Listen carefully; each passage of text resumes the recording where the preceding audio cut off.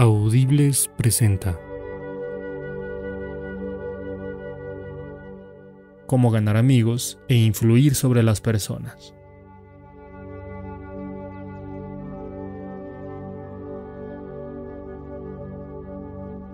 ¿Cómo fue escrito este libro y por qué? Durante los últimos 35 años, las empresas editoriales de los Estados Unidos han impreso más de un quinto de millón de obras diferentes Muchos de esos libros eran atrozmente tediosos y muchos fueron fracasos financieros. ¿He dicho muchos? El presidente de una de las mayores editoriales del mundo me confesó que su compañía, después de 75 años de experiencia editorial, todavía pierde dinero con 7 de cada 8 libros que publica. ¿Por qué entonces he tenido la temeridad de escribir otro libro? Y después de escribirlo, ¿por qué se ha de molestar usted en leerlo? Preguntas justas ambas, y trataré de contestarlas. Desde 1912 vengo dirigiendo cursos educativos para hombres y mujeres de negocios y profesionales en Nueva York. Al principio dirigí cursos sobre oratoria pública solamente, cursos destinados a preparar a los adultos, mediante la experiencia, a pensar mientras están de pie y a expresar sus ideas con mayor claridad, mayor efectividad y mayor soltura tanto en conversaciones de negocios como ante grupos más numerosos. Pero gradualmente, a medida que pasaban los años, comprendí que por mucho que estos adultos necesitaran un aprendizaje para hablar en forma eficaz, necesitaban aún más el aprendizaje en este bello arte de tratar con la gente en los negocios y en sus contactos sociales. Comprendí también gradualmente que yo mismo necesitaba ese aprendizaje, al recordar ahora esos años me aterroriza advertir mis frecuentes faltas de tacto y de comprensión. ¿Cómo lamento no haber podido tener en mis manos un libro como este hace 20 años? Qué don inapreciable habría sido. Tratar con la gente es probablemente el mayor problema que se afronta, especialmente si eres una persona de negocios. Sí, y también si es un contador, un ama de casa, un arquitecto o un ingeniero. La investigación y el estudio realizado hace pocos años bajo los auspicios de la Fundación Carnegie revelaron un hecho muy importante y significativo, un hecho confirmado más tarde por los estudios adicionales efectuados en el Instituto Carnegie de Tecnología. Estas investigaciones demostraron que aún en los ramos tan técnicos como la ingeniería, alrededor del 15% del éxito financiero de cada uno se debe al conocimiento técnico y alrededor del 85% se debe a la habilidad en la tecnología humana, la personalidad y la capacidad para tratar con la gente. Durante muchos años dirigí cursos en el Círculo de Ingenieros de Filadelfia y también en la rama de Nueva York del Instituto Norteamericano de Ingenieros Electricistas. Por mis clases han pasado probablemente más de 1500 ingenieros. Fueron a ellas porque comprendieron finalmente, al cabo de años de observación y experiencia, que frecuentemente el personal mejor pagado en el ramo de la ingeniería no es el que conoce más ingeniería. Por ejemplo, se puede contar con los servicios simplemente técnicos de ingenieros, contadores, arquitectos o cualquier otro profesional por un salario fijo. Pero el hombre que dispone de conocimientos técnicos, más la habilidad de expresar sus ideas, para asumir la dirección y para despertar entusiasmo entre los demás, esa persona tiene posibilidades de aumentar indefinidamente sus ingresos. En la plenitud de su actividad, John D. Rockefeller dijo que la habilidad para tratar con la gente es un artículo que se puede comprar, como el azúcar o el café. Y pagaré más por esa capacidad, agregó, que por cualquier otra cosa. No se debe suponer, pues, que todos los colegios del país deberían tener cursos para desarrollar la habilidad más preciada entre todas. Pero si hay un curso práctico, con sentido común, para adultos de esta especie, ha escapado mi atención hasta el momento de escribir estas líneas. La Universidad de Chicago y las Escuelas Unidas de la Asociación Cristiana de Jóvenes realizaron un estudio para determinar qué quieren aprender en realidad los adultos. Ese estudio costó 25 mil dólares y duró dos años. La última parte de la indagación se realizó en Meriden, Connecticut. Era una típica población norteamericana, se entrevistó a todos los adultos de Meriden y se les pidió que respondieran a 156 preguntas, tales como ¿cuál es su ocupación o profesión? ¿Cuál es su educación? ¿Cómo pasa sus ratos desocupados? ¿Qué ingresos tiene? ¿Qué pasatiempo? ¿Qué ambiciones? ¿Qué problemas? ¿Qué temas le interesará estudiar? Y otras más por el estilo. Esa investigación reveló que la salud es lo que más interesa a los adultos y que en segundo lugar les interesa a la gente, cómo comprender y llevarse bien con el prójimo, cómo hacer que los demás gusten de uno y cómo hacer que los demás adopten el modo de pensar de uno. La comisión que realizaba esta indagación resolvió organizar un curso para adultos en Meriden. Buscó diligentemente un texto práctico sobre el tema, pero no encontró ninguno. Finalmente, los miembros de la comisión buscaron a una de las personas más autorizadas del mundo en el terreno de la educación para adultos, y le preguntaron si conocía algún libro que atendiera las necesidades de ese grupo de adultos de Meriden. No, respondió. Yo sé lo que necesitan esos adultos, pero el libro que les hace falta no ha sido escrito todavía. Yo sabía por experiencia propia que esa afirmación era exacta, porque durante años había buscado inútilmente un manual práctico y aplicable sobre las relaciones humanas. Como no existía ese libro, traté de escribir uno para utilizarlo en mis cursos, y aquí está. Espero que a usted le agrade. Como preparación para este libro, leí todo lo que pude encontrar sobre el tema. Todo. Desde artículos en diarios y revistas, los archivos de los juicios de divorcio, las obras de viejos filósofos y psicólogos modernos. Además, contraté a un investigador especializado para que se pasara un año y medio en diversas bibliotecas, leyendo todo lo que yo había pasado por alto, estudiando eruditos volúmenes de psicología, hojeando centenares de artículos periodísticos, revisando incontables biografías, para tratar de establecer cómo los grandes hombres de todas las edades habían tratado con la gente. Leímos las biografías de todos los grandes personajes habidos en el mundo. Leímos la vida de todos los grandes desde Julio César hasta Thomas Edison. Recuerdo que leímos más de 100 biografías de Theodore Roosevelt solamente. Estábamos decididos a no economizar tiempo ni gastos para descubrir todas las ideas prácticas usadas jamás por los hombres de todas las épocas, a fin de ganar amigos e influir sobre la gente. Yo entrevisté personalmente a veintenas de personas que han triunfado en la vida, algunas de ellas famosas en el mundo, inventores como Marconi y Edison, líderes políticos como Franklin D. Roosevelt y James Farley, hombres de empresa como Owen D. Young, estrellas de cine como Clark Gable y Mark Pickford, y exploradores como Martin Johnson y traté de descubrir la técnica empleada por ellos en las relaciones humanas. Con todo este material, preparé una breve charla, la titulé Cómo ganar amigos e influir sobre la gente. He dicho breve. Lo era en un principio, pero ha ido en aumento hasta convertirse en una conferencia que consume una hora y treinta minutos. Durante muchos años di esa conferencia ante los adultos reunidos en cada clase de los cursos del Instituto Carnegie de Nueva York. Siempre he hecho lo mismo. He pronunciado la conferencia y recomendado a los alumnos que hicieran la prueba de esos consejos en sus contactos comerciales y sociales, para volver luego a la clase a hablar de sus experiencias y de los resultados conseguidos. Qué tarea interesante. Estos hombres y estas mujeres, ansiosos por mejorar, se veían fascinados por la idea de trabajar en una nueva especie de laboratorio, el primero y el único laboratorio de relaciones humanas para adultos que ha existido jamás. Este libro no fue escrito como se escribe en todos los libros. Creció tal como crece un niño. Creció y se desarrolló en este laboratorio, gracias a las experiencias de miles de adultos. Hace años comenzamos con una serie de reglas impresas en una tarjeta no mayor que una tarjeta postal. A la temporada siguiente imprimimos una tarjeta más grande, después un folleto, después una serie de folletos, cada uno en crecimiento a su vez, en tamaño y en alcance. Al cabo de 15 años de experimentos e investigaciones, tuvimos este libro.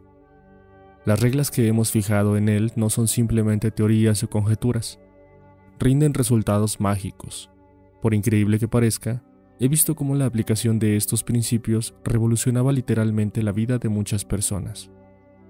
Un ejemplo, un hombre con 314 empleados se inscribió en uno de estos cursos. Durante muchos años había mandado y criticado y censurado a sus empleados, sin trabas ni discreción.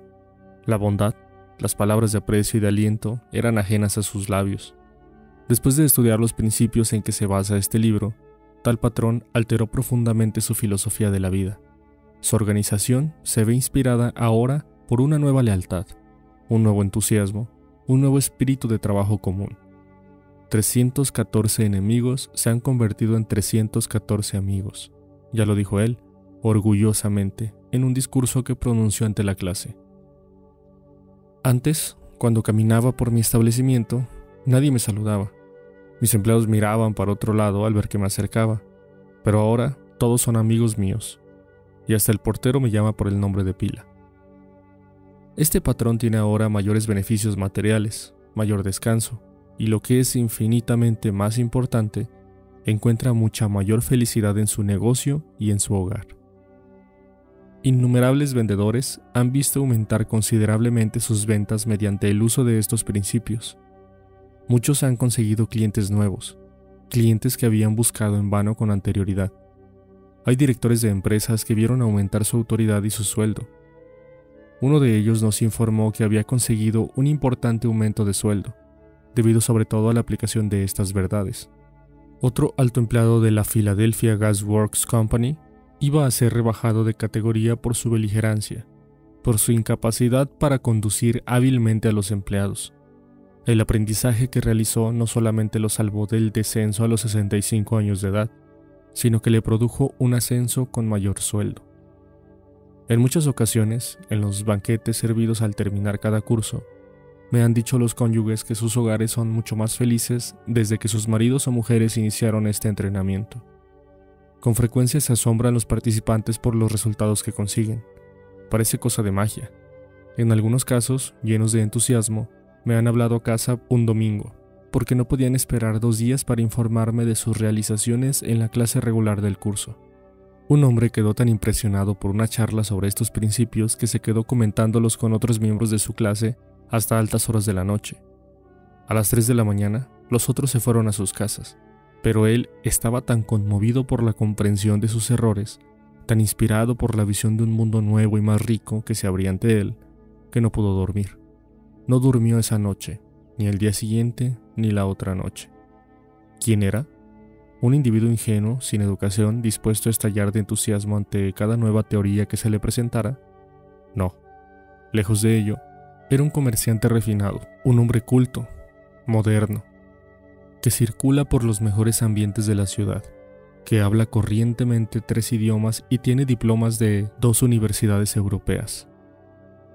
Mientras escribo este capítulo, me llega una carta de un alemán de la vieja escuela, un aristócrata cuyos antepasados sirvieron durante generaciones como oficiales del ejército a las órdenes de los Hohenzollern. Su carta, escrita desde un transatlántico, me habla casi con fervor religioso de la aplicación de estos principios en su caso.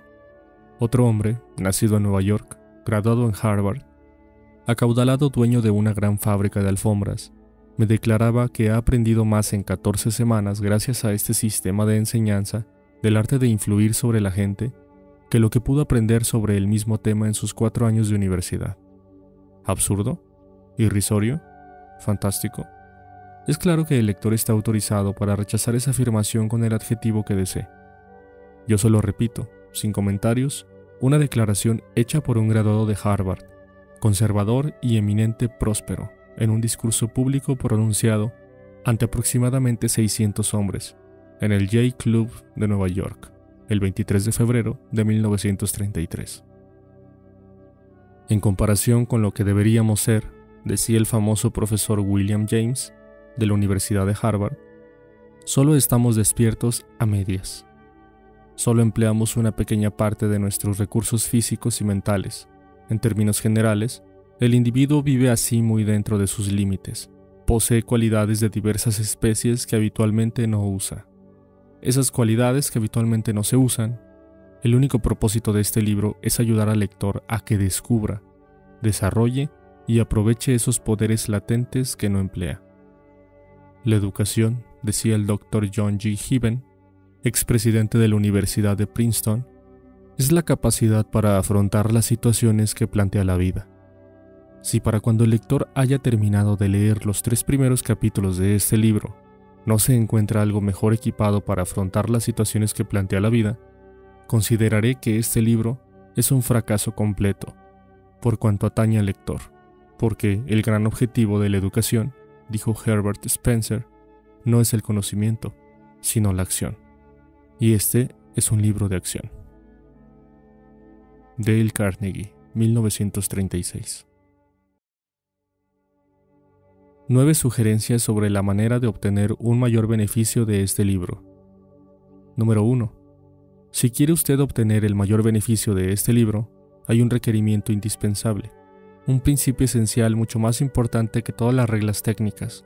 A menos que satisfaga usted este requisito fundamental, de poco le servirán muchas reglas sobre la forma de estudiar.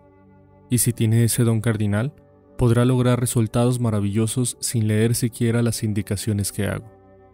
¿Cuál es este requisito mágico? Nada más que esto. Un profundo, impulsivo deseo de aprender. Una vigorosa decisión de aumentar su capacidad para tratar con la gente. ¿Cómo se puede lograr ese impulso? Recordando constantemente cuán importantes son esos principios. Piense usted cómo contribuiría su dominio a llevarle a obtener una vida más feliz, rica y plena, diciéndose una y otra vez, mi popularidad, mi felicidad y mi valor dependen en grado no pequeño de mi habilidad para tratar con la gente. Número 2. Escuche cada capítulo rápidamente al principio para lograr una visión a ojo de pájaro. Es probable que después se sienta tentado a correr al capítulo siguiente, pero no lo haga así, a menos que escuche solamente por entretenerse. Pero si escucha porque quiere aumentar su habilidad en las relaciones humanas, vuelva atrás y vuelve a escuchar detenidamente cada capítulo. A la larga, esto significa un ahorro de tiempo y la obtención de mayores resultados. Número 3. Deténgase frecuentemente al escuchar para pensar en lo que está escuchando. Pregúntese cómo y cuándo puede aplicar cada sugerencia. Número 4. Escuche con un lápiz, un bolígrafo o una pluma en la mano y cuando encuentre una indicación que a su juicio puede usar, escríbala en un papel. Si es una indicación excelente, subraye cada frase o remárquela. Este método de marcar o subrayar o escribir frases de un libro lo hace más interesante y mucho más fácil de revisar rápidamente. Número 5. Conozco a una mujer que desde hace 15 años es gerente de una gran compañía de seguros.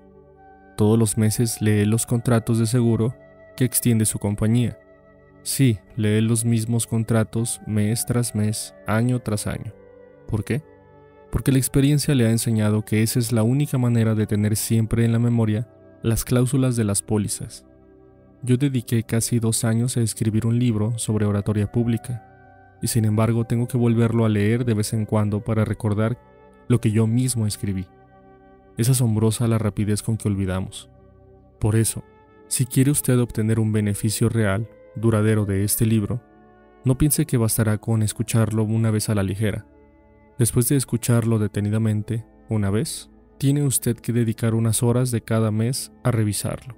Téngalo en su playlist ante sus oídos todos los días y escúchelo a menudo. Piense constantemente en las grandes posibilidades de mejora que aún le quedan por delante Recuerde que el uso de esos principios solo puede hacerse habitual y subconsciente mediante una constante y vigorosa campaña de revisión y aplicación. No hay otro medio. Número 6. Bernard Shaw señala una vez, si se enseña algo a un hombre, jamás lo aprenderá. Shaw tenía razón. Aprender es un proceso activo. Aprendemos haciendo. De modo que si usted quiere dominar los principios que estudia en este libro, haga algo con ellos. Aplique estas reglas en todas las oportunidades.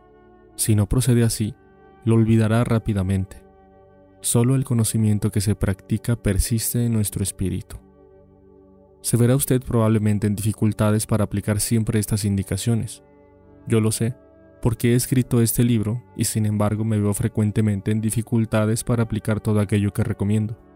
Por ejemplo, cuando algo nos desagrada, es mucho más fácil criticar y censurar que tratar de comprender el punto de vista del prójimo. Con frecuencia, es más fácil encontrar defectos que pronunciar elogios. Es más natural hablar acerca de lo que uno quiere que de lo que quieren los demás. Y todo es así. De modo que, al escuchar este libro, recuerde siempre que no trata usted solamente de adquirir información. Intenta formar nuevos hábitos, si intenta usted emprender una nueva forma de vivir, esto requiere tiempo y constancia y la diaria aplicación de estos principios. Vuelva pues a menudo a estas páginas, considéralas como un manual sobre las relaciones humanas, y cada vez que se ve ante un problema específico, como el de corregir a un hijo, el de llevar al cónyuge a su manera de pensar o satisfacer a un cliente irritado, vacile antes de hacer lo acostumbrado, lo humano, lo impulsivo. Eso, lo humano, es generalmente un error. En cambio, vuelva a escuchar los capítulos con todos los apuntes que usted ha realizado. Después, ponga a prueba estos nuevos métodos y compruebe de qué modo mágico le rinden resultados. Número 7. Ofrezca a su cónyuge, a su hijo o a algún compañero de su oficina una moneda cada vez que lo sorprendan violando cierto principio. Del dominio de estas reglas haga un juego entretenido. Número 8. El presidente de un importante banco de Wall Street relató una vez, en una conversación ante una de mis clases, un sistema muy eficiente que empleaba para mejorar su carácter. Este hombre había tenido poca educación formal y llegó sin embargo a ser uno de los financistas más importantes del país. Nos confesó que debía la mayor parte de su éxito a la constante aplicación de su sistema casero. Veamos lo que hace. Lo repetiré con sus propias palabras, tan exactamente como las recuerdo. Durante años, he llevado un libro de citas con todas las entrevistas que realizo durante el día. Mi familia ya sabe que no debe forjar planes conmigo para los sábados por la noche porque no ignora que dedico una parte de cada una de esas noches al ilustrativo proceso de examinar mis actos, revisarlos y criticarlos. Después de la comida me quedo a solas. Abro mi libro de citas y pienso en todas las entrevistas, conversaciones y reuniones en que he intervenido durante la semana. Entonces me pregunto, ¿qué errores cometí en esta ocasión? ¿Qué hice bien y en qué forma puedo mejorar mi proceder? ¿Qué lecciones puedo aprender de esa experiencia? A menudo me ocurre que esta entrevista semanal me causa mucha infelicidad. Me asombran a menudo mis propios errores. Es claro que al pasar los años, esos errores han disminuido. A veces, ahora me inclino a palmearme la espalda después de una de esas sesiones. Este sistema de autoanálisis, de autoeducación, proseguido año tras año, me ha hecho más bien que cualquier otra cosa que he intentado jamás. Me ha ayudado a mejorar mi capacidad para tomar decisiones y me ha ayudado enormemente en todos mis contactos con la gente. Nunca me cansaré de recomendarlo. ¿Por qué no ha de emplear usted un sistema similar para compulsar la forma en que aplica los principios tratados en este libro? Si lo hace, obtendrá dos resultados. Primero, se verá dedicado a un proceso educativo que es a la vez interesante y de inapreciables beneficios. Segundo, verá que su capacidad para tratar con la gente aumentará y se propagará enormemente. Número 9. Encontrará usted al final de este libro un diario en el que debe registrar sus triunfos en la aplicación de estos principios. Sea especificativo. Escriba nombres, fechas, resultados. La elaboración de este historial le inspirará para realizar mayores esfuerzos y cuán fascinadoras serán esas inscripciones cuando por casualidad las relea dentro de algunos años. Al fin de obtener el mayor resultado posible de este libro, pues, logre un deseo profundo, impulsivo, de dominar los principios de las relaciones humanas. Escuche cada capítulo dos veces antes de pasar al siguiente. A medida que escuche, deténgase frecuentemente a preguntarse cómo puede aplicar cada indicación. Anote cada idea importante. Escuche el libro todos los meses. Aplique estos principios en cada oportunidad que se le presente. Utilice este volumen como manual de trabajo para ayudarse a resolver sus problemas diarios. Convierta este aprendizaje en un juego entretenido, ofreciendo a algún amigo una moneda por cada vez que lo sorprenda violando una de estas reglas. Haga todas las semanas una compulsa sobre el progreso que realiza Pregúntese qué errores ha cometido, qué lecciones ha aprendido para el futuro. Lleve un diario para exponer cómo y cuándo ha aplicado estos principios. Primera parte. Técnicas fundamentales para tratar con el prójimo. Si quieres recoger miel, no des puntapiés a la colmena. El 7 de mayo de 1937, la ciudad de Nueva York presenció a la más sensacional caza de un hombre jamás conocida en esta metrópoli. Al cabo de muchas semanas de persecución, dos pistolas Crowley, el asesino, el pistolero que no bebía ni fumaba, se vio sorprendido, atrapado en el departamento de su novia en la avenida West End. 150 agentes de policías y pesquiscas pusieron sitio a su escondite del último piso.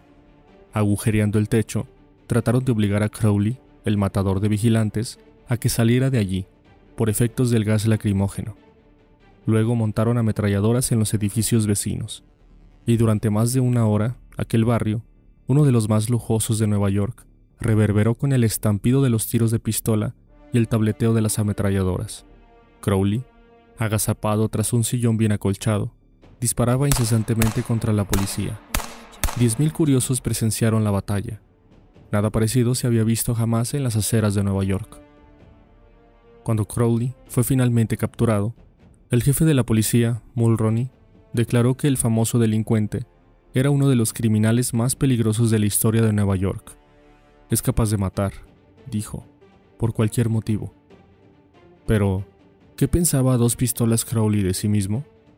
Lo sabemos porque mientras la policía hacía fuego graneado contra su departamento, escribió una carta dirigida a quien corresponda, y al escribir, la sangre que emanaba de sus heridas dejó un rastro escarlata en el papel. En esta carta expresó Crowley, Tengo bajo la ropa un corazón fatigado, un corazón bueno, un corazón que a nadie haría daño. Poco tiempo antes, Crowley había estado dedicado a abrazar a una mujer en su automóvil, en un camino de campo en Long Island. De pronto, un agente de policía se acercó al coche y dijo, Quiero ver su licencia. Sin pronunciar palabra, Crowley sacó su pistola y acalló para siempre al vigilante con una lluvia de plomo. Cuando la agente cayó, Crowley saltó del automóvil, empuñó el revólver de la víctima y disparó otra bala en el cuerpo tendido. Y este es el asesino que dijo, tengo bajo la ropa un corazón fatigado, un corazón bueno, un corazón que a nadie haría daño. Crowley fue condenado a la silla eléctrica. Cuando llegó a la cámara fatal en Sing Sing, no declaró, por cierto, esto es lo que me pasa por asesino. No, dijo, esto es lo que me pasa por defenderme. La moraleja de este relato es, dos pistolas Crowley no se echaba la culpa de nada. ¿Es esta una actitud extraordinaria entre criminales? Si así le parece, escuche lo siguiente. He pasado los mejores años de la vida dando a los demás placeres ligeros, ayudándoles a pasar buenos ratos, y todo lo que recibo son insultos, la existencia de un hombre perseguido. Quien así habla es Al Capone. Sí, el mismo que fue enemigo público número uno, el más siniestro de los jefes de bandas criminales de Chicago. Capone no se culpa de nada, se considera, en cambio, un benefactor público, un benefactor público incomprendido a quien nadie apreció. Y lo mismo pensaba Dud Schultz antes de morir por las balas de otros pistoleros en Newark. Dud Schultz, uno de los más famosos criminales de Nueva York, aseguró en una entrevista para un diario que él era un benefactor público, y lo creía. He tenido interesante correspondencia con Lewis Laus, que fue alcaide de la famosa cárcel de Sing Sing en Nueva York. Sobre ese tema, y según él, pocos criminales que hay en Sing Sing se consideran hombres malos. Son tan humanos como usted o como yo. Así raciocinian, así lo explican todo. Pueden narrar las razones por las cuales tuvieron que forzar una caja de hierro o ser rápidos con el gatillo. Casi todos ellos intentan, con alguna serie de razonamientos falaces o lógicos, justificar sus actos antisociales aún ante sí mismos, y por consiguiente, mantienen con firmeza que jamás se les debió apresar. Si Al Capone, dos pistolas, Crowley, Dutch Schultz, los hombres y mujeres desesperados tras las rejas de una prisión no se culpan por nada, ¿qué diremos de las personas con quien usted escucha o yo entramos en contacto? John Wanamaker, fundador de las tiendas que llevaban su nombre, confesó una vez, hace 30 años, he aprendido que es una tontería regañar a los demás. Bastante tengo con vencer mis propias limitaciones sin irritarme por el hecho de que Dios no ha creído conveniente distribuir por igual el don de la inteligencia. Wanamaker aprendió temprano su lección En cambio, yo he tenido que ir a los tumbos por este mundo durante un tercio de siglo antes de que empezara a amanecer en mí la idea de que 99 veces de cada 100 ningún hombre se critica a sí mismo por nada, por grandes que sean sus errores. La crítica es inútil, porque pone a la otra persona en la defensiva, y por lo común hace que trate de justificarse. La crítica es peligrosa, porque lastima el orgullo, tan precioso de la persona, hiere su sentido de la importancia y despierta resentimiento. El mundialmente famoso psicólogo B.F. Skinner comprobó, mediante experimentación con animales, que premiando la buena conducta de los animales aprenden más rápido y retienen con más eficacia que castigando la mala conducta. Estudios posteriores probaron lo mismo aplicado a los seres humanos. Por medio de la crítica nunca provocamos cambios duraderos y con frecuencia creamos resentimiento.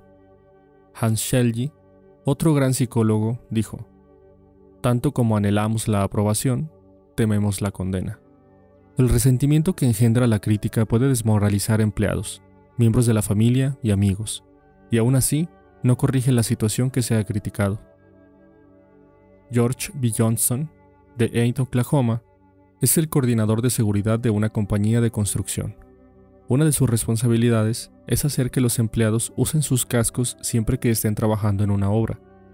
Nos contó que cada vez que se encontraba con un obrero sin su casco, le ordenaba, con mucha autoridad, que cumpliera con las ordenanzas. Como resultado, obtenía una obediencia desganada, y con frecuencia los hombres volvían a quitarse el casco, ni bien les daba la espalda. Decidió probar un método diferente, y cuando volvió a encontrar un obrero sin el casco, le preguntó si el casco le resultaba incómodo o no le iba bien. Después le recordó, en tono amistoso, que su misión era protegerlo de heridas, y le sugirió que lo usara siempre que estuviera en la obra, el resultado de esta actitud fue una mayor obediencia a las reglas, sin resentimientos ni tensiones emocionales. En mil páginas de la historia se encuentran ejemplos de la inutilidad de la crítica. Tomemos por ejemplo la famosa disputa entre Theodore Roosevelt y el presidente Taft, una disputa que dividió el Partido Republicano, llevó a Woodrow Wilson a la Casa Blanca, escribió un nuevo capítulo en la Guerra Mundial y alteró la suerte de la historia. Recordemos rápidamente los hechos. Cuando Theodore Roosevelt abandonó la Casa Blanca en 1908, ayudó a Taft a que se eligiera como presidente y luego se fue a África a cazar leones. Al regresar, censuró a Taft por su política conservadora. Trató de ser ungido candidato a una tercera presidencia, formó el Partido del Alce y estuvo a punto de demoler el republicano. En la elección que hubo después, William Howard Taft y el Partido Republicano vencieron solamente en dos estados, Vermont y Utah. La derrota más desastrosa jamás conocida por el partido. Theodore Roosevelt culpó a Taft, pero ¿se consideró culpable el presidente Taft? Claro que no. Con los ojos llenos de lágrimas dijo, no veo cómo podía haber procedido de otro modo. ¿A quién se ha de echar la culpa? ¿A Roosevelt o a Taft? No lo sé, francamente, ni me importa. Lo que trato de hacer ver es que todas las críticas de Theodore Roosevelt no lograron persuadir a Taft de que se había equivocado. Solo consiguieron que Taft tratara de justificarse y que reiterase con lágrimas en los ojos, no veo cómo podía haber procedido de otro modo. O tomemos el ejemplo del escándalo del tipo Dumb Oil. Fue un asunto que hizo clamar de indignación a los diarios del país durante los primeros años de la década de 1920. Conmovió a la nación entera Nada parecido había sucedido jamás en la vida pública norteamericana, al menos en la memoria contemporánea. Señalemos los hechos desnudos. Albert Fall, secretario del Interior en el gabinete del presidente Harding, tenía a su cargo ceder en arriendo las reservas petroleras del gobierno en Elk Hill y Tiput Dome, unas reservas que se habían dejado aparte por su empleo futuro por la Armada. El secretario Fall no efectuó una licitación, no señor entregó directamente el contrato, un negocio redondo, jugoso, a su amigo Edward L. Tony. Y a su vez, Donny hizo al secretario Fall un préstamo, según le place llamar a esta operación, de 100 mil dólares.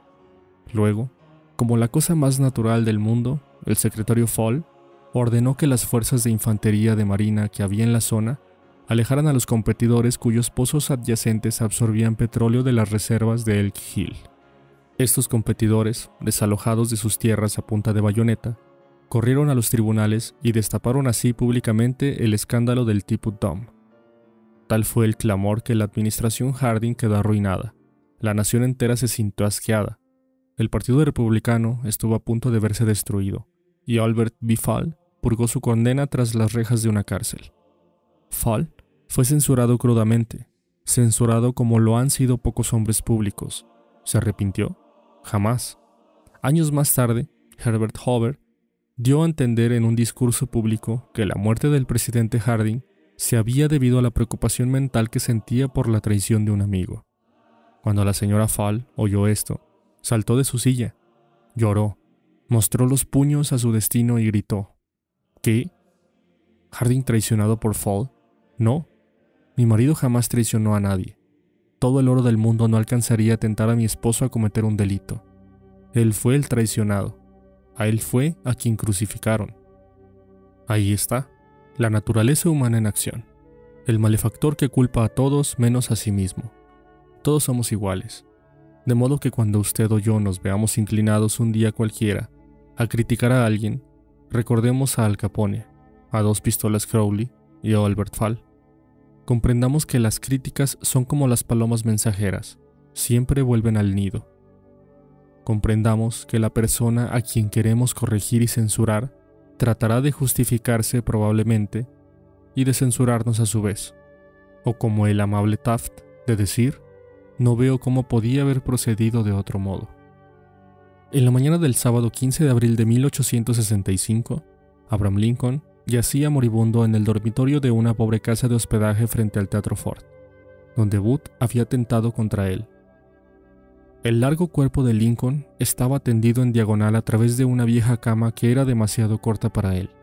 Una mala reproducción del famoso cuadro La Feria de Caballos de Rosa Bonheur pendía sobre la cama, y un mortecino mechero de gas daba escasa luz amarillenta. Cuando Lincoln agonizaba, el secretario de guerra, Stanton, dijo, Aquí yace el más perfecto gobernante que ha conocido jamás el mundo. ¿Cuál era el secreto de los triunfos de Lincoln en su trato con los hombres?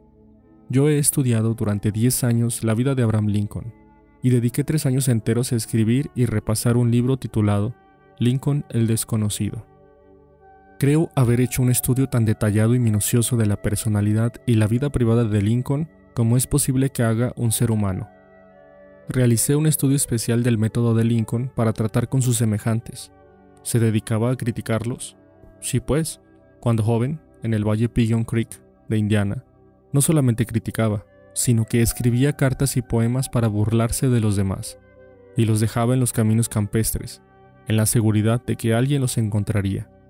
Una de esas cartas despertó resentimientos que duraron toda una generación. Aún después de empezar a practicar leyes como abogado en Springfield, Illinois, Lincoln atacaba abiertamente a sus rivales, en cartas que publicaba en los periódicos, pero se excedió. En el otoño de 1842 se burló de un político irlandés, vano y batallador, que se llamaba James Shields. Lincoln lo censuró crudamente en una carta anónima publicada en el Springfield Journal. El pueblo entero estalló en carcajadas. Shields, sensitivo y orgulloso, hirvió de indignación. Descubrió quién había escrito la carta, saltó en su caballo, buscó a Lincoln y lo desafió a duelo. Lincoln no quería pelear, se oponía a los duelos, pero no pudo evitarlo sin menoscabo para su honor. Tuvo la elección de las armas. Como tenía brazos muy largos, escogió sables de caballería, tomó lecciones de esgrima de un militar de West Point, y el día señalado, él y Shields se encontraron en un banco de arena del Mississippi, dispuestos a luchar hasta la muerte. Por fortuna, a último momento, intervinieron los padrinos y evitaron el duelo. Ese fue el incidente personal más significativo en la vida de Lincoln. Resultó para él una lección de valor incalculable en el arte de tratar con los demás. Nunca volvió a escribir una carta insultante, nunca volvió a burlarse del prójimo, y desde entonces casi nunca criticó a los demás. Una vez tras otra, durante la guerra civil, Lincoln puso un nuevo general al frente del ejército del Potomac, y cada uno a su turno. McClellan, Pope, Burnside, Hawker, Meade cometió algún trágico error e hizo que Lincoln recorriera a su despacho, a grandes pasos, presa de la desesperación. Media nación censuraba acremente a esos generales incompetentes, pero Lincoln, sin malicia para nadie, con caridad para todos, conservaba la calma. Una de sus máximas favoritas era, no juzgues si no quieres ser juzgado. Y cuando la señora de Lincoln y otras personas hablaban duramente de la gente del sur de los Estados Unidos, Lincoln respondía, no lo censure, son tal como seríamos nosotros en circunstancias similares. Pero si un hombre ha tenido alguna vez la ocasión de criticar, ese hombre ha sido Lincoln, a buen seguro. Tomemos un ejemplo. La batalla de Gettysburg se libró en los primeros tres días de julio de 1863. En la noche del 4 de julio, Lee comenzó su retirada hacia el sur, en tanto que una gran tormenta inundaba de lluvia la tierra. Cuando Lee llegó al Potomac con su ejército en derrota, encontró un río hinchado, embravecido, imposible de pasar ante sus tropas y un ejército unionista victorioso tras ellas. Lee estaba como en una trampa. No podía escapar. Lincoln lo advirtió. Ahí se presentaba la oportunidad como enviada por el cielo, la oportunidad de copar el ejército de Lee y poner término inmediato a la guerra. Así pues, con un hálito de gran esperanza, Lincoln ordenó a Meade que no convocara un consejo de guerra, que atacara inmediatamente a Lee. Lincoln telegrafió estas órdenes y envió un mensajero especial a Meade para instarlo a la acción instantánea. ¿Qué hizo el general Meade? Exactamente lo contrario de lo que se le decía. Convocó a un consejo de guerra, en directa violación de las órdenes de Lincoln. Vaciló. Esperó. Telegrafió todas sus excusas. Se negó rotundamente a atacar a Lee. Por fin bajaron las aguas y Lee escapó a través del Potomac con sus fuerzas. Lincoln estaba furioso. ¿Qué es esto? gritó a su hijo Robert. Gran Dios, ¿qué es esto? Lo teníamos al alcance de las manos, solo teníamos que estirarlas para que cayeran en nuestro poder, y sin embargo, nada de lo que dije o hice logró que el ejército avanzara. En esas circunstancias, cualquier general podría haber vencido a Lee. Si yo hubiera ido, yo mismo lo podría haber derrotado. Con acervo desencanto, Lincoln se sentó a escribir esta carta a Meade. Y recuérdese que en este periodo de su vida era sumamente conservador y remiso en su fraseología. De modo que esta carta, escrita por Lincoln en 1863, equivalía al reproche más severo. Mi querido general, no creo que comprenda usted la magnitud de la desgracia que representa la retirada de Lee. Estaba a nuestro alcance, y su captura hubiera significado, en unión con nuestros otros triunfos recientes, el fin de la guerra. Ahora la guerra se prolongará indefinidamente. Si usted no consiguió atacar con fortuna a Lee el lunes último, ¿cómo logrará hacerlo ahora al sur del río, cuando solo puede llevar consigo unos pocos hombres, no más de dos tercios de la fuerza que disponía entonces? Sería irrazonable esperar. Y yo no le espero que ahora pueda usted lograr mucho. Su mejor oportunidad ha desaparecido y estoy indeciblemente angustiado a causa de ello. ¿Qué habrá hecho Mid al leer esta carta? Mid no vio jamás esta carta. Lincoln no la despachó. Fue hallada entre los papeles de Lincoln después de su muerte. Creo, y esto es solo una opinión, que después de escribirla, Lincoln miró por la ventana y se dijo, un momento, tal vez no debiera ser tan precipitado. Me es muy fácil, aquí sentado en la quietud de la Casa Blanca, ordenar a Meade que ataque. Pero si yo hubiese estado en Gettysburg y hubiese visto tanta sangre como ha visto Meade en la última semana, y si mis oídos hubiesen sido horodados por los clamores y los gritos de los heridos y moribundos, quizá no habría tenido tantas ansias de atacar. Si yo tuviese el tímido temperamento de Meade, quizás habría hecho lo mismo que él. De todos modos, es agua que ya ha pasado bajo el puente, si envío esta carta, calmaré mis sentimientos, pero haré que Mit trate de justificar sus actos. Haré que él me censure a su vez. Despertaré resquemores. Disminuiré su utilidad futura como comandante y lo llevaré acaso a renunciar al ejército. Y Lincoln dejó a un lado la carta, porque por amarga experiencia había aprendido que las críticas y reproches acervos son casi siempre inútiles. Theodore Roosevelt ha dicho que cuando como presidente se veía ante alguna grave problemática, solía reclinarse en su sillón y mirar un gran cuadro de Lincoln que había sobre su escritorio en la Casa Blanca, y preguntarse entonces, ¿qué haría Lincoln si se viera en mi lugar? ¿Cómo resolvería este problema? La próxima vez que sintamos la tentación de reprocharle algo a alguien, saquemos un billete de 5 dólares del bolsillo, miremos el retrato de Lincoln y preguntemos, ¿cómo resolvería Lincoln este problema si estuviera en mi lugar? Mark Twain solía perder la paciencia y escribía cartas que quemaban el papel. Por ejemplo, una vez le escribió a un hombre que había despertado su ira. Lo que usted necesita es un permiso de entierro. No tiene más que decirlo y le conseguiré uno.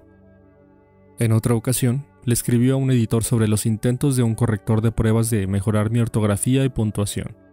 Ordenó lo siguiente. Imprima de acuerdo con la copia que le envío, y que el corrector hunda sus sugerencias en las gachas de su cerebro podrido. Mark Twain se sentía mejor después de escribir estas cartas hirientes. Le permitían descargar presión, y las cartas no hacían daño a nadie porque la esposa del escritor las desviaba secretamente. Nunca eran despachadas. ¿Conoce usted a alguien a quien desearía modificar y regular y mejorar? Bien, espléndido. Yo estoy en su favor.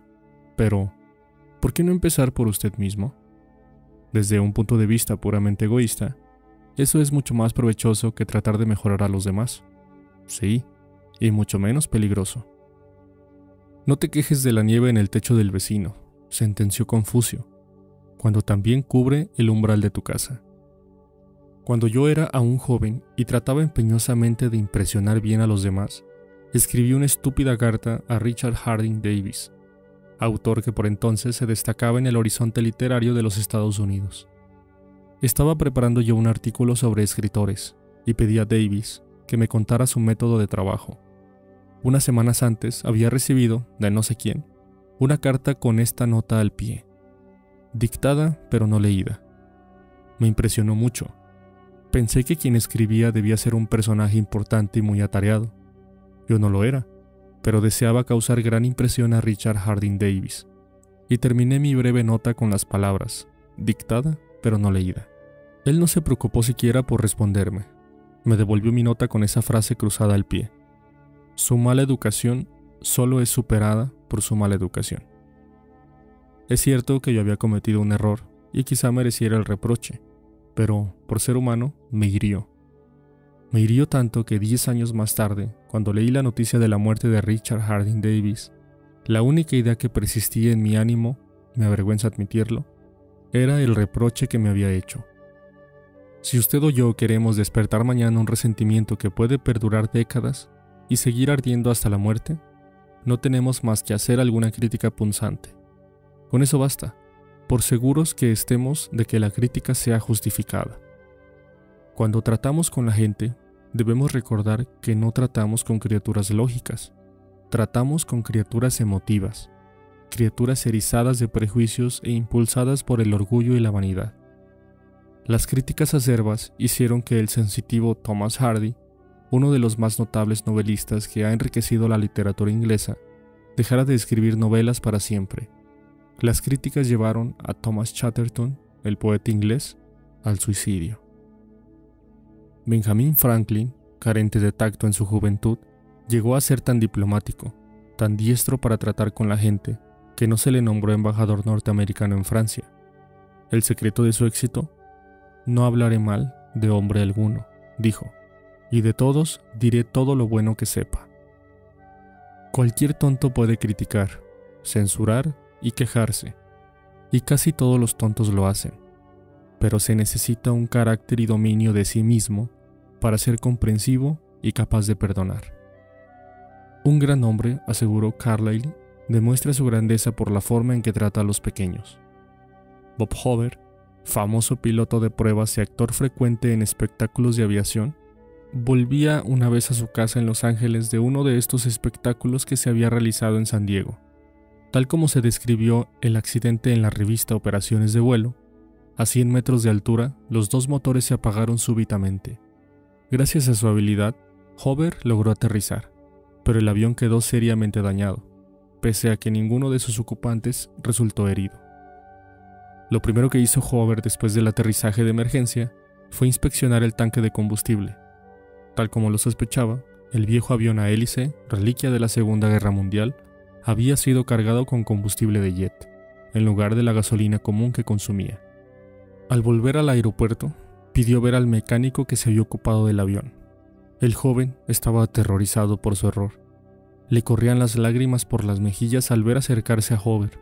Su equivocación había provocado la pérdida de un avión muy costoso y podría haber causado la pérdida de tres vidas. Es fácil imaginar la ira de Hover. Es posible suponer la tormenta breval que podía provocar semejante descuido en este preciso y soberbio piloto. Pero Hover no le reprochó nada, ni siquiera lo criticó. En lugar de eso, puso su brazo sobre los hombros del muchacho y le dijo, Para demostrarle que estoy seguro de que nunca volverá a hacerlo, quiero que mañana se ocupe de mi F-51. Con frecuencia los padres se sienten tentados de criticar a sus hijos. Quizá el lector espera que yo le diga, no lo haga, pero no lo haré. Solo voy a decirle que antes de criticarlos, lea uno de los clásicos del periodismo norteamericano, Papá Olvida. Apareció por primera vez como editorial en el diario People's Home Journal. Lo volveremos a publicar con permiso del autor tal como fuera condensado en la revista Selecciones del Reader's Digest. Papá Olvida es una de esas piececitas que, escritas en un momento de sentimiento sincero, da en la cuerda sentimental de tantos lectores que termina siendo un trozo favorito. Desde que apareció por primera vez hace unos 15 años, ha sido reproducida, nos dice el autor W. Livingston Larnett, en centenares de revistas y diarios del país entero. También se le ha publicado infinidad de veces en muchos idiomas extranjeros. He dado permiso para que se la leyera en aulas, iglesias y conferencias. Se la ha transmitido muchas veces por radiotelefonía. Ha aparecido en revistas y periódicos de colegios y escuelas. Papá olvida. W. Livingston Larnett. Escucha, hijo. Voy a decirte esto mientras duermes una manecita metida bajo la mejilla y los rubios rizos pegados a tu frente humedecida. He entrado solo a tu cuarto.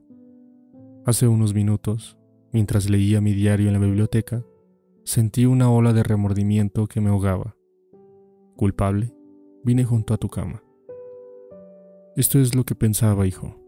Me enojé contigo. Te regañé cuando te vestías para ir a la escuela, porque apenas te mojaste la cara con una toalla. Te regañé porque no te limpiaste los zapatos. Te grité porque dejaste caer algo al suelo. Durante el desayuno te regañé también. Volcaste las cosas, tragaste la comida sin cuidado. Pusiste los codos sobre la mesa. Untaste demasiado el pan con la mantequilla.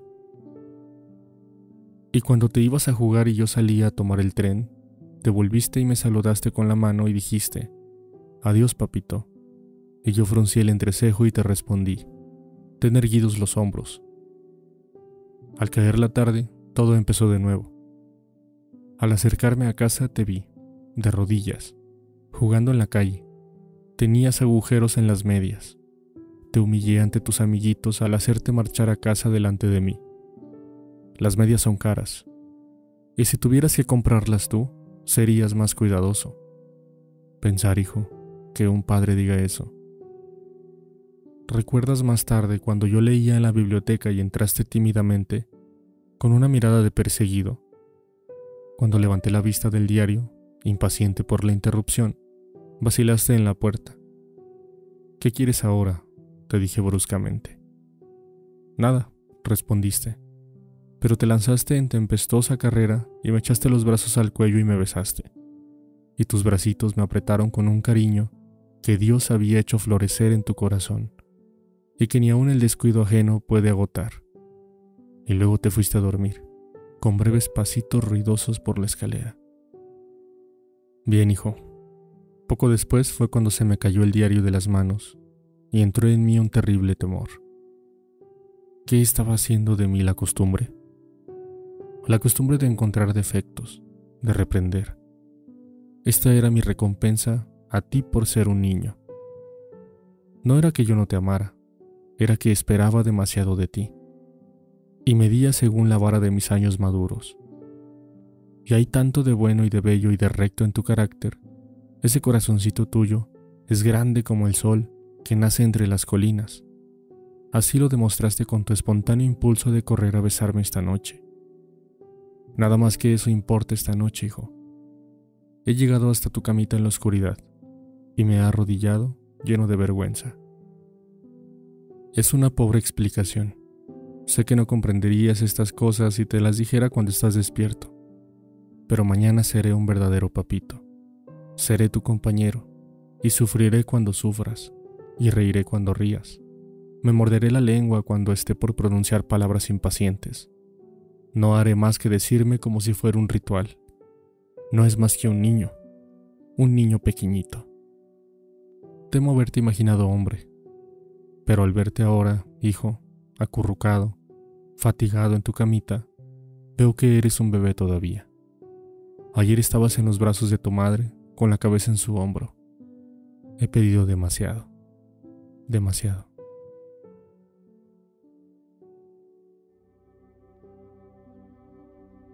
En lugar de censurar a la gente, tratemos de comprenderla. Tratemos de imaginarnos por qué hacen lo que hacen. Eso es más provechoso y más interesante que la crítica, y de ello surge la simpatía, la tolerancia y la bondad. Saberlo todo es perdonarlo todo. Ya dijo el doctor Johnson, el mismo Dios, Señor, no se propone a juzgar al hombre hasta el fin de sus días. Entonces, ¿por qué hemos de juzgarlo usted o yo? Regla número uno. No critique, no condene, ni se queje.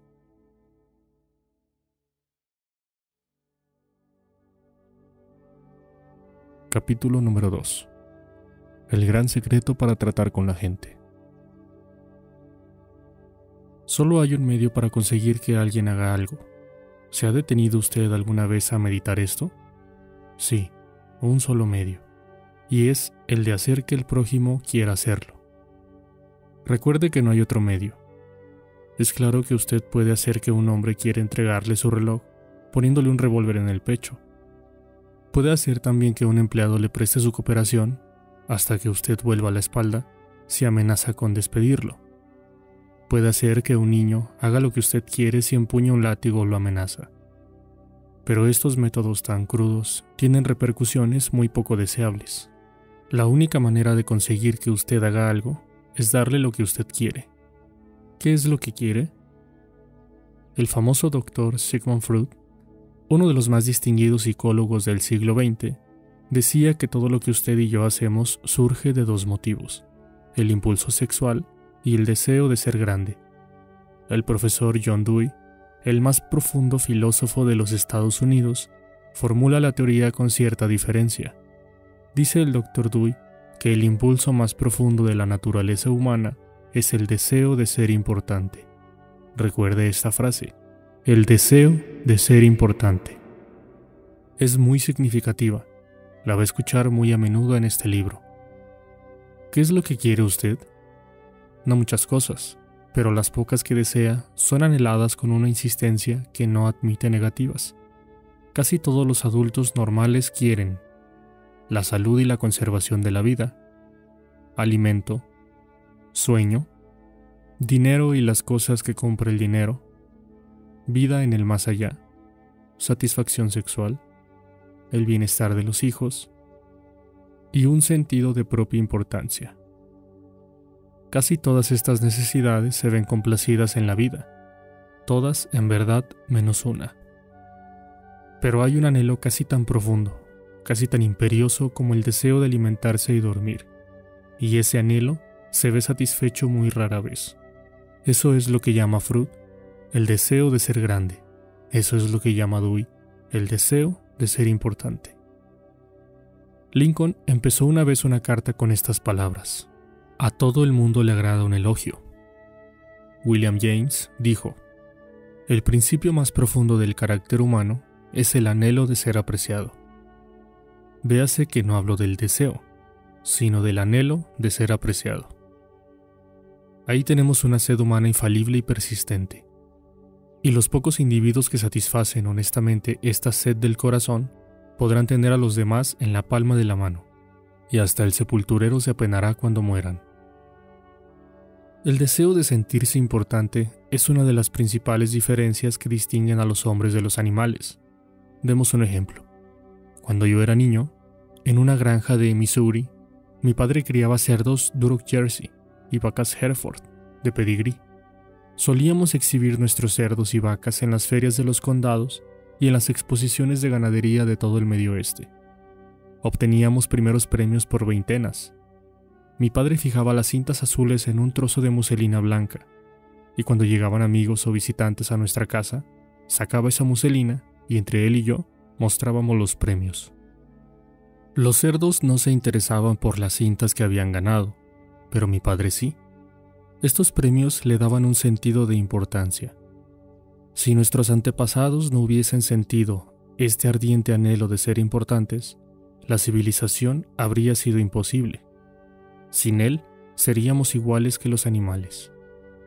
Este deseo de sentirse importante fue lo que llevó a un pobre empleado de una tienda de comestibles, un mozo sin recursos y sin educación, a estudiar unos libros de derecho que había encontrado en el fondo de un barril que, con otros restos de una casa deshecha, comprara por 50 centavos.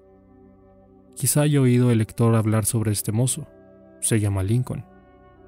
Este deseo de sentirse importante fue lo que inspiró a Dickens para escribir sus novelas inmortales.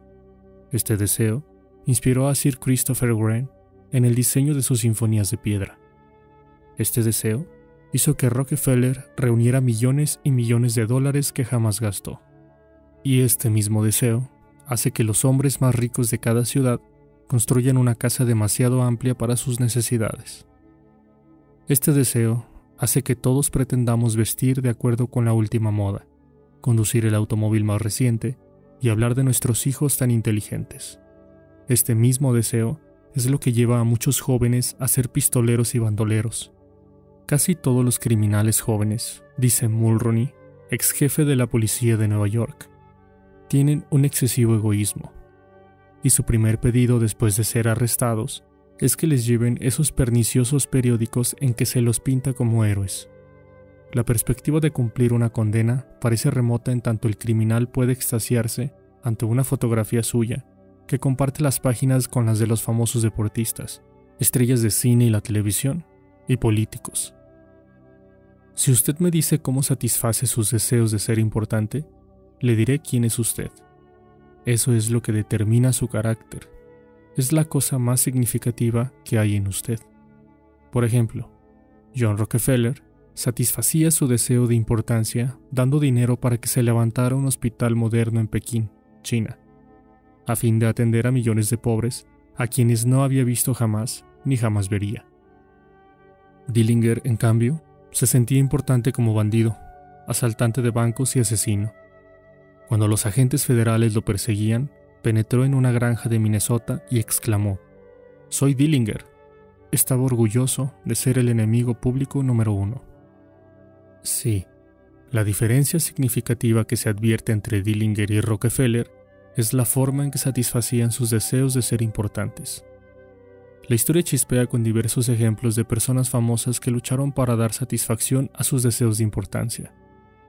El mismo George Washington quería ser llamado su poderío, el presidente de los Estados Unidos, y Colón reclamaba el título de almirante del océano y virrey de las Indias. Catalina la Grande se negaba a abrir cartas que no estuvieran dirigidas a Su Majestad Imperial. Y la señora de Lincoln, en la Casa Blanca, se volvió una vez hacia la señora de Grant como una tigresa, y gritó, ¿Cómo se atreve usted a sentarse en mi presencia sin que le haya invitado a hacerlo? Nuestros millonarios ayudaron al almirante Beard a financiar su expedición al Antártico en 1928, con la condición de que caletas y montañas heladas fuesen bautizadas con sus nombres. Y Víctor Hugo aspiraba a que la ciudad de París, nada menos, fuera rebautizada con su nombre. Hasta Shakespeare, grande entre los grandes, trató de agregar brillo a su nombre procurándose un escudo de nobleza para su familia. Hay personas que se convierten en inválidos para obtener simpatía y atención y satisfacer así sus deseos de importancia. Por ejemplo, tomemos a la señora McKinley, se sentía importante al obligar a su esposo, el presidente de los Estados Unidos, a descuidar importantes asuntos de Estado para reclinarse junto a su cama, un brazo en torno a su cuerpo, hasta que le hiciera dormir. Alimentaba su deseo de ser atendida, insistiendo en que el presidente permaneciera con ella mientras se hacía arreglar los dientes. Y una vez provocó una tormentosa escena cuando McKinley tuvo que dejarla sola con el dentista para acudir a una cita con John Hay, su secretario de Estado. La escritora Mary Roberts Reinhardt me contaba una vez el caso de una mujer joven, inteligente, vigorosa, que quedó postrada en cama a fin de satisfacer sus deseos de sentirse importante.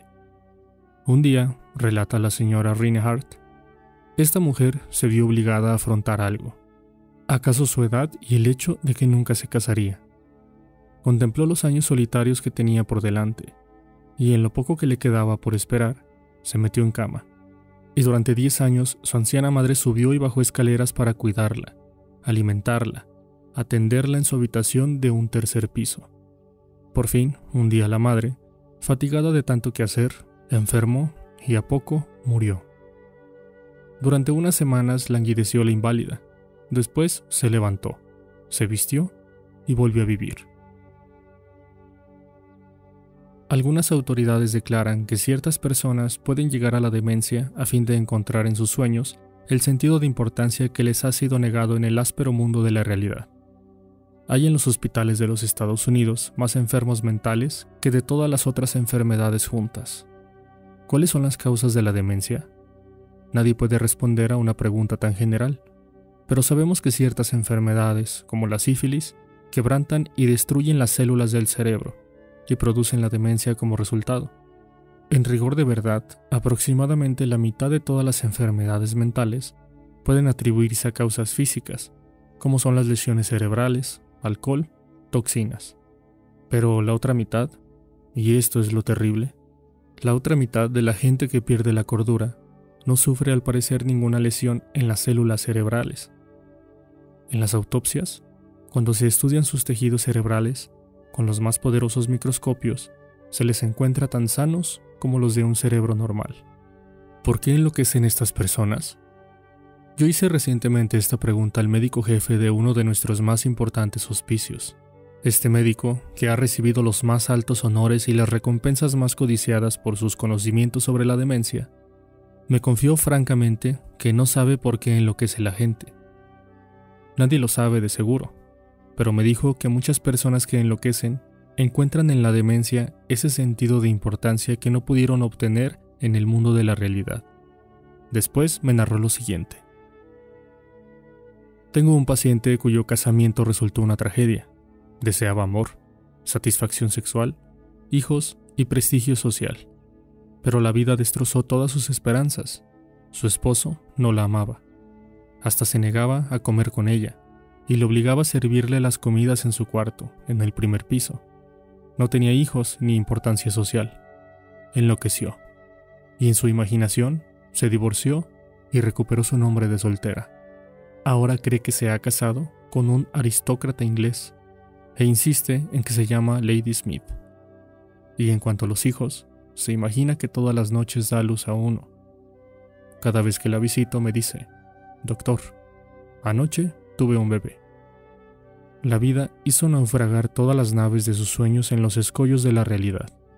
Pero en las islas fantásticas, llenas de sol, de la demencia, todas esas naves llegan ahora a puerto con las velas desplegadas.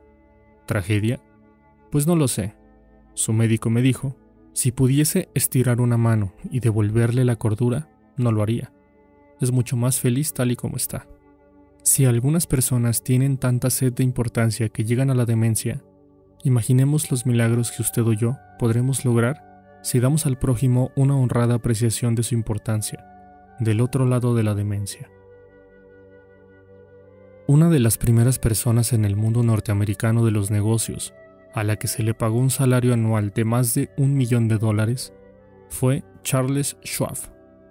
Andrew Carnegie lo había elegido para ser el primer presidente de la recién formada United States Steel Company en 1921, cuando Schwab tenía solo 38 años de edad.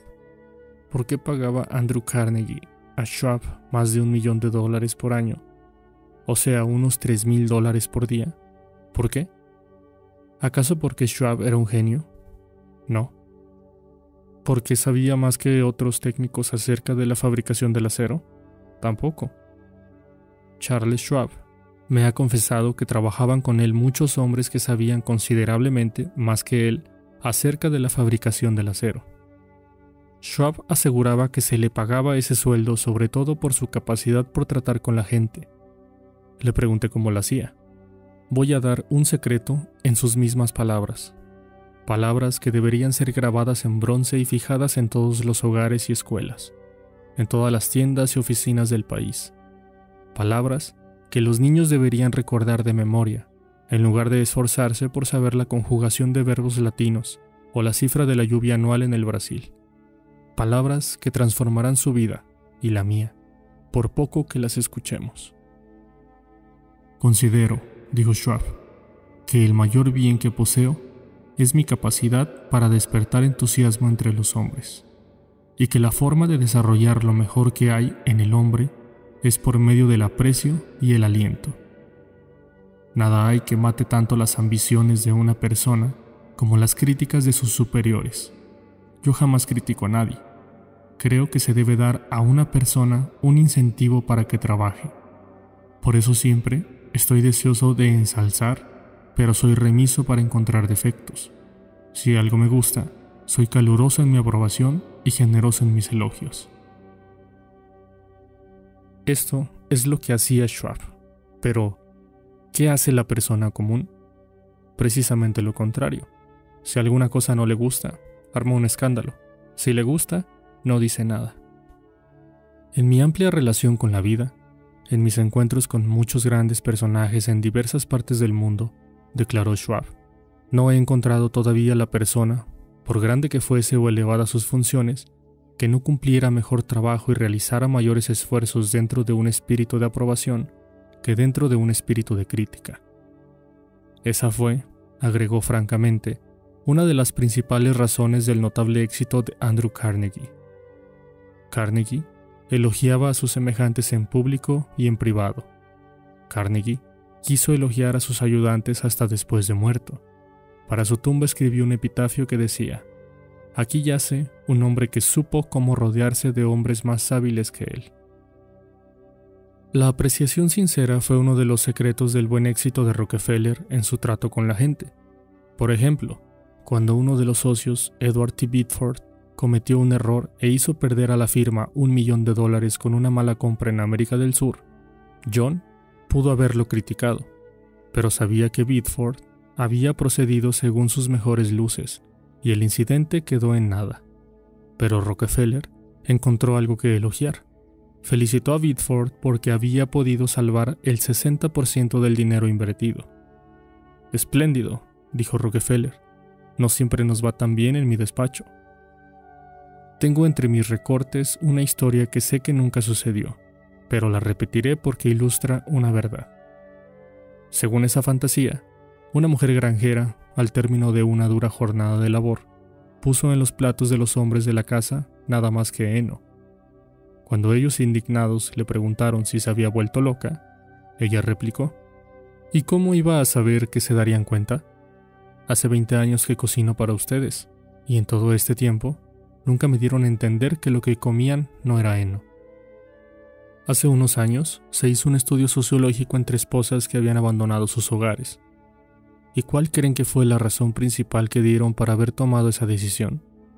Falta de aprecio. Si se hiciera un estudio similar entre maridos que han huido de sus casas, creo que se llegaría a la misma conclusión. Con frecuencia, damos tan por sentada la presencia de nuestro cónyuge que nunca le manifestamos nuestro aprecio. Un miembro de nuestras clases nos habló de un pedido que le había hecho a su esposa. Ella y un grupo de mujeres de su parroquia habían iniciado un programa de automejoramiento. Le pidió a su marido que la ayudara haciéndole una lista de seis cosas que creyera que ella podía hacer para ser una mejor esposa. Nos dijo, el pedido me sorprendió. Francamente, me habría sido fácil enumerar seis cosas que me habrían gustado ver cambiar en ella, y estoy seguro de que ella podría haber hecho una lista de un millar de cosas que querría cambiar en mí. Pero no lo hice. Le dije, déjame pensarlo y te daré una respuesta mañana. Al día siguiente, me levanté muy temprano y llamé al florista. Y le pedí que le mandara seis rosas rojas a mi esposa con una nota diciendo, no se me ocurren seis cosas que querría que cambies. Te amo tal y como eres. Cuando llegué a casa esa tarde, ¿quién creen que me recibió en la puerta? Exacto, mi esposa. Estaba al borde de las lágrimas. No necesito decir que me felicité por no haberla criticado como me lo había pedido. El domingo siguiente en la iglesia, después de que ella hubo informado del resultado de su tarea, varias mujeres del grupo se me acercaron y me dijeron, fue el gesto más tierno del que tengo noticias. Entonces comprendí cuál era el poder del aprecio. Florence Ziegfeld, el más espectacular de los empresarios teatrales que ha habido jamás en Broadway, conquistó su reputación gracias a su sutil habilidad para glorificar a la joven norteamericana. Una vez tras otra, elegía a alguna joven en quien nadie se fijaba y la transformaba en el escenario en una resplandeciente visión de misterio y seducción. Como conocía el valor del aprecio y la confianza, hacía que las mujeres se sintieran bellas por el solo poder de su galantería y su consideración. Era, además, un hombre práctico. Aumentó el sueldo de sus coristas desde 30 dólares por semana hasta una cifra que a veces llegaba a 175. Y también era caballeresco. En las noches de estreno en el Folies, enviaba telegramas a las estrellas del reparto y hermosas rosas a todas las chicas del coro. Yo sucumbí una vez a la moda del ayuno y pasé seis días y sus noches sin comer. No fue difícil. Tenía menos hambre al fin del sexto día que al fin del segundo. Pero yo y usted conocemos personas que pensarían haber cometido un crimen si dejaran a sus familias o sus empleados seis días sin comer. Pero los dejan estar seis días y seis semanas y a veces sesenta años sin darles jamás una muestra calurosa de esa apreciación que anhelan, casi tanto como anhelan el alimento. Cuando Alfred Lunt, uno de los grandes actores de su época, desempeñó el papel principal en Reunión de Viena, declaró, Nada hay que yo necesite tanto como alimento para mi propia estima. Alimentamos los cuerpos de nuestros hijos y amigos y empleados, pero muy raras veces alimentamos su propia estima. Les damos carne y papas para que tengan energía, pero descuidamos darles amables palabras de aprecio que cantarían durante años en su recuerdo. Paul Harvey, en una de sus transmisiones radiales, El resto de la historia, cuenta cómo una apreciación sincera puede cambiar la vida de una persona. Contó que años atrás un maestro de Detroit le pidió a Stevie Morris que lo ayudara a encontrar un ratoncito que se había escapado en el aula de clases. El maestro apreciaba el hecho de que la naturaleza le había dado a Stevie algo que ningún otro alumno tenía. La naturaleza le había dado a Stevie un notable par de oídos, para compensar la ceguera de sus ojos. Pero esta fue la primera ocasión en que Stevie sintió que se apreciaba la fineza de su oído. Ahora, años después, dice que ese acto de aprecio fue el comienzo de una nueva vida. Desde aquel entonces desarrolló su don del oído hasta volverse, bajo el nombre artístico, de Stevie Wonder, uno de los grandes músicos populares de la década de 1970.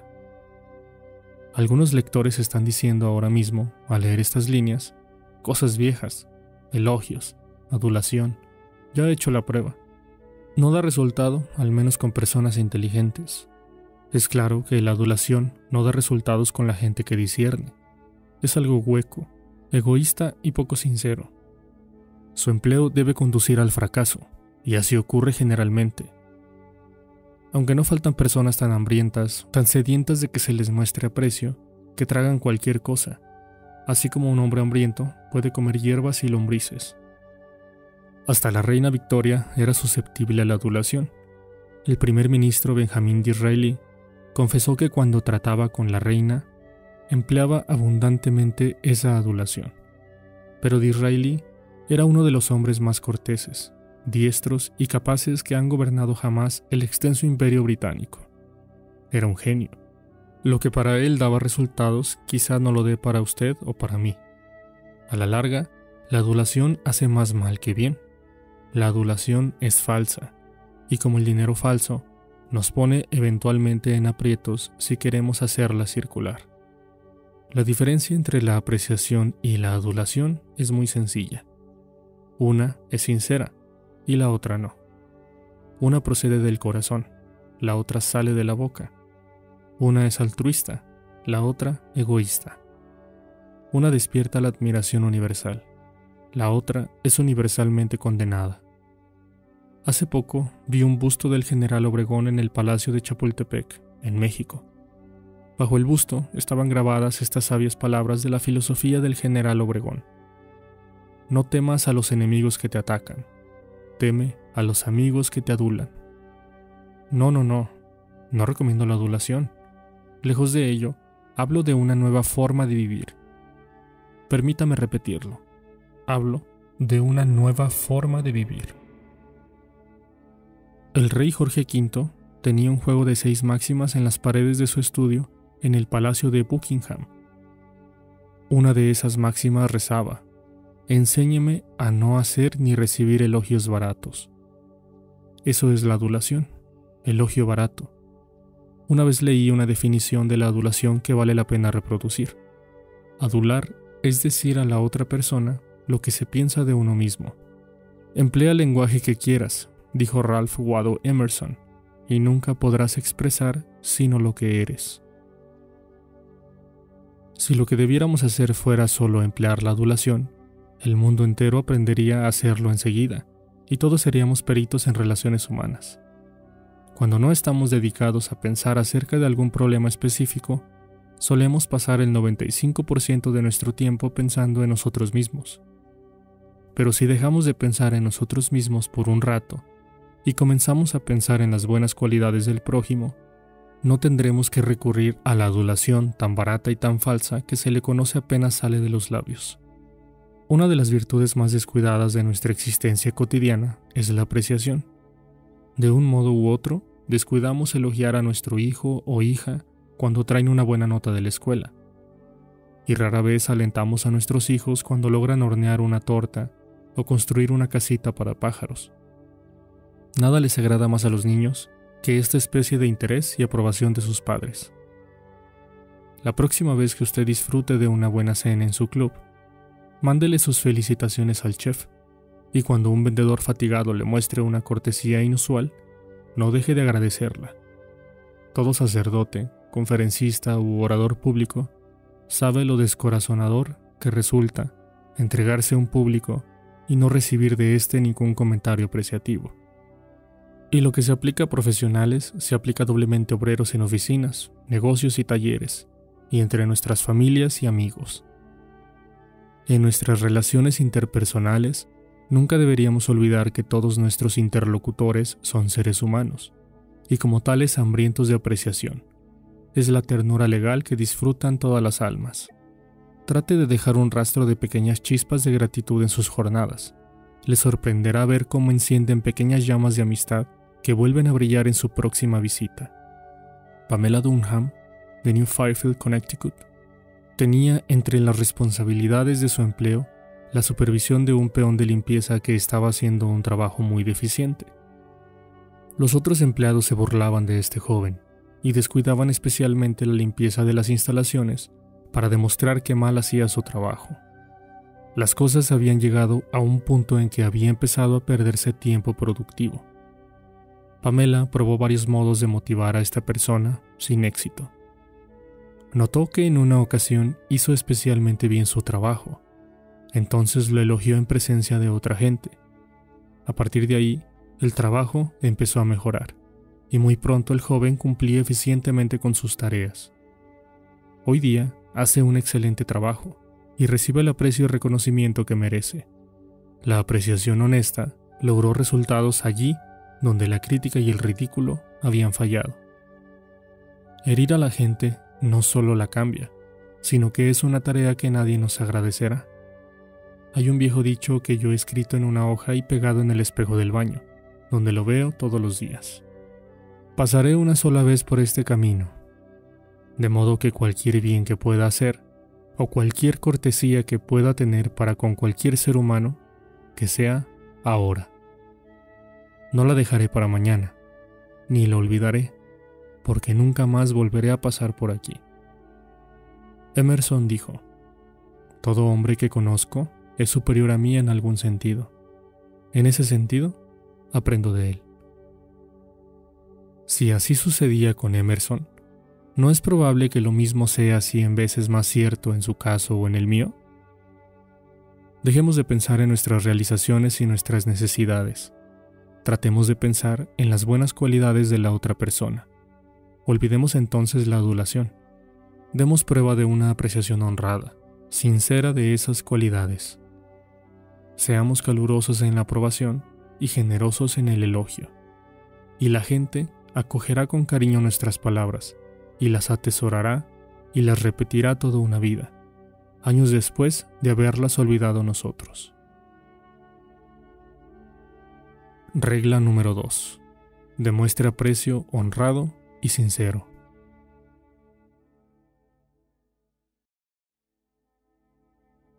Quien puede hacer esto tiene al mundo entero consigo.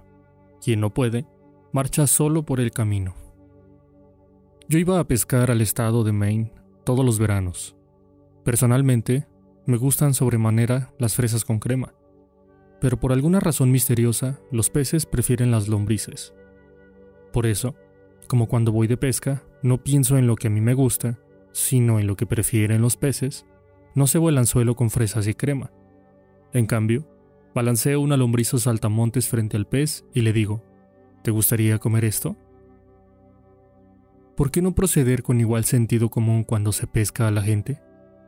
Así procedía Joy George, primer ministro inglés durante la Primera Guerra Mundial.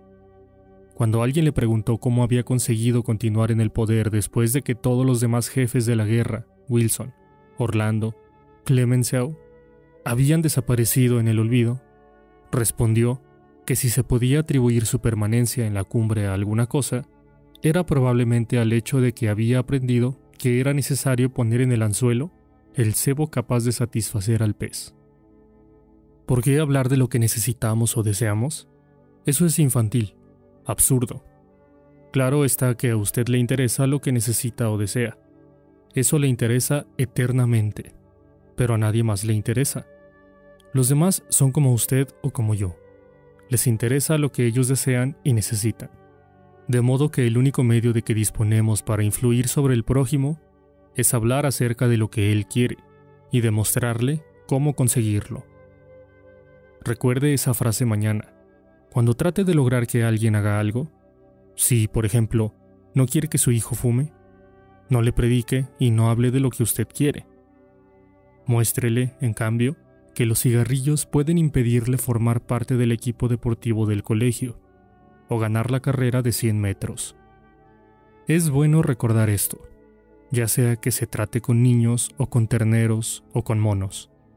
Por ejemplo, Ralph Waldo Emerson y su hijo trataron un día de meter un ternero en el establo, pero cometieron el error común de pensar solamente en lo que querían ellos.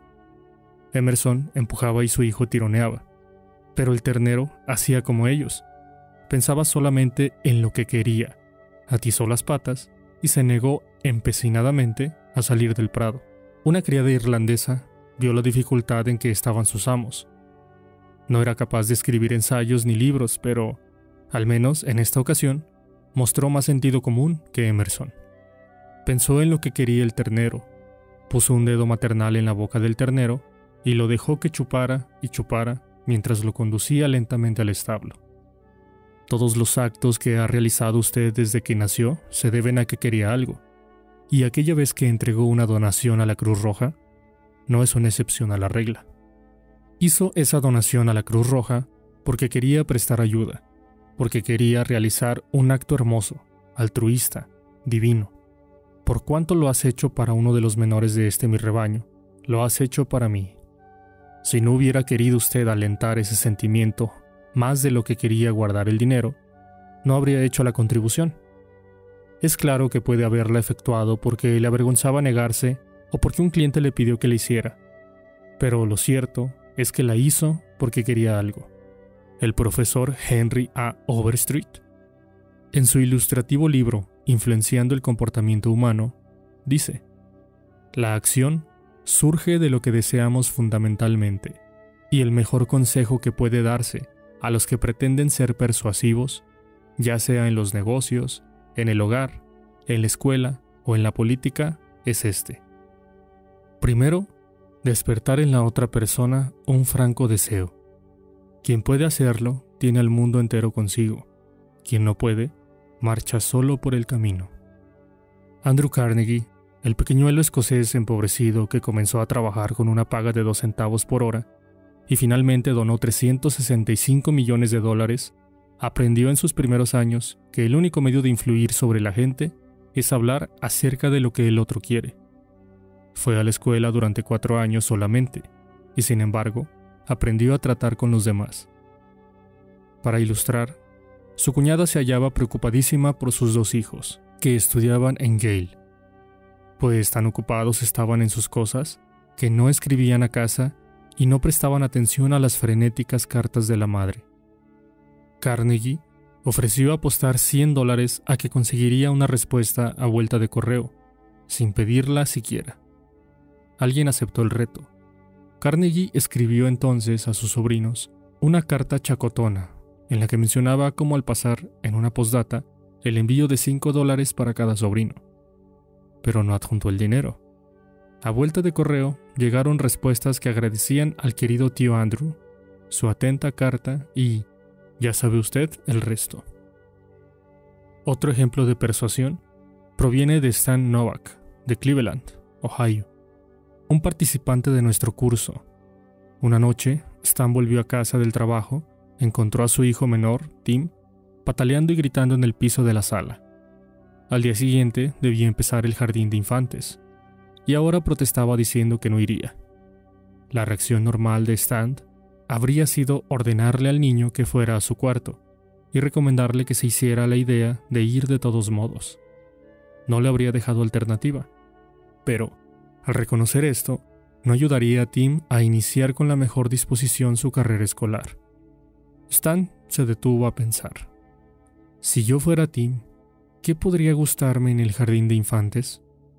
Junto con su esposa, hicieron una lista de todas las cosas divertidas que haría Tim, como pintar con los dedos, cantar canciones, jugar con amigos nuevos, etc. Después pasó a la acción. Todos empezamos a pintar con los dedos en la mesa de la cocina. Mi esposa Lil, mi otro hijo Bob y yo mismo y nos divertimos mucho. Al poco rato, asomó Tim a espiar. De inmediato, nos rogó que lo dejáramos participar. Oh, no, tienes que ir al jardín de infantes a aprender a pintar con los dedos. Con todo el entusiasmo que pude reunir, seguí adelante con la lista, hablándole en términos que pudiera entender, explicándole todo lo bueno que haría en el jardín de infantes. A la mañana siguiente, fui el primero en levantarme Bajé y encontré a Tim profundamente dormido en el sillón de la sala. ¿Qué estás haciendo aquí? le pregunté. Estoy esperando para ir al jardín de infantes. No quiero llegar tarde.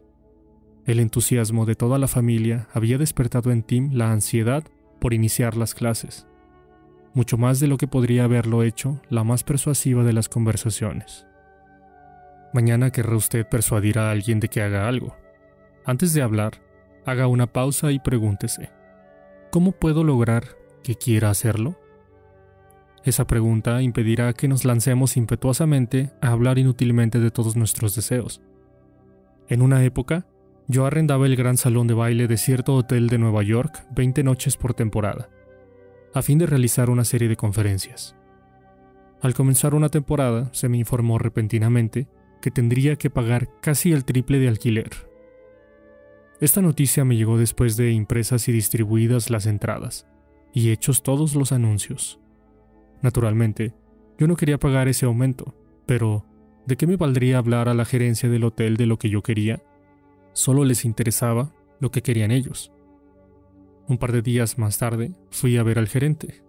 Quedé algo sorprendido cuando recibí su carta, dije, pero no me quejo. Si yo hubiera estado en su situación, es probable que habría escrito una carta similar. Su deber como gerente del hotel, es realizar todos los beneficios posibles. Si no procede así, lo despedirán, como es lógico.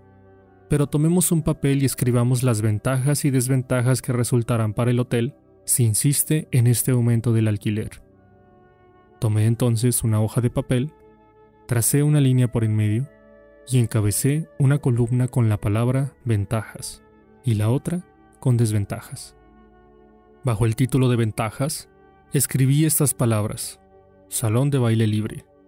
Luego dije, tendrán ustedes la ventaja de quedarse con el salón de baile para alquilarlo para bailes y convenciones.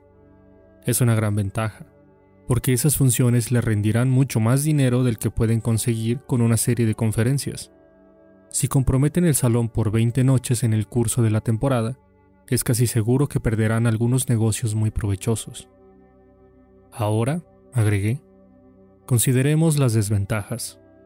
Primero, en lugar de aumentar sus ingresos por lo que yo les pague, verán ustedes que disminuyen.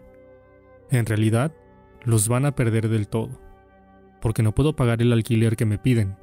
Me veré obligado a efectuar estas conferencias en algún otro local. Hay además otra desventaja para ustedes. Estas conferencias atraen multitudes de personas educadas y cultas. Se trata, pues, de una buena propaganda, ¿verdad?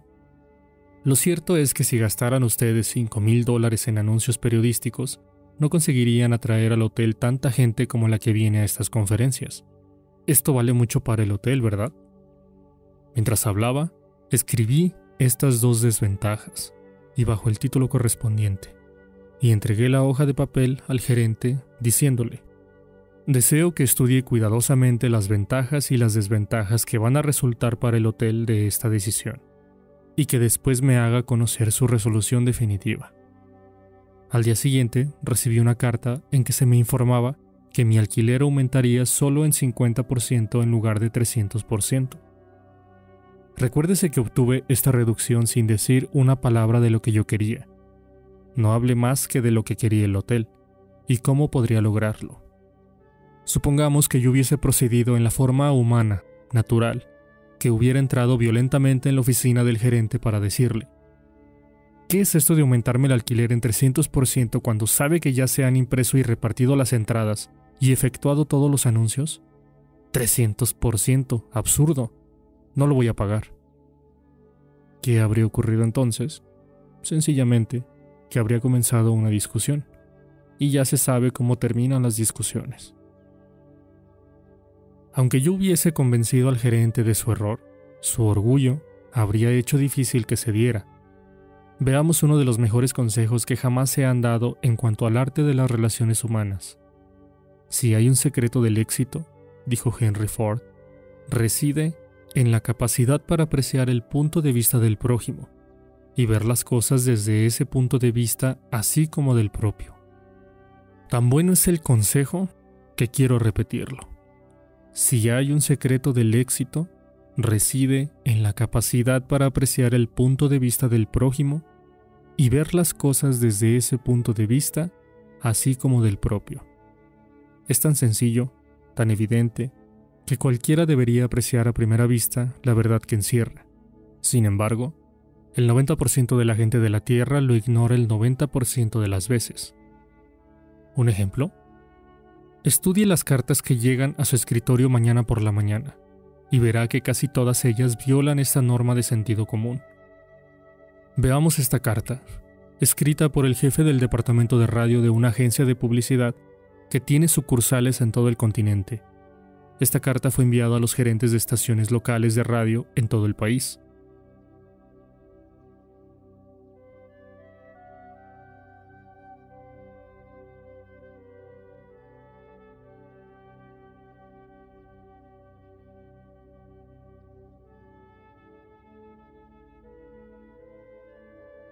¿A quién le interesa lo que desea su compañía? A mí me preocupan mis problemas. El banco va a ejecutar la hipoteca sobre mi casa. El jardín está lleno de plagas. El mercado de valores bajó ayer. Perdí el tren de las 8.15 de esta mañana. No me invitaron anoche al baile de los Pérez. El médico me dijo que tengo mucha presión arterial y neuritis y caspa. ¿Y bien? ¿Qué ocurre? Llego esta mañana a la oficina, Preocupado, abro mi correspondencia y me encuentro con un señor engreído que desde Nueva York se dedica a cacarear sobre lo que desea su compañía. Bah, si se diera cuenta de la impresión que hace esta carta, abandonaría el ramo de publicidad y se dedicaría a criar ovejas.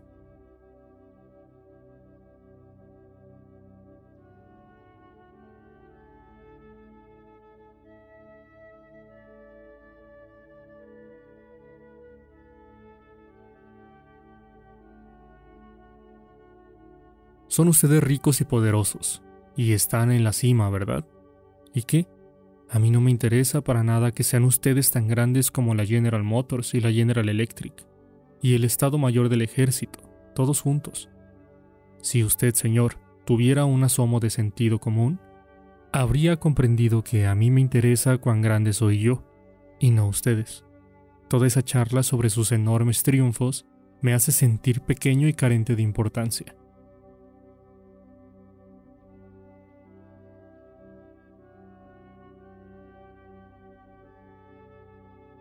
Ustedes desean, ustedes. No me interesa lo que desee usted, ni lo que desee el presidente de los Estados Unidos. Escuche de una vez por todas. Me interesa lo que yo deseo, y de eso no ha dicho ni una sola palabra en toda la carta.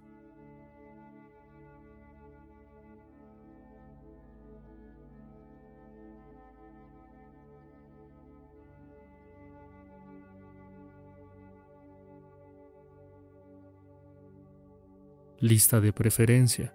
¡Qué desfachatez! Me hace sentir insignificante con toda esa referencia a su grandeza. Y luego me pide que ponga a la compañía en la lista de preferencia, sin emplear siquiera una cortesía al pedirlo.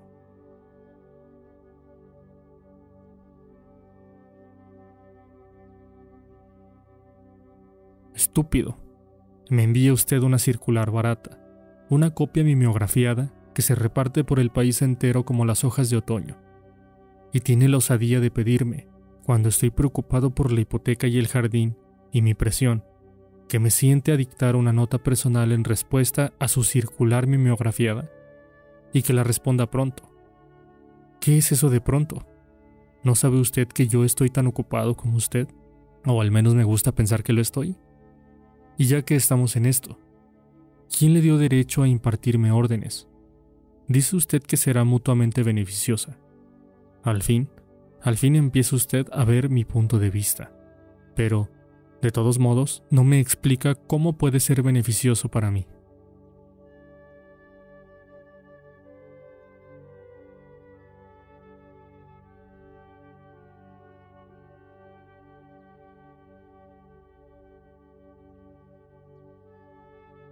Finalmente, allí a lo último, en una postdata, menciona usted algo que puede ayudarme a resolver uno de mis problemas.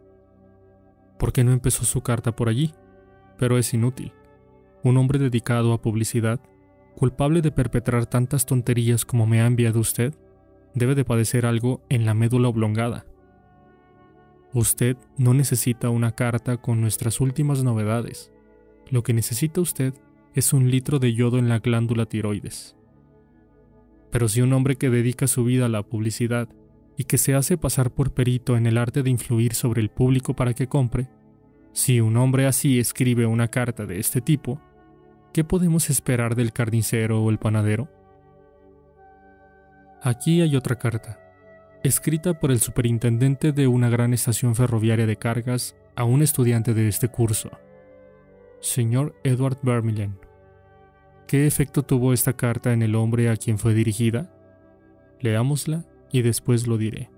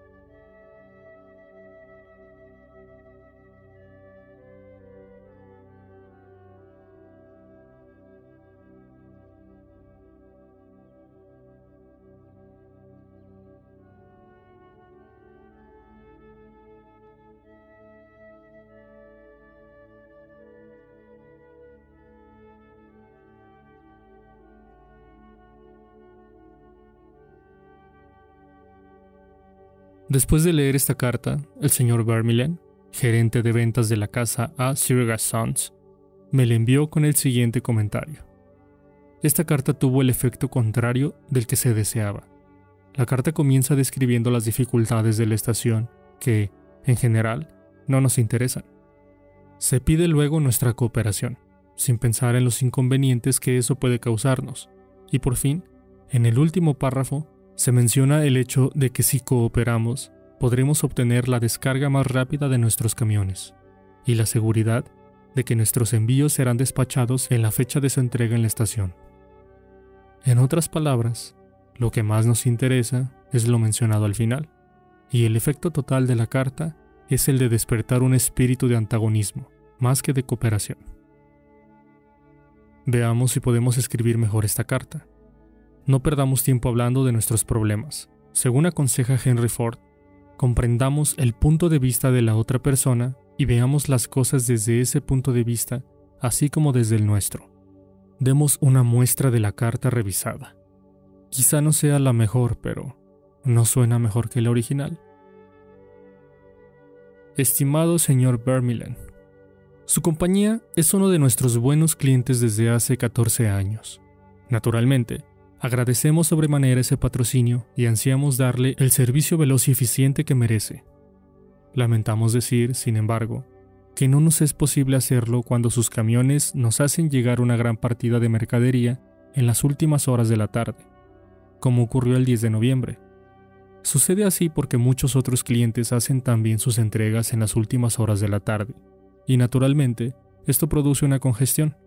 Como resultado de ello, sus camiones quedan inevitablemente detenidos en la estación, y a veces hasta se retrasa el envío de las mercancías al interior. Esta es una grave dificultad. ¿Cómo se puede evitar? Haciendo sus entregas en la estación por la mañana cuando le sea posible. Eso facilitará el movimiento de sus camiones, sus envíos obtendrán inmediata atención, y nuestro personal podrá retirarse temprano a gozar una comida con los deliciosos productos que ustedes fabrican. Cualquiera sea el momento en que lleguen sus envíos, haremos siempre todo lo posible por servirles con rapidez. Sé que usted está muy ocupado. Sírvase no molestarse en contestar esta nota. Lo saluda atentamente JB, Superintendente. Bárbara Anderson, empleada de un banco en Nueva York, deseaba mudarse a Phoenix, Arizona, en busca de mejor clima para la salud delicada de su hijo. Usando los principios que había aprendido en nuestro curso, escribió la siguiente carta a 12 bancos de Phoenix. Estimado señor, mis 10 años de experiencia bancaria podrían resultarle de interés para un banco en crecimiento como el suyo. En distintos puestos de la operatoria bancaria con los Bankers Trust Company de Nueva York, hasta llegar a mi puesto actual de gerente de área, he adquirido conocimiento de todas las fases del mundo bancario, incluyendo relaciones entre depositantes, créditos, préstamos y administración interna. En mayo me trasladaré a Phoenix y estoy segura de que si se me da la oportunidad, podré contribuir al crecimiento de su institución. Llegaré a esa ciudad el 3 de abril y le agradeceré que me permita mostrarle cómo puedo ayudar a su banco a alcanzar sus objetivos.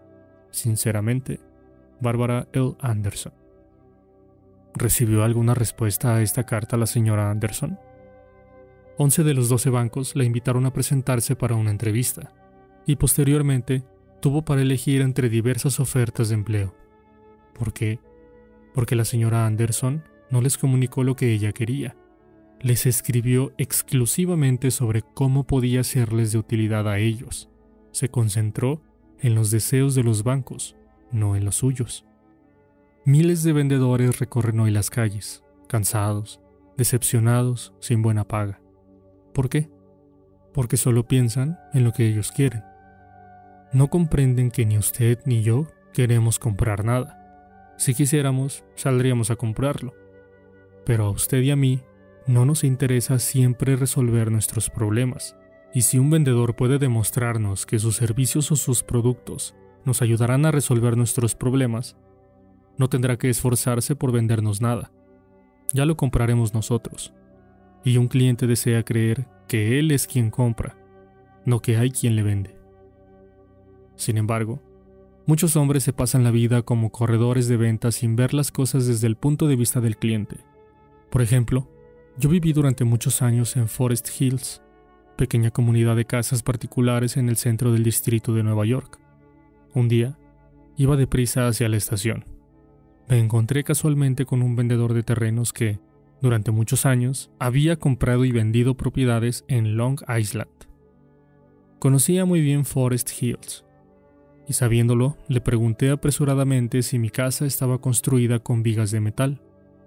Me dijo que no lo sabía, y agregó algo que yo sabía ya, que podía averiguarlo telefoneando a la asociación Forest Hills Gardens. A la mañana siguiente recibí una carta de él. Me daba la información que yo quería. La podía haber conseguido en un minuto, mediante un llamado telefónico, pero no lo hizo.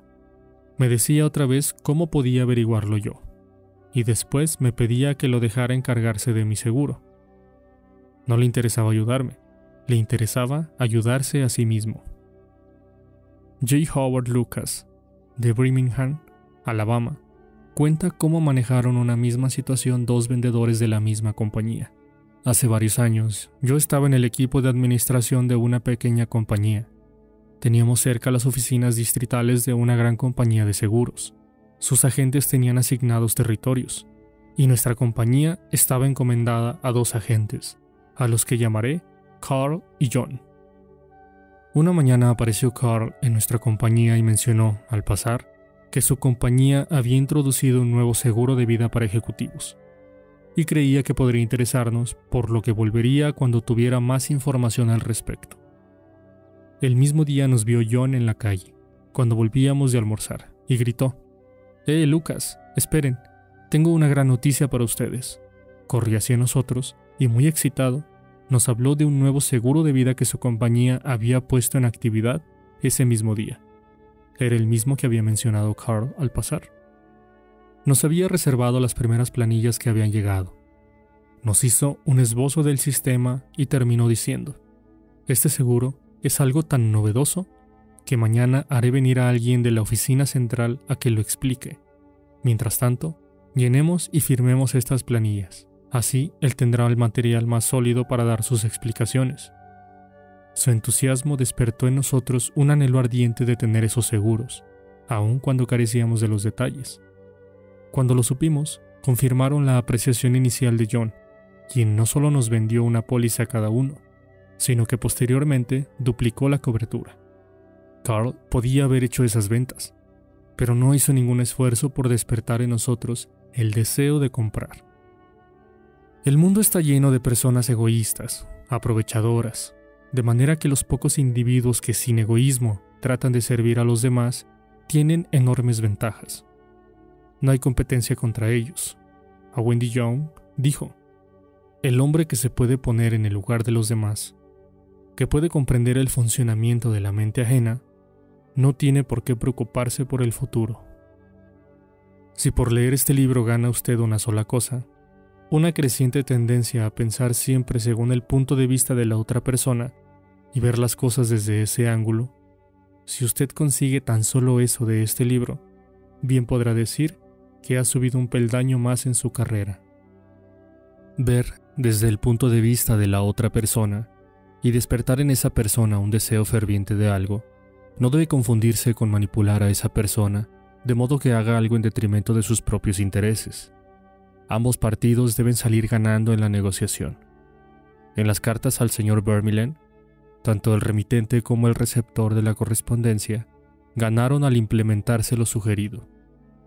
Tanto el banco como la señora Anderson ganaron gracias a la carta de ella, porque el banco ganó una empleada valiosa y la señora Anderson un buen empleo. Y en el ejemplo de la venta del seguro que hizo John al señor Lucas, ambos ganaron con la transacción.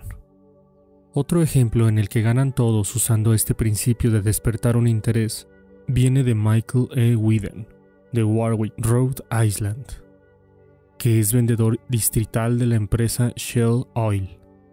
Mike quería llegar a ser el vendedor número uno de su distrito, pero había una estación de servicio que se retraía en sus servicios. La administraba un hombre anciano, a quien era imposible motivarlo para que se aseara y pusiera en condiciones la estación. Estaba en tan mal estado que las ventas declinaban significativamente. Este administrador no quiso prestar oídos a ninguna de las súplicas de Mike para jerarquizar la estación de servicio. Después de muchas exhortaciones y discusiones privadas, en ninguna de las cuales obtuvo el menor resultado, Mike decidió invitar al anciano a visitar la estación de servicio Shell más nueva del territorio. El hombre quedó tan impresionado por las instalaciones de la nueva estación que cuando Mike lo visitó la vez siguiente, la suya estaba limpia, pintada y las ventas habían vuelto a subir. Esto le permitió a Mike alcanzar su tan ansiado puesto de número uno en su distrito. Todas sus súplicas habían fallado, pero al despertar un anhelo en el administrador, al mostrarle una estación de servicio moderna, logró su objetivo y ambos se beneficiaron. Casi todos los hombres van al colegio y aprenden a leer a Virgilio y a dominar los misterios del cálculo, sin descubrir jamás cómo funciona su mente. Por ejemplo, yo daba una vez un curso sobre oratoria para los jóvenes graduados en diversos colegios que entraban como empleados de la empresa Carrier Corporation, la organización que refrigera edificios y que instala aire acondicionado en todas partes. Uno de los estadounidenses quiso persuadir a los demás de que jugaran al básquetbol, y este fue más o menos su argumento. Quiero que ustedes vengan a jugar al básquetbol. Me gusta jugar, pero las últimas veces que fui al gimnasio no había bastantes muchachos para organizar un partido. Dos o tres nos pusimos a arrojarnos la pelota uno al otro, y quedé con un ojo negro. Deseo que ustedes vengan conmigo mañana por la noche. Quiero jugar al básquetbol. ¿Habló acaso de lo que querían los demás? A nadie le gusta ir a un gimnasio al que nadie va, ¿verdad? Los otros no se interesaban por lo que deseaba este mozo, y no querían salir con un ojo negro. ¿Pudo haber demostrado que al ir al gimnasio los demás obtendrían algo que querían? Es claro, más actividad, mejor apetito, cerebro más despejado y diversión. Repitamos el sabio consejo del profesor Overstreet. Primero, despertar en la otra persona un franco deseo. Quien puede hacerlo, tiene al mundo entero consigo. Quien no puede, marcha solo por el camino. Uno de los estudiantes que asistía a mi curso se hallaba preocupado por su hijito. El niño estaba muy flaco y se negaba a comer lo debido. Los padres recurrían al método acostumbrado. Lo regañaban y retaban. Mamita quiere que comas esto y aquello. Papito quiere que crezcas y seas un buen hombre. Pero el niño no prestaba atención alguna a estas requisitorias. Quien tenga un poco de sentido común no puede esperar que un niño de tres años reaccione según el punto de vista de un padre que tiene 30. Pero era eso precisamente lo que esperaba el padre. Resultaba absurdo. Por fin lo comprendió y se dijo, ¿qué quiere este niño? ¿Cómo puedo vincular lo que yo quiero con lo que quiere él? Era fácil. Una vez que se puso a pensar, su hijito tenía un triciclo en el que le gustaba pedalear por la acera, frente a su casa. Unas casas más lejos vivía un matón, un niño algo mayor, que le quitaba el triciclo al niñito y empezaba a pedalear. Naturalmente, el niñito corría hasta su madre, que tenía que ir a quitar el triciclo al matón y devolverlo a su hijito. Esto ocurría casi todos los días. ¿Qué quería pues el niño? No se necesitaba ser Sherlock Holmes para saberlo. Su orgullo, su ira, su deseo de sentirse importante. Las emociones más fuertes en su composición mental le instaban a la venganza, a dar un buen puñetazo en la nariz al matón. Y cuando el padre le dijo que algún día podría cerrar los ojos del matón a puñetazos, si comía las cosas que la madre le recomendaba, cuando el padre le prometió esto, ya no hubo problema dietético. Aquel niño comía espinacas, coles, cualquier cosa a fin de poder castigar al matón que tantas veces lo había humillado. Después de resolver este problema, el padre encaró otro. El niño tenía la mala costumbre de empapar la cama. Dormía con su abuela. Por la mañana, la abuela se despertaba, tocaba la sábana y decía, Mira, Johnny, lo que hiciste anoche.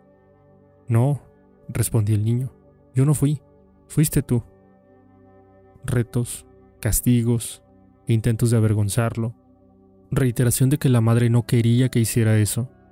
Por ningún medio se conseguía tener seca la cama. Entonces se preguntaron los padres, ¿cómo podríamos hacer que este niño quiera dejar de mojar la cama? ¿Qué era lo que quería el niño? Primero, quería usar pijama como su papito, y no un camisón como la abuela. La abuela se estaba hartando de los inconvenientes nocturnos, de manera que de muy buen agrado ofreció comprar unas pijamas para el niño, siempre que se corrigiera. Segundo, el pequeño quería una cama para él solo. La abuela no se opuso. La madre lo llevó consigo a una mueblería de Brooklyn. Guiñó un ojo a la vendedora y dijo, Aquí hay un caballerito que desea hacer unas compras. La vendedora hizo que el niño se sintiera importante. Joven, ¿qué cosas desearía ver? Se irguió el niño en toda su altura y contestó, Quiero comprar una cama para mí solo.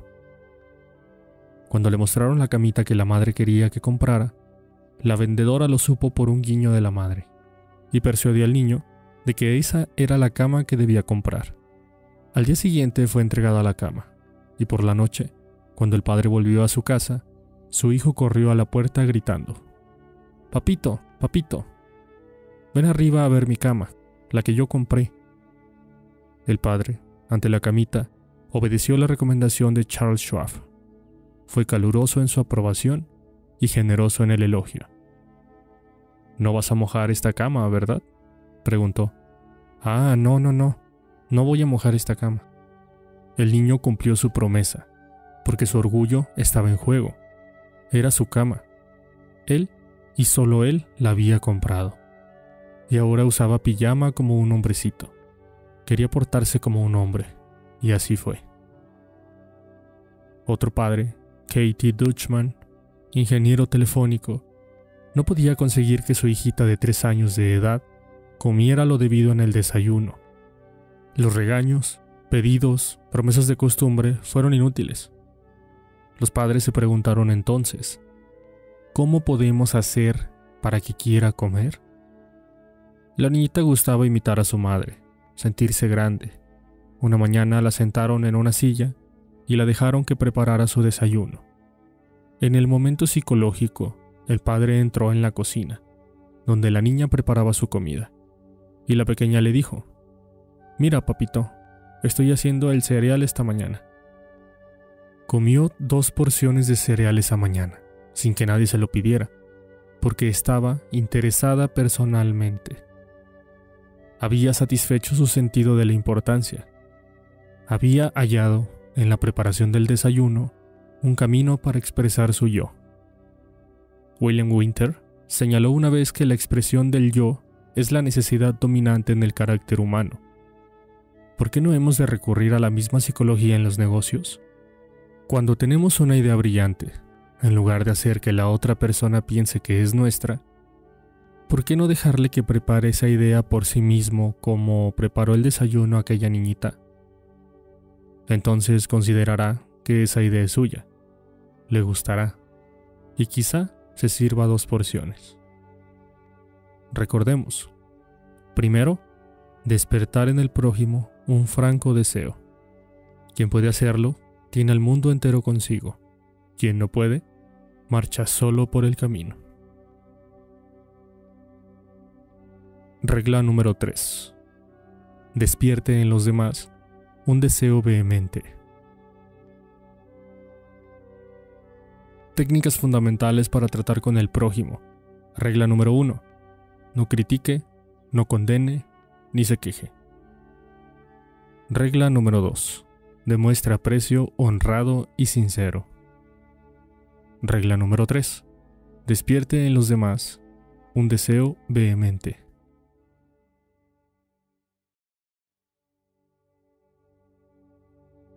Segunda parte. Seis maneras de agradar a los demás. Capítulo 1. Haga esto y será bienvenido en todas partes. ¿Por qué hay que leer este libro para saber cómo ganar amigos? ¿Por qué no estudiar la técnica del más grande conquistador de amigos que ha conocido jamás al mundo? quién es. Tal vez lo encuentre usted mañana por la calle. Cuando esté a 5 metros de él, le verá agitar la cola. Si se detiene usted a acariciarlo, saltará como enloquecido para mostrarle lo mucho que lo quiere. Y usted sabe que detrás de esa muestra de afecto no hay motivos ulteriores. No quiere venderle un terreno, ni una póliza de seguro, ni quiere casarse con usted. ¿Se ha detenido usted alguna vez a pensar que el perro es el único animal que no tiene que trabajar para ganarse el sustento? La gallina tiene que poner huevos. La vaca, dar leche. Y el canario, cantar. Pero el perro se gana la vida solo con demostrar su cariño por el dueño. Cuando yo tenía 5 años, mi padre compró un cachorrito de pelo amarillo por 50 centavos. Fue la alegría y la luz de mi niñez. Todas las tardes a las cuatro y media se sentaba frente a mi casa, mirando fijamente al camino con sus hermosos ojos. Y tan pronto como oía mi voz, o me veía venir agitando mi lata de comida entre los árboles, salía disparado como una bala. Corría sin aliento colina arriba para recibirme con brincos de júbilo y ladridos de puro éxtasis. Tipi fue mi constante compañero durante cinco años. Por fin, una noche trágica, jamás la olvidaré, murió a tres metros de mi cabeza. Murió alcanzado por un rayo. La muerte de Tipi fue la tragedia de mi niñez. Tipi nunca leyó un libro de psicología. No lo necesitaba. Sabía, por algún instinto divino, que usted puede ganar más amigos en dos meses interesándose de verdad en los demás, que los demás se pueden ganar en dos años cuando se trata de interesar a los demás en uno mismo. Permítame repetir la idea. Se pueden ganar más amigos en dos meses si se interesa uno en los demás, que lo que se ganarían en dos años si se hace que los demás se interesen por uno. Pero usted y yo conocemos personas que van a los tumbos por la vida porque tratan de forzar a los demás a que se interesen por ellas. Es claro que eso no rinde resultado. Los demás no se interesan en usted, no se interesan en mí, se interesan en sí mismas, mañana, tarde y noche. La compañía telefónica de Nueva York realizó un detallado estudio de las conversaciones por teléfono y comprobó cuál es la palabra que se usa con mayor frecuencia en ellas. Sí, ya ha adivinado usted. Es el pronombre personal yo. Fue empleado 3.990 veces en 500 conversaciones telefónicas. Yo, yo, yo, yo, yo. Cuando usted mira la fotografía de un grupo en que está usted, ¿a quién mira primero? Si nos limitamos a tratar de impresionar a la gente y de hacer que se interese por nosotros, no tendremos jamás amigos verdaderos, sinceros. Los amigos, los amigos leales, no se logran de esta manera. Napoleón lo intentó, y en su último encuentro con Josefina dijo, Josefina, He tenido tanta fortuna como cualquiera en este mundo, y sin embargo, en esta hora, eres tú la única persona de la Tierra en quien puedo confiar. Y los historiadores dudan que pudiera confiar aún en ella. Alfred Adler, el famoso psicólogo vienés, escribió un libro titulado ¿Qué debe significar la vida para usted? En este libro dice así, El individuo que no se interesa por sus semejantes es quien tiene las mayores dificultades en la vida y causa las mayores heridas a los demás. De esos individuos surgen todos los fracasos humanos. Es posible leer veintenas de eruditos tomos sobre psicología sin llegar a una declaración más significativa, para usted o para mí. No me agradan las repeticiones, pero esta afirmación de Adler está tan rica de significado que voy a repetirla en bastardilla. El individuo que no se interesa por sus semejantes es quien tiene las mayores dificultades en la vida y causa las mayores heridas a los demás. De esos individuos surgen todos los fracasos humanos. Yo seguí cierta vez en la Universidad de Nueva York un curso sobre redacción de cuentos cortos. y durante ese curso el director de una importante revista habló ante nuestra clase. Dijo que era capaz de tomar cualquiera de las docenas de cuentos que cruzaban por su escritorio todos los días y, después de leer unos párrafos, decir si su autor gustaba o no de la gente. Si el autor gusta de la gente, añadió, la gente gustará de sus cuentos.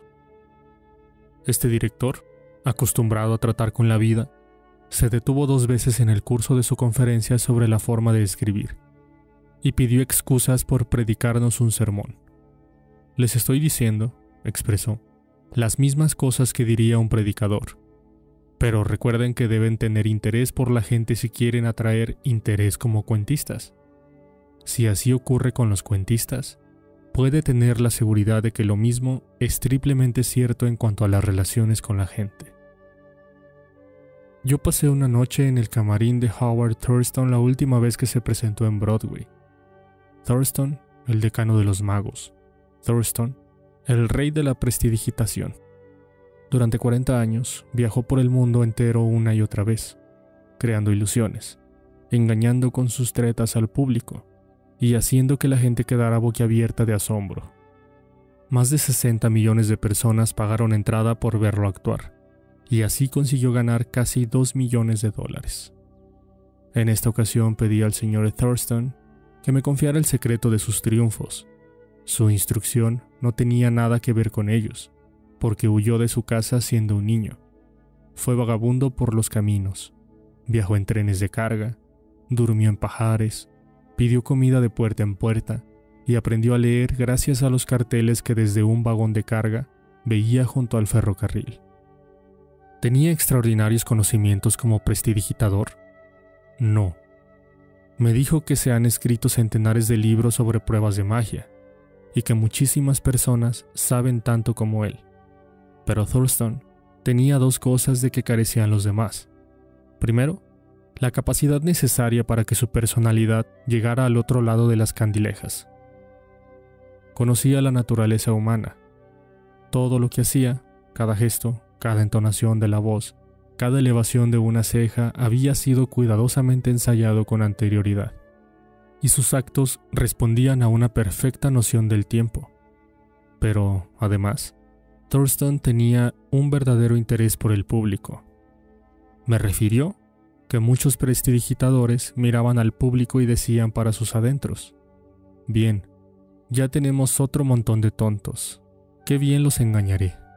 Pero el método de Thurston era del todo diferente. Me confesó que cada vez que entraba al escenario se decía, Estoy agradecido a toda esta gente que ha venido a verme. Son ellos quienes me permiten ganarme la vida en forma tan agradable. Por ellos, haré esta noche todo lo mejor que pueda. Declaró que jamás se acercaba a las candilejas sin decirse primero, una vez tras otra, adoro a mi público, adoro a mi público. ¿Ridículo? ¿Absurdo? Tiene usted derecho a pensar lo que quiera. Yo no hago más que repetir sin comentarios, una receta utilizada por uno de los magos más famosos de todos los tiempos. George Dick, de North Warren, Pensilvania, se vio obligado a retirarse de su negocio de estación de servicio, después de trabajar en él durante 30 años, cuando se construyó una nueva autopista por el sitio que ocupaba su establecimiento. Al poco tiempo, los días ociosos de un jubilado empezaron a aburrirlo, por lo que trató de ocupar el tiempo tocando en su viejo violín. Pronto empezó a viajar por toda su área, asistiendo a conciertos y visitando a consumados violinistas. En su estilo humilde y amistoso, se interesó por conocer el pasado y las ideas de todos los músicos que conocía. Aunque él mismo no era un gran violinista, hizo muchos amigos en el mundo de la música. Asistió a toda clase de eventos musicales, y los aficionados a la música country de todo el este de los Estados Unidos llegaron a conocerlo como el tío George, el rascador de violín del condado Kinsua. Cuando conocimos al tío George, tenía 72 años y disfrutaba de cada minuto de la vida. Gracias a su interés en otras personas, logró crearse una nueva vida en un momento en que la mayoría de la gente considera terminados sus años productivos. Ese mismo era uno de los secretos de la asombrosa popularidad de Theodore Roosevelt. Hasta sus sirvientes lo adoraban. Su valet, James E. Amos, escribió acerca de él un libro titulado Theodore Roosevelt, héroe de su ballet. En ese libro narramos este ilustrativo incidente. Mi mujer preguntó una vez al presidente qué era una codorniz. Jamás había visto una, y el presidente se la describió detalladamente. Algún tiempo después, sonó el teléfono de nuestra casita. Amos y su esposa vivían en una casita alejada del edificio principal, en la finca que Roosevelt tenía en Oyster Bay. Mi mujer respondió al llamado. Era el señor Roosevelt. Dijo que había llamado para decirle que frente a la ventana había una codorniz, y que si mi mujer se asomaba podría verla. Estas cositas eran características de él. Cada vez que pasaba frente a nuestra casita, aunque no nos viera, le oíamos llamar Uhu Annie o Uhu James. ¿Cómo es posible que los empleados no gustaran de un hombre así? ¿Cómo podría dejar de gustar a nadie? Roosevelt fue a la Casa Blanca un día en que su sucesor, el presidente Taft y su esposa no estaban. Su auténtica simpatía por la gente humilde quedó demostrada por el hecho de que saludó, uno por uno, a todos los sirvientes de la Casa Blanca, hasta los peones de la cocina. Cuando vio a Alice, ayudante de cocina, escribe Archie Booth, le preguntó si todavía hacía pan de maíz. Alice le respondió que a veces lo hacía para el personal de servicio, pero que nadie lo comía entre los amos. Muestran muy mal gusto, repuso Roosevelt, y ya se lo diré al presidente cuando lo vea. Alice le llevó un trozo de pan de maíz, y Roosevelt fue hasta el despacho principal comiendo y saludando a jardineros y criados al pasar. Hablaba con cada uno como lo había hecho en el pasado. Ike Hover, que había sido portero en la Casa Blanca durante 40 años, me dijo con los ojos llenos de lágrimas, es el único día feliz que hemos tenido en casi dos años, y ninguno de nosotros lo cambiaría por un billete de 100 dólares. El mismo interés por la gente al parecer sin importancia ayudó al representante de ventas Edward M. Sykes, hijo de Chatham, Nueva Jersey, a conservar una cuenta. Hace muchos años, nos dijo, visité a clientes de la empresa Johnson Johnson en el área de Massachusetts una cuenta era la de una farmacia en Hingham. Cada vez que iba a ese negocio, siempre hablaba con el empleado de refrescos y el del mostrador unos minutos antes de hablar con el dueño para recibir la orden. Un día, el dueño me dijo que no tenía interés en comprar productos de Johnson Johnson, porque consideraba que esta firma estaba concentrando sus actividades en los supermercados, en detrimento de las farmacias chicas como la suya. Salí muy decaído y di vueltas por el pueblo varias horas. Al fin, decidí volver a la farmacia y tratar de explicarle nuestra posición al dueño. Cuando volví a entrar, como siempre saludé a los empleados. Al verme el dueño, me sonrió y me dio la bienvenida. Me dio una orden de compras que superaba las suyas habituales. Lo miré, sorprendido, y le pregunté qué había sucedido para hacerle cambiar de opinión, desde mi visita anterior apenas unas horas antes. Me señaló al muchacho que atendía el mostrador de refrescos y dijo que cuando yo había salido antes, este joven había venido a decirle que yo era uno de los pocos vendedores que venían a la farmacia que se molestaba en saludarlo, a él y a otros empleados. Le dijo al dueño que si había un vendedor que se merecía hacer buenos negocios, era yo. El dueño estuvo de acuerdo y siguió siendo un buen cliente. Nunca olvidé que un genuino interés en la otra persona es la cualidad más importante que puede tener un vendedor, o en realidad, cualquier persona. Por experiencia personal, he descubierto que se puede lograr la atención y la cooperación hasta de las personas más ocupadas de los Estados Unidos, si uno se interesa debidamente en ellas. Un ejemplo. Hace años yo dirigía un curso de literatura en el Instituto de Artes y Ciencias de Brooklyn y quisimos que escritores tan importantes y ocupados como Kathleen Norris, Fanny Hurst, Ida Travel, Albert Payson y Rupert Hooks fueran al instituto y nos hicieran conocer sus experiencias. Les escribimos, pues, diciendo que admirábamos sus obras y que nos interesaban profundamente obtener sus consejos y conocer los secretos de sus triunfos. Cada una de estas cartas estaba firmada por unos 150 estudiantes. Decíamos comprender que los destinatarios estaban ocupados, demasiado ocupados para preparar una conferencia. Por ese motivo, acompañábamos una lista de preguntas para que las respondieran con referencias acerca de ellos y de sus métodos de trabajo. A todos les gustó la carta. Aquellos escritores famosos dejaron sus tareas y fueron hasta Brooklyn a ayudarnos. Con el mismo método, persuadí a Leslie M. Shaw, secretario del Tesoro en el gabinete de Theodore Roosevelt, a George Wickersham, productor general en el gabinete de Taft, a William Jennings Bryan, a Franklin Roosevelt y a muchos otros hombres prominentes de que acudieran a hablar ante los estudiantes de uno de mis cursos de oratoria.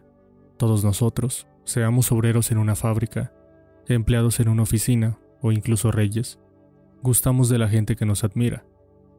Recordemos al Kaiser Guillermo II, por ejemplo. Al terminar la guerra mundial, era quizás el hombre más universal y brutalmente despreciado de la Tierra. Hasta su misma nación se volvió contra él cuando huyó a Holanda para salvar la cabeza. Era tan intenso el odio contra él que millones de personas habrían querido despedazarlo o quemarlo en la hoguera. En medio de esta furia general, un niño escribió al Kaiser una carta sencilla y sincera, que mostraba gran bondad y admiración. Este niño decía que, cualquiera fuese la idea de los demás, él siempre amaría a su emperador Guillermo. El Kaiser se sintió conmovido e invitó al niño a que fuera a visitarlo. Así lo hizo el pequeño, acompañado de su madre, y con ella trajo enlace al Kaiser. Aquel niño no necesitaba leer un libro como este, ya sabía instintivamente cómo hacerlo. Si queremos obtener amigos, dediquémonos a hacer cosas para los demás, cosas que requieren tiempo, energía, altruismo. Cuando el duque de Windsor era príncipe de Gales, tuvo que hacer una gira por el América del Sur, y antes de emprenderla, pasó varios meses estudiando español, para poder hablar en el idioma de los países que visitaba, y los habitantes de América del Sur lo tuvieron en gran estima por eso. Durante años me he preocupado por conocer los cumpleaños de mis amigos. ¿Cómo? Aunque no tengo el menor asomo de fe en la astrología, empiezo por preguntar a un amigo si cree que la fecha de nacimiento tiene algo que ver con el carácter y la disposición de cada uno. Luego le pido que me diga el día y el mes de su nacimiento. Si me dice 24 de noviembre, por ejemplo, no hago más que repetir para mis adentros, 24 de noviembre. 24 de noviembre. En cuanto mi amigo vuelve a la espalda, escribo su nombre y su cumpleaños. Y después, en casa, paso el dato a un libro especial. Al comienzo de cada año, escribo estas fechas y nombres en las hojas de mi calendario, de modo que les presto atención automáticamente. Cuando llegue el día, envío una carta o telegrama. Qué buena impresión causa. A veces soy la única persona del mundo que ha recordado un cumpleaños de esos. Si queremos hacer amigos, saludemos a los demás con animación y entusiasmo. Cuando llama a alguien por teléfono, empleemos la misma psicología. Digamos, hola, con un tono que revele cuán complacidos estamos por escuchar a quien llama.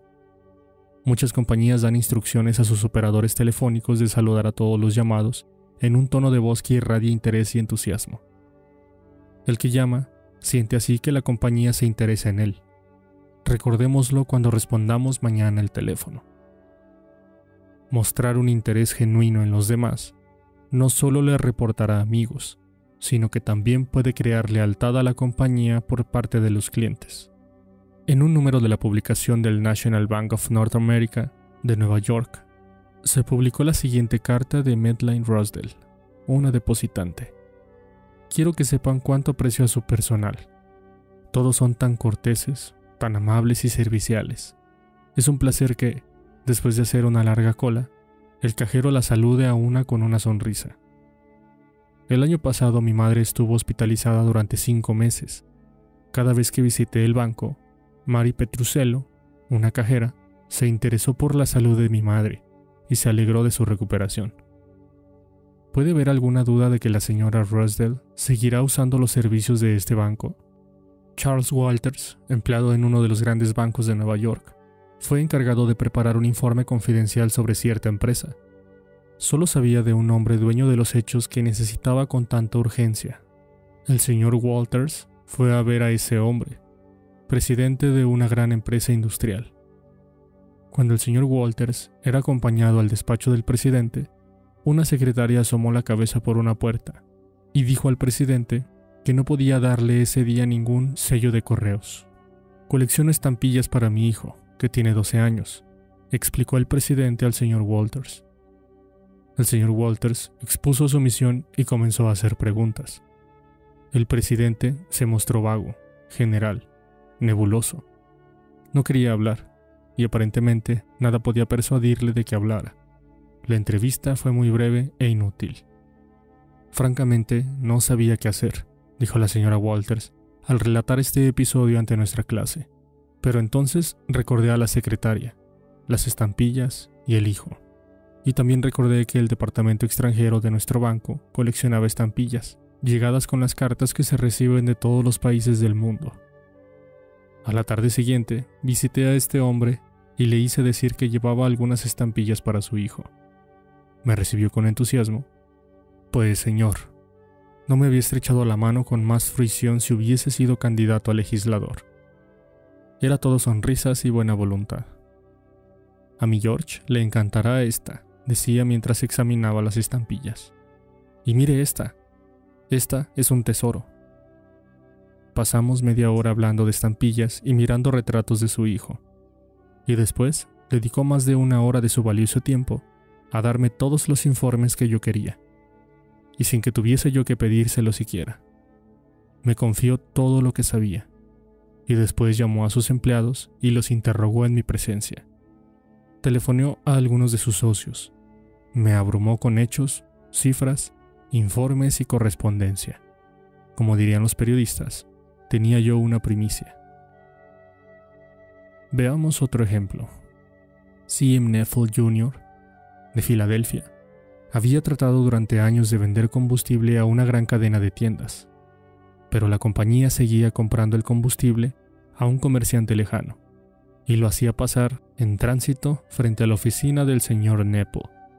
Este pronunció una noche ante una de mis clases un discurso en el que volcó toda su ira contra las cadenas de tiendas, a las que calificó de maldición del país. Y todavía se preguntaba por qué no podía vender su carbón. Le sugerí que intentara otra táctica. En resumen, lo que sucedió fue esto. Organizamos entre los miembros del curso un debate sobre Está decidido que la propagación de las cadenas de tienda hacen al país más mal que bien. Por indicación mía, Nepal asumió al bando negativo. Convino en defender a las cadenas de tiendas, y fue a ver derechamente a un director de la misma organización que él despreciara. No he venido, le dijo, a tratar de venderle combustible. He venido a pedirle un favor. Le informó luego sobre el debate y agregó, He venido a pedirle ayuda porque no conozco otra persona que sea tan capaz de hacerme conocer los hechos que quiero. Deseo ganar este debate y le agradeceré sobremanera que me ayude. Oigamos el resto del episodio en las propias palabras del señor Nepal. Había pedido a este hombre exactamente un minuto de tiempo. Con esta condición consintió en verme. Después de exponer yo mi situación, me invitó a sentarme y me habló durante una hora y 47 minutos. Llamó a otro director que había escrito un libro sobre el tema. Escribió a la Asociación Nacional de Cadenas de Tiendas y me consiguió un ejemplar de un folleto. Este hombre entiende que las cadenas de tiendas prestan un verdadero servicio a la humanidad. Está orgulloso de lo que hacen centenares de comunidades. Le brillaban los ojos al hablar, y he de confesar que me abrió los ojos sobre cosas que yo jamás había soñado.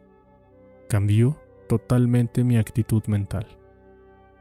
Cuando me marchaba, fue conmigo hasta la puerta, me puso un brazo alrededor de los hombros, me deseó felicidad en el debate y me pidió que fuera a verlo otra vez para hacerle saber cómo me había ido.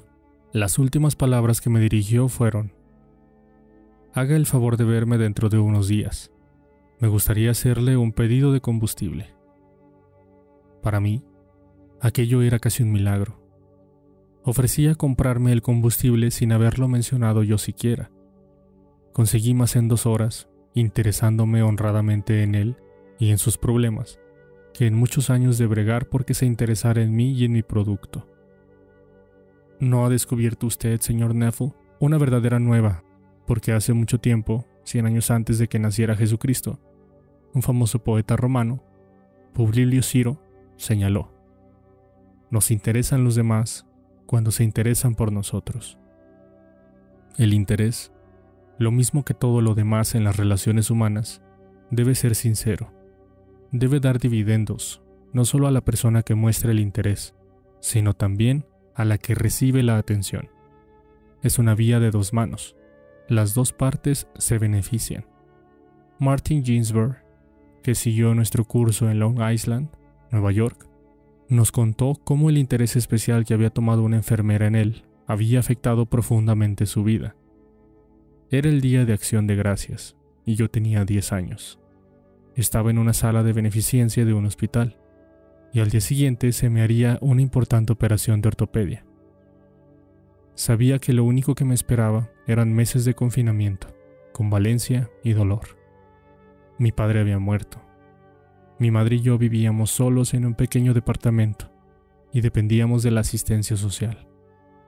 Mi madre no podía visitarme ese día porque no era día de visitas en el hospital. A medida que transcurría el día, me abrumaba cada vez más el sentimiento de soledad desesperación y miedo.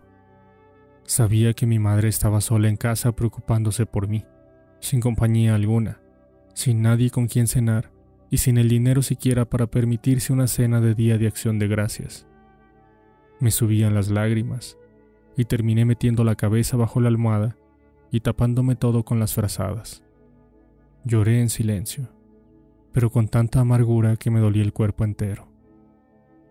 Una joven estudiante de enfermería oyó mis sollozos y vino hacia mi cama. Me hizo asomar la cabeza y comenzó a secarme las lágrimas. Me contó lo sola que estaba, pues debía trabajar todo el día y no podía pasarlo con su familia. Me preguntó si quería cenar con ella. Trajo dos bandejas de comida, pavo, puré de papas, salsa de fresas y helado de crema de postre. Me habló y trató de calmar mis temores.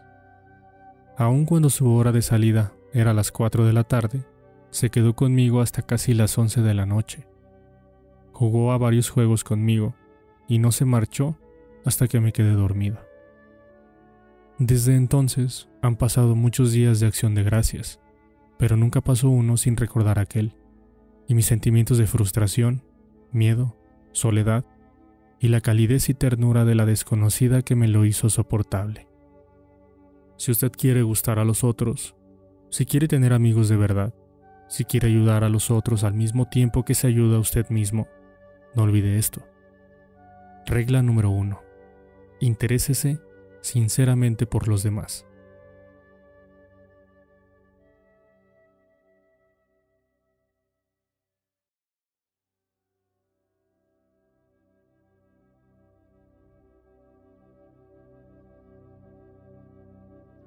Capítulo número 2. Una manera sencilla de causar una buena primera impresión. En una comida en Nueva York, uno de los invitados, una mujer que acababa de heredar dinero, ansiaba causar una impresión agradable en todos. Había despilfarrado una fortuna en pieles, diamantes y perlas, pero no había hecho nada con la cara. Irradiaba acidez y egoísmo no había comprendido esta mujer lo que sabe todo el mundo, que la expresión de un rostro es más importante, mucho más, que la ropa que nos ponemos.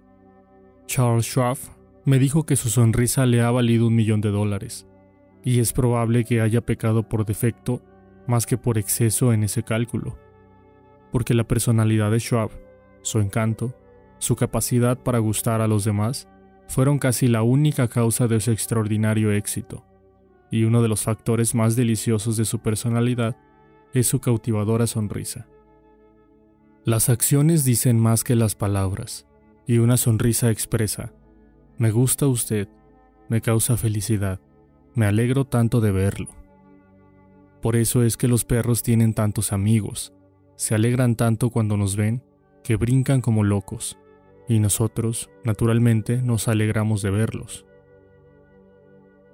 La sonrisa de un bebé tiene el mismo efecto. ¿Ha estado usted alguna vez en la sala de espera de un médico y ha visto a su alrededor las caras sombrías de la gente impaciente por entrar al consultorio? El doctor Stephen Sproul, veterinario de Raytown, Missouri, nos contó de un típico día de primavera, con su sala de espera llena de clientes que esperaban para hacer vacunar a sus animalitos mascota. Nadie hablaba con nadie, y probablemente estaban pensando en una docena de cosas que preferirían estar haciendo antes que perder tiempo en ese consultorio nos contó lo siguiente en una de nuestras clases. Había seis o siete clientes esperando cuando entró un joven con una criatura de nueve meses y su gatito. La suerte quiso que se sentara justo al lado del caballero que más malhumorado parecía por lo prolongado de la espera. El niñito lo miró con esa gran sonrisa tan característica de las criaturas. ¿Qué hizo el caballero? Lo que habríamos hecho ustedes o yo, por supuesto. Le sonrió a su vez al niñito. No tardó en iniciar una conversación con la mujer sobre el niño y sobre los nietos de él, y todos los demás pacientes se unieron a la conversación, y el aburrimiento y la tensión se convirtieron en una experiencia agradable. ¿Una sonrisa poco sincera? No. A nadie engañaremos. Sabemos que es una cosa mecánica y nos causa enojo. Hablo de una verdadera sonrisa, que alegre el corazón, que venga de adentro, que valga buen precio en el mercado. El profesor James McConnell, psicólogo de la Universidad de Michigan, expresó sus sentimientos sobre una sonrisa. La gente que sonríe, dijo, tiende a trabajar, enseñar y vender con más eficacia, y a criar hijos más felices. En una sonrisa hay mucha más información que en un gesto adusto. Es por eso que en la enseñanza es mucho más eficaz el estímulo que el castigo. El jefe de personal de una gran tienda de Nueva York me confiaba que prefería emplear a una vendedora sin instrucción, siempre que poseyera una hermosa sonrisa, que a un doctor en filosofía con cara de pocos amigos. El efecto de una sonrisa es poderoso, aun cuando no se le ve. Las compañías de teléfono de los Estados Unidos tienen un programa llamado poder telefónico que se les ofrece a las compañías que usan el teléfono para vender sus servicios o productos. En este programa, sugieren que uno sonría cuando habla por teléfono. Su sonrisa es transmitida por la voz al interlocutor. Robert Cryer, gerente del departamento de computación de una compañía de Cincinnati, Ohio, contó cómo había logrado conseguir la persona justa para un puesto difícil. Trataba desesperadamente de encontrar un licenciado en computación para mi departamento. Al fin, localicé a un joven con los antecedentes ideales, que estaba a punto de graduarse en la Universidad de Purdue. Después de varias conversaciones telefónicas me enteré de que tenía diversas ofertas de otras compañías, muchas de ellas más grandes y más conocidas que la mía. Me encantó oír que había aceptado mi oferta. Cuando ya estaba trabajando, le pregunté por qué nos había preferido a los otros. Quedó un momento en silencio y después me dijo, creo que fue porque los ejecutivos de las otras compañías hablaban por teléfono de un modo frío, que me hacía sentir como si yo fuera una transacción comercial más para ellos. Su voz, en cambio, sonaba como si usted se alegrara de oírme, como si realmente quisiera que yo fuera parte de su organización. Puedo asegurarles que hasta el día de hoy sigo respondiendo al teléfono con una sonrisa. El presidente del directorio de una de las mayores industrias del caucho de los Estados Unidos me dijo que, según sus observaciones, rara vez triunfa una persona en cualquier cosa a menos que le divierta hacerla. Este jefe industrial no tiene mucha fe en el viejo adagio de que solamente el trabajo nos da la llave para la puerta de nuestros deseos. He conocido personas, agregó, que triunfaron porque disfrutaron efectuando sus trabajos. Después vi las mismas personas cuando se dedicaban a lo mismo como a una tarea. Se aburrían. Perdieron así todo interés en la tarea y fracasaron. tiene usted que disfrutar cuando se encuentra con la gente, si espera que los demás lo pasen bien cuando se encuentran con usted. He pedido a miles de gentes de negocios que sonrían a toda hora del día durante una semana y que vuelvan después a informar a la clase sobre los resultados obtenidos. Veamos cómo ha resultado esto. Aquí tenemos una carta de William Steinhardt, miembro de la Bolsa de Valores de Nueva York. No es un caso aislado, por cierto que es un típico de centenares de otros casos. Hace 18 años que me casé, escribe el señor Steinhardt, y en todo ese lapso, pocas veces he sonreído a mi mujer, o le he dicho dos docenas de palabras desde el momento de levantarme hasta la hora de ir a trabajar. Yo era uno de los hombres más antipáticos que jamás ha habido en la ciudad. Desde que me pidió usted que diera un informe oral a la clase sobre mi experiencia con la sonrisa, pensé que debía hacer la prueba durante una semana. A la semana siguiente, cuando me peinaba, me miré el seco semblante en el espejo y me dije, hoy vas a quitarte el ceño de esa cara de vinagre, vas a sonreír, y ahora mismo vas a empezar.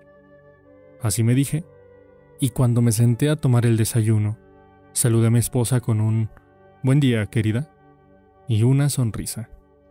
Ya me advirtió usted que seguramente mi mujer se sorprendería. Bien, eso fue poco. Quedó atónita. Le dije que en el futuro mi sonrisa iba a ser de todos los días, y ya hace dos meses que la mantengo todas las mañanas. Este cambio de actitud en mí ha producido en nuestro hogar más felicidad en estos dos meses que durante todo el año anterior. Ahora, al ir a mi oficina, saludo al ascensorista de la casa de departamentos en que vivo con un buen día y una sonrisa. Saludo al portero con una sonrisa. Saludo al cajero del subterráneo cuando le pido cambio. Y en el recinto de la bolsa sonrío a muchos hombres que jamás me habían visto sonreír. Bien pronto advertí que todos me respondían con sonrisas. A quienes llegan a mí con quejas o protestas, atiendo con buen talante. Sonrío mientras los escucho y compruebo que es mucho más fácil arreglar las cosas. He llegado a la conclusión de que las sonrisas me producen dinero, mucho dinero por día. Comparto una oficina con otro corredor de bolsa. Uno de sus empleados es un joven muy simpático y tan encantado estaba yo de los resultados que iba obteniendo que hace poco le referí mi nueva filosofía para las relaciones humanas. Entonces me confesó que cuando empecé a ir a la oficina me creyó un antipático, y solo últimamente cambió de idea. Agregó que yo era humano solamente cuando sonreía. También he eliminado las críticas de mi sistema. Expreso apreciación y elogio ahora, en lugar de censurar. He dejado de hablar de lo que yo quiero. Trato de ver el punto de vista de los demás. Y estas cosas han revolucionado del todo mi vida. Soy un hombre diferente, más feliz, más rico, más rico en amistades y en felicidad, las únicas cosas que importan al fin y al cabo. ¿No tiene usted ganas de sonreír? Bien. ¿Qué hacer? Dos cosas. Primero, esforzarse en sonreír. Si está solo, silbe o tararee o cante. Proceda como si fuera feliz y eso contribuirá a hacerlo feliz. Veamos la forma en que lo dijo el extinto profesor William James. La acción parece seguir al sentimiento, pero en realidad la acción y el sentimiento van juntos. Y si se regula la acción, que está bajo el control más directo de la voluntad, podemos regular el sentimiento, que no lo está. De tal manera, el camino voluntario y soberano hacia la alegría, si perdemos la alegría, consiste en proceder con alegría, actuar y hablar con alegría, como si esa alegría estuviera ya con nosotros. Todo el mundo busca la felicidad, y hay un medio seguro para encontrarla. Consiste en controlar nuestros pensamientos. La felicidad no depende de condiciones externas, depende de condiciones internas. No es lo que tenemos o lo que somos o dónde estamos o lo que realizamos. Nada de eso. Lo que nos hace felices o desgraciados es lo que pensamos acerca de todo ello. Por ejemplo, Dos personas pueden estar en el mismo sitio haciendo lo mismo. Ambas pueden tener sumas iguales de dinero y de prestigio, y sin embargo, una es feliz y la otra no. ¿Por qué? Por una diferente actitud mental. He visto tantos semblantes felices entre los campesinos que trabajan y sudan con sus herramientas primitivas bajo el calor agobiante de los trópicos, como lo he visto en las oficinas con aire acondicionado en Nueva York, Chicago, Los Ángeles y otras ciudades. Nada es bueno o malo, dijo Shakespeare, sino que el pensamiento es lo que hace que las cosas sean buenas o malas. Abraham Lincoln señaló una vez que casi todas las personas son tan felices como se deciden hacerlo. Tenía razón. Hace poco conocí un notable ejemplo de esa verdad. Subí a las escaleras de la estación de Long Island en Nueva York. Frente a mí, 30 o 40 niños inválidos, con bastones y muletas, salvaban trabajosamente los escalones. Uno de ellos tenía que ser llevado en brazos. Me asombró la alegría y las risas de todos ellos, y hablé al respecto con uno de los hombres a cargo de los niños. Ah, sí, me dijo. Cuando un niño comprende que va a ser inválido toda la vida, queda asombrado al principio, pero, después de transcurrido ese asombro, se resigna generalmente a su destino y llega a ser más feliz que los niños normales. Sentí deseos de quitarme el sombrero ante aquellos niños. Me enseñaron una lección que espero no olvidar. Trabajar solo en un cuarto cerrado no solo hace sentir a uno solitario, sino que no da oportunidad de hacer amistades entre los demás empleados de la compañía. La señora María González, de Guadalajara, México, tenía un trabajo así. Envidiaba la camaradería de las demás empleadas cada vez que oía sus charlas y risas. Durante sus primeras semanas en el trabajo, cuando las cruzaba en los pasillos, miraba tímidamente en otra dirección. Al cabo de entre unas semanas, se dijo a sí misma, María, no debes esperar que esas mujeres vengan a ti. Tienes que ir tú hacia ellas. Cuando volvió a salir al pasillo para tomar un vaso de agua, puso su mejor sonrisa y saludó con un hola, ¿qué tal? a todas las empleadas que encontró. El efecto fue inmediato. Las sonrisas y saludos fueron correspondidos. El pasillo pareció más luminoso, el trabajo más cálido. Se hizo de conocidas y algunas de ellas llegaron a ser amigas. Estudié estos consejos de Albert Hobart, pero recuerde que ningún provecho le dará su estudio si no los aplica en la vida. Cada vez que salga al aire libre, retraiga el mentón, lleve erguida la cabeza y llene los pulmones hasta que no pueda más. Beba el sol, salude a sus amigos con una sonrisa y ponga el alma en cada apretón de manos. No tema ser mal comprendido y no pierda un minuto en pensar en sus enemigos. Trate de determinar firmemente la idea de lo que desearía hacer, y entonces, sin cambiar de dirección, irá directamente a la meta. Tenga fija la atención en las cosas grandes y espléndidas que le gustaría hacer, pues, a medida que pasen los días, verá que, inconscientemente, aprovecha todas las oportunidades requeridas para el cumplimiento de su deseo tal como el zoofito del coral obtiene de la marea los elementos que necesita. Fórjese la idea de la persona capaz, empeñosa, útil que desea ser, y esa idea lo irá transformando hora tras hora en tal individuo. El pensamiento es supremo. Observe una actitud mental adecuada, la actitud del valor, la franqueza y el buen talante. Pensar bien es crear. Todas las cosas se producen a través del deseo y todas las plegarias sinceras tienen respuesta. Llegamos a identificarnos con aquello en que se fijan nuestros corazones. Lleve pues retraído el mentón y erguida la cabeza. Todos somos dioses en estado de crisálida. Los chinos eran hombres sabios, sabios en las cosas de este mundo, y tenían un proverbio que usted y yo deberíamos recortar y pegar en el tafilete del sombrero. Dice más o menos así. El hombre cuya cara no sonríe no debe abrir una tienda.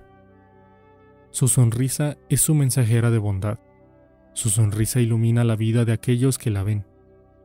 A pesar de haber visto docenas de personas fruncir el entrecejo, de mal humor o apáticas, su sonrisa sigue siendo como el sol que rompe a través de las nubes, especialmente cuando alguien se encuentra bajo la presión del patrón, los clientes o maestros, de sus padres o de sus hijos. Una sonrisa puede ayudar a comprender que no todo es en vano, que aún hay alegría en este mundo. Unos años atrás, un gran almacén de la ciudad de Nueva York reconoció la presión de trabajo durante la temporada de Navidad por la que pasaban sus empleados.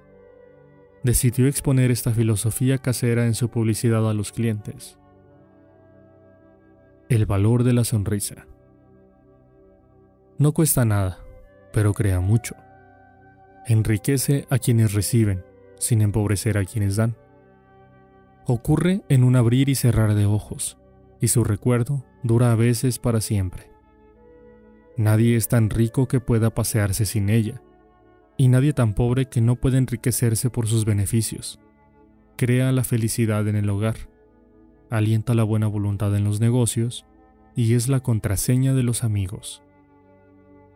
Es descanso para los fatigados, luz para los decepcionados, sol para los tristes y el mejor antídoto contra las preocupaciones. Pero no puede ser comprada, pedida prestada o robada, porque es algo que no rinde beneficio a nadie a menos que sea brindada espontánea y gratuitamente. Y si en la extraordinaria afluencia de último momento de las compras de Navidad, alguno de nuestros vendedores está demasiado cansado para darle una sonrisa, ¿podemos pedirle que nos deje usted una sonrisa suya? Porque nadie necesita tanto una sonrisa como aquel a quien no le queda ninguna que dar. Regla número 2. Sonría.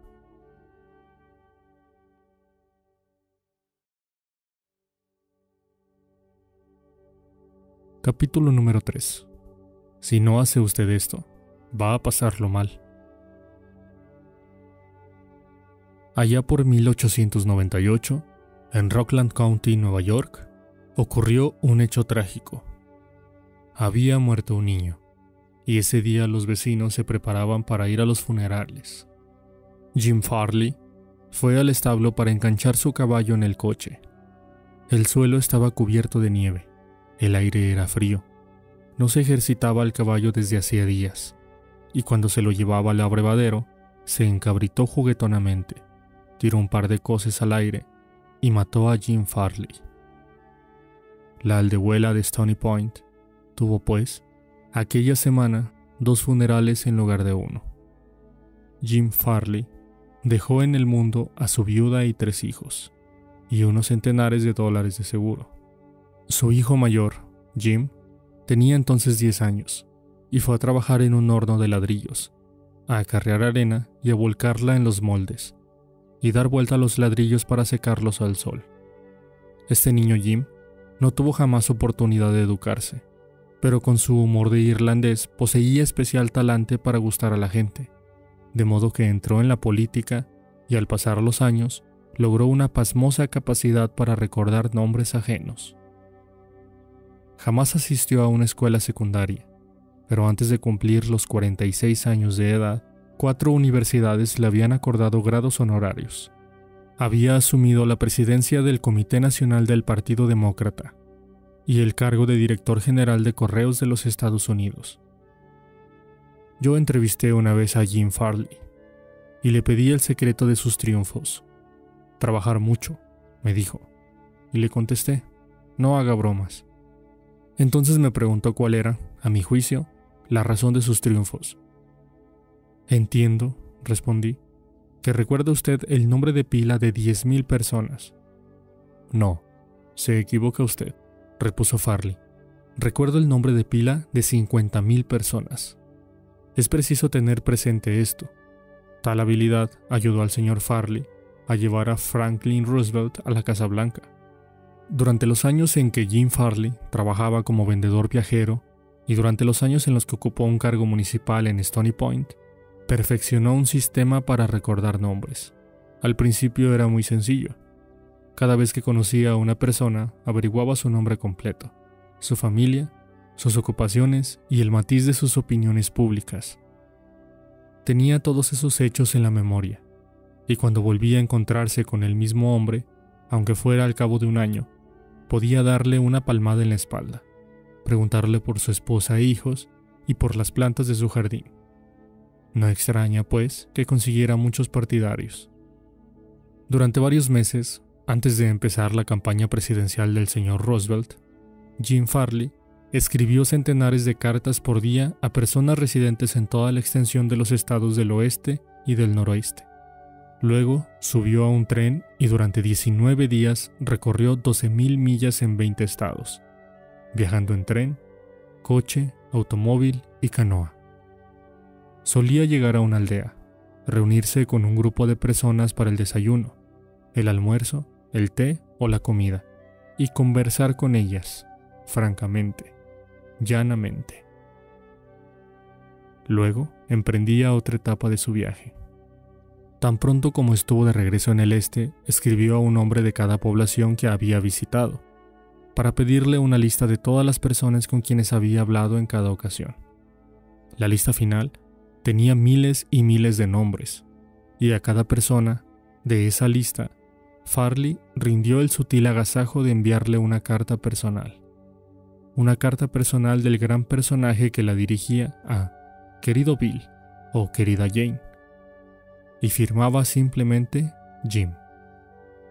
Jim Farley descubrió al principio de su vida que el común de los hombres se interesa más por su propio nombre que por todos los demás de la tierra. Si se recuerda ese nombre y se le pronuncia con frecuencia, se ha rendido a su dueño un halago sutil y muy efectivo. Pero si se olvida o se escribe mal ese nombre, queda uno en gran desventaja. Por ejemplo, yo organicé cierta vez en París un concurso de oratoria y envié circulares a todos los norteamericanos que residían en la ciudad. Las dactilógrafas francesas, con poco conocimiento de inglés, escribieron los nombres y, naturalmente, cometieron muchos errores. Un hombre, gerente de un gran banco norteamericano en París, me escribió una carta furiosa porque su nombre estaba mal escrito. A veces es difícil recordar un nombre, en especial si es extranjero y difícil. Hay personas que en lugar de tomarse el trabajo de intentar aprenderlo, deciden ignorarlo, o llaman a esa persona por un apodo más fácil. Sid Levi visitaba a un cliente cuyo nombre era Nicodemos Papadoulos. Todos lo llamaban Nick. Levi nos contó. Hice el esfuerzo especial de aprender el nombre y pronunciarlo varias veces a solas, antes de ir a verlo. Cuando lo saludé, llamándolo por su nombre completo, Buenas tardes, señor Nicodemos Papadoulos, el hombre quedó asombrado. Durante lo que parecieron varios minutos no me respondió nada. Por último, con lágrimas corriéndole por las mejillas, me dijo, Señor Levi, en los 15 años que llevo viviendo en este país, nadie había hecho nunca el esfuerzo de llamarme por mi nombre completo. ¿Cuál fue la razón del triunfo de Andrew Carnegie? Se le llamaba el rey del acero, pero poco era lo que sabía de la fabricación del acero. A sus órdenes trabajaban centenares de personas que conocían de ese tema mucho más que él, pero sabía cómo manejar a las personas. Y esto fue lo que lo enriqueció. Al comenzar su vida, demostró sus dones por la organización, su genio como dirigente. Cuando tenía 10 años ya había descubierto la asombrosa importancia que atribuye la gente a sus propios nombres, y utilizó ese descubrimiento para obtener cooperación. Por ejemplo, de niño allá en Escocia, cazó una coneja. Bien pronto tuvo toda una cría de conejitos, y nada con que alimentarlos. Pero se le ocurrió una idea brillante. Dijo a los niños de la vecindad que si le llevaban trébol y hierbas para alimentar a los conejos, bautizaría a los animalitos en honor de quienes cooperaban. El plan rindió mágicos resultados, y Carnegie jamás lo olvidó. Años después, ganó millones aplicando la misma psicología a los negocios. Por ejemplo, quería vender rieles de acero al ferrocarril de Pensilvania. Edgar Thompson era entonces presidente de ese ferrocarril, y Andrew Carnegie construyó en Pittsburgh una enorme planta de los altos hornos a la que le puso el nombre de Edgar Thompson, Trabajos de Acero. No es difícil adivinar a quién se hizo el pedido cuando el ferrocarril de Pensilvania necesitó rieles de acero, cuando Carnegie y George Pullman trabajaban para lograr la supremacía en las ventas de vagones dormitorios. El rey del acero volvió a recordar la lección de los conejos. La empresa central de transportación en la cual dominaba Andrew Carnegie luchaba contra la compañía en la que dominaba Pullman. Las dos empresas pugnaban por proveer de vagones dormitorios al ferrocarril Unión Pacífico rebajaban los precios y destruían toda probabilidad de beneficio para la firma que obtuviera el negocio. Carnegie y Pullman habían ido a Nueva York para ver, cada uno por su cuenta, al directorio del ferrocarril. Una noche se encontraron en el Hotel Nicholas y Carnegie dijo, Buenas noches, señor Pullman. ¿No le parece que estamos procediendo como un par de tontos? ¿Por qué? Entonces Carnegie expresó las ideas que tenía una fusión de las dos empresas. Habló con enorme optimismo de las ventajas mutuas que se desprenderían de la cooperación, en lugar de la pugna entre los dos intereses. Pullman escuchó atentamente, pero no quedó del todo convencido. Por fin preguntó, ¿qué nombre tendría la nueva firma? Pues la Pullman Palace Car Company, por supuesto. Se le iluminó el rostro a Pullman. Venga a mi habitación, dijo vamos a conversar del asunto. Esa conversación hizo historia en la industria de los Estados Unidos. Esta política de Andrew Carnegie, de recordar y honrar los nombres de sus amigos y allegados, fue uno de sus secretos mejores. Señalaba con orgullo el hecho de que recordaba y llamaba por su nombre de pila a muchos de sus obreros, y se vanagloriaba de que, cuando tuvo personalmente a su cargo los altos hornos, jamás se declaró en ellos una huelga. Benton Love, presidente del banco Texas Commerce Ventures, cree que cuanto mayor es una corporación, más fría se vuelve. Un modo de darle calidez, dice, es recordar los nombres de la gente.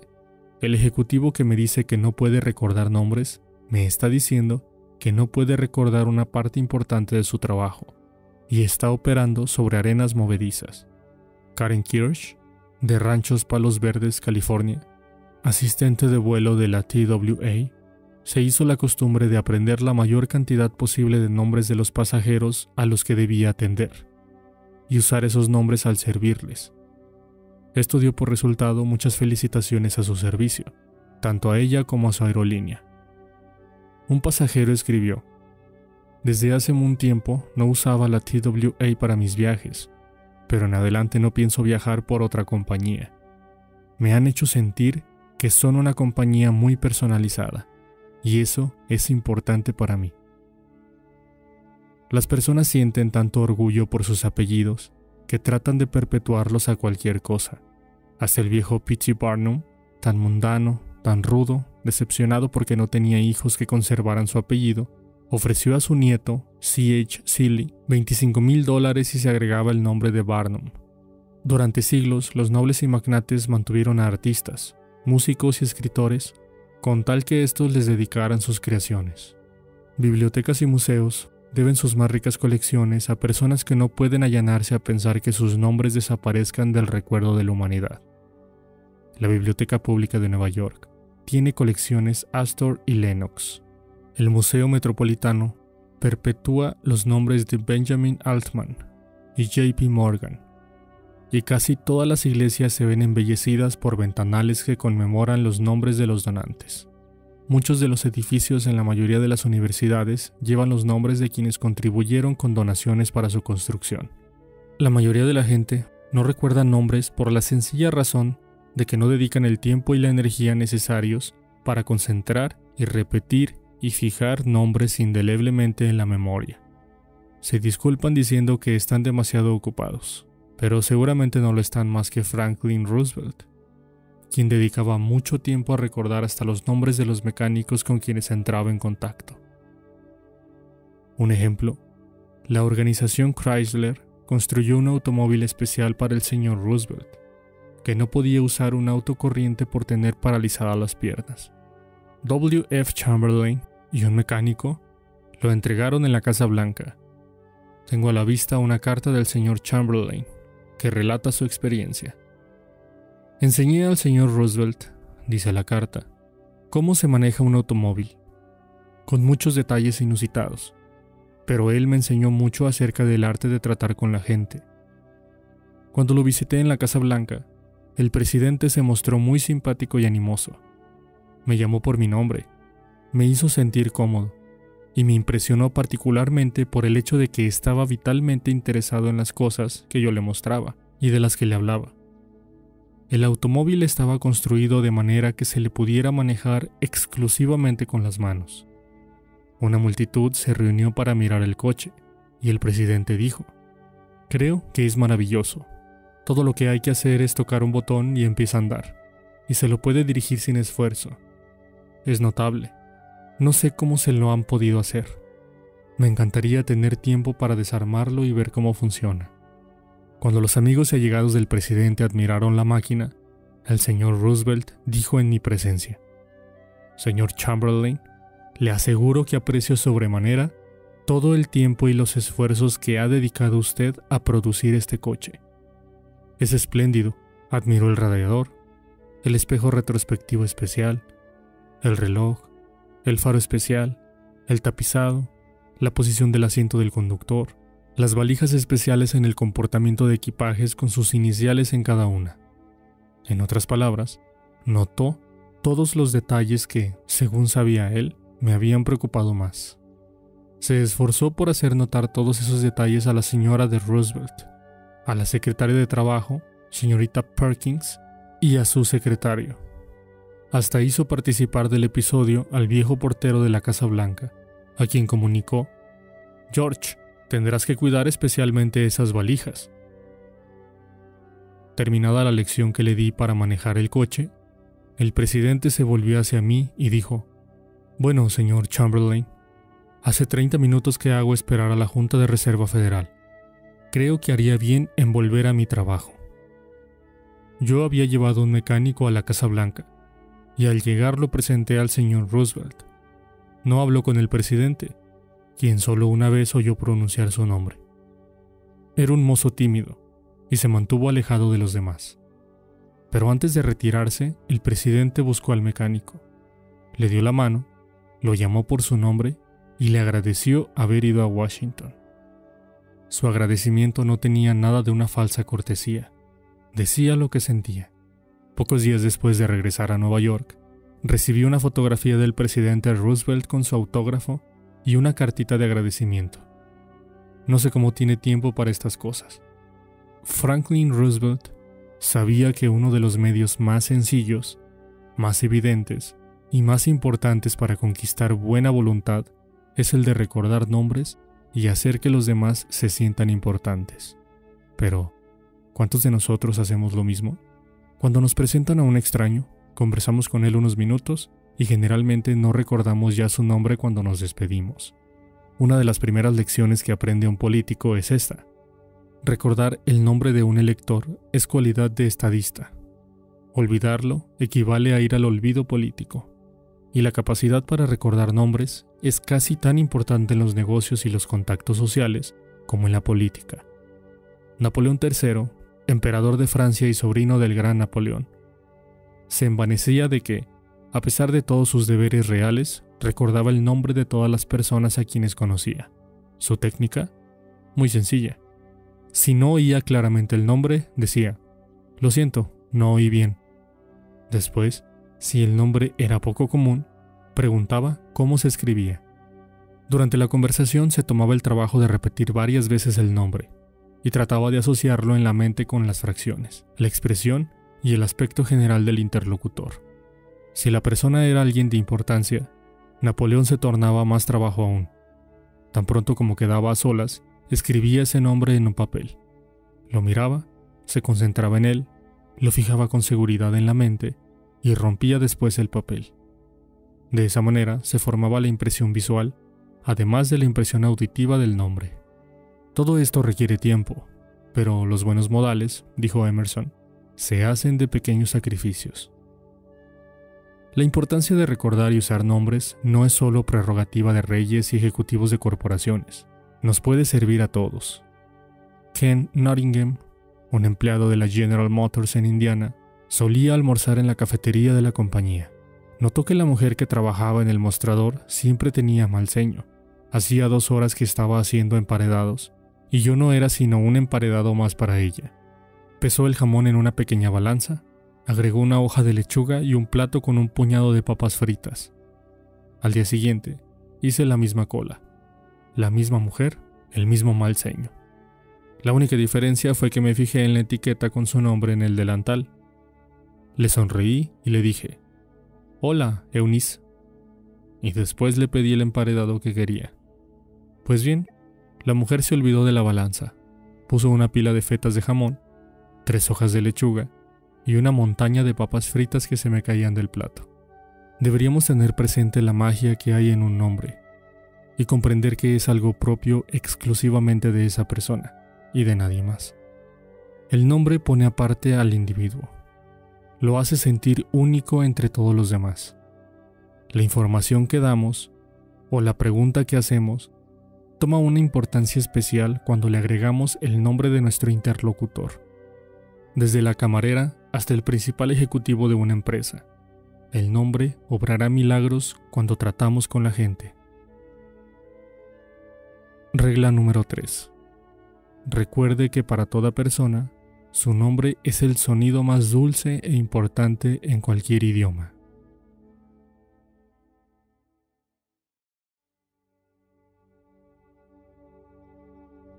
Capítulo número 4. Fácil manera de convertirse en un buen conversador. Hace poco fui invitado a jugar al bridge en casa de unos amigos. Yo no juego, y había allí una señora rubia que tampoco jugaba descubrió que trabajé con Lowell Thomas antes de que éste se dedicara a la radiotelefonía, que he viajado por Europa en muchas ocasiones mientras le ayudaba a preparar las conferencias sobre viajes que por entonces pronunciaba. Oh, señor Carnegie, me dijo esta dama, quiero que me hable de todos esos lugares que ha visitado usted. Al sentarnos en un sofá, me hizo saber que acababa de regresar de un largo viaje por África efectuado en compañía de su esposo.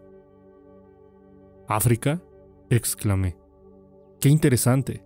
Siempre he querido ver África, pero salvo una vez que estuve 24 horas en Argel, no lo he conseguido jamás. Dígame, ¿visitaron la región de la Casa Mayor? Sí. ¡Qué hermosura! ¿Cómo la envidio? Hábleme de África. 45 minutos habló la dama. Ya no volvió a preguntarme por dónde había estado yo ni qué había visto. No quería oírme hablar de viajes. Todo lo que quería era un oyente interesado, para poder revelar su yo y narrar todas sus experiencias. ¿Era una mujer extraordinaria? No. Hay muchas personas como ella. Por ejemplo, hace poco encontré a un conocido botánico durante una comida dada en casa de un editor de Nueva York. Jamás había hablado con un botánico, y me pareció sumamente interesante. Me senté, literalmente, al borde de la silla y escuché absorto mientras hablaba de plantas exóticas, experimentos en el desarrollo de formas nuevas de vida vegetal y jardines de interior y de cosas asombrosas acerca de la humilde papa. Yo tengo en casa un huerto interior, y tuvo este hombre la bondad de indicarme cómo debía resolver alguno de mis problemas. He dicho que estábamos en una comida. Debe de haber habido otros doce invitados, pero violé todos los canones de la cortesía e ignoré a todos los demás, y hablé horas y horas con el botánico. Llegó la medianoche. Me despedí de todos y me marché. El botánico se volvió entonces a nuestro huésped y tuvo referencias muy elogiosas para mí. Yo era muy estimulante. Yo era esto y aquello y terminó diciendo que yo era un conversador muy inteligente. ¿Un conversador inteligente? Yo. ¿Por qué? Si apenas había insinuado una palabra. No podría haberla pronunciado sin cambiar de tema, porque no sé de botánica más de lo que sé sobre anatomía del pingüino. Pero había escuchado con atención. Había escuchado por qué tenía profundo interés en lo que decía mi interlocutor y él lo sabía. Naturalmente, estaba complacido. Esa manera de escuchar es uno de los más altos cumplimientos que se pueden rendir. Pocos seres humanos, escribió Jack Woodford en Extraños en el Amor, se libran de la implícita adulación que hay en el oyente absorto. Yo hice más que presentarme como oyente absorto. Fui caluroso en mi aprobación y generoso en mis elogios. Le dije que me había entretenido e instruido inmensamente, y así era. Le dije que deseaba tener sus conocimientos, y así era. Le dije que me gustaría recorrer los campos con él, y así era. Le dije que debía verlo de nuevo, y así era. Y de tal modo, le hice pensar que yo era un buen conversador cuando, en realidad, no había sido más que un buen oyente y lo había alentado a hablar. ¿Cuál es el misterio? El secreto de una feliz entrevista de negocios. Según Charles W. Eliot, que fue presidente de Harvard, no hay misterios en una feliz conversación de negocios. Es muy importante prestar atención exclusiva a la persona que habla Nada encierra tanta lisonja como eso. El mismo Eliot era un maestro en el arte de escuchar. Henry James, uno de los primeros grandes novelistas norteamericanos y miembro de la facultad de Harvard, recordaba. La escucha del doctor Eliot no era mero silencio, sino una forma de actividad. Sentado, muy erguido, con las manos unidas en el regazo, sin hacer otro movimiento que el de los pulgares girando uno alrededor del otro, más rápido o más lento. Enfrentaba a su interlocutor y parecía escuchar con los ojos tanto como con los oídos. Escuchaba con la mente y consideraba atentamente lo que uno tenía que decir, mientras lo decía. Al final de una entrevista con él, la persona que había hablado sentía que sus palabras habían llegado a su destino Evidente, ¿verdad? No hay necesidad de estudiar cuatro años en Harvard para descubrirlo. Sin embargo, usted y yo conocemos comerciantes que alquilan costosos locales, que compran sus mercaderías económicamente, que adornan sus vidrieras con sapiencia, que gastan mucho dinero en publicidad y emplean después personal sin el sentido común necesario para ser buenos oyentes. Personal que interrumpe a los clientes, los contradice, los irrita y los echa casi de la tienda. Una tienda de Chicago estuvo a punto de perder un viejo cliente que hacía compras por varios miles de dólares anuales en esta tienda, por culpa de un empleado que no escuchaba. La señorita Henrietta Douglas, que siguió nuestro curso en Chicago, había comprado un abrigo en una liquidación. Cuando llegó con el abrigo a su casa, notó que el forro tenía un desgarrón. Volvió al día siguiente y le pidió a la empleada de ventas que le cambiaran la prenda. La empleada se negó incluso a escuchar su queja. Usted lo compró en una liquidación, dijo. Señaló un cartel en la pared. Lea eso, exclamó. No hay devoluciones. Si lo compró, tendrá que llevárselo como está. Cosa usted misma el forro. Pero es una mercadería fallada, se quejó la señora Douglas. No importa, lo interrumpió la empleada. Si no hay devoluciones, no hay devoluciones. La señora Douglas estaba a punto de marcharse, indignada, jurando no volver nunca más a esa tienda, cuando se le acercó la gerente de la sección que la conocía por sus muchos años de comprar allí. La señora Douglas le contó lo que había sucedido. La mujer escuchó con atención toda la historia, examinó el abrigo y después dijo, las compras hechas en liquidaciones son sin devolución, porque es el modo en que nos sacamos de encima toda la mercadería al terminar la temporada. Pero esta política no puede aplicarse a mercadería fallada. La repararemos o reemplazaremos el forro, o si usted prefiere, le devolveremos el dinero. ¿Qué diferencia de tratamiento? Si esa gerente no hubiera aparecido a tiempo para escuchar a la clienta, la tienda habría perdido para siempre a una compradora fiel. Escuchar es tan importante en la vida cotidiana de uno como en el mundo de los negocios.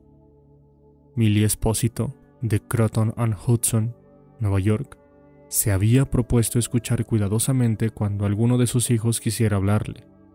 Una noche, estaba sentada en la cocina con su hijo Robert. Y después de una breve exposición de algo que tenía en mente, Robert dijo, Mamá, yo sé que tú me quieres mucho. La señora Espósito, conmovida, dijo, Por supuesto que te quiero mucho. ¿Acaso lo dudabas? No, respondió Robert. Pero sé que realmente me quieres porque cada vez que quiero hablarte sobre cualquier cosa, tú dejas de hacer cualquier cosa que estés haciendo y me escuchas. El protestador crónico, aún el crítico más violento, se suavizará y apaciguará frecuentemente en presencia de un oyente que muestre paciencia y simpatía. Un oyente que guarde silencio en tanto el iracundo protestador se dilate como una cobra y suelte el veneno de su sistema. Un ejemplo, la compañía telefónica de Nueva York descubrió hace pocos años que tenía que vérselas con un cliente furioso y amigo de maldecir a las telefonistas. Y como las maldecía, insultaba, amenazaba hacer pedazos el teléfono. Se negaba a pagar ciertas cuentas que decía eran falsas. Escribía cartas a los diarios, formuló quejas numerosas a la Comisión de Servicios Públicos e inició varios juicios contra la compañía. Por fin, uno de los más hábiles francotiradores de la empresa fue enviado a entrevistar al cliente. El francotirador escuchó y dejó que el iracundo gozara en la expresión de sus quejas. El empleado escuchó y dijo, sí, y demostró su simpatía. Siguió gritando y yo escuchando durante casi tres horas, relataba el francotirador ante nuestra clase. Volví a verlo y seguí escuchando. Lo entrevisté cuatro veces y antes de terminar la cuarta visita, me había convertido en socio de una organización que iba a iniciar. Era la Asociación Protectora de Abonados Telefónicos. Todavía soy miembro de la organización, y por cuanto he podido saber, soy el único fuera del señor X. Yo lo escuché y le di la razón en cada uno de los puntos que suscitó en esas conversaciones. Hasta entonces, ningún empleado telefónico lo había entrevistado en esa forma, y por fin se hizo muy amigo mío. Durante la primera visita no se mencionó el asunto por el cual lo iba a ver. Lo mismo ocurrió en la segunda y en la tercera pero en la cuarta entrevista dejé completamente resuelto el caso. Cobré todas las cuentas y, por primera vez en la historia de sus dificultades con la compañía telefónica, lo convencí de que retirara sus quejas ante la comisión. Es indudable que el señor X se consideraba el iniciador de una santa cruzada en defensa de los derechos del público contra la explotación inicua, pero, en realidad, lo que quería era sentirse importante. Lo conseguía protestando y quejándose, pero tan pronto como su deseo de importancia fue satisfecho por un representante de la empresa, sus presuntos inconvenientes se desvanecieron del todo. Una mañana, hace años, un furioso cliente penetró en la oficina de Julian F. Dittmer, fundador de la Dittmer Woolen Company, que después llegó a ser la empresa más grande dedicada a la distribución de tejidos de lana a sastrerías. Este hombre, me explicaba el señor Dittmer, nos debía 15 dólares. El cliente lo negaba, pero nosotros sabíamos que estaba errado. Nuestro departamento de crédito insistía, pues, en que pagara. Después de recibir una cantidad de cartas de ese departamento, hizo su equipaje, viajó hasta Chicago y corrió a mi oficina para informarnos no solamente de que no iba a pagar esa cuenta, sino que jamás lo veríamos comprar una sola cosa más en la Dietmar Holding Company. Escuché pacientemente todo lo que dijo. Sentí tentaciones de interrumpirlo, pero comprendí que eso sería una mala política. Lo dejé hablar y hablar, pues, hasta que se agotó. Cuando por fin se calmó y pareció del mejor talante, le dije, Quiero agradecerle que haya venido a Chicago para decirme esto. Me ha hecho un gran favor porque si nuestro departamento de crédito lo molesta, es posible que también moleste a otros buenos clientes, y tal cosa nos perjudicaría. Créame, estoy más contento de oír esto que usted de decirlo. Aquello era lo último que esperaba que le dijera. Creo que quedó un poco decepcionado, porque había ido a Chicago para decirme unas cuantas verdades y se encontraba con que yo le estaba agradecido, en lugar de enojado. Le aseguré que dejaríamos sin efecto la presunta deuda, porque el cliente era un hombre muy cuidadoso, con una sola cuenta que vigilar, en tanto que nuestros empleados tenían que vigilar miles de cuentas. Por lo tanto, era muy probable que él tuviera razón y nosotros nos equivocáramos. Le dije que comprendí exactamente su punto de vista y que, en su lugar, yo habría procedido indudablemente igual que él. Y como no quería comprarnos más mercancías, le recomendé otras fábricas de tejidos. En ocasiones anteriores habíamos almorzado juntos cuando iba a Chicago, y esta vez lo invité a almorzar. Aceptó de mala gana, pero cuando volvimos a la oficina nos hizo un pedido mayor que en cualquier ocasión anterior. Volvió a su ciudad mucho más tranquilo, y, por el deseo de ser tan justo como habíamos sido nosotros, revisó sus libros, encontró una boleta extraviada y nos envió un cheque con una nota en que pedía disculpas. Posteriormente, cuando su mujer le dio un hijito, lo bautizó con el nombre de Dietmar y siguió siendo amigo y cliente de nuestra casa hasta que murió. 22 años más tarde.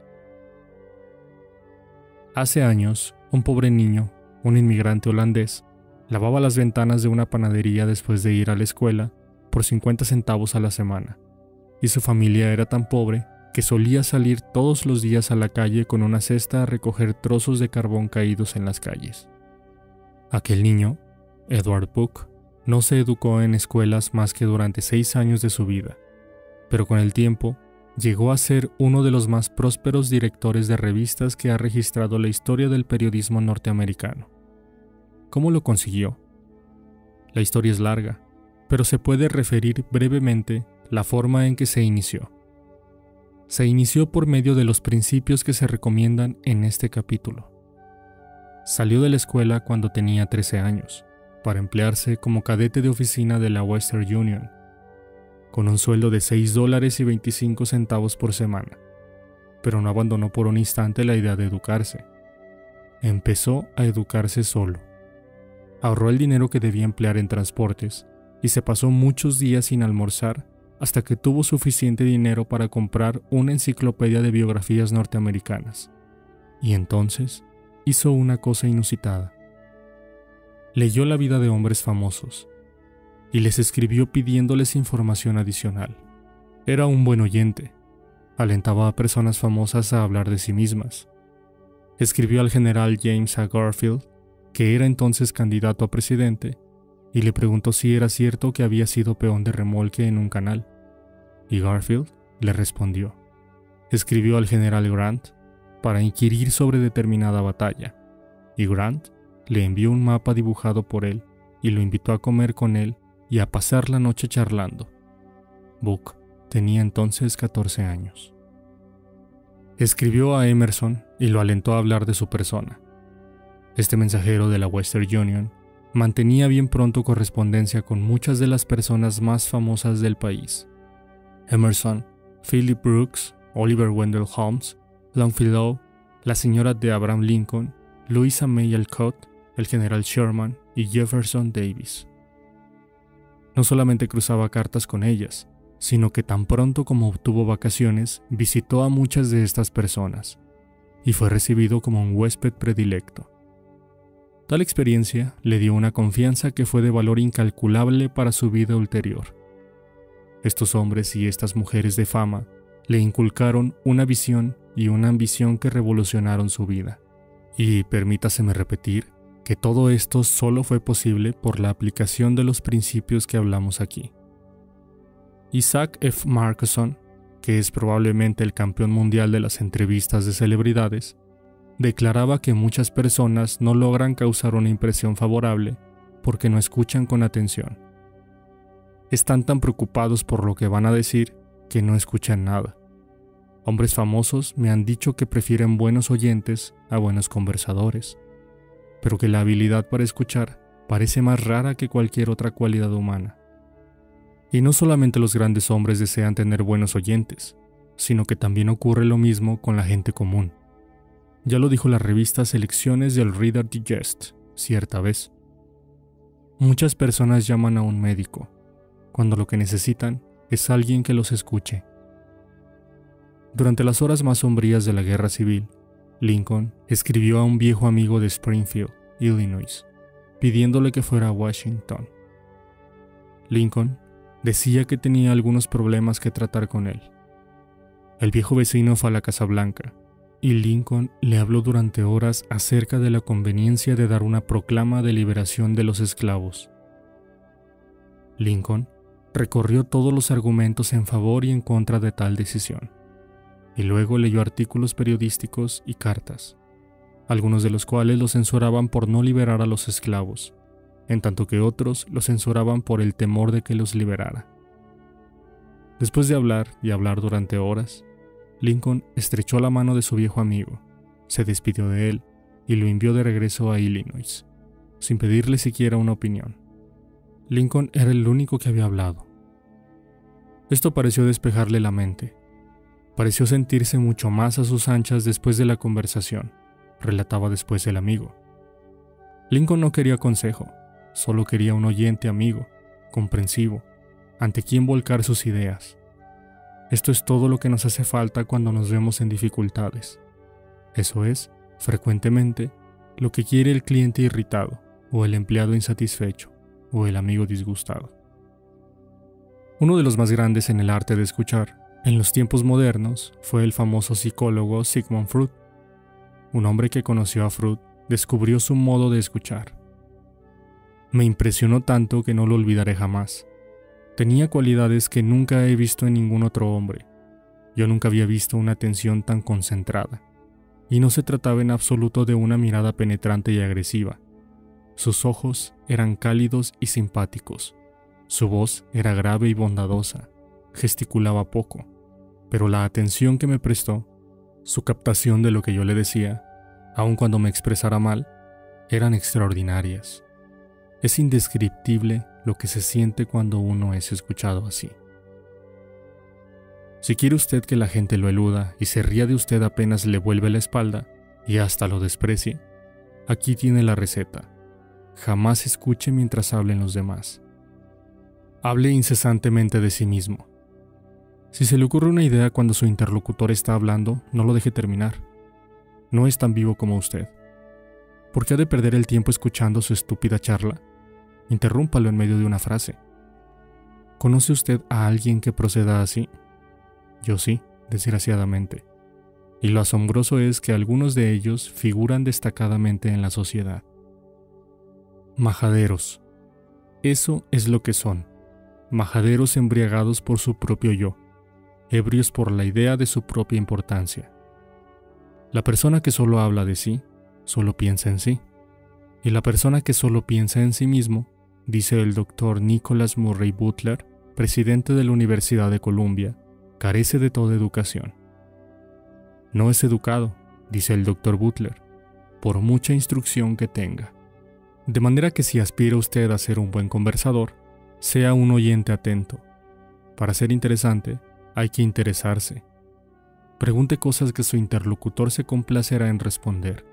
Aliéntelo a hablar de sí mismo y de sus experiencias. Recuerde que la persona con quien habla usted está cien veces más interesada en sí misma y en sus necesidades y sus problemas que en usted y sus problemas. Su dolor de muelas le importa más que una epidemia que mate a un millón de personas en China. Un forúnculo en el cuello significa para él una catástrofe mayor que 40 terremotos en África. Piense en eso la próxima vez que inicie una conversación. Regla número 4. Sea un buen oyente. Anime a los demás a que hablen de sí mismos.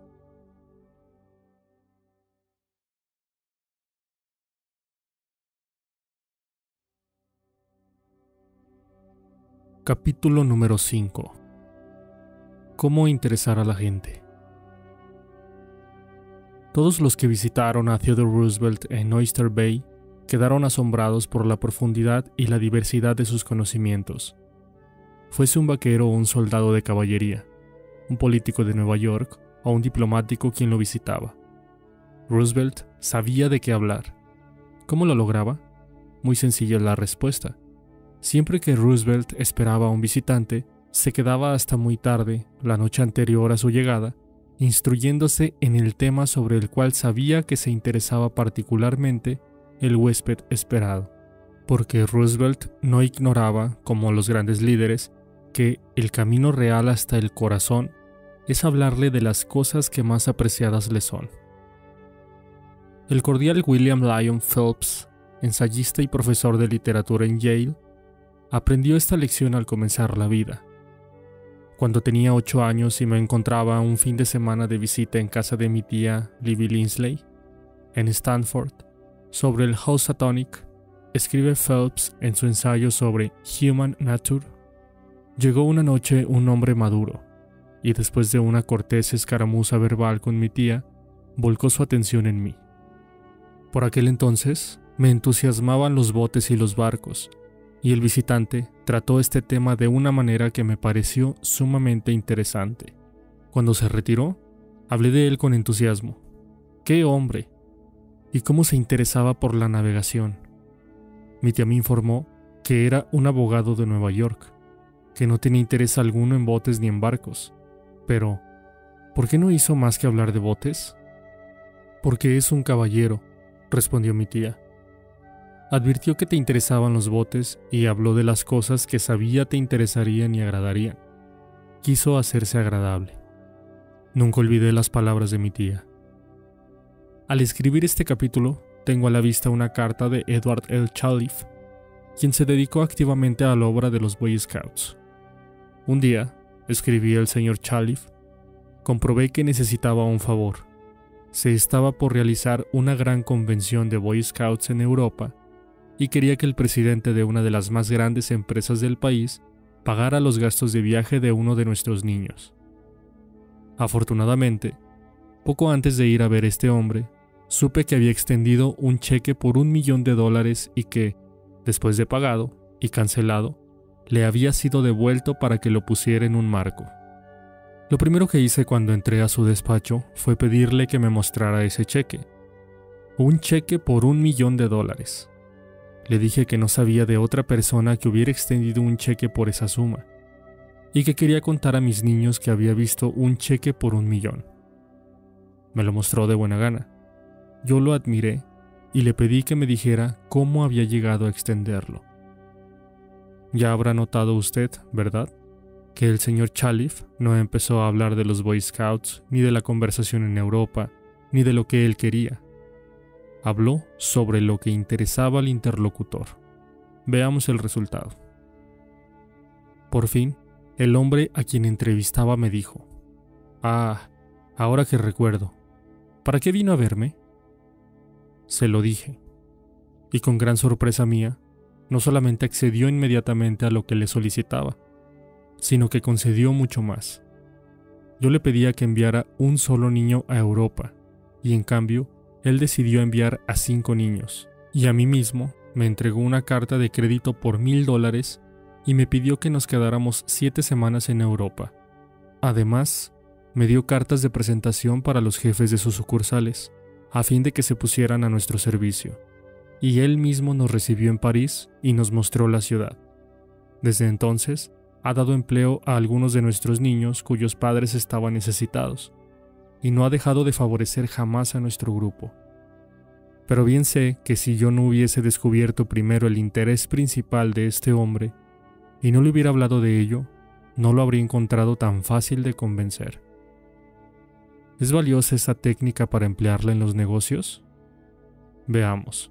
Tomemos el ejemplo de Henry G. Duvernoy, de la empresa Duvernoy Sons, una de las mejores panaderías de Nueva York el señor Duvernoy quería vender pan a cierto hotel de la ciudad.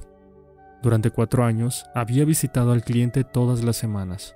Asistía a las mismas fiestas que el gerente. Le hablaba en todas partes. Hasta tomó habitaciones en el hotel y vivió allí para tratar de hacer el negocio, pero todo sin resultado. Entonces, nos dijo el señor Duvernoy, estudié relaciones humanas y resolví cambiar de táctica decidí investigar qué interesaba a este hombre, qué despertaba su entusiasmo. Descubrí que pertenecía a una sociedad de hoteleros llamada Hotel Greeters. No solamente pertenecía a ella, sino que, merced a su gran entusiasmo, se le había llevado a la presidencia de la organización y también a la de la entidad internacional. En cualquier parte donde se efectuaran las convenciones, este hombre asistía siempre, aunque tuviese que volar sobre montañas o cruzar desiertos y mares. Así pues, apenas lo vi, al día siguiente, empecé a hablarle de la entidad. ¿Qué respuesta obtuve? Me habló durante media hora acerca de aquel tema, vibrante de entusiasmo. Advertí fácilmente que esta sociedad era su pasatiempo, la pasión de su vida. Antes de salir de su oficina, ya me había convencido de que fuera socio de su organización, pero yo no había hablado una palabra del pan. Y unos días más tarde, un empleado del hotel me habló por teléfono para que enviara muestras y precios de nuestro producto. No sé, me dijo el empleado, qué ha hecho con el gerente, pero lo cierto es que está tan encantado con usted. Imagínese, durante cuatro años había perseguido a aquel gerente procurando que me comprara nuestros productos. Y todavía lo seguiría buscando si por fin no me hubiese tomado el leve trabajo de saber qué le interesaba y de qué le gustaba hablar. Edward E. Harriman, de Hagerstown, Maryland, decidió vivir en el hermoso valle de Cumberland de Maryland, después de completar su servicio militar. Lamentablemente, en aquel momento había pocos empleos disponibles en la zona, una pequeña investigación sacó a la luz el hecho de que muchas empresas de la región eran propiedad de un hombre que había triunfado espectacularmente en el mundo de los negocios, R. J. Funkhauser, cuyo ascenso de la pobreza a la opulencia intrigó al señor Harriman. No obstante, este empresario tenía fama de inaccesible para la gente que buscaba empleo. El señor Harriman nos escribió. Entrevisté a bastante gente, y descubrí que todos los intereses de Funkhauser estaban concentrados en su actividad tras el poder y el dinero. Como se protegía de la gente como yo por medio de una secretaria leal y severa, estudié los intereses y objetivos de ella, y recién entonces hice una visita sin anuncio previo a su oficina. Desde hacía unos 15 años, esta mujer había sido el satélite que giraba en la órbita del señor Funkhauser. Cuando le dije que tenía una proposición para él, que podía resultar en un crédito financiero y político, se interesó. También conversé con ella sobre su participación constructiva en el éxito de su patrón. Después de esta conversación, me concedió una cita con Funkhauser. Entré en su enorme e impresionante oficina, decidido a no pedir directamente un empleo. El hombre estaba sentado detrás de un gigantesco escritorio, y no bien me vio, tronó. ¿Qué pasa con usted, jovencito? Señor Funkhauser, le dije. Creo que puedo hacerle ganar dinero. Inmediatamente se levantó y me invitó a sentarme en uno de los sillones. Le hice una lista de mis ideas y también de los antecedentes personales que me ponían en condiciones de hacer realidad esas ideas, subrayando los aspectos en que podrían contribuir a su éxito personal y al de sus empresas. RJ como llegué a conocerlo después, me contrató al instante. Y durante 20 años he trabajado para él y he prosperado junto con sus empresas.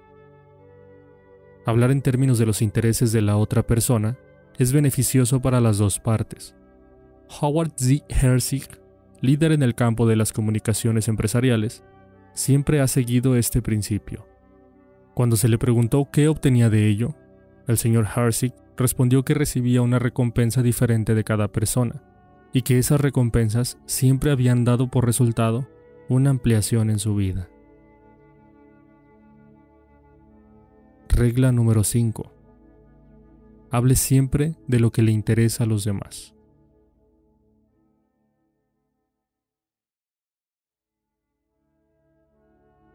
Capítulo número 6 cómo hacerse agradable ante las personas instantáneamente.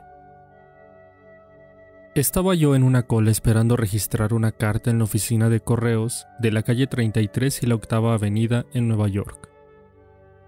Noté que el empleado de la ventanilla se hallaba aburrido de su tarea. Pesar sobres, entregar los sellos, dar el cambio, escribir los recibos, la misma faena, monótonamente, año tras año. Me dije pues, voy a tratar de agradar a este hombre. Evidentemente, para conseguirlo, debo decir algo agradable, no de mí, sino de él. ¿Qué hay en él que se pueda admirar honradamente?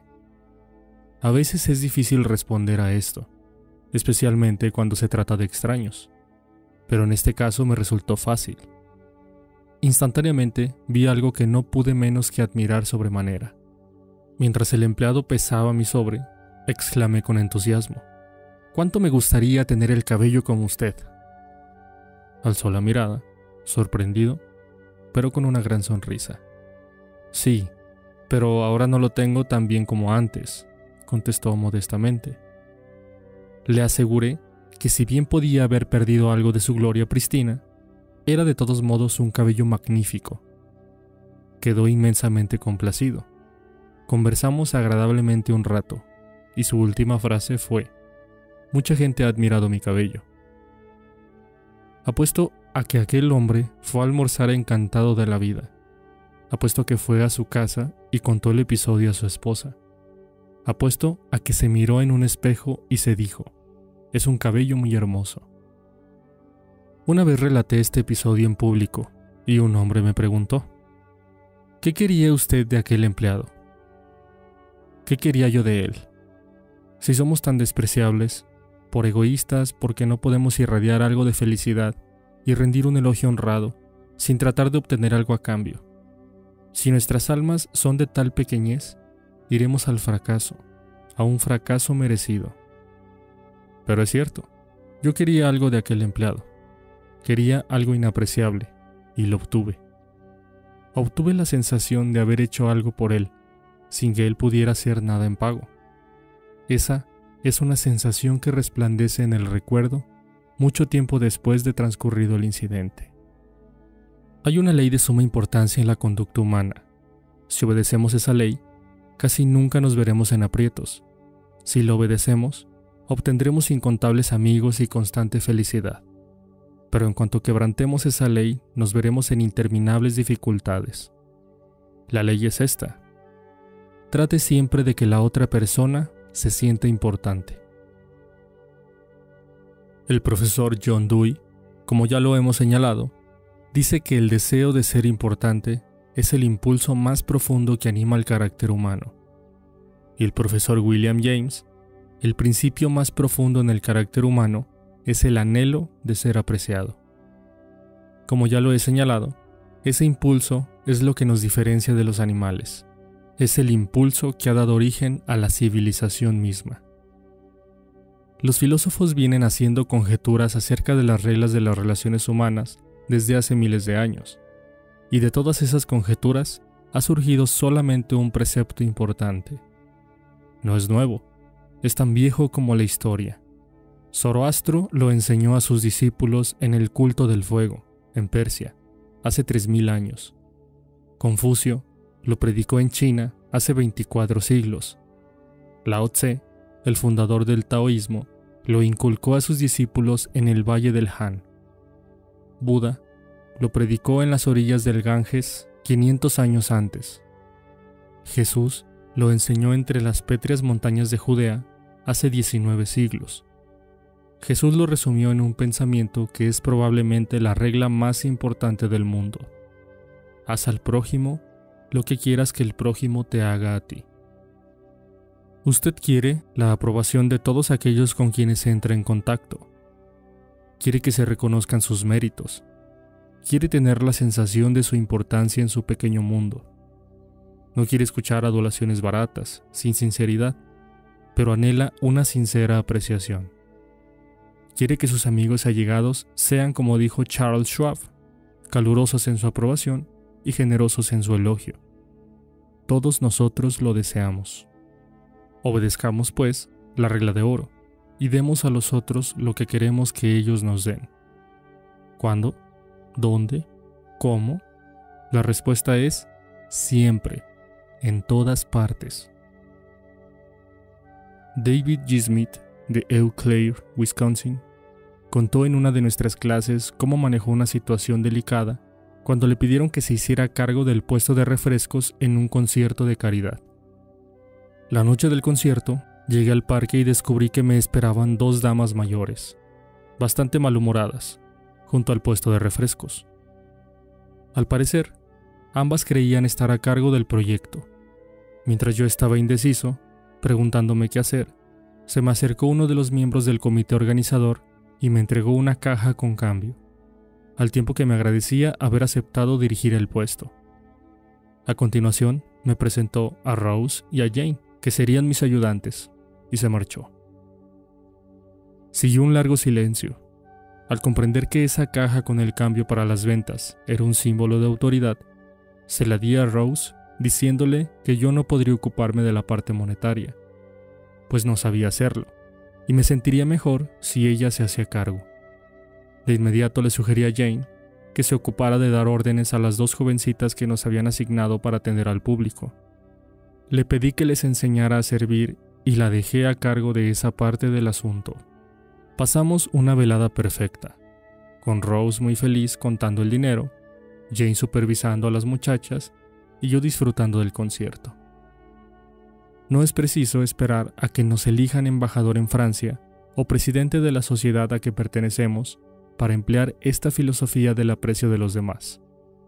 Casi todos los días se pueden obtener resultados mágicos con ella. Si por ejemplo, la camarera nos trae puré de papas cuando hemos pedido papas fritas a la francesa, digámosle, siento tener que molestarla, pero prefiero las papas a la francesa. Ella responderá, no es molestia, y se complacerá en satisfacernos, porque hemos demostrado respeto por ella. Frases insignificantes como lamento molestarlo, ¿tendría usted la bondad de? ¿Quiere hacer el favor de? ¿Tendría usted la gentileza o gracias? Pequeñas cortesías como estas sirven para aceitar las ruedas del monótono mecanismo de la vida diaria y de paso son la seña de la buena educación. Busquemos otro ejemplo. Las novelas del Hal Caine fueron grandes bestsellers en las primeras décadas del siglo. Millones de personas las han leído. Era hijo de un herrero. No fue a la escuela más que ocho años y sin embargo, cuando murió, era el literato más rico de su época. Su historia es así. Hal Caine tenía predilección por los sonetos y baladas, y devoraba toda la poesía de Dante Gabriel Rossetti. Hasta escribió un artículo en que formulaba el elogio de las realizaciones artísticas del poeta, y envió una copia al mismo Rossetti. Rossetti quedó encantado, y lo probable es que se dijera, un joven que tiene tan elevada opinión de mis condiciones debe ser un joven brillante. Rossetti invitó, pues, al hijo del herrero a que fuese a Londres y trabajara como secretario suyo. Fue aquel el vuelco mayor en la vida de Hall Caine, porque, en su nuevo cargo, conoció a los artistas literarios del momento. Siguiendo sus consejos e inspirado por sus recomendaciones, se lanzó a una carrera que hizo lucir su nombre en el cielo de la literatura. Su hogar, Greeba Castle, en la isla del hombre, llegó a ser la meca de los turistas de todo el mundo, y cuando murió dejó una herencia de muchos millones de dólares. Pero quizá habría muerto pobre y desconocido si no hubiese expresado su admiración por un hombre famoso. Tal es el poder, el poder estupendo de la apreciación sincera. Rossetti se consideraba importante, y esto no es extraño, pues casi todos nos consideramos importantes, muy importantes. Para que la vida de una persona cambie totalmente, puede bastar que alguien le haga sentir importante. Ronald J. Rowland, que es uno de los instructores de nuestro curso en California, es también maestro de artes y oficios. Nos escribió sobre un estudiante de su clase introductora de artesanías llamado Chris. Chris era un chico muy callado y muy tímido desprovisto de toda confianza en sí mismo. La clase de estudiante que suele no recibir la atención que merece. Yo doy también una clase avanzada que se ha transformado en una especie de símbolo de estatus, pues es un privilegio muy especial que un estudiante se gane el derecho de asistir a ella. Un miércoles, Chris estaba trabajando con mucho empeño en su mesa. Yo sentía auténticamente que dentro de él ardía un fuego oculto, le pregunté si no le gustaría asistir a la clase avanzada. ¿Cómo me gustaría que hubieran visto la cara de Chris en ese momento? las emociones que embargaban a ese tímido muchachito de 14 años, cómo trataba de contener las lágrimas. ¿En serio, señor Rowland? ¿Haré buen papel? Sí, Chris, eres muy bueno. En ese momento tuve que alejarme, porque sentía lágrimas en mis propios ojos. Cuando Chris salió de la clase ese día, parecía 10 centímetros más alto. Me miró con ojos brillantes y me dijo con voz firme, Gracias, señor Rowland. Chris me enseñó una lección que no olvidaré nunca, que en todos nosotros existe un deseo profundo de sentirnos importantes. Para ayudarme a no olvidarlo nunca, hice un cartel que dice, Eres importante.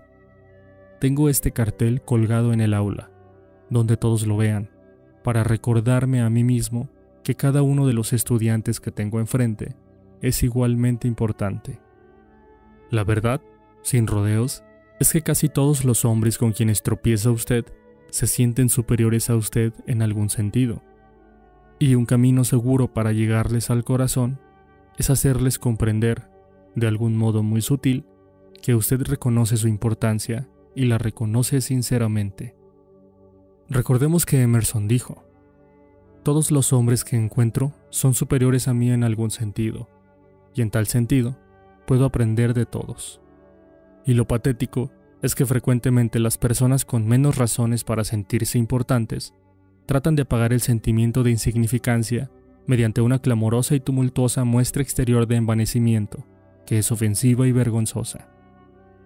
En palabras de Shakespeare, hombre, prodigio de soberbia, investido de su fugaz autoridad, realiza proezas tan fantásticas a la vista de los altos cielos, que los ángeles lloran de pena. Voy a narrar ahora cómo varios hombres de negocios que seguían mis cursos han aplicado estos principios con notables resultados. Tomemos primero el caso de un abogado de Connecticut, que prefiere que no mencionemos su nombre a causa de sus parientes. Lo llamaremos señor R. Poco después de iniciar nuestro curso, fue en automóvil con su esposa a visitar a algunos parientes de esta en Long Island. La esposa lo dejó en casa de una anciana tía y se fue sola a visitar a otros parientes más jóvenes. Como nuestro hombre tenía que pronunciar en nuestro curso una conferencia sobre la forma en que aplicaba el principio de apreciar la importancia de las otras personas, consideró que podría empezar con la anciana. Miró, pues, a su alrededor para ver qué podía admirar honradamente. Esta casa fue construida alrededor de 1890, ¿verdad? preguntó. Sí, respondió la anciana. Precisamente en ese año la construyeron. Me recuerda mucho la casa en que nací. Es hermosa, bien construida, amplia. Bien sabemos que ya no construyen casas así. Tiene razón. La gente de hoy no tiene interés por las casas hermosas. Todo lo que quieren es un departamentito y una heladera eléctrica. Nunca están en casa, siempre paseando en sus automóviles. Esta es una casa de ensueño, prosiguió la anciana, con voz vibrante por los recuerdos. Fue construida con amor. Mi marido y yo soñábamos con ella mucho antes de construirla. No llevamos a un arquitecto, lo planeamos por nuestra cuenta. Le mostró después toda la casa, y nuestro amigo expresó su calurosa admiración por todos los tesoros que la anciana había recogido en sus viajes durante toda su vida. Mantillas de encaje, un viejo juego de té inglés, porcelana de Whitwood, camas y sillas francesas, pinturas italianas y cortinados de seda que habían pertenecido a un castillo francés. Después de mostrarle toda la casa, la anciana llevó al señor R al garage. Allí colocado sobre tacos de madera, había un automóvil Packard, casi nuevo. Mi marido compró ese coche poco antes de morir, dijo dulcemente la anciana. No se lo ha usado después de su muerte. Usted aprecia las cosas bellas, y le voy a regalar este automóvil. Pero tía, protestó el señor R. Me abruma usted. Es claro que agradezco su generosidad, pero no podría aceptarlo. No soy siquiera pariente suyo. Tengo un automóvil nuevo, y usted tiene muchos parientes a quienes les gustaría ese Packard.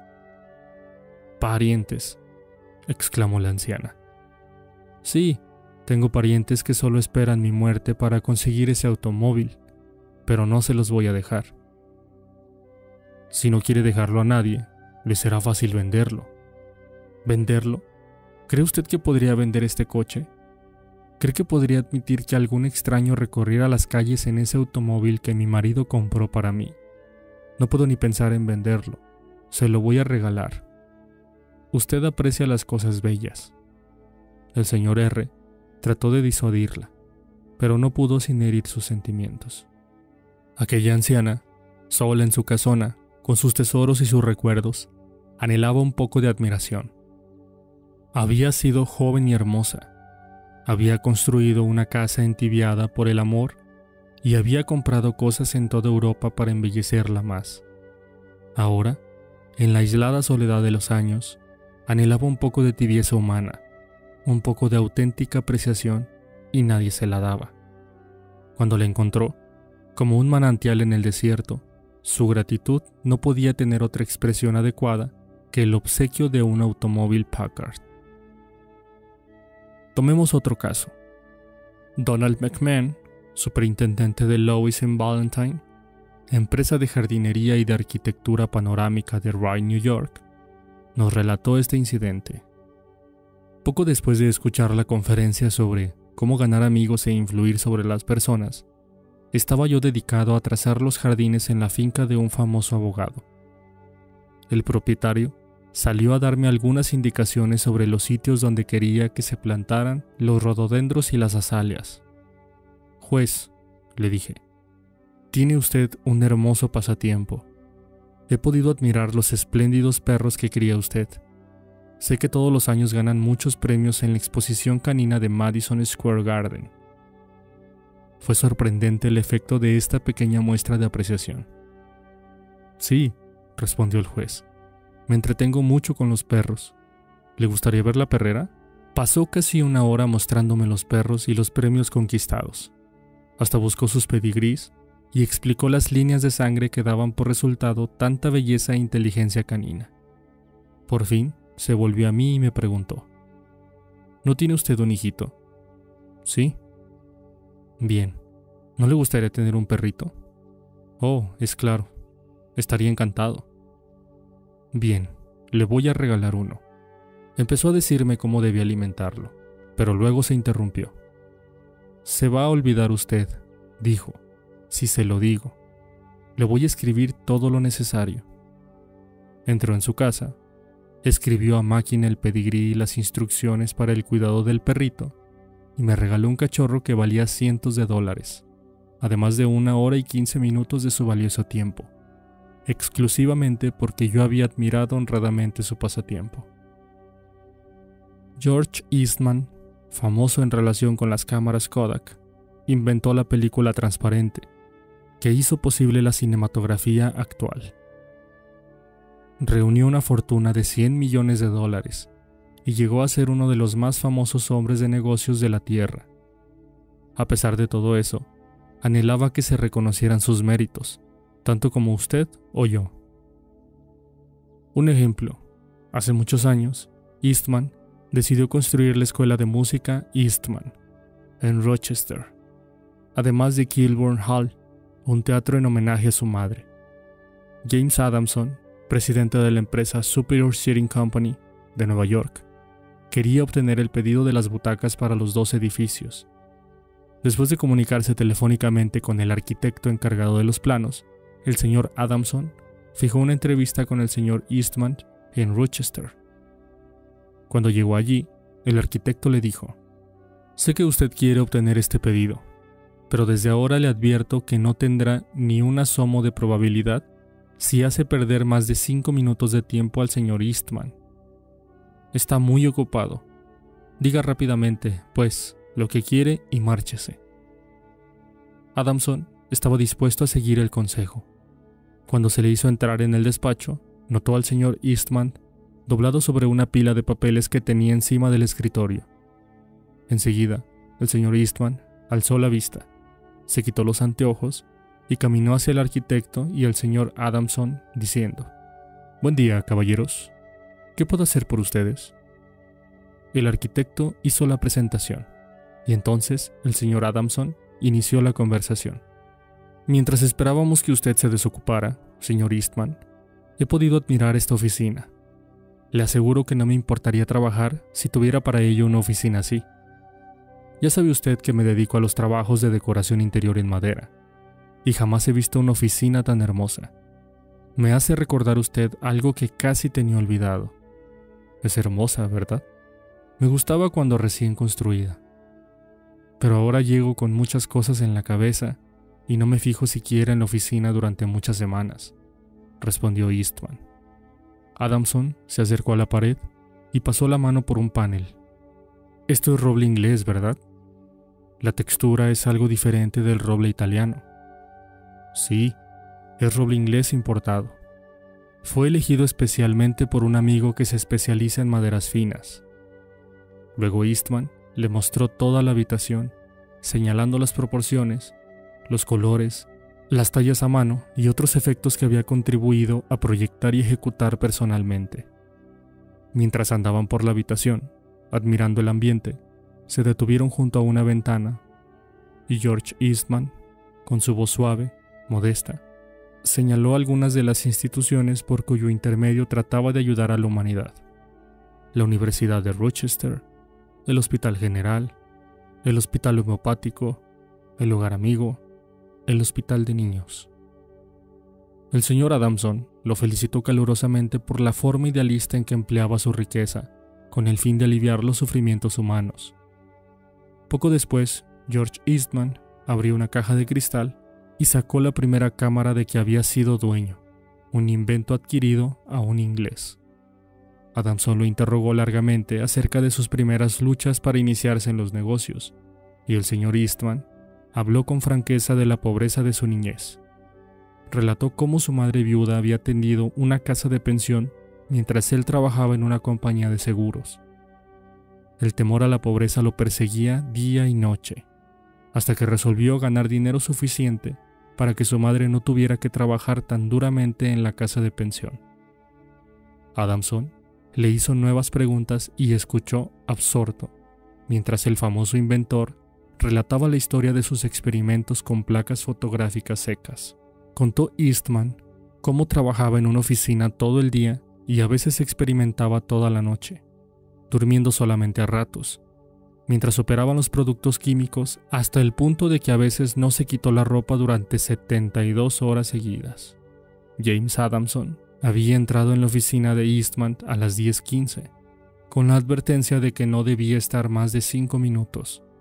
Pero pasó una hora, pasaron dos horas, y seguían hablando. Por fin, George Eastman se volvió a Adamson y le dijo, La última vez que estuve en el Japón, compré unas sillas. Las traje y las puse en la Galería del Sol, pero el sol ha despellejado la pintura, y el otro día fui a la ciudad Compré pintura y pinté yo mismo las sillas. ¿Le gustaría ver qué tal soy como pintor? Bueno, venga a casa a almorzar y se las mostraré. Después del almuerzo, el señor Eastman mostró a Adamson las sillas que había comprado en el Japón. No valían más de unos pocos dólares, pero George Eastman, que había ganado 100 millones en los negocios, estaba orgulloso de sus sillas porque él mismo las había pintado. El pedido de butacas representaba una suma de 90 mil dólares. ¿Quién les parece que lo consiguió? ¿James Adamson o un competidor? Desde aquel día, hasta la muerte del señor Eastman, James Adamson fue un íntimo amigo suyo. Claude Marais, dueño de un restaurante en Rouen, Francia, usó esta regla y salvó a su restaurante de la pérdida de un empleado importante. Se trataba de una mujer, que hacía cinco años que estaba para él y era un enlace esencial entre Marais y sus 22 empleados. Quedó muy perturbado al recibir el telegrama de ella anunciándole su renuncia. El señor Claude Marais nos contó.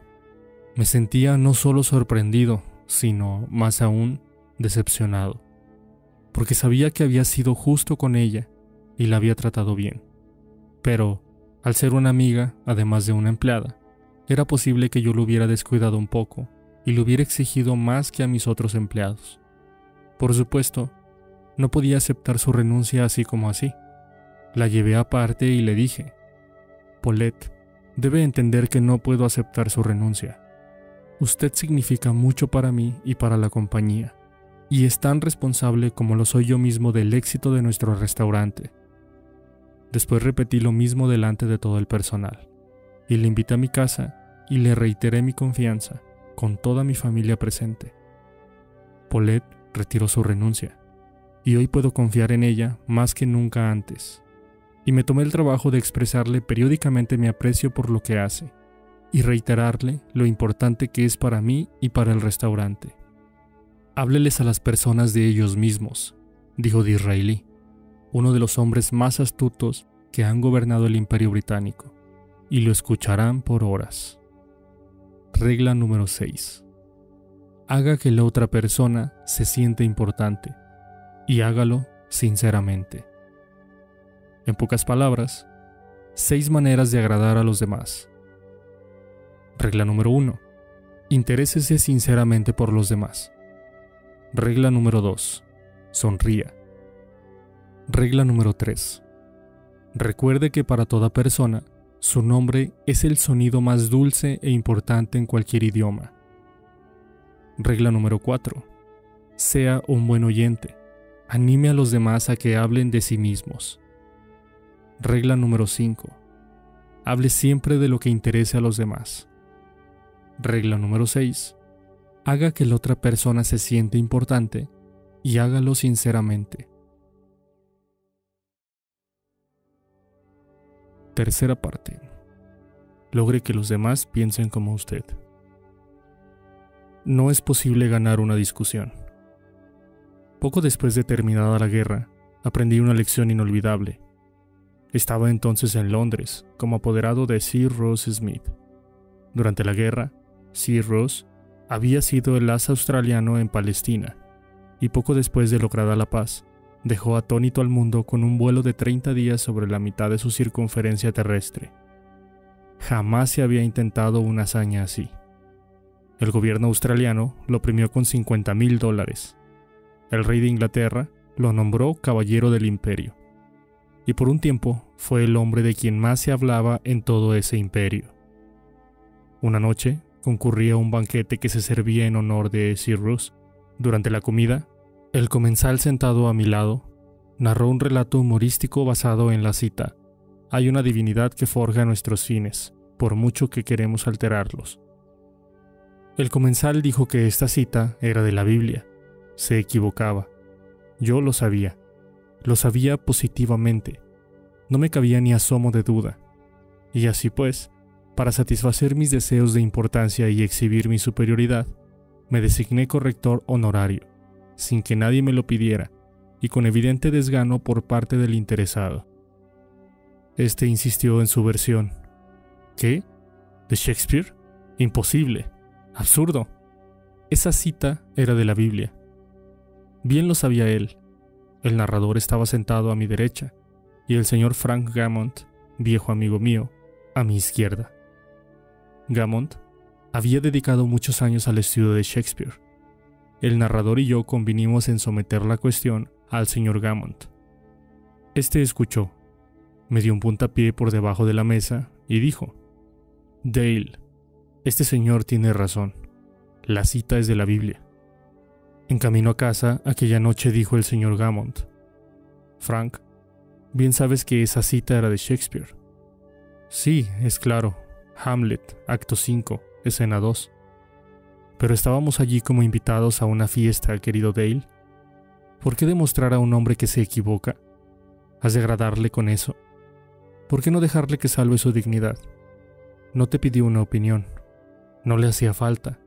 ¿Por qué discutir con él? Hay que evitar siempre el ángulo agudo. Ha muerto ya el hombre que dijo esto, pero la lección que me dio sigue en curso. Era una lección muy necesaria para mí, un discutidor inveterado. En mi juventud había discutido de todo con mi hermano. En el colegio estudié lógica y argumentación y participé en torneos de debate. Posteriormente, en Nueva York, dicté cursos sobre debate y argumentación. Y una vez, me avergüenza confesarlo, pensé escribir un libro sobre el tema. Desde entonces he escuchado, criticado participado y estudiado los efectos de miles de discusiones. Como resultado de todo ello, he llegado a la conclusión de que solo hay un modo de sacar la mejor parte de una discusión. Evitarla. Evitarla como se evitaría una víbora de cascabel o un terremoto. Nueve veces de cada diez, cuando termina la discusión, cada uno de los contenedores está más convencido que nunca de que la razón está de su parte. No se puede ganar una discusión. Es imposible porque, si se pierde, ya está perdida. Y si se gana, se pierde. ¿Por qué? Pues suponga usted que triunfa sobre el rival, que destruye sus argumentos y demuestra que es non compus mentis. ¿Y qué? ¿Se sentirá usted satisfecho? Pero, ¿y él? Le ha hecho sentirse inferior. Ha lastimado su orgullo. Ha hecho que se duela de ver que usted triunfa. Y un hombre convencido contra su voluntad sigue siendo de la misma opinión. Hace años, un belicoso irlandés llamado Patrick J. O'Hare ingresó en una de mis clases. Tenía poca instrucción, pero cómo le gustaba discutir. Había sido chofer y se inscribió en mis cursos porque trataba por entonces, sin mucho resultado, de vender camiones. Unas pocas preguntas permitieron destacar el hecho de que no hacía más que discutir y pelear con las personas a quienes quería vender sus camiones. Si un presunto comprador decía algo en contra de los camiones que vendía, Pat se enseguecía y se lanzaba al ataque. Él mismo nos lo contaba.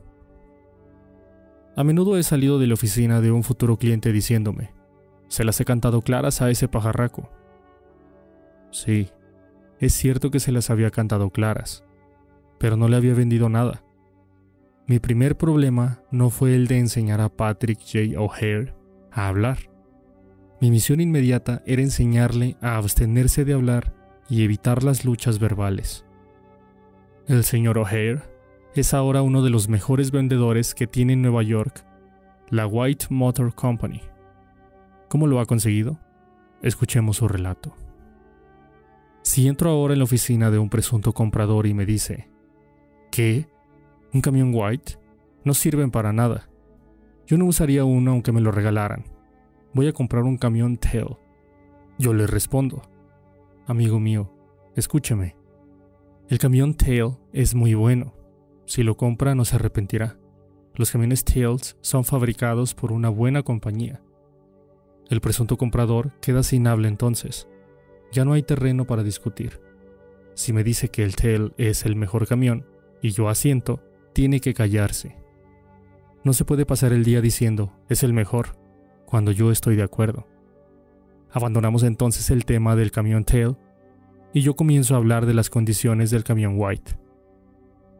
Hubo una época en que si una persona me hubiera hablado así, yo habría perdido el tino. Habría empezado a discutir contra el Tail y cuanto más hablara, tanto más discutiría el comprador en favor del rival, y cuanto más discutiera el comprador, tanto más fácil sería a los rivales vender su camión. Al recordar ahora aquellas cosas, me pregunto cómo pude vender jamás un camión. Perdí muchos años de mi vida por discutir y pelear. Ahora cierro la boca, da mejor resultado.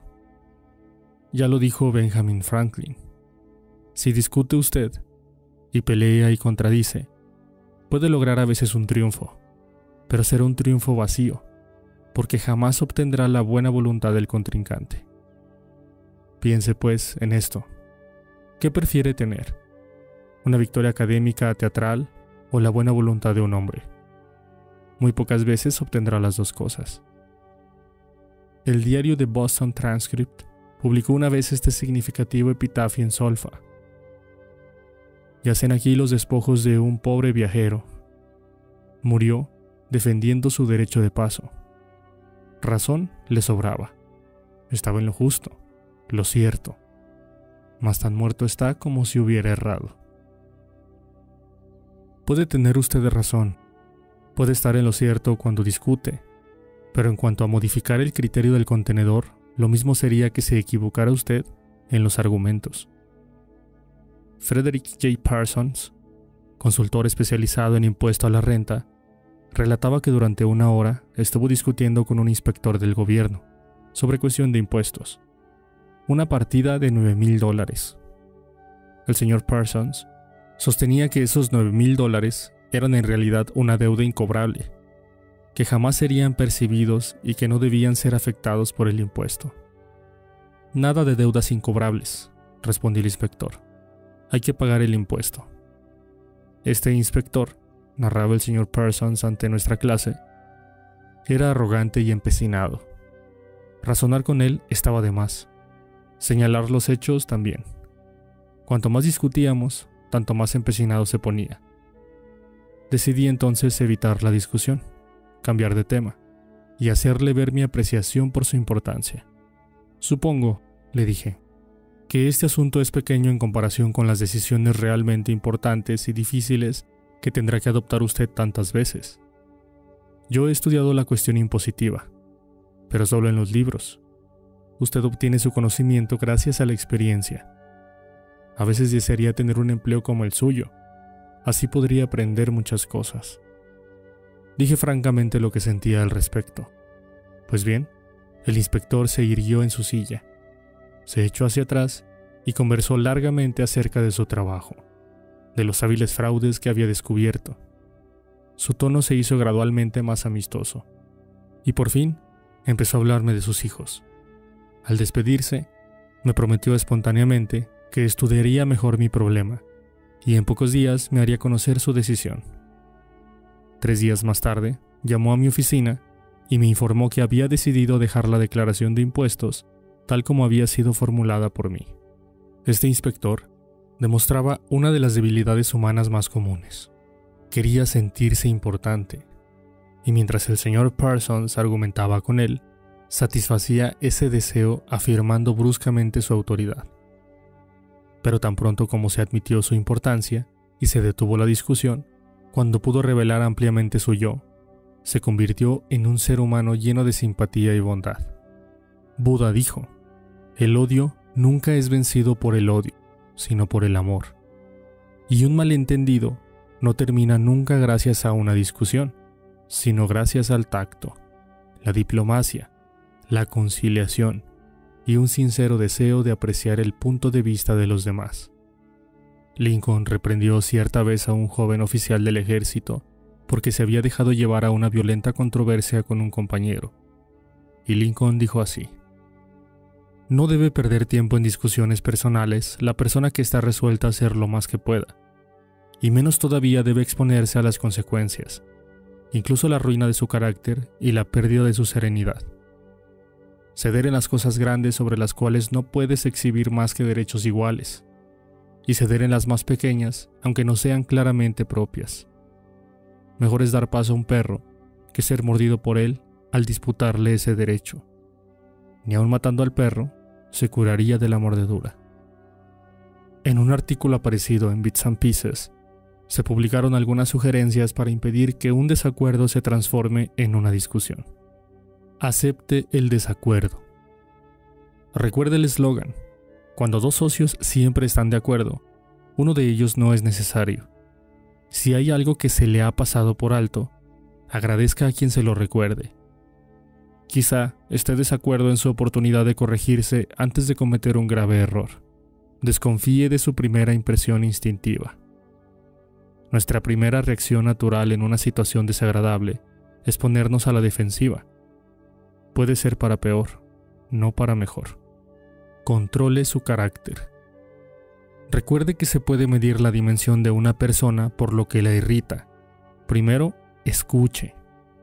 Dele a su oponente la oportunidad de hablar. Déjelo terminar. No se resista, defienda ni discuta. Eso solo levanta barreras. Trate de construir puentes de comprensión. No construya altos muros de incomprensión busque las áreas de acuerdo. Una vez que haya oído hasta el fin a su oponente, exponga antes que nada los puntos y áreas en que están de acuerdo. Sea honesto. Busque los puntos donde pueda admitir su error y hágalo. Discúlpese por sus errores. Eso desarmará a sus oponentes y reducirá la actitud defensiva. Prometa pensar y analizar con cuidado las ideas de sus oponentes. Y hágalo en serio. Sus oponentes pueden tener razón. Es mucho más fácil, en este estadio, acceder a pensar en sus posiciones, antes que avanzar a ciegas y verse después en una posición en que sus oponentes puedan decir, quisimos decírselo, pero usted no escuchó. Agradezca sinceramente a sus oponentes por su interés. Cualquiera que se tome el trabajo de presentar y sostener objeciones está interesado en lo mismo que usted. Piénselos como gente que realmente quiere ayudarlo y haga amigos de sus oponentes. Posponga la acción de modo que ambos bandos tengan tiempo de repensar el problema. Sugiere realizar otra reunión más tarde, ese mismo día, o al día siguiente, para presentar nuevos datos. Al prepararse para esta reunión, hágase algunas preguntas difíciles.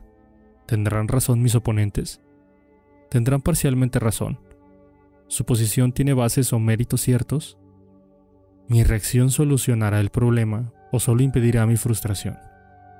¿Mi reacción acercará o alejará de mí a mis oponentes? ¿Mi reacción elevará la estima que me tiene la mejor gente? ¿Ganaré o perderé? ¿Qué precio tendré de pagar por ganar? Si no digo nada, el desacuerdo se desvanecerá. Esta ocasión tan difícil es una oportunidad para mí. John Peirce, el tenor de ópera, después de casi 50 años de matrimonio, observó. Hace mucho tiempo, mi esposa y yo hicimos un pacto que hemos mantenido a pesar de toda la furia que hemos podido llegar a sentir uno hacia el otro. Cuando uno grita, el otro escucha. Cuando dos personas gritan, no hay comunicación, solo ruido y malas vibraciones. Regla número 1.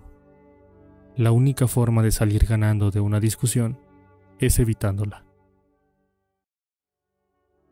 Capítulo número 2 un medio seguro de conquistar enemigos y cómo evitarlo.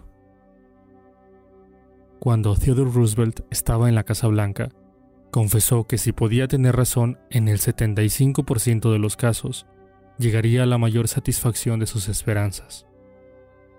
Si esa era la más alta porción que podía esperar uno de los hombres más distinguidos del siglo XX, ¿qué diremos usted y yo?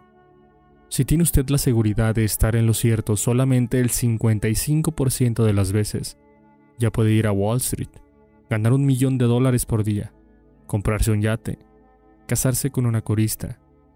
Y si no puede estar seguro de hallarse en lo cierto ni siquiera en el 55% de las veces, ¿por qué te decir a los demás que están equivocados?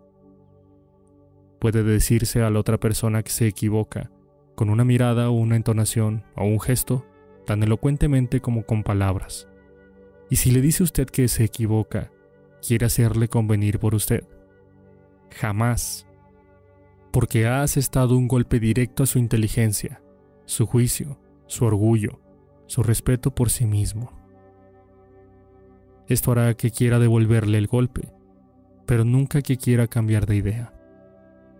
Podrá usted volcar sobre él toda la lógica de un Platón o de un Kant, pero no alterará sus opiniones, porque ha lastimado sus sentimientos.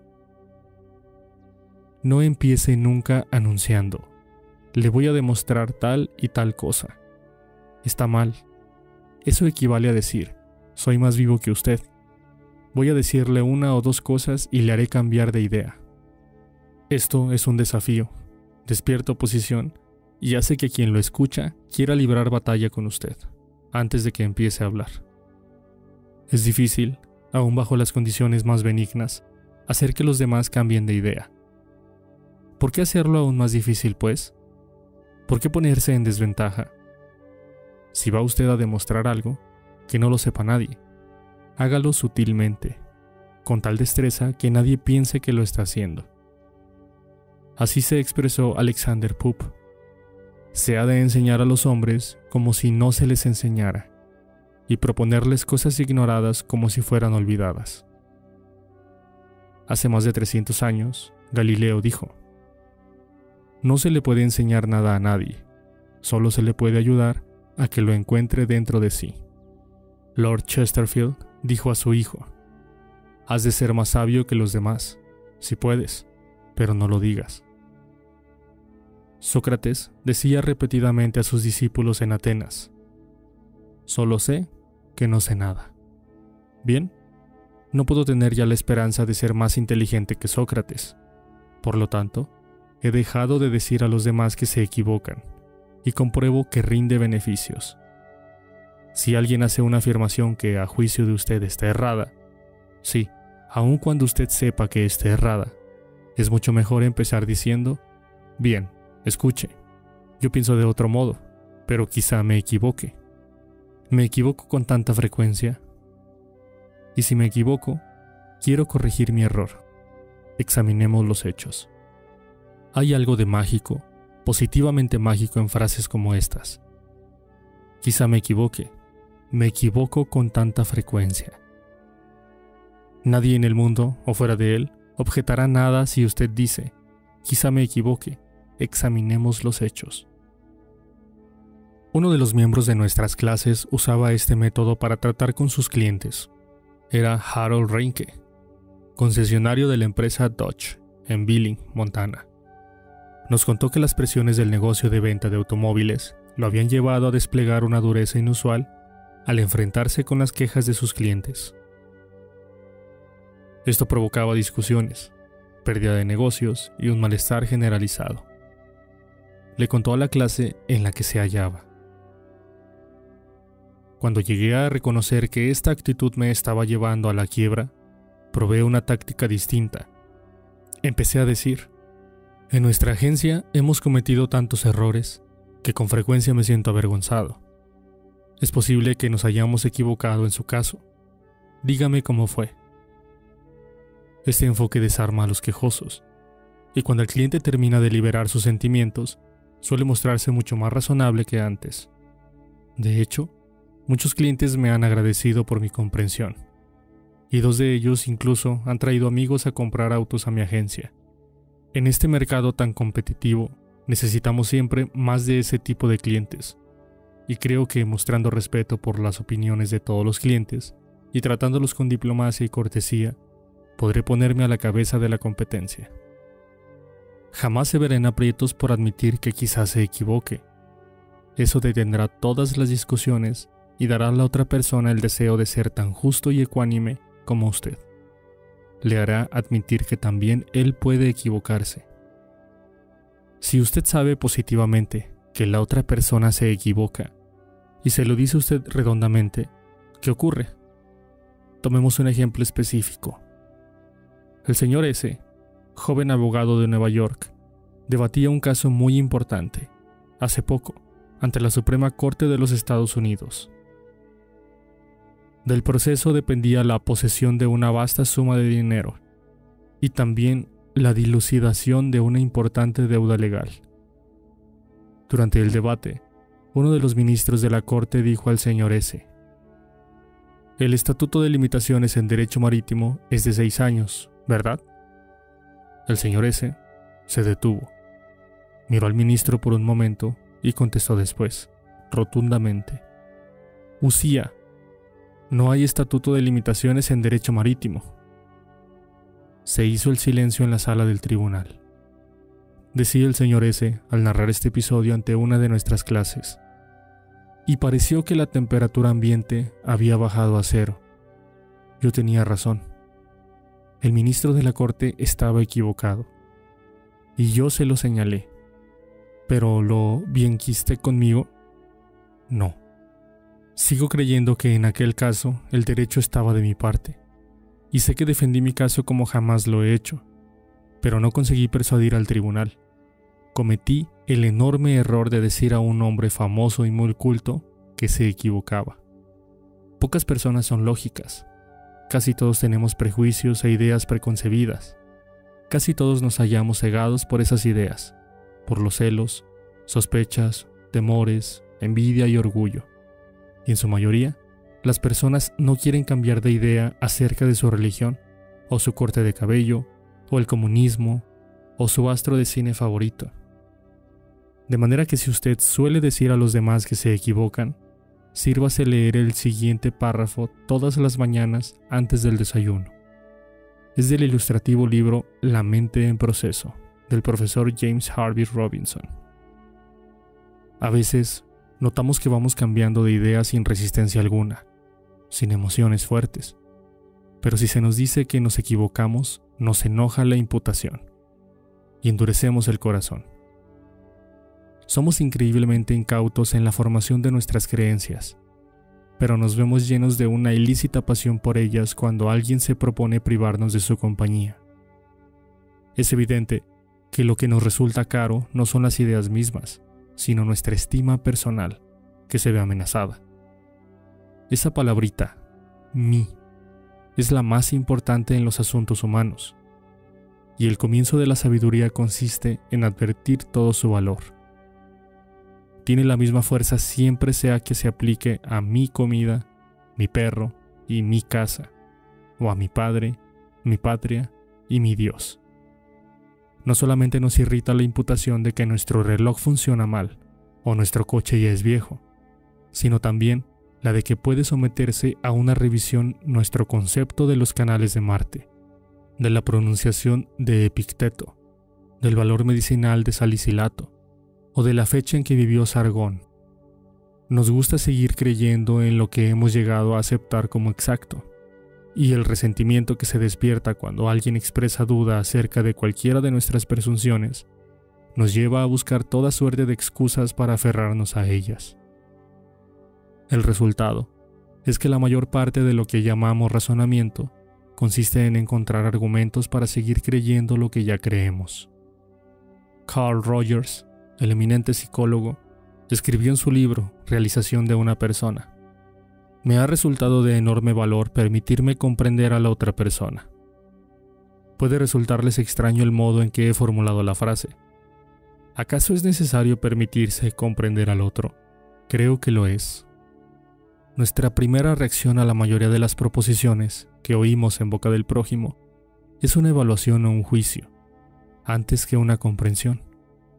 Cuando alguien expresa un sentimiento, opinión o creencia, nuestra tendencia es casi inmediatamente sentir, ¿tiene razón? o qué estúpido. Es anormal, es irracional, se equivoca, es injusto. Es muy raro que nos permitamos comprender precisamente qué sentido le ha dado sus palabras la otra persona. Yo encargué una vez a un decorador de interiores que hiciera ciertos cortinados para mi casa. Cuando llegó la cuenta, quedé sin aliento. Pocos días más tarde, nos visitó una amiga, que vio los cortinados. Se mencionó el precio y la amiga exclamó con una nota de triunfo en la voz. ¿Qué? Es una enormidad. Parece que se ha dejado engañar esta vez. ¿Era cierto? Sí, era la verdad pero a pocas personas les gusta escuchar una verdad que es denigrante para su juicio. Por ser humano, traté de defenderme. Señalé que lo mejor es con el tiempo lo más barato, que no se encuentra buena calidad y gusto artístico a precios de liquidación. Y así por el estilo. Al día siguiente nos visitó otra amiga que admiró los cortinados. Se mostró entusiasmada y expresó el deseo de poder estar en condiciones de adquirir cosas parecidas para su hogar. Mi reacción fue del todo diferente. Para decirle la verdad, reconocí, yo no puedo darme estos lujos. Pagué demasiado. Ahora lamento haber encargado esos cortinados. Cuando nos equivocamos, a veces lo admitimos para nuestros adentros. Y si se nos sabe llevar con suavidad y contacto, quizá lo admitamos ante los demás y acaso lleguemos a enorgullecernos de nuestra franqueza y ecuanimidad en tal caso pero no ocurre así cuando otra persona trata de meternos a golpes en la garganta el hecho poco sabroso de que no tenemos razón. Horace Greeley, el más famoso periodista de los Estados Unidos durante la Guerra Civil, estaba en violento desacuerdo con la política de Lincoln. Creía que podía obligar a Lincoln a convenir con él mediante una campaña de argumentación, burlas e insultos. Libró esta acerba campaña mes tras mes, año tras año hasta la noche en que Booth hirió a Lincoln, escribió un ataque personal de tono brutal, amargo, sarcástico contra el presidente. Pero, ¿consiguió Greeley, con esta acervidad, que Lincoln estuviera de acuerdo con él? Jamás. La burla y el insulto no sirven para esto. Si quiere usted conocer algunas indicaciones excelentes acerca de la manera de tratar con las personas, de dominarse y mejorar su personalidad, lea la autobiografía de Benjamin Franklin, una de las obras más fascinadoras que se han escrito, clásica en la literatura norteamericana. En esta historia de su vida, Franklin narra cómo triunfó sobre el hábito inicuo de discutir y se transformó en uno de los hombres más capaces, suaves y diplomáticos que figuran en la historia nacional. Un día, cuando Franklin era un jovenzuelo arrebatado, un viejo cuaquero amigo suyo lo llevó a un lado y le descargó unas cuantas verdades, algo así como esto. Ven, eres imposible. Tus opiniones son como una cachetada para quien difiera contigo. Tan es así que ya a nadie le interesan tus opiniones. Tus amigos van descubriendo que lo pasan mejor cuando no estás con ellos. Sabes tanto que nadie te puede decir nada. Por cierto que nadie va a interpretarlo siquiera, porque ese esfuerzo solo le producirá incomodidades y trabajos. Por tal razón, es probable que jamás llegues a saber más de lo que ya sabes ahora, que es muy poco. Uno de los rasgos más hermosos que ha tenido Franklin, a mi juicio, es la forma en que aceptó esta dolorosa lección. Tenía ya edad suficiente y suficiente cordura para comprender que era exacta, que si seguía como hasta entonces, solo podría llegar al fracaso y a la catástrofe social. Dio pues una media vuelta comenzó inmediatamente a modificar su actitud insolente, llena de prejuicios. Adopté la regla, refiere Franklin en su biografía, de eludir toda contradicción directa de los sentimientos de los demás y toda afirmación positiva de los míos. Hasta me prohibí el empleo de aquellas palabras o expresiones que significaban una opinión fija, como por cierto, indudablemente, etc. Y adopté, en lugar de ellas, creo, Entiendo o imagino que una cosa es así, o así me parece por el momento. Cuando otra persona aseguraba algo que a mi juicio era un error, yo me negaba el placer de contradecirla abiertamente y de demostrar enseguida algún absurdo en sus palabras, y al responder comenzaba observando que en ciertos casos o circunstancias su opinión sería acertada, pero que, en el caso presente, me parecía que habría cierta diferencia, etc. Pronto advertí las ventajas de este cambio de actitud. Las conversaciones que entablaba procedían más agradablemente. La forma modesta en que exponía mis opiniones les procuraba una recepción más pronta y menos contradicción. Me veía menos mortificado cuando notaba que estaba en error, y conseguía más fácilmente que los otros admitieran sus errores y se sumaran a mi opinión cuando era la justa. Y esta manera de actuar, que al principio empleé con cierta violencia, en cuanto a las inclinaciones naturales, se hizo con el tiempo tan fácil y fue tan habitual que acaso en los últimos 50 años nadie ha escuchado de mis labios una expresión dogmática. Y a esta costumbre, después de mi carácter de integridad, considero deber principalmente el hecho de que tuve tanto peso ante mis conciudadanos cuando propuse nuevas instituciones o alteraciones en las antiguas, y tanta influencia en los consejos públicos cuando fui miembro de ellos porque yo era un mal orador, jamás elocuente, sujeto a mucha vacilación en mi elección de las palabras, incorrecto en el idioma, y sin embargo, generalmente, hice valer mis opiniones. ¿Qué resultado dan en los negocios los métodos de Benjamin Franklin? Veamos dos ejemplos. Catherine R. Allred, de Kings Mountain, Carolina del Norte, es supervisora de ingeniería industrial en una fábrica textil le contó a una de nuestras clases cómo manejó un problema delicado antes y después de seguir nuestro curso. Parte de mi responsabilidad es crear y mantener sistemas y normas de incentivación para nuestros operarios, de modo que puedan hacer más dinero produciendo más hilados.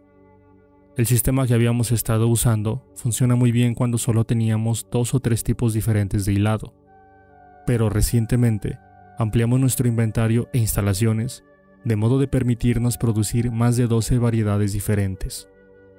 El sistema actual ya no es adecuado para pagar con justicia a los operarios por el trabajo que realizan, dándoles un incentivo para aumentar la producción. Yo había ideado un sistema nuevo que nos permitiría pagarle al operario por la clase de hilado que estuviera produciendo en cada momento. Con mi nuevo sistema en la mano, entré a una reunión de directorio decidida a probar que mi idea era la más adecuada.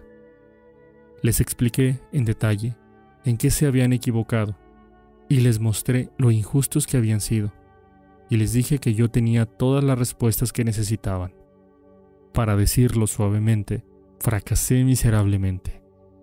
Me había afanado tanto en defender mi nuevo sistema que no les había dado oportunidad de admitir decorosamente que el viejo sistema ya no les servía. La cuestión quedó congelada. Después de varias clases en este curso, comprendí muy bien dónde había estado mi error.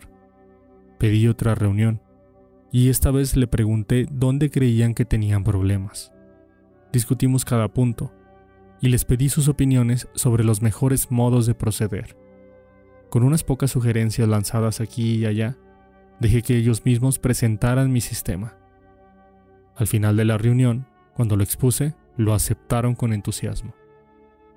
Ahora estoy convencida de que no puede lograrse nada bueno, y sí puede hacerse mucho daño, si uno le dice directamente a una persona que está equivocada. Solo se consigue despojar a esa persona de su autodignidad, y uno queda como un entrometido. Tomemos otro ejemplo, y recordemos que estos casos son típicos de las experiencias de miles de personas. Harvey Crowley es vendedor en una gran empresa de madera de Nueva York.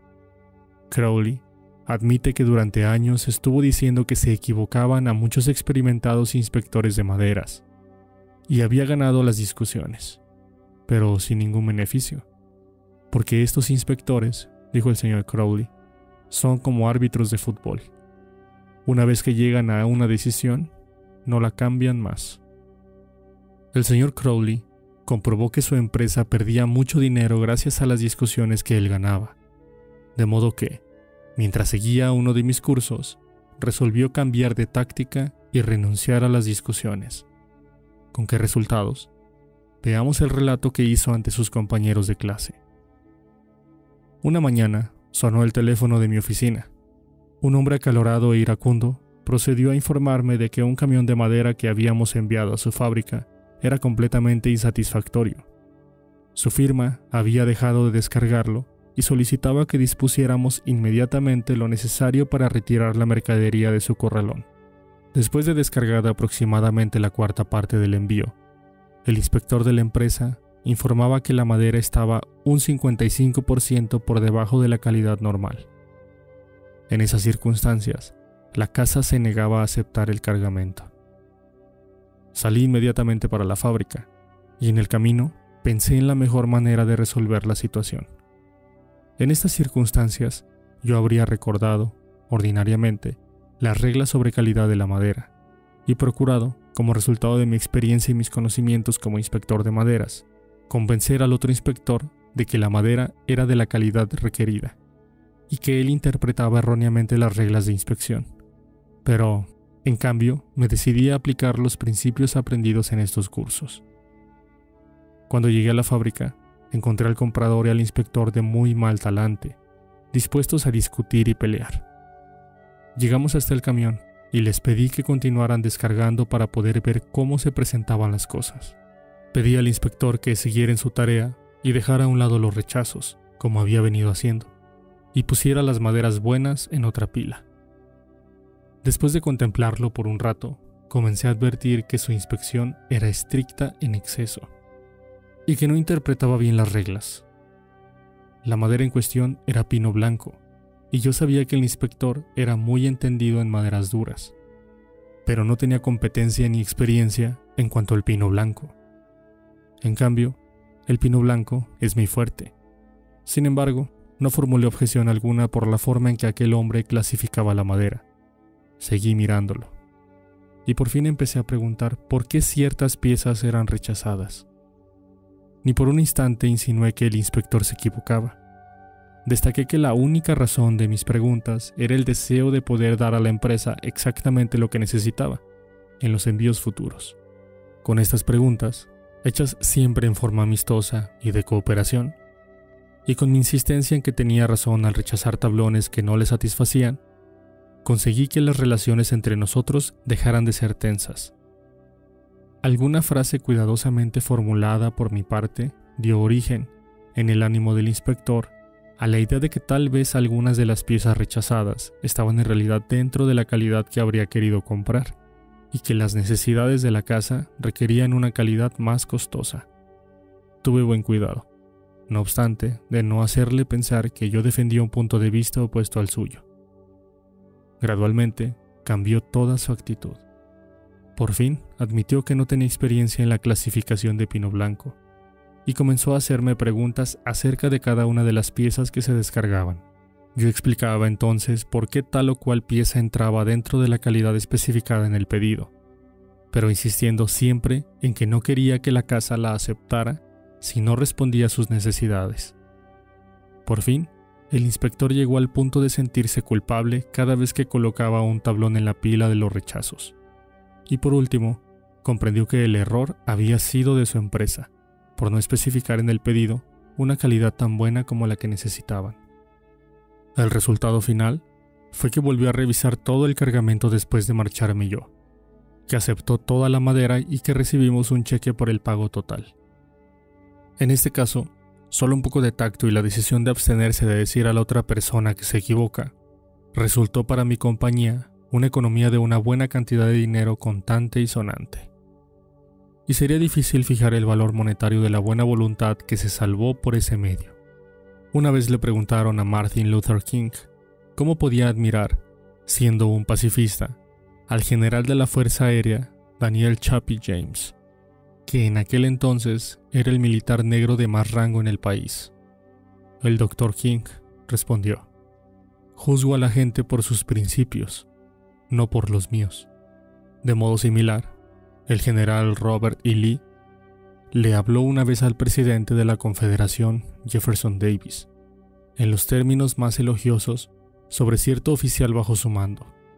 Otro oficial que estaba presente quedó atónito.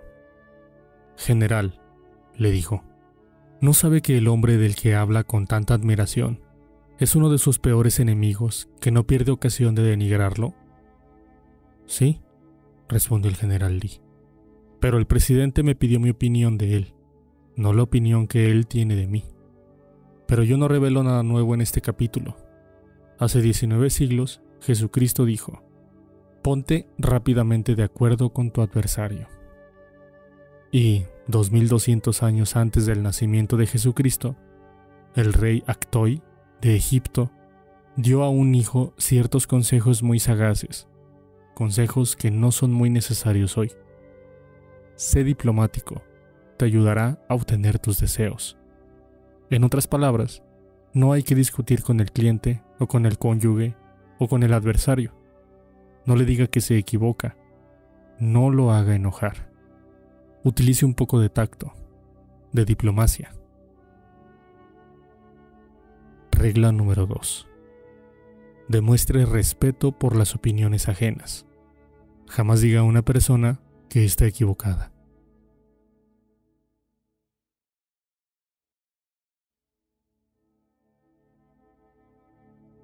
Capítulo número 3. Si se equivoca usted, admítalo. A un minuto de marcha de mi casa, había un amplio terreno con bosques vírgenes, donde las plantas salvajes florecían en la primavera, donde las ardillas hacían sus hogares y criaban a sus hijos, y donde los matorrales crecían hasta tapar a un hombre. Este bosque se llama Forest Park y era un bosque que probablemente no difiriera mucho en aspecto de lo que era cuando Colón descubrió América. Con frecuencia iba a pasear por este bosque con Rex, mi pequeño Bull Terrier de Boston. Era un perrito amigable, nada dañino, y como rara vez encontrábamos a alguien en el parque, lo llevaba sin collar y sin bozal. Un día, encontramos a un policía montado, un hombre deseoso de mostrar su autoridad. ¿Qué es eso de dejar al perro suelto en el parque sin bozal? Me reprendió. ¿No sabe que es ilegal? Sí, lo sé, respondí suavemente, pero no creí que podría hacer daño aquí. No creyó, no creyó. La ley no se interesa a un pepino por lo que usted cree. Ese perro puede matar a una ardilla o morder a un niño. Por esta vez no le diré nada. Pero si vuelvo a encontrar ese perro sin bozal y sin su collar y correa, lo llevaré ante un juez, Prometí obedecer. Y obedecí unas pocas veces, pero Rex estaba incómodo con el bozal, y a mí me dolía ponérselo, de modo que decidí no colocárselo más. Todo marchó bien por un tiempo, pero de pronto tuvimos un tropiezo. Rex y yo corríamos por un sendero, cierta tarde, cuando repentinamente vi la majestad de la ley, montada en un caballo alazán. Rex corría adelante, directamente hacia el policía. Yo sabía ya que estaba perdido. No esperé que el policía empezara a hablar. Le gané. Le dije, Agente, me ha sorprendido con las manos en la masa. Soy culpable. No tengo excusas ni disculpas. La semana pasada me advirtió usted que si volvía a traer al perro sin bozal, me iba a aplicar una multa. Sí, es cierto, respondió la gente con tono muy suave. Pero yo sé que es una tentación dejar que el pobre perrito corra un poco por aquí, cuando no hay nadie cerca. Claro que es una tentación, pero es contrario a la ley. Bueno, un perrito tan chico no va a hacer daño a nadie, recordó la gente. No, pero puede matar a alguna ardilla, insistí. Vamos, creo que usted está extremando las cosas. Escúcheme, déjelo correr más allá de esa colina, donde yo no pueda verlo, y aquí no ha pasado nada.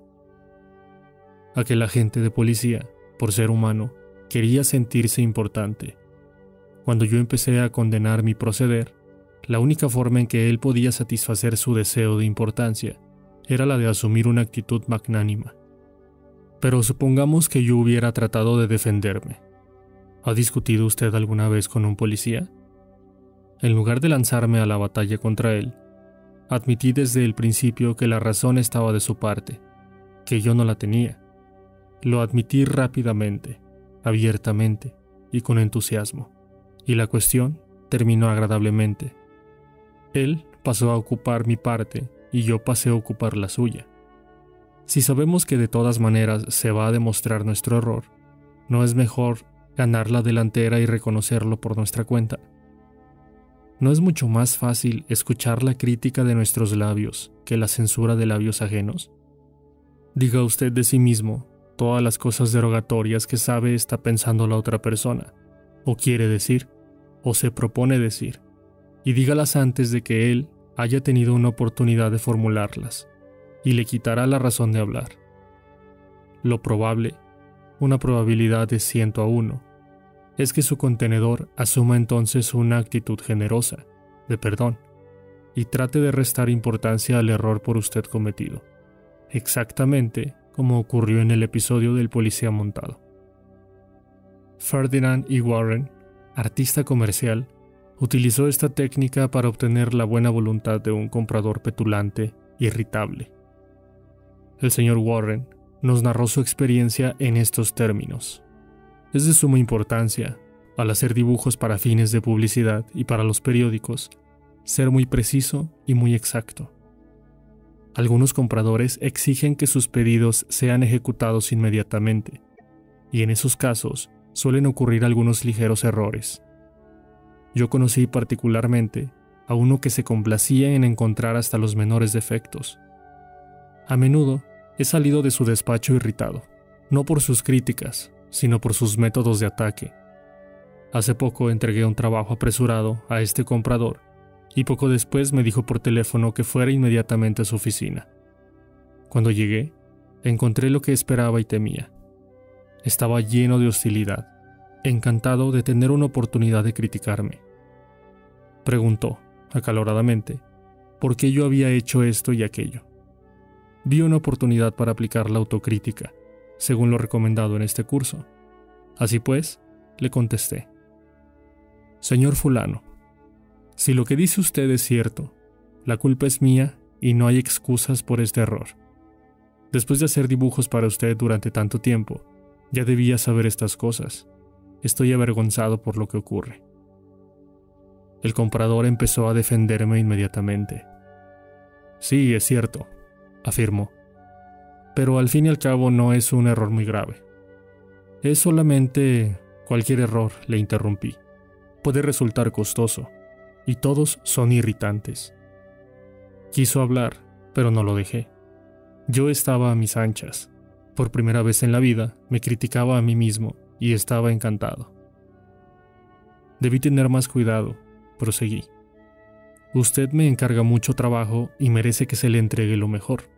Así pues, voy a hacer este dibujo de nuevo.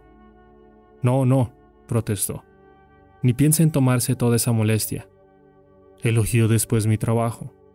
Me aseguró que solo hacía falta una leve modificación y que mi ligero error no había costado dinero a su firma, que al fin y al cabo era una cuestión de detalle que no valía la pena preocuparse.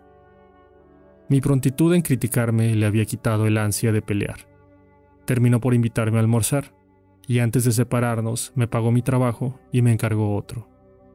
Hay un cierto grado de satisfacción en tener el valor de admitir los errores propios. No solo limpia el aire de culpa y actitud defensiva, sino que a menudo ayuda a resolver el problema creado por el error. Bruce Harvey, de Albuquerque, Nuevo México, había autorizado incorrectamente el pago del salario completo a un empleado que tenía licencia por enfermedad. Cuando descubrió su error, llamó al empleado, le explicó la situación y le dijo que para corregir el error tendría que descontar de su siguiente pago el monto completo del exceso pagado antes. El empleado dijo que eso le causaría un grave problema financiero y pidió que los descuentos se hicieran a lo largo de determinado espacio de tiempo. Harvey le explicó que para hacer esto último necesitaba la aprobación de su supervisor. Y yo sabía que esto, nos dijo Harvey, provocaría una explosión por parte de mi jefe. Mientras trataba de decidir cómo manejar esta situación, comprendí que todo el problema había salido de un error mío y tendría que admitirlo así. Entré a la oficina de mi jefe, le dije que había cometido un error, y después le hice un informe completo de los hechos. Replicó de modo explosivo que era culpa del departamento de personal. Repetí que la culpa era mía. Volvió a explotar contra el descuido del departamento contable. Una vez más, le expliqué que la culpa era toda mía culpó a otras dos personas de la oficina. Pero cada vez que yo repetía que era culpa mía, al fin me miró y me dijo, De acuerdo, es culpa suya. Arréglelo como mejor le parezca. El error fue corregido y no hubo problemas para nadie. Me sentí muy satisfecho porque pude manejar una situación tensa y tuve el valor de no buscar excusas. Desde entonces, mi jefe me respetó más. Cualquier tonto puede tratar de defender sus errores, y casi todos los tontos lo hacen. Pero está por encima de los demás y asume un sentimiento de nobleza y exaltación quien admite los propios errores. Por ejemplo, una de las cosas más bellas que registra la historia de Robert E. Lee es la forma en que se echó toda la culpa por el fracaso de la carga del Pickett en Gettysburg. La carga del Pickett fue sin duda el ataque más brillante y pintoresco que jamás ha ocurrido en el mundo occidental. El mismo general George E. Pickett era pintoresco. Usaba tan largos los cabellos que sus rizos castaños le tocaban casi los hombros. Y como Napoleón, en sus campañas de Italia, escribía ardientes cartas de amor día por día en el campo de batalla. Sus soldados, adictos a él, lo saludaron con vitores aquella trágica tarde de julio, en que emprendió la marcha hacia las líneas de la Unión, la gorra requintada sobre la oreja derecha. Le dieron vitores y lo siguieron, hombro con hombro, fila tras fila, estandartes al viento y bayonetas resplandecientes al sol. Era un gallardo espectáculo, osado, magnífico, un murmullo de admiración corrió por las líneas de la Unión al avistarlo. Las tropas de Pickett avanzaron con paso fácil, a través de huertos y maizales, a través de un prado y sobre una quebrada. Pero entre tanto, los cañones del enemigo destrozaban sus filas, y ellos seguían decididos, irresistibles. De pronto, la infantería de la Unión se alzó detrás del muro de piedra en el cerro del cementerio, donde se había ocultado, y disparó andanada tras andanada contra las fuerzas indefensas que iban avanzando. La cima del cerro era una llamarada, un matadero, un volcán. En pocos minutos, todos los comandantes de brigada, salvo uno, habían caído. Y con ellos estaba en el suelo las cuatro quintas partes de los cinco mil hombres que mandaba Pickett. El general Louis Armistead, que conducía las tropas en el embate final, corrió adelante, saltó sobre el muro de piedra y, agitando la gorra en la punta de la espada, gritó, A ellos muchachos. Así lo hicieron. Saltaron sobre el muro, hincaron bayonetas en los cuerpos enemigos, aplastaron cráneos con sus mosquetes y clavaron las banderas del sur en el cerro del cementerio. Las banderas flamearon allí por un momento apenas.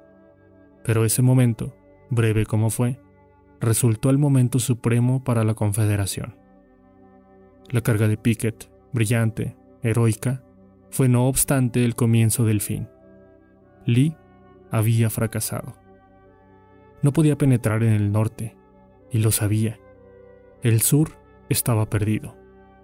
Tan triste, tan atónito quedó Lee, que envió su renuncia y pidió a Jefferson Davis, presidente de la Confederación, que designara a un hombre más joven y más capaz. Si hubiera querido culpar a cualquier otro jefe por el desastroso fracaso de la carga de Pickett, habría encontrado muchas excusas. Algunos de sus comandantes divisionarios fallaron. La caballería no llegó a tiempo para apoyar el ataque de la infantería. Esto resultó mal y aquello también. Pero Lee era demasiado noble para culpar a los demás. Cuando los soldados de Pickett, vencidos, ensangrentados, volvieron trabajosamente a las líneas confederadas. Robert Lee salió a su encuentro a solas y los recibió con una autocrítica que era poco menos que sublime. Todo esto, confesó, ha sido culpa mía. Yo, y solamente yo, he perdido esta batalla. Pocos generales de la historia han tenido el valor y la fuerza de carácter necesarios para admitir tal cosa. Michael Chung instructor de uno de nuestros cursos en Hong Kong, nos contó que la cultura china presenta algunos problemas especiales, y dijo que a veces es necesario reconocer que los beneficios de aplicar un principio pueden separar las ventajas de mantener una antigua tradición. Tenía un alumno, un hombre maduro que hacía años estaba distanciado de su hijo. El padre había sido adicto al opio, pero ahora estaba curado. En la tradición china, una persona mayor no puede tomar la iniciativa en un caso como aquel. El padre sentía que le correspondía al hijo dar el primer paso hacia la reconciliación. En una de las primeras clases del curso, habló de sus nietos que no conocía y de lo mucho que deseaba reunirse con su hijo.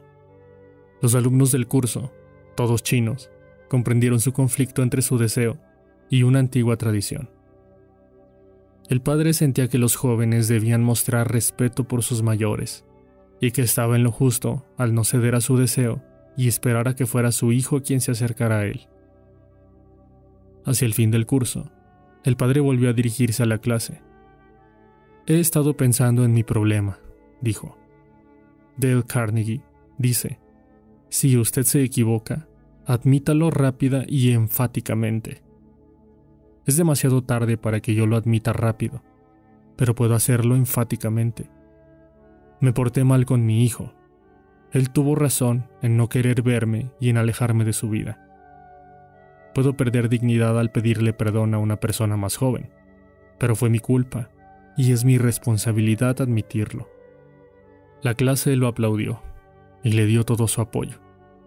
En la clase siguiente contó que había ido a la casa de su hijo le había pedido perdón y ahora había iniciado una nueva relación con su hijo, su nuera y sus nietos a los que al fin había conocido. Albert Howard fue uno de los autores más originales y que más agitaron a los Estados Unidos, y sus mordaces escritos despertaron a menudo fieros resentimientos. Pero Howard, gracias a su rara habilidad para tratar con la gente, convirtió frecuentemente a sus enemigos en amigos. Por ejemplo, cuando un lector irritado le escribía para decir que no estaba de acuerdo con tal o cual artículo, y terminaba llamando a Howard esto y aquello, el escritor solía responder más o menos así. Ahora que lo pienso bien, yo tampoco estoy muy de acuerdo con este artículo. No todo lo que escribí ayer me gusta hoy. Me alegro de poder saber lo que opina usted al respecto. Si alguna vez viene por aquí, debe visitarnos. Y ya desgranaremos este tema para siempre. A la distancia, con un apretón de manos, soy de usted, muy atentamente. ¿Qué se puede decir a un hombre que nos trata así? Cuando tenemos razón, tratemos pues de atraer, suavemente y con tacto, a los demás a nuestra manera de pensar. Y cuando nos equivocamos, muy a menudo, por cierto, a poco que seamos honestos con nosotros mismos, admitamos rápidamente y con entusiasmo el error. Esa técnica no solamente producirá resultados asombrosos, sino que, créase o no, nos hará comprender que criticarse es en esas circunstancias mucho más divertido que tratar de defenderse. Recordemos el viejo proverbio. Peleando no se consigue jamás lo suficiente, pero cediendo se consigue más de lo que se espera. Regla número 3. Si usted esté equivocado, admítalo rápida y enfáticamente.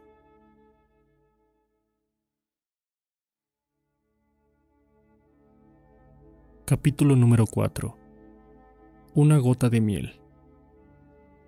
Si se irrita usted y dice unas cuantas cosas a otra persona, usted descarga sus sentimientos.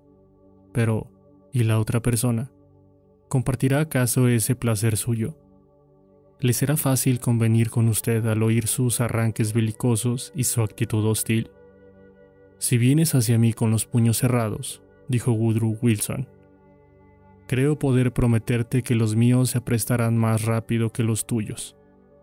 Pero si vienes a mí y me dices, sentémonos y conversemos, y, si estamos en desacuerdo, comprendamos por qué estamos en desacuerdo, y precisamente en qué lo estamos, llegaremos a advertir que al fin y al cabo, no nos hallamos tan lejos uno del otro, que los puntos en que diferimos son pocos y los puntos en que convenimos son muchos y que si tenemos la paciencia y la franqueza y el deseo necesario para ponernos de acuerdo, a ello llegaremos. Nadie aprecia más que John D. Rockefeller, hijo, la verdad de esta afirmación de Woodrow Wilson. Allá por 1915, Rockefeller era el hombre más despreciado en Colorado. Durante dos años terribles, había sacudido a este estado una de las más cruentas huelgas en la historia de la industria norteamericana. Los mineros, furiosos, belicosos, exigían paga más elevada a la Colorado Fuel and Iron Company, y Rockefeller dominaba en esa compañía. Había habido destrucción de propiedades, y se había llamado a las fuerzas del ejército. Había corrido sangre, habían caído huelguistas alcanzados por las balas. En un momento como ese, ardiente de odio el aire, Rockefeller quería conquistar a su manera de pensar a todos los huelguistas, y lo consiguió. Veamos cómo. Después de varias semanas dedicadas a conquistar amigos entre ellos, Rockefeller dirigió la palabra a los representantes de los huelguistas. Este discurso completo es una obra maestra. Produjo resultados asombrosos. Calmó las tempestuosas olas de odio que amenazaban envolverlo le valió una hueste de admiradores.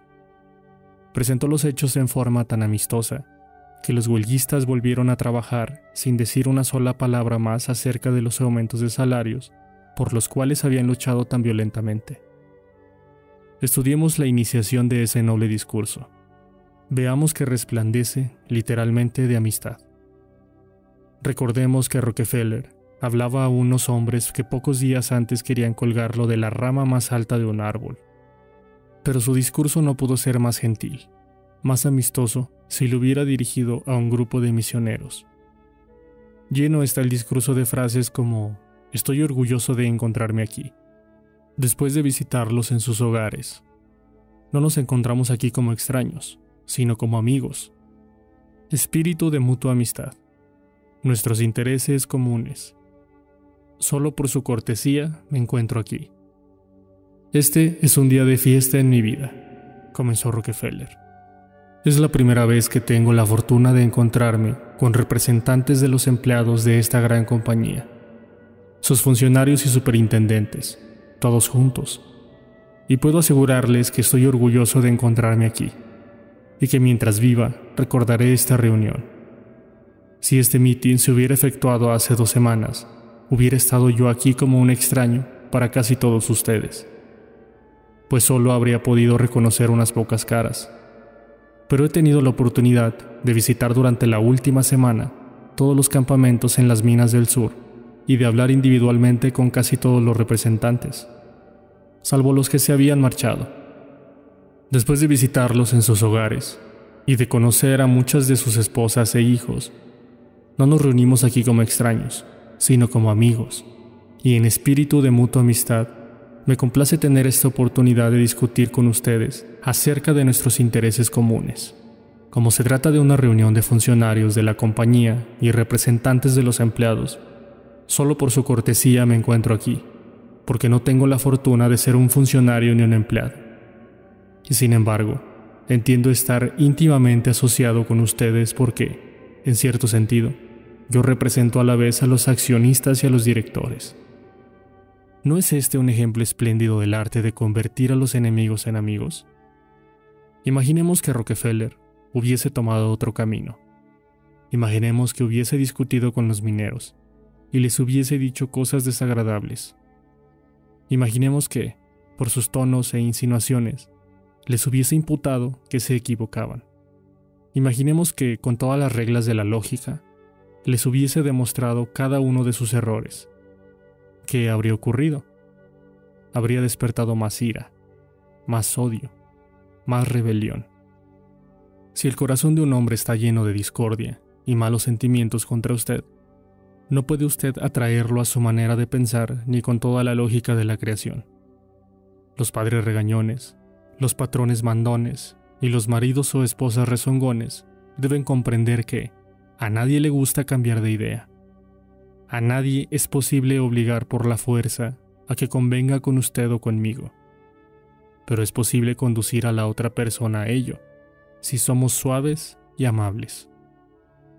Ya lo dijo Lincoln hace cerca de 100 años. Estas son sus palabras. Una vieja y exacta máxima dice que una gota de miel caza más moscas que un galón de hiel. También ocurre con los hombres que si usted quiere ganar a alguien a su causa, debe convencerlo primero de que es usted un amigo sincero. Ahí está la gota de miel que caza su corazón, el cual, dígase lo que se quiera, es el camino real hacia su razón.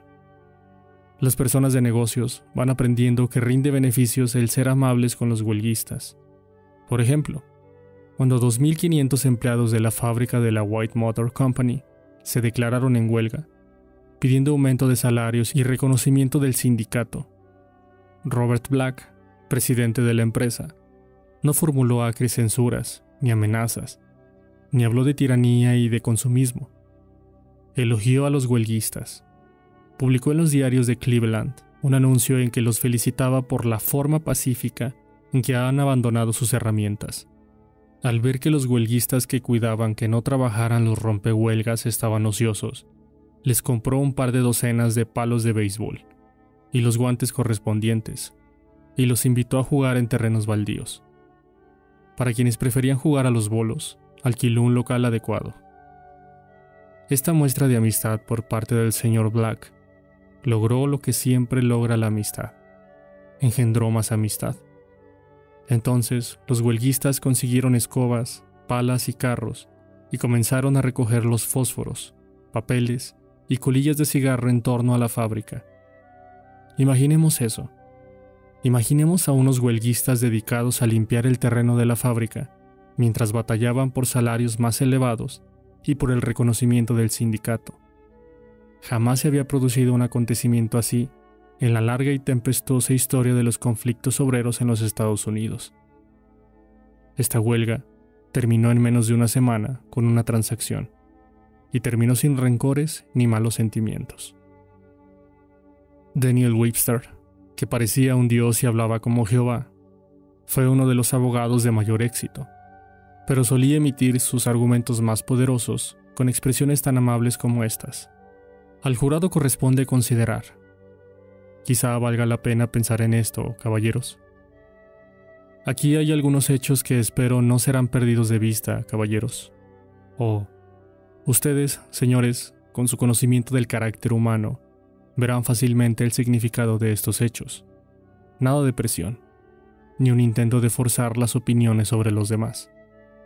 Webster utilizaba el método tranquilo, calmo, amistoso, y esto contribuyó a hacerlo famoso. Tal vez no tenga usted que resolver una huelga o que dirigirse a un jurado jamás, pero ¿acaso quiera obtener una rebaja en el alquiler? ¿Le servirá entonces este método? Veamos. O. L. Straub, ingeniero, quería que le rebajaran el alquiler, y sabía que el dueño de casa era un hombre muy enérgico. En una conversación ante nuestra clase relató. Escribí al dueño de casa notificándole que iba a dejar el departamento tan pronto como expirara el contrato. La verdad es que no quería mudarme de casa. Quería permanecer en ella, siempre que me redujeran el alquiler. Pero la situación no ofrecía esperanzas.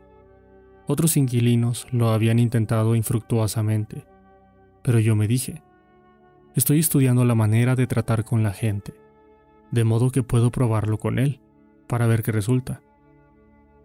El dueño de casa y su secretario vinieron a verme tan pronto como recibieron la carta.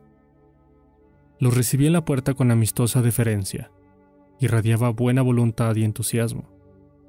No empecé a hablar de lo elevado que era el alquiler. Empezó hablando de lo mucho que me gustaba el departamento. Fui caluroso en mi aprobación y generoso en mis elogios.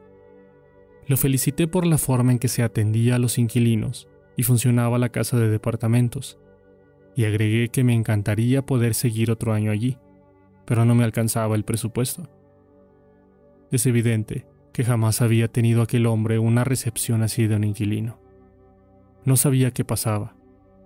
Entonces, empezó a narrarme sus dificultades.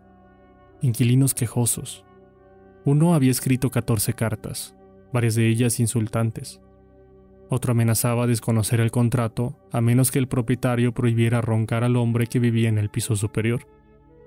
Qué consuelo, dijo, es tener un inquilino como usted. Y luego, sin que se lo pidiera yo, ofreció reducirme algo el alquiler. Yo quería una rebaja mayor, de modo que indiqué la cifra que podía pagar sin desequilibrar el presupuesto, y el dueño aceptó sin una protesta. Cuando se marchaba, se volvió hacia mí y preguntó, ¿Cómo quiere que le decoremos el departamento? Si yo hubiese tratado de obtener una rebaja de alquiler por el método de los otros inquilinos, estoy seguro de que habría tropezado con el mismo fracaso que ellos. El triunfo se debió al método amistoso, de simpatía, de apreciación. Dean Woodcook, de Pittsburgh, Pensilvania, es superintendente de un departamento de la compañía eléctrica local se llamaba personal a su cargo para reparar unos equipos en lo alto de un poste. Antes, este tipo de trabajo lo había realizado otro departamento, y hacía poco que la responsabilidad había sido transferida a la sección de Woodcook. Aunque sus hombres estaban preparados para hacerlo, era la primera vez que los llamaban para hacer este tipo de reparaciones. Todo el mundo en la compañía estaba interesado en ver cómo se las arreglarían. El señor Woodcook varios de sus funcionarios subordinados y gente de otros departamentos fueron a ver la operación. Se reunieron muchos autos y camiones, y una cantidad de gente observaba a los dos hombres que habían subido al poste. Woodcook vio que un hombre en la calle había salido de su auto con una cámara y estaba tomando fotografías de la escena. El personal de la compañía de electricidad es extremadamente sensible a las relaciones públicas, y de pronto Woodcook comprendió cómo debía de estar viendo el espectáculo el hombre de la cámara. Exceso de personal ocioso. Docenas de personas sin hacer nada, mirando a dos hombres que hacían su trabajo. Cruzó la calle y fue hacia el fotógrafo. Veo que está interesado en nuestra operación. Sí, pero mi madre estará más interesada. Ella tiene acciones en la compañía. Esto le abrirá los ojos. Incluso puede decir que su inversión fue imprudente desde hace años, vengo diciéndole que en compañías como la suya hay mucha gente ociosa. Esto lo prueba, y es posible que a los diarios también les interesen las fotos. Da esa impresión, ¿no es cierto? Yo pensaría lo mismo en su caso, pero sucede que es una situación muy especial. Y explicó de qué se trataba, que era la primera salida de este tipo para su departamento, y todos estaban interesados en ver los resultados de los ejecutivos para abajo. Le aseguro que bajo condiciones normales, los dos hombres vendrían a trabajar solos. El fotógrafo bajó la cámara, le dio la mano a Woodcock y le agradeció que se hubiera tomado la molestia de explicarle la situación. La actitud amistosa de Dean Woodcock le ahorró a su compañía una mala publicidad. Otro miembro de una de nuestras clases, Gerald Wynne, de Littleton, New Hampshire, nos contó cómo mediante una actitud amistosa obtuvo un arreglo muy ventajoso en un caso de reclamo por daños. A comienzos de la primavera, antes de que comenzara el deshielo, hubo una tormenta especialmente fuerte, y el agua, que normalmente se habría escurrido por los desagües, tomó otra dirección al encontrar helados estos y se introdujo en un lote donde yo acababa de construir una casa. Al no poder salir, el agua hizo presión contra los cimientos de la casa. Se filtró bajo el piso de concreto del sótano, lo rajó y el sótano terminó inundado. Esto arruinó la caldera y los calentadores de agua. El costo de las reparaciones superaba los dos mil dólares, y yo no tenía seguro que cubriera este tipo de daños. No obstante, descubrí que el dueño del lote había olvidado hacer un drenaje cerca de la casa, que habría impedido que se produjera el daño. Hice una cita para verlo. Durante el viaje de 40 kilómetros hasta su oficina, pensé cuidadosamente en todos los detalles de la situación y recordé los principios que había aprendido en este curso. Decidí entonces que mostrar mi ira no serviría de nada, como no fuera hacerme más difíciles las cosas. Cuando llegué, me mantuve muy tranquilo y comencé hablando de sus recientes vacaciones al Caribe. Después, cuando sentí que había llegado el momento, le mencioné el pequeño problema de los daños que había causado el agua. Accedió inmediatamente a pagar su parte en los arreglos, Pocos días después me llamó para decirme que no solo pagaría todo el arreglo, sino que mandaría hacer un drenaje para impedir que volviera a suceder algo parecido en el futuro. Aun cuando la culpa era de él, si yo no hubiera empezado de un modo amistoso, habría tenido muchas dificultades para lograr que pagara una parte de los arreglos. Hace años, cuando yo era un niño que caminaba descalzo por los bosques hasta una escuela campestre en el norte de Missouri, leí una fábula de Esopo acerca del sol y el viento. Discutiendo ambos acerca de cuál era más fuerte, el viento dijo, Te demostraré que soy el más fuerte. ¿Ves aquel anciano envuelto en una capa? Te apuesto a que le haré quitar la capa más rápido que tú. Se ocultó el sol tras una nube y comenzó a soplar el viento, cada vez con más fuerza, hasta ser casi un ciclón. Pero cuanto más soplaba, tanto más se envolvió el hombre en la capa. Por fin, el viento se calmó y se declaró vencido. Y entonces salió el sol y sonrió benignamente sobre el anciano. No pasó mucho tiempo hasta que el anciano, acalorado por la tibieza del sol, se quitó la capa. El sol demostró entonces al viento que la suavidad y la amistad son más poderosas que la furia y la fuerza. Los beneficios de la suavidad y la amistad los demuestra cotidianamente la gente que ha aprendido que una gota de miel captura más moscas que un litro de hiel.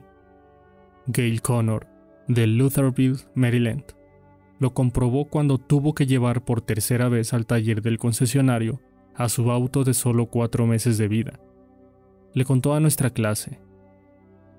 Ya era evidente que hablar, razonar o gritarle a la gente de la concesionaria no me daría una solución satisfactoria al problema. Entré al salón de exposición y pedí ver al dueño de la agencia, el señor White. Tras una corta espera, me hicieron pasar a su oficina. Me presenté y le dije que había comprado mi auto en su agencia en razón de las recomendaciones de amigos que habían hecho tratos con él. Me habían dicho que los precios eran competitivos y el servicio excelente. Sonrió con satisfacción al escucharme. Después le expliqué el problema que tenía con el departamento del servicio. Pensé que le interesaría enterarse de una situación que podría empañar su buena reputación. Le dije. Me agradeció que se lo hubiera hecho notar y me aseguró que no tendría más problemas. No solo se ocupó personalmente de mi caso, sino que además me prestó un auto suyo para que usara mientras reparaba en el mío. Esopo era un esclavo griego que vivió en la cortes de Creso y que ideó fábulas inmortales 600 años antes de Cristo. Pero las verdades que enseñó acerca de la naturaleza humana son tan exactas en Boston o en Birmingham ahora como lo fueron 25 siglos atrás en Atenas. El sol puede hacernos quitar la capa más rápidamente que el viento, y la bondad, la amabilidad y la apreciación para con el prójimo puede hacerle cambiar de idea más velozmente que todos los regaños y amenazas del mundo. Recordemos lo que dijo Lincoln. Una gota de miel caza más moscas que un galón de hiel. Regla número 4. Empiece en forma amigable.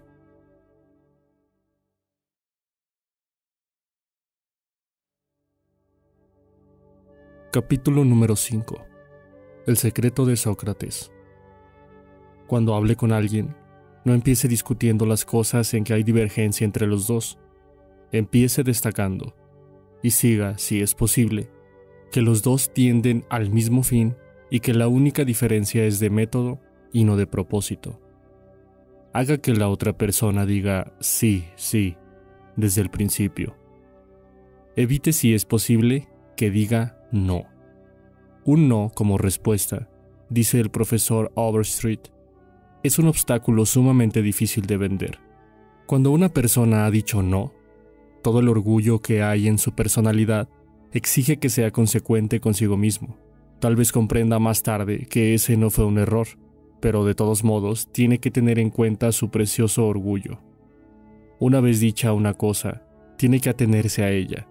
Por lo tanto, es de primordial importancia que lancemos a una persona en la dirección afirmativa.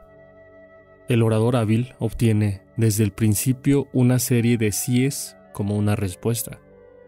Con ello, ha puesto en movimiento en la dirección afirmativa los procesos psicológicos de quienes lo escuchan. Es como el movimiento de una bola de billar. Impúlsela en una dirección y se necesita cierta fuerza para desviarla, mucha más para enviarla de vuelta en la dirección opuesta. Son muy claros aquí los patrones psicológicos. Cuando una persona dice no, y en realidad quiere decir sí, ha hecho mucho más que pronunciar una palabra de dos letras. Todo su organismo glandular, nervioso, muscular, se aúna en un estado de rechazo. Suele haber, en un grado diminuto, pero a veces perceptible, una especie de retirada física, o de prontitud para la retirada. Todo el sistema neuromuscular, en suma, se pone en guardia contra la aceptación. Por lo contrario, cuando una persona dice sí, no se registra ninguna de estas actividades de retirada. El organismo está en una actitud de movimiento positivo, aceptable, abierto. Por ende, cuando más sí podamos incluir desde un comienzo, tanto más probable es que logremos captar la atención del interlocutor para nuestra proposición final. Es una técnica muy sencilla esta respuesta afirmativa, y cuán descuidada. A menudo parece que la gente lograra un sentimiento de importancia mediante el antagonismo inicial en una conversación. Si hacemos que un estudiante, o un cliente, o un hijo, o un esposo, o una esposa diga no en un comienzo, necesitaremos la sabiduría y la paciencia de los ángeles para transformar esa erizada negativa en una afirmativa. El empleo de esta técnica del sí, sí permitió a James Everson cajero del Greenwich Bank de Nueva York, obtener un nuevo cliente que, en el caso contrario, se habría perdido. Este hombre, relató Everson, entró a abrir una cuenta, y yo le di la solicitud acostumbrada para que la llenara. Respondió de buen grado a algunas de las preguntas, pero se opuso rotundamente a responder otras. Antes de empezar mi estudio de las relaciones humanas, yo habría dicho a este futuro cliente que si se negaba a dar la información al banco, tendríamos que negarnos a aceptar su cuenta. Me avergüenza confesar que en el pasado hice muchas veces tal cosa. Naturalmente, un ultimátum como ese me daba la impresión de mi importancia. Demostraba que yo era el que mandaba y que no se podían desobedecer las reglas del banco.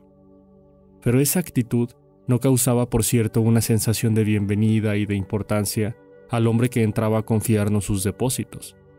Esa mañana resolví emplear el sentido común. Decidí no hablar de lo que quería el banco, sino de lo que quería el cliente.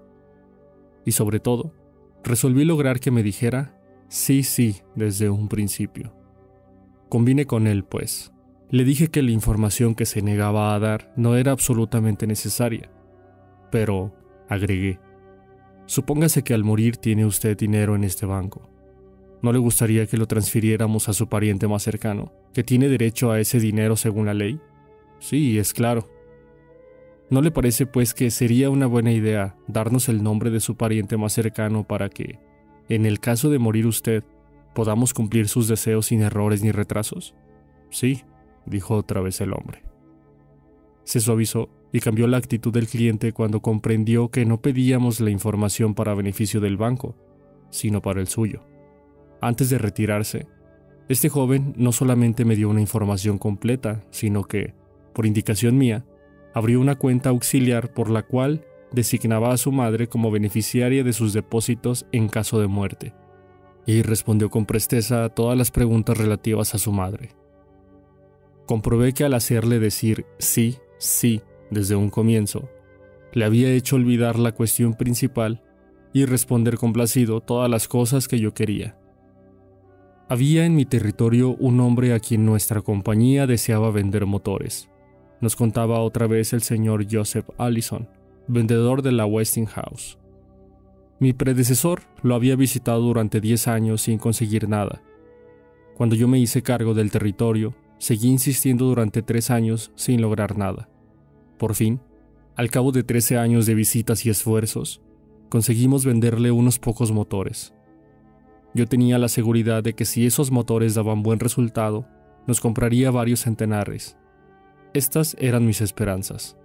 Yo sabía que los motores darían resultado, de modo que cuando lo visité, tres semanas más tarde, iba encantado de la vida. Pero no me duró mucho el entusiasmo, porque el jefe de mecánicos de la fábrica me recibió con este sorprendente anuncio. Allison, no puedo comprarle más motores. ¿Por qué? inquirí atónito. Porque esos motores recalientan mucho, no se les puede ni tocar. Yo sabía que de nada serviría discutir. Muchas veces lo había intentado infructuosamente. Pensé, pues, en obtener por respuesta sí, sí. Bien, dije. Escuche, señor Smith. Estoy en un todo de acuerdo con usted. Si esos motores recalientan demasiado, no debe comprarnos más. Debe tener motores que no se recalientan más de lo establecido por los reglamentos de la Asociación Nacional de Fabricantes Eléctricos, ¿no es así? advirtió que era así. Ya había obtenido mi primer sí. La Asociación de Fabricantes Eléctricos dice en sus estipulaciones que un motor debidamente construido puede tener una temperatura de 72 grados Fahrenheit sobre la temperatura ambiente. ¿Es así? Sí, convino. Es así, pero sus motores recalientan mucho más. No discutí con él, solo le pregunté, ¿qué temperatura hay en la sala de los motores? Ah, dijo, unos 75 grados Fahrenheit. Bien, si la sala está a 75 grados y usted le agrega 72, se llega a un total de 147 grados Fahrenheit. ¿No se quemaría la mano si la pusiera usted bajo un chorro de agua caliente a una temperatura de 147 grados Fahrenheit? Otra vez se vio obligado a responder afirmativamente. ¿No sería una buena idea, pues, no poner la mano en esos motores? Sí, me respondió. Creo que usted tiene razón. Continuamos un rato la conversación, y por fin mi interlocutor llamó a su secretario y concluyó conmigo un nuevo negocio para el mes siguiente.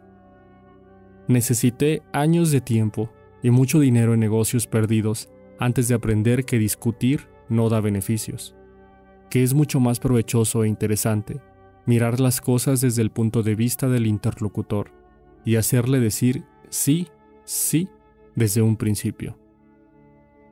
Eddie Snow, patrocinador de nuestros cursos en Oakland, California, cuenta cómo se volvió buen cliente de un negocio solo porque el propietario logró hacerle decir sí, sí.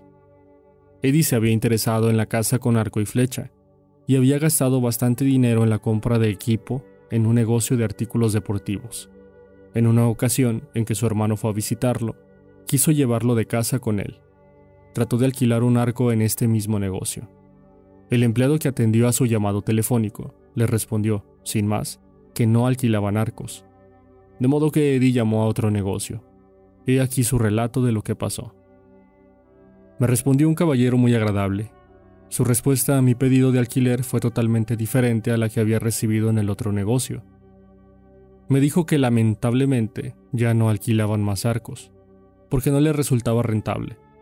Después me preguntó si yo había alquilado alguna vez un arco. Le dije que sí, que lo había hecho años atrás.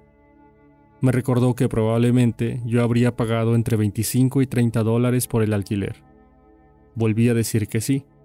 Entonces me preguntó si yo era la clase de personas a las que les agrada ahorrar dinero.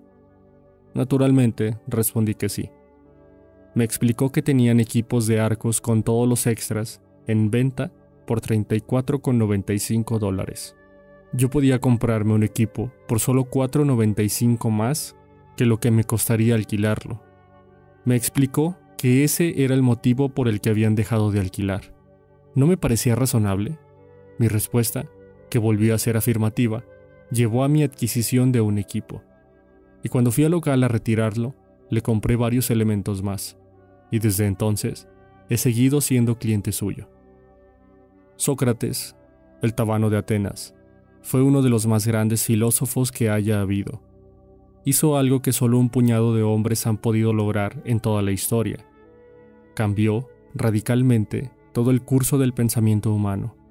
Y ahora, 24 siglos después de su muerte, se lo honra como uno de los hombres más hábiles para persuadir a los demás. ¿Sus métodos? ¿Decía a los demás que se equivocaban? Oh, no. Era demasiado sagaz para eso. Toda su técnica, llamada ahora método socrático, se basa en obtener una respuesta de sí, sí. Hacía preguntas con las cuales tenía que convenir su interlocutor. Seguía ganando una afirmación tras otra, hasta que tenía una cantidad de síes a su favor. Seguía preguntando, hasta que por fin, casi sin darse cuenta, su adversario se veía llegando a una conclusión que pocos minutos antes habría rechazado enérgicamente. La próxima vez que deseemos decir a alguien que se equivoca, recordemos al viejo Sócrates y hagamos una pregunta amable, una pregunta que produzca la respuesta sí, sí. Los chinos tienen un proverbio lleno de la vieja sabiduría oriental. Quien pisa con suavidad va lejos. Estos chinos tan cultos han pasado 5.000 años estudiando la naturaleza humana y han empleado en ello mucha perspicacia quien pisa con suavidad va lejos. Regla número 5. Consiga que la otra persona diga sí, sí inmediatamente. Capítulo número 6. La válvula de seguridad para atender quejas.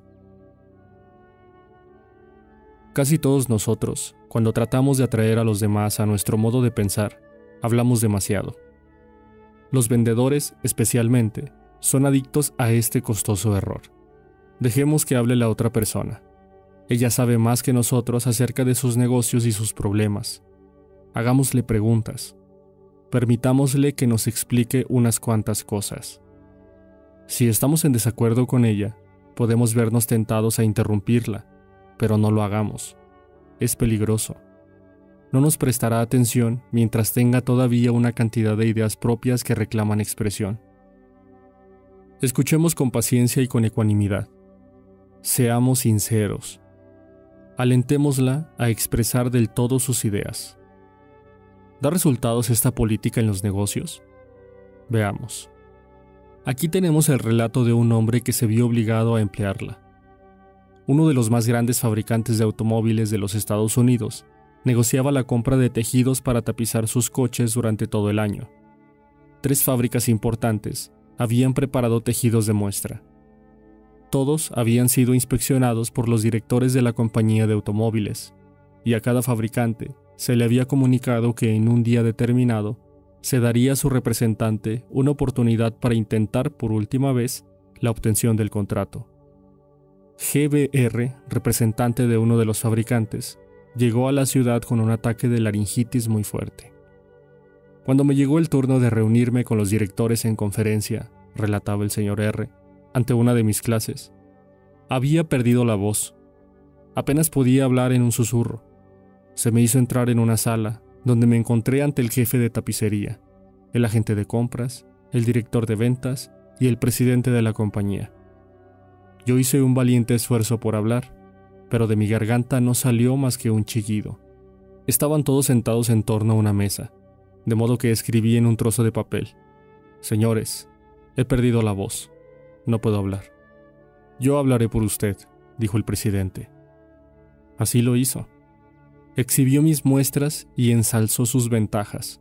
Se planteó una viva discusión acerca de los méritos de mi mercancía.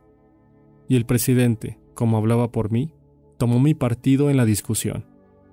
Yo no participé más que para sonreír, asentir con la cabeza y hacer unos pocos gestos.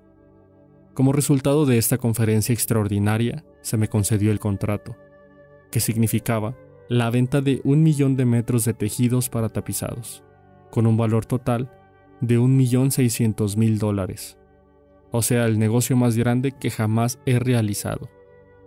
Sé que lo habría perdido si hubiese conservado la voz, porque tenía ideas erróneas de todo el asunto. Solo por este accidente descubrí cuánto beneficio rinde a veces que el interlocutor sea el que hable. Dejar hablar a la otra persona ayuda en situaciones familiares, así como en los negocios. Las relaciones de Barbara Wilson con su hija Laurie se estaban deteriorando rápidamente. Laurie, que fue siempre una criatura quieta, complaciente, se convirtió en una joven hostil y algunas veces agresiva. La señora de Wilson le hablaba, la amenazaba y castigaba, pero sin lograr nada. Un día, la señora de Wilson dijo en una de nuestras clases, Me di por vencida.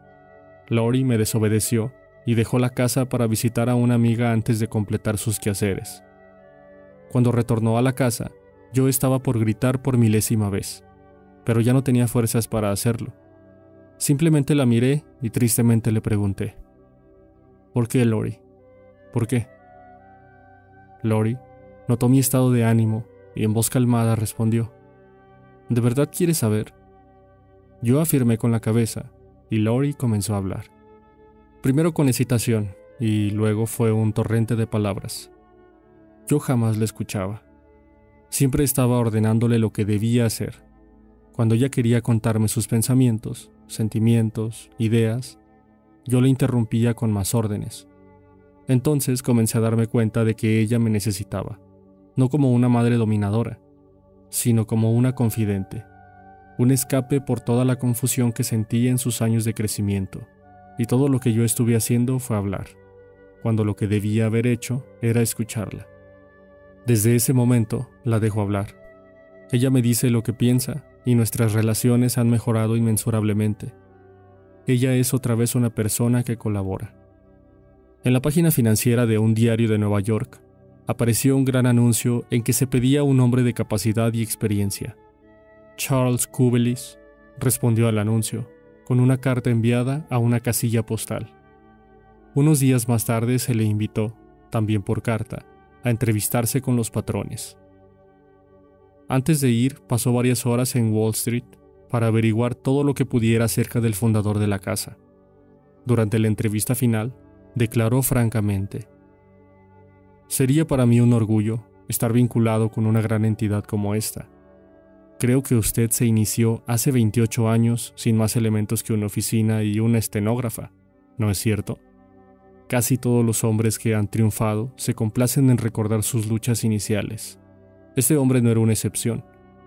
Habló un largo rato acerca de cómo había comenzado en los negocios, con 450 dólares y una idea original. Relató sus luchas contra el desaliento y sus batallas contra las mofas ajenas. cómo trabajaba los domingos y feriados, de 12 a 16 horas por día, y cómo triunfó al fin, contra todas las probabilidades, hasta que ahora los hombres más importantes de Wall Street iban a pedirle consejo e informaciones. Estaba orgulloso de esa historia. Tenía derecho a sentirse orgulloso, y pasó un rato espléndido contando su actuación. Por fin interrogó brevemente a Kubelis acerca de su experiencia. Llamó entonces a uno de los vicepresidentes y le dijo, Creo que este hombre es el hombre que necesitamos.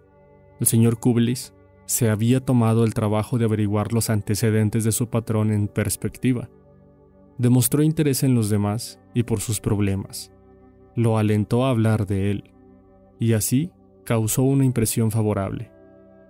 Roy Bradley, de Sacramento, California, tenía el problema opuesto. Escuchó cuando un buen candidato para un puesto se convenció a sí mismo de aceptar el trabajo en su firma. Nos contó esto.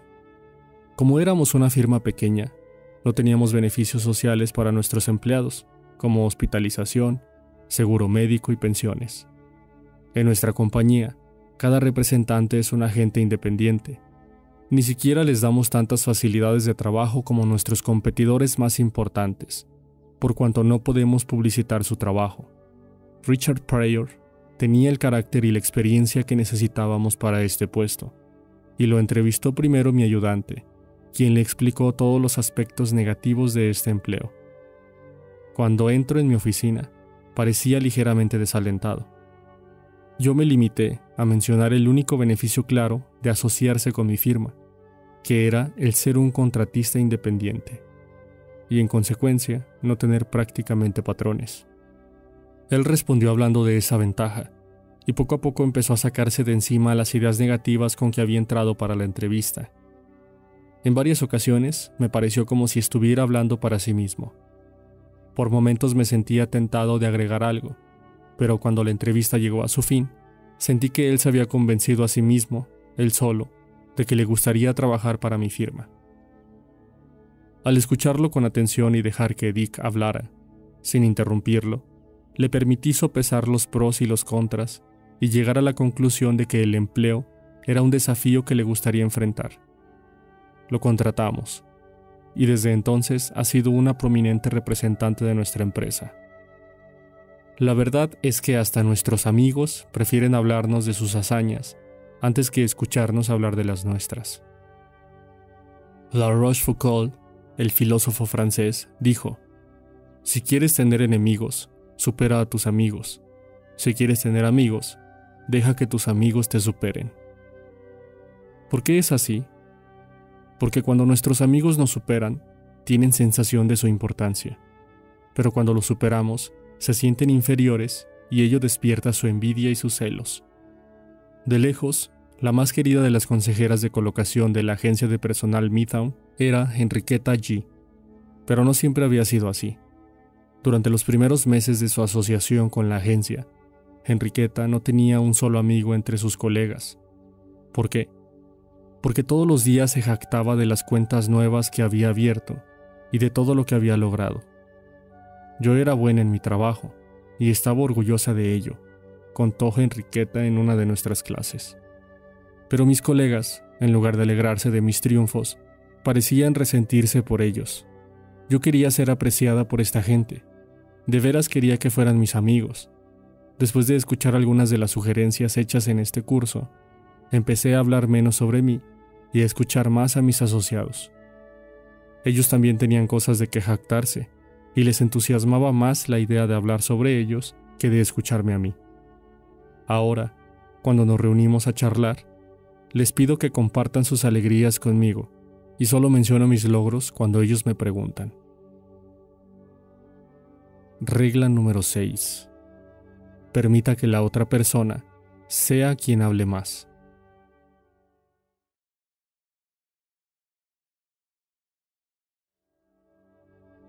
Capítulo número 7. ¿Cómo obtener cooperación? ¿No tiene usted más fe en las ideas que usted mismo descubre que en aquellas que se le sirven en bandeja de plata? Si es así, ¿No demuestra un error de juicio al tratar que los demás acepten a toda fuerza las opiniones que usted sustenta? ¿No sería más sagaz hacer sugestiones y dejar que los demás lleguen por sí solos a la conclusión? El señor Adolf Silt, de Filadelfia, estudiante en uno de mis cursos, se vio de pronto ante la necesidad de inyectar entusiasmo a un grupo de vendedores de automóviles desalentados y desorganizados. Los convocó a una reunión y los instó a decirle con claridad qué esperaban de él. A medida que hablaba, el señor Seltz iba escribiendo sus ideas en un pizarrón. Finalmente dijo, Yo voy a hacer todo lo que ustedes esperan de mí. Ahora quiero que me digan qué tengo derecho a esperar de ustedes. Las respuestas fueron rápidas. Lealtad, honestidad, iniciativa, optimismo, trabajo de consumo, ocho horas por día de labor entusiasta. Un hombre se ofreció para trabajar 14 horas por día. La reunión terminó con una nueva valentía, una nueva inspiración en todos los presentes, y el señor Seltz me informó luego que el aumento de ventas fue fenomenal. Estos vendedores, concluyó Seltz, hicieron una especie de pacto moral conmigo, y mientras yo cumpliera con mi parte, ellos estaban decididos a cumplir con la suya. Consultarles sobre sus deseos era el aliciente que necesitaban. A nadie agrada sentir que le quiere obligar a que compre o haga una cosa determinada. Todos preferimos creer que compramos lo que se nos antoja y aplicamos nuestras ideas. Nos gusta que se nos consulte acerca de nuestros deseos, nuestras necesidades, nuestras ideas. El gran poeta inglés Alexander Pope lo expresó de modo sucinto. Al hombre hay que enseñarle como si no se le enseñara, y proponerle lo desconocido como olvidado. Tomemos, por ejemplo, el caso de Eugenie Wison. Perdió incontables millares de dólares en comisiones antes de aprender esta verdad. El señor Wison Vendía dibujos para un estudio que crea diseños para estilistas y para fábricas textiles. Wison venía visitando una vez por semana, durante tres años, a uno de los principales estilistas de modas en Nueva York. Nunca se negaba a verme, contaba Wison, pero jamás me compraba nada. Miraba siempre con mucho cuidado mis dibujos y luego los rechazaba. Después de 150 fracasos, Wison comprendió que debía de estar en una especie de estancamiento mental, y resolvió dedicar una noche por semana al estudio de la forma de influir en el comportamiento humano, y a desarrollar nuevas ideas y generar nuevos entusiasmos. Por fin se resolvió a probar una nueva manera de actuar. Recogió media docena de dibujos sin terminar, en que estaban trabajando todavía los artistas, y fue con ellos a la oficina del comprador en perspectiva. Quiero, le dijo, que me haga usted un favor, si es que puede. Aquí traigo algunos dibujos sin terminar. ¿No quiere usted tener la gentileza de decirnos cómo podríamos terminarlos de manera que le sirvan? El comprador miró los dibujos un buen rato, sin hablar, y por fin manifestó. Déjelos unos días, Wison, y vuelva a verme. Wison regresó tres días más tarde, recibió las indicaciones del cliente, volvió con los dibujos al estudio y los hizo terminar de acuerdo con las ideas del comprador. El resultado, todos aceptados. Desde entonces, el mismo comprador ha ordenado muchos otros dibujos trazados todos de conformidad con sus ideas. Ahora comprendo, nos refería el señor Wison, por qué durante años no conseguí vender un solo diseño a este comprador. Le recomendaba que comprara lo que se me ocurría que debía comprar. Ahora hago todo lo contrario. Le pido que me dé sus ideas y él cree que los dibujos son de su creación, como es cierto. Ahora no tengo que esforzarme por venderle nada. Él compra solo. Dejar que la otra persona sienta que la idea es suya no solo funciona en los negocios o la política, sino también en la vida familiar. Paul M. Davis, de Tulsa, Oklahoma, le contó a su clase cómo aplicaba este principio. Mi familia y yo pasamos una de las vacaciones más interesantes que hayamos tenido. Yo soñaba desde hacía mucho tiempo con visitar sitios históricos como el campo de batalla de Gettysburg, el Salón de la Independencia en Filadelfia y la capital de la nación. En la lista de cosas que quería ver figuraban en lugar prominente el Valle Forge, Jamestown y la aldea colonial restaurada de Williamsburg. En marzo mi esposa Nancy dijo que tenía ciertas ideas para nuestras vacaciones de verano, que incluían una gira por los estados del oeste visitando puntos de interés en Nuevo México, Arizona, California y Nevada. Hacía años que quería realizar este viaje. Obviamente, no podíamos satisfacer ambos deseos. Nuestra hija Anne terminaba de hacer un curso en la secundaria sobre historia nacional y se había interesado mucho en los hechos que conformaron el crecimiento de nuestro país. Le pregunté si le gustaría visitar los sitios sobre los que había estado estudiando en nuestras próximas vacaciones. Dijo que le encantaría hacerlo. Dos noches después, sentados a la cena, Nancy anunció que si todos estábamos de acuerdo, en las vacaciones de verano haríamos un viaje por los estados del este, lo que sería instructivo para Anne e interesante para todos nosotros. No hubo objeciones. Esta misma psicología fue utilizada por un fabricante de aparatos de rayos X para vender su equipo a uno de los más grandes hospitales de Brooklyn. Este hospital iba a construir un nuevo pabellón y se disponía a equiparlo con el mejor consultorio de rayos X que hubiera en el país. El doctor L, a cargo del departamento de rayos X, se veía abrumado por vendedores que defendían entrañablemente las ventajas de sus respectivos equipos. Pero un fabricante fue más hábil que los demás sabía más acerca de la forma de tratar con las personas. Escribió el doctor L una carta concebida más o menos en estos términos. Nuestra fábrica ha completado recientemente una serie de aparatos de rayos X. La primera partida de estas máquinas acaba de llegar a nuestros salones de venta. No son perfectas, lo sabemos y queremos mejorarlas. Nos sentiríamos profundamente agradecidos a usted si pudiera dedicarnos el tiempo necesario para estudiar estos aparatos y darnos sus impresiones acerca de la forma en que pueden ser más útiles a su profesión. Sabiendo lo ocupado que está usted, me complacerá enviarle mi automóvil a buscarlo a la hora que usted decida. Me sorprendió recibir aquella carta, dijo el doctor L, al relatar este incidente ante nuestra clase. Quedé sorprendido y halagado. Jamás un fabricante de aparatos de rayos X me había pedido consejo. Me sentí importante estaba ocupado, tan ocupado que no tenía libre una sola noche de aquella semana, pero dejé sin efecto un compromiso para una comida, a fin de revisar aquellos aparatos. Cuanto más los estudiaba, tanto más descubría por mi propia cuenta que me gustaban mucho. Nadie había tratado de vendérmelos. Consideré que la idea de comprar aquel equipo era mía, solamente mía. Yo mismo me convencí de su superior calidad y ordené que fuera instalado en el hospital. Rolf Waldo Emerson, en su ensayo Autodependencia, dijo, En todo trabajo de genio reconocemos nuestras propias ideas desechadas, vuelven a nosotros con cierta majestad ajena. El coronel Edward House tenía una enorme influencia en los asuntos nacionales e internacionales cuando Woodrow Wilson ocupaba la Casa Blanca. Wilson recurría al coronel House para pedirle consejos y ayuda en secreto más que a cualquier otra persona, sin exceptuar los miembros de su gabinete. ¿Qué método empleaba el coronel para influir sobre el presidente? Afortunadamente lo sabemos, porque el mismo House lo reveló a Arthur Howden Smith, quien lo refirió en un artículo aparecido en el diario The Saturday Evening Post.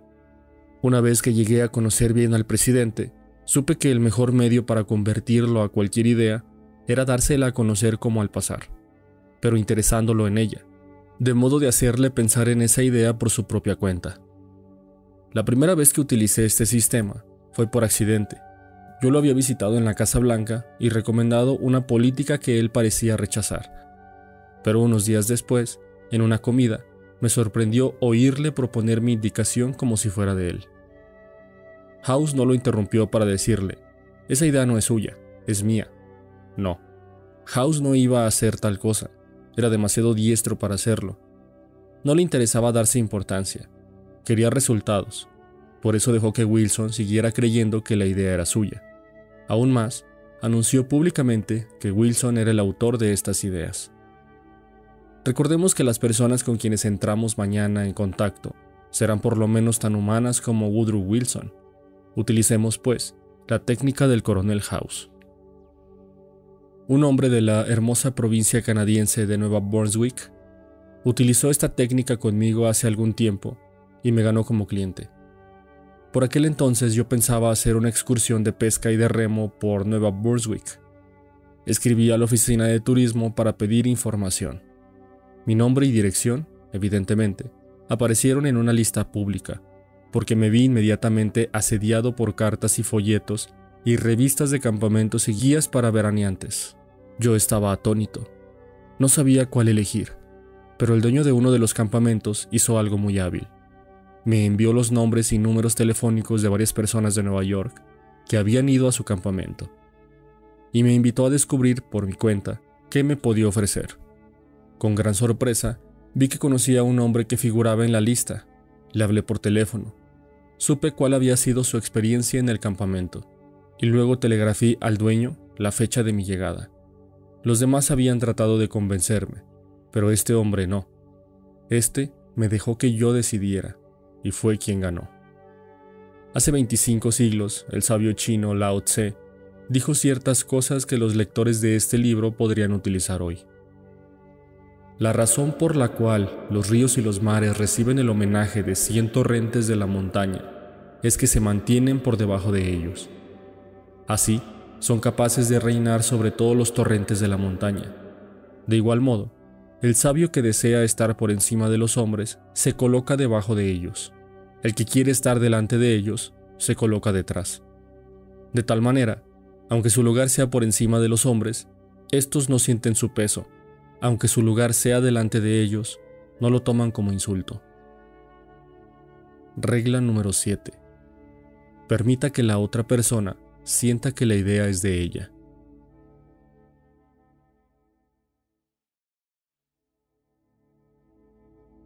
Capítulo número 8. Una fórmula que le resultará maravillosa. Recuerde que la otra persona puede estar equivocada por completo, pero ella no lo cree. No la censure. Cualquier tonto puede hacerlo. Trate de comprenderla. Solo las personas sagaces, tolerantes, excepcionales, tratan de proceder así. Hay una razón por la cual la otra persona piensa y procede como lo hace. Descubra esa razón oculta y tendrá la llave de sus acciones, quizá de su personalidad. Trate honradamente de ponerse en el lugar de la otra persona. Si usted llegara a decirse, ¿qué pensaría? ¿Cómo reaccionaría si yo estuviera en su lugar? Habrá ahorrado mucho tiempo e irritación, pues al interesarnos en las causas es menos probable que nos disgusten los efectos. Además, habrá aumentado usted considerablemente su habilidad para tratar con la gente. Dice Kenneth M. Good en su libro Cómo convertir a la gente en oro. Deténgase usted un minuto a destacar el contraste de su hondo interés por los asuntos propios con su escaso interés por todo lo demás. Comprenda entonces que todos los demás habitantes del mundo piensan exactamente lo mismo. Entonces, junto con Lincoln y Roosevelt, habrá captado usted la única base sólida en relaciones interpersonales. Que el buen éxito en el trato con los demás depende de que se capte con simpatía el punto de vista de la otra persona. Sam Douglas, de Hampstead, Nueva York, solía decirle a su esposa que pasaba demasiado tiempo trabajando en el jardín, sacando malezas, fertilizando, cortando las hierbas dos veces por semana, a pesar de todo lo cual, el jardín no lucía mucho mejor que cuatro años atrás, cuando se habían mudado a esa casa. Naturalmente, ella quedaba deprimida por estos comentarios, y cada vez que él los hacía, la velada quedaba arruinada. Después de seguir nuestro curso, el señor Douglas comprendió qué tonto había sido durante todos esos años. Nunca se le había ocurrido que a su esposa podía agradarle hacer ese trabajo, y también podría agradarle oír un elogio a su laboriosidad. Una noche después de la cena, su esposa dijo que quería salir a arrancar unas malezas y lo invitó a acompañarla. Al principio él se sintió tentado de no aceptar, pero después lo pensó mejor y salió con ella, y la ayudó a arrancar malezas. Ella quedó visiblemente complacida, y pasaron una hora trabajando y charlando muy contentos. Desde esa vez, la ayudo siempre en la jardinería, y la felicito con frecuencia por lo bien que se veía el prado el trabajo fantástico que estaba haciendo a pesar de lo malo del terreno. Resultado, una vida más feliz para los dos, gracias a que él aprendió a ver las cosas desde el punto de vista de ella, aunque se tratara de algo tan nimio como unas malezas. En su libro Cómo llegar a la gente, el doctor Gerald S. Nidenberg comentó, Se coopera eficazmente en la conversación cuando uno muestra que considera las ideas y sentimientos de la otra persona tan importantes como los propios. El modo de alentar al interlocutor a tener la mente abierta a nuestras ideas es iniciar la conversación dándole claras indicaciones sobre nuestras intenciones, dirigiendo lo que decimos por lo que nos gustaría oír si estuviéramos en la piel del otro, y aceptando siempre sus puntos de vista. Durante años he pasado muchos de mis ratos de ocio caminando y andando a caballo en un parque cercano a mi casa. Como los druidas de la antigua Galia, yo veneraba los robles, de manera que todos los años me afligía ver los arbustos y matorrales asesinados por fuegos innecesarios. Esos fuegos no eran causados por fumadores descuidados. Casi todos eran producidos por niños que iban al parque a convertirse en exploradores y a asar una salchicha bajo los árboles. A veces, estos incendios cundían tanto que era menester llamar a los bomberos para luchar contra las llamas. Al borde del parque había un cartel que amenazaba con multa y prisión a todo el que encendiera fuego, pero el cartel estaba en una parte poco frecuentada del parque y pocos niños lo veían. Un policía montado debía cuidar el parque, pero no se tomaba muy en serio estos deberes, y los incendios seguían propagándose verano tras verano. En una ocasión, corrí hasta un policía y le dije que un incendio se estaba propagando rápidamente ya, y que debía avisar al cuartel de bomberos, y me respondió despreocupadamente que no era cuestión suya, pues no estaba en su jurisdicción. Desde entonces, cuando salía a caballo, iba yo constituido en una especie de comité individual para proteger los bienes públicos. Me temo que en un principio no intenté siquiera comprender el punto de vista de los niños. Cuando veía una hoguera entre los árboles, tanto me afligía el hecho, tanto deseaba hacer lo que correspondía, que hacía lo que no correspondía. Me acercaba hasta los niños, les advertía que se les podía encarcelar por encender fuego, les ordenaba que lo apagaran, con tono de mucha autoridad y si se negaban, los amenazaba con hacerlos detener. Yo descargaba mis sentimientos sin pensar en los otros. El resultado, los niños obedecían, de mala gana y con resentimiento. Lo probable es que, una vez que me alejaba yo, volvieran a encender su hoguera y con muchos deseos de incendiar el parque entero. Al pasar los años, creo haber adquirido un poco de conocimiento de las relaciones humanas, algo más de tacto, mayor tendencia a ver las cosas desde el punto de vista del prójimo. Así pues, años más tarde, al ver una hoguera en el parque, ya no daba órdenes, sino que me acercaba a decir algo como esto. ¿Se están divirtiendo, muchachos? ¿Qué van a hacer de comida? Cuando yo era niño, también me gustaba hacer hogueras como esta, y todavía me gusta. Pero ya saben ustedes que son peligrosos los fuegos en el parque. Yo sé que ustedes no quieren hacer daño, pero hay otros menos cuidadosos, Llegan y los ven junto a la hoguera, se entusiasman y encienden otra, y no la apagan cuando se marchan, y se propaga las hojas secas y mata los árboles. Si no ponemos un poco más de cuidado, no nos quedarán árboles en el parque. Ustedes podrían ir a la cárcel por lo que hacen, pero yo no quiero hacerme el mandón y privarlos de este placer. Lo que me gusta es ver que se diviertan, pero ¿por qué no quitan las hojas secas alrededor del fuego? Y cuando se marchen, Tendrán cuidado de tapar las brasas con mucha tierra, ¿verdad? La próxima vez que quieran divertirse, ¿por qué no encienden el fuego allá en el arenal? Allá no hay peligro alguno. Gracias muchachos, que se diviertan. ¿Qué diferencia notaba cuando hablaba así? Conseguía que los niños quisieran cooperar. Nada de asperezas ni de resentimientos. No les obligaba a obedecer mis órdenes. Les dejaba salvar las apariencias. Ellos quedaban contentos y yo también, porque había encarado la situación teniendo en cuenta el punto de vista de los demás. Ver las cosas según el punto de vista ajeno puede facilitarlo todo cuando los problemas personales se vuelven abrumadores. Elizabeth Novak, de Nueva Gales del Sur, Australia, estaba atrasada seis semanas en el pago de las cuotas de su auto. Un viernes, contó, recibí un desagradable llamado telefónico del hombre que se ocupaba de mi cuenta, para informarme que si no me presentaba con 122 dólares el lunes a la mañana, la compañía iniciaría acciones legales contra mi persona. No tuve modo alguno de reunir el dinero durante el fin de semana, por lo que, al recibir otro llamado de la misma persona el lunes a la mañana, anticipé lo peor. En lugar de derrumbarme, traté de ver la situación desde el punto de vista de este hombre. Me disculpé con la mayor sinceridad posible por causarle tantos inconvenientes, y le hice notar que yo debía de ser la clienta que más problemas le traía, pues no era la primera vez que me demoraba en los pagos. Su tono de voz cambió inmediatamente, y me tranquilizó diciéndome que yo estaba muy lejos de ser uno de sus clientes realmente problemáticos. Me contó algunos ejemplos de lo groseros que podían llegar a ser sus clientes en ocasiones, cómo le mentían o trataban de evitar hablar con él.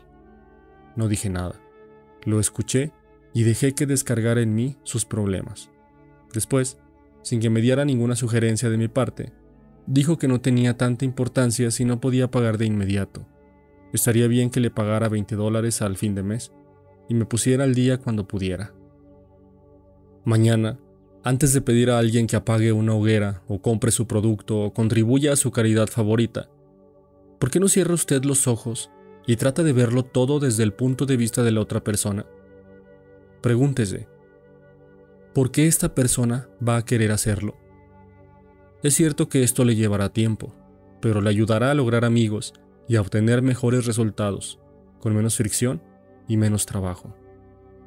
Yo prefiero caminar dos horas por la acera frente a la oficina de un hombre a quien debo entrevistar, dijo el decano de la Escuela de Negocios de Harvard, señor Dunham, antes que entrar en su oficina sin una idea perfectamente clara de lo que voy a decirle y de lo que es probable que él, según mis conocimientos de sus intereses y motivos, ha de responderme. Esto es de tal importancia que voy a repetirlo. Yo prefiero caminar dos horas por la acera frente a la oficina de un hombre a quien debo entrevistar antes que entrar en su oficina sin una idea perfectamente clara de lo que voy a decirle y de lo que es probable que él, según mis conocimientos de sus intereses y motivos, ha de responderme.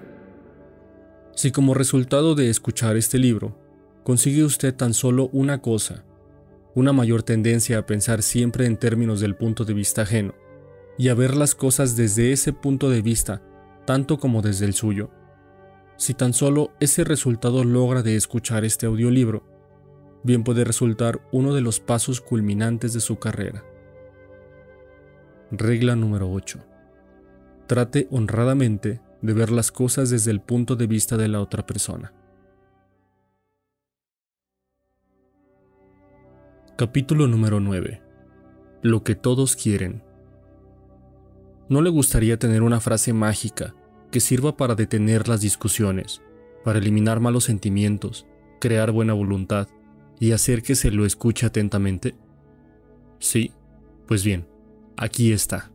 Comience diciendo, yo no lo puedo culpar por sentirse como se siente. Si yo estuviera en su lugar, no hay duda de que me sentiría de la misma manera. Una frase como esa suavizará a la persona más pendenciera del mundo y usted puede pronunciarla con toda sinceridad, porque si estuviera usted en el lugar del otro, es evidente que pensaría como él. Un ejemplo. Tomemos a Al Capone. Supongamos que usted hubiera heredado el mismo cuerpo y el temperamento y el cerebro que heredó Al Capone. Supongamos que hubiese tenido usted su misma educación, sus experiencias y ambiente. Sería usted precisamente lo que él era, y estaría donde estuvo él, porque esas cosas y solamente esas cosas son las que lo han hecho como es. La única razón, por ejemplo, de que no sea usted una víbora de cascabel es que sus padres no eran víboras de cascabel.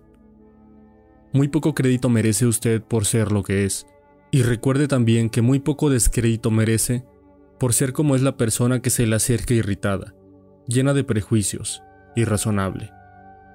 Tenga compasión del pobre diablo apiádese de él, simpatice con él, dígase, ese, si no fuera por la gracia de Dios, podría ser yo. Las tres cuartas partes de las personas con quien se encontrará usted mañana tienen sed de simpatía. Deles esa simpatía y le tendrán cariño. Yo pronuncié cierta vez una conferencia radiotelefónica acerca de la autora de Mujercitas, Louisa May Alcott. Naturalmente, yo sabía que había vivido y escrito sus libros inmortales en Concord, Massachusetts. Pero sin pensar en lo que decía, hablé de una visita hecha por mí a su viejo hogar en Concord, Nueva Hampshire. Si hubiese dicho Nueva Hampshire solo una vez, se me podría haber perdonado, pero, desgraciadamente, lo dije dos veces. Me vi asediado por cartas y telegramas, agrios mensajes que giraban en torno a mi indefensa cabeza como un enjambre de avispas. Muchos de ellos mostraban indignación. Unos pocos eran insultantes. Una dama colonial criada en Concord, Massachusetts, y residente por entonces en Filadelfia, volcó en mí su ira más ardiente. No podría haberse mostrado más punzante si yo hubiese dicho que la señorita Alcott pertenecía a una tribu de caníbales. Al leer la carta, reflexioné. Gracias a Dios que no me he casado con esta señora. Tuve impulsos de escribirle manifestándole que, si bien yo había cometido un error geográfico, ella lo había cometido en cuanto a cortesía. Esa iba a ser mi frase inicial. Después ya vería lo que pensaba de ella, pero no lo hice. Me dominé. Comprendí que cualquier tonto acalorado haría lo mismo. Yo quería estar por encima de los tontos. Por eso decidí tratar de convertir esa hostilidad en amistad. Sería una especie de desafío, una especie de juego para mí. Me dije, después de todo, si yo estuviera en su lugar, pensaría probablemente lo mismo que ella. Así pues, decidí simpatizar con su punto de vista. Tuve que ir a Filadelfia, y no tardé en llamarla por teléfono. La conversación fue algo así. Señora fulana de tal, usted me escribió una carta hace pocas semanas y quiero darle las gracias. Usted no me conoce, me llamó Dale Carnegie. Hace unos pocos domingos di una conferencia sobre Louisa May Alcott y cometí el error imperdonable de decir que había vivido en Concord, Nueva Hampshire. Fue un error estúpido, y quiero pedirle disculpas. Fue usted muy amable al dedicar parte de su tiempo a escribirme. Siento mucho, señor Carnegie, haberle escrito como lo hice. Perdí el tino. Quiero que me disculpe. No, no. No es usted quien debe pedir disculpas, sino yo. Un niño no habría cometido el error que hice yo. Pedí disculpas por la radio el domingo siguiente, pero quiero pedírselas personalmente ahora. Es que yo nací en Concord, Massachusetts. Mi familia se ha destacado en este estado durante dos siglos. Y yo estoy muy orgullosa de todo lo que se refiere a Massachusetts. Me afligió mucho, en verdad, oírle decir que la señorita Alcott nació en Nueva Hampshire. Pero estoy avergonzada de esa carta. Le aseguro que usted no puede afligirse ni la décima parte de lo que yo me afligí. Mi error no lastimó a Massachusetts pero a mí sí. Pocas veces las personas de su posición y su cultura tienen tiempo para escribir a quienes hablan por radio, y abrigo la esperanza de que me escribirá otra vez si nota algún error en mis conferencias. Quiero que sepa que me ha gustado mucho la forma en que acepta usted mis críticas. Debe ser usted muy simpático. Me gustaría conocerlo mejor. Así, pidiendo disculpas y simpatizando con su punto de vista, logré que ella se disculpara y simpatizara con el mío. Tuve la satisfacción de dominar mi mal genio, la satisfacción de devolver bondad por un insulto. Y me divertí mucho más al conseguir la simpatía de esa mujer que si le hubiera dicho que se arrojara de cabeza al río. Todo hombre que ocupa la Casa Blanca se ve diariamente ante espinosos problemas de relaciones humanas. El presidente Taft no fue una excepción, y por experiencia conoció el enorme valor químico de la simpatía para neutralizar el ácido de los resquemores. En su libro, Ética en Servicio, Taft da un ejemplo bastante divertido sobre la forma en que se suavizó la ira de una madre decepcionada y ambiciosa. Una señora de Washington, escribe Taft, cuyo marido tenía cierta influencia política, trató conmigo durante seis semanas o más a fin de que se designara a su hijo para cierto cargo. Consiguió la ayuda de senadores y representantes en número formidable, y los acompañaba a verme para cuidar que defendieran bien su pedido. El cargo requería una preparación técnica y, según las recomendaciones del cuerpo administrativo, designé a otra persona. Entonces, recibí una carta de la madre diciéndome que yo era un desagradecido por haberme negado a convertirla en una mujer feliz con un trazo de mi pluma. Se quejaba, además, de haber trabajado con los legisladores de su estado para conseguir todos los votos en favor de un proyecto en que yo estaba especialmente interesado, y que ésta era la forma en que yo le pagaba. Cuando uno recibe una carta así, lo primero que hace es pensar cómo puede mostrar severidad con una persona que ha cometido una impropiedad o aún cierta impertinencia. Entonces escribe uno la respuesta, Pero, si es prudente, guarda la carta en un cajón y cierra el cajón con llave. La saca uno a los dos días. Estas comunicaciones pueden retrasarse siempre dos días, y entonces no la envía ya. Ese es el camino que seguí yo.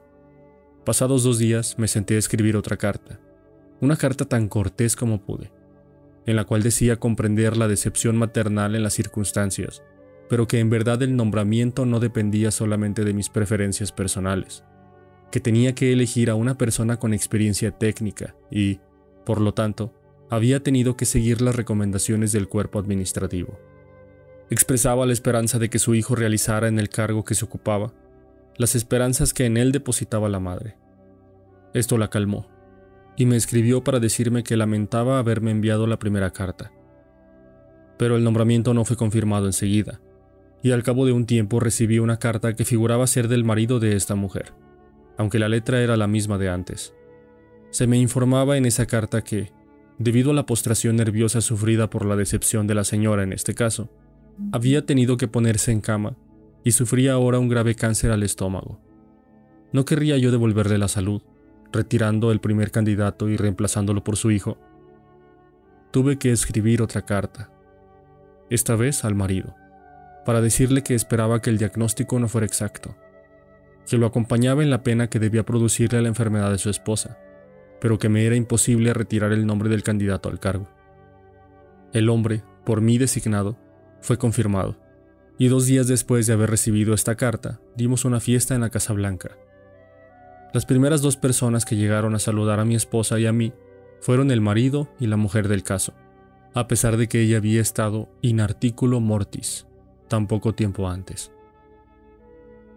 J. Mangum representaba a una compañía de mantenimiento de ascensores y escaleras mecánicas en Tulsa, Oklahoma, que tenía el contrato de mantenimiento de las escaleras mecánicas de uno de los principales hoteles de Tulsa. El director del hotel no quería clausurar las escaleras por más de dos horas seguidas, debido a los inconvenientes que eso causaría a los pasajeros. La reparación que debía hacerse insumiría por lo menos ocho horas, y la compañía no disponía de un mecánico especializado en todo momento, como habría sido necesario para satisfacer al hotel. Cuando el señor Mangum logró agendar a un buen mecánico para hacer el trabajo, llamó al gerente del hotel y en lugar de discutir con él para obtener el tiempo necesario, le dijo, Rick, sé que su hotel tiene muchos pasajeros y a usted le gustaría que la clausura de las escaleras mecánicas se redujera a un mínimo. Entiendo su preocupación por este punto, y haré todo lo posible por acomodarme. No obstante, después de estudiar la situación, hemos llegado a la conclusión de que si no hacemos el trabajo completo ahora, la escalera podría sufrir un perjuicio más serio, y la clausura a la larga sería más prolongada. Estoy seguro de que usted no querrá causarle ese inconveniente a sus pasajeros durante varios días seguidos. El gerente debió admitir que un cierre de ocho horas seguidas era preferible a uno de varios días. Simpatizando con el deseo del gerente de mantener felices a sus pasajeros, el señor Mangu pudo hacerlo pensar como él, fácilmente y sin rencores. Joyce Norris, una profesora de piano de Louis, Missouri, contó cómo había manejado un problema que las profesoras de piano suelen tener con chicas adolescentes. Babette tenía uñas excepcionalmente largas, lo cual es un inconveniente serio para quien quiera que desee ejecutar el piano con buena y brillante técnica. La señora Norris nos contó. Yo sabía que sus uñas largas serían una barrera a su deseo de aprender a tocar bien. Durante nuestras conversaciones antes de iniciar las lecciones, no le dije nada sobre las uñas. No quería desalentarla al comenzar el estudio. Y además sabía que no querría perder esas uñas de las que se enorgullecía y cuidaba tanto. Después de la primera lección, cuando sentí que era el momento adecuado, le dije, Babette, tienes manos atractivas y uñas hermosas. Si quieres tocar el piano tan bien como puedes hacerlo, y como te gustaría, te sorprenderá ver cuánto te ayudará a tener las uñas algo recortadas. Piénsalo, ¿eh? Hizo un gesto que representaba una negativa absoluta. Hablé con su madre sobre esta situación, pero sin olvidar hacer mención de lo hermosas que eran sus uñas. Otra reacción negativa. Era evidente que las hermosas uñas manicuradas de Babette eran importantes para ella. A la semana siguiente, Babette volvió por la segunda lección. Para mi sorpresa, se había cortado las uñas. La felicité y la elogié por haber hecho el sacrificio.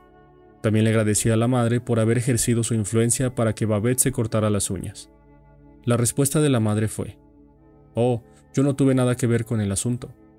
Ella decidió hacerlo por sí misma, y es la primera vez que se ha cortado las uñas por pedido de alguien. La señora Norris amenazó a Babette. Le dijo que se negaría a darle clases a un estudiante con uñas largas. No, nada de eso. Le informó a Babette que sus uñas eran hermosas y que sería un sacrificio cortárselas. Fue como si le dijera, me pongo en tu lugar, sé que no será fácil, pero la recompensa será un desarrollo musical más rápido. Es Hurok fue probablemente el primer empresario musical de los Estados Unidos. Durante un quinto de siglo ha dirigido artistas, artistas tan famosos como Chaliapin, Isadora, Duncan y La Pavlova. El señor Hurok me dijo que una de las primeras lecciones que aprendió al tratar con estas estrellas llenas de temperamento se refería a la necesidad de mostrar simpatía. Simpatía y más simpatía por su ridícula idiosincrasia. Durante tres años fue empresario de Fyodor Chaliapin, uno de los más grandes bajos que ha conocido el mundo. Pero Chaliapin era un problema constante. Se comportaba como un niño malcriado. La frase de Hurok es inimitable era un infierno de tipo en todo sentido. Por ejemplo, Chaliapin llamaba un día al señor Horrock a mediodía para decirle, Me siento muy mal, tengo la garganta inflamada, me va a ser imposible cantar esta noche. ¿Discutía con él el señor Hurok? Jamás. Ya sabía que un empresario no podía tratar así con los artistas. Corría al hotel de Chaliapin lleno de compasión. Qué lástima, se lamentaba. Qué lástima, pobre amigo mío. Es claro que no podrá cantar. Ahora mismo voy a cancelar el concierto. No le costará más que una gran cantidad de dinero, pero eso no es nada comparado con su reputación. Entonces suspiraba Chaliapin y decía, Quizás sea mejor que vuelva usted más tarde. Venga a verme a las 5 y ya veremos cómo me encuentro entonces. A las 5 volvía Hurok al hotel, siempre lleno de simpatía y compasión. Insistía en que debía cancelarse el concierto y otra vez suspiraba Chaliapin y decía, bueno, quizás sea mejor que vuelva más tarde, quizás esté mejor entonces. A las 7.30, el gran bajo aceptaba cantar, pero con la condición de que Hurok apareciera primero en el escenario de la ópera metropolitana para anunciar que Chaliapin sufría un resfriado y no estaba esa noche en plena posesión de su voz.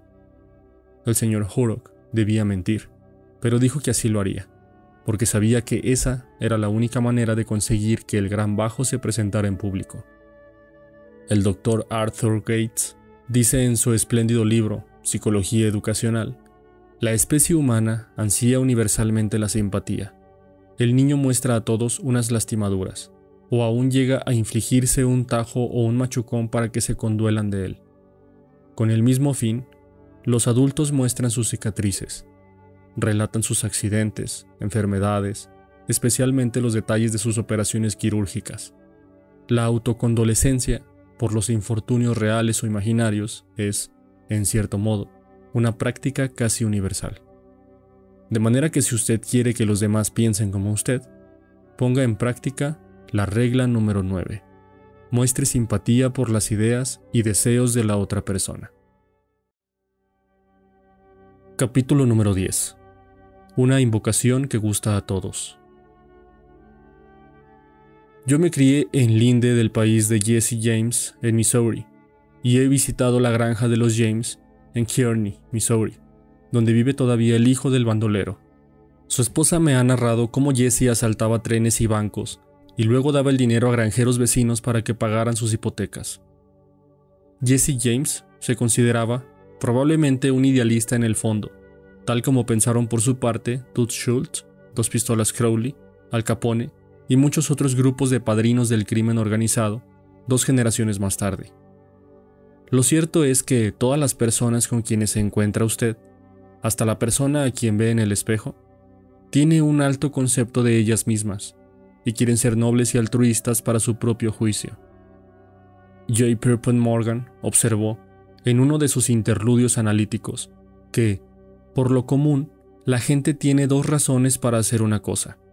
Una razón que parece buena y digna y la otra, la verdadera razón. Cada uno piensa en su razón verdadera. No hay necesidad de insistir en ello. Pero todos, como en el fondo somos idealistas, queremos pensar en los motivos que parecen buenos. Así pues, a fin de modificar a la gente, apelamos a sus motivos más nobles. ¿Es este sistema demasiado idealista para aplicarlo a los negocios? Veamos. Tomemos el caso de Hamilton J. Farrell, de la Farrell Mitchell Company, de Glenolden, Pensilvania. El señor Farrell tenía un inquilino descontento, que quería mudarse de casa. El contrato de alquiler debía seguir todavía durante cuatro meses, pero el inquilino comunicó que iba a dejar la casa inmediatamente sin tener en cuenta el contrato. Aquella familia, dijo Farrell, al relatar el episodio ante nuestra clase, había vivido en la casa durante el invierno entero, o sea, la parte más costosa del año para nosotros, y yo sabía que sería difícil alquilar otra vez el departamento antes del otoño. Pensé en el dinero que perderíamos y me enfurecí. Ordinariamente, yo habría ido a ver al inquilino para advertirle que leyera otra vez el contrato. Le habría señalado que, en el caso de dejar la casa, podríamos exigirle inmediatamente el pago de todo el resto de su alquiler, y que yo podría y haría los trámites necesarios para cobrar. Pero, en lugar de dejarme llevar por mis impulsos, decidí intentar otra táctica. Fui a verlo y le hablé así. Señor fulano, he escuchado lo que tiene que decirme y todavía no creo que se proponga usted mudarse. Los años que he pasado en este negocio me han enseñado algo acerca de la naturaleza humana y desde un principio he pensado que usted es un hombre de palabra.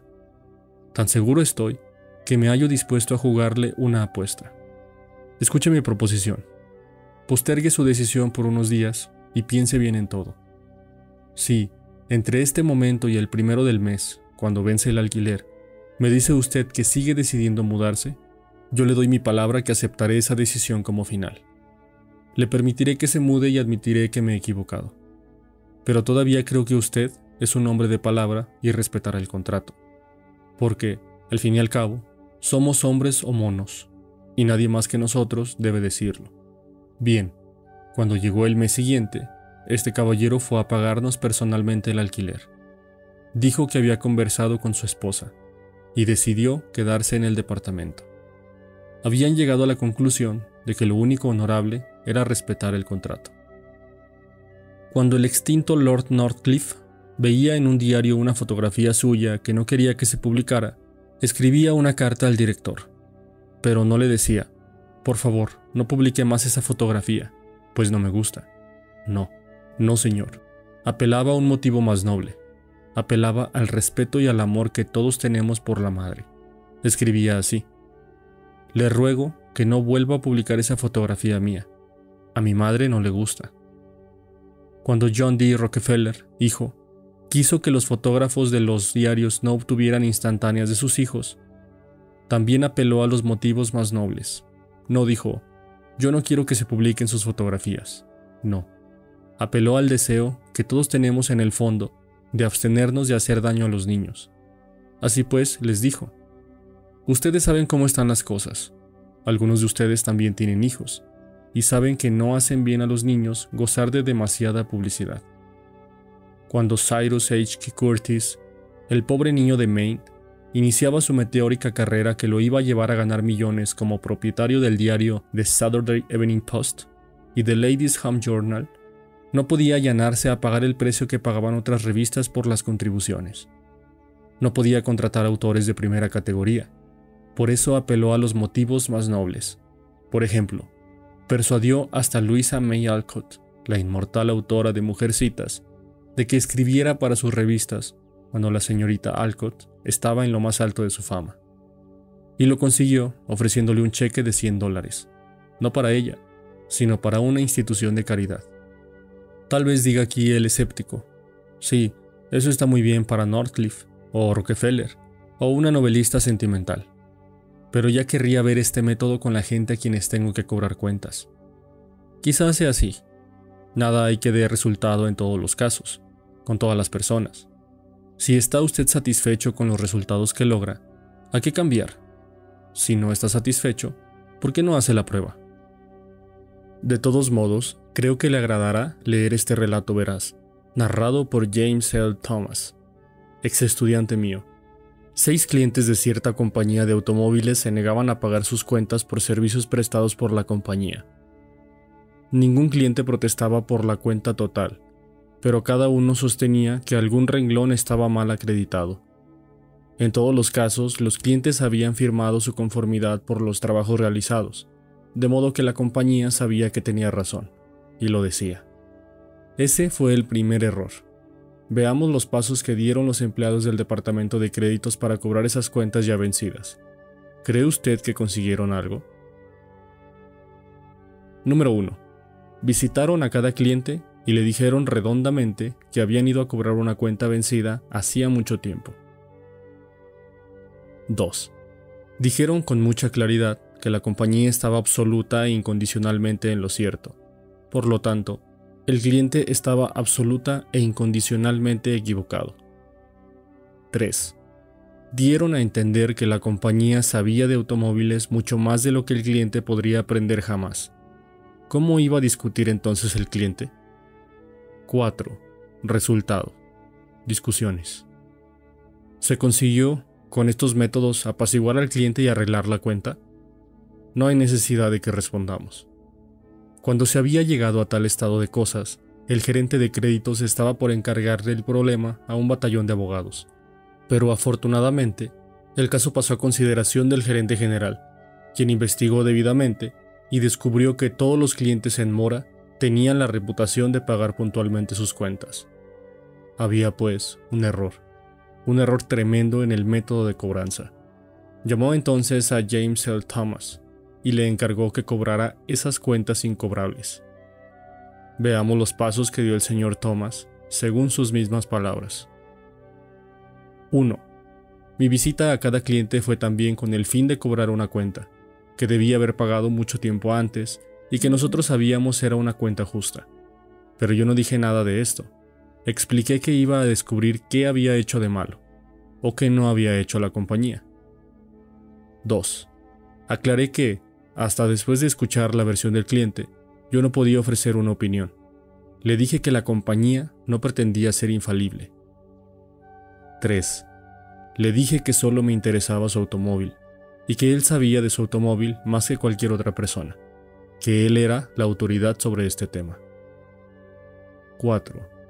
Lo dejé hablar, y lo escuché con todo el interés y la simpatía que él deseaba y esperaba. 5.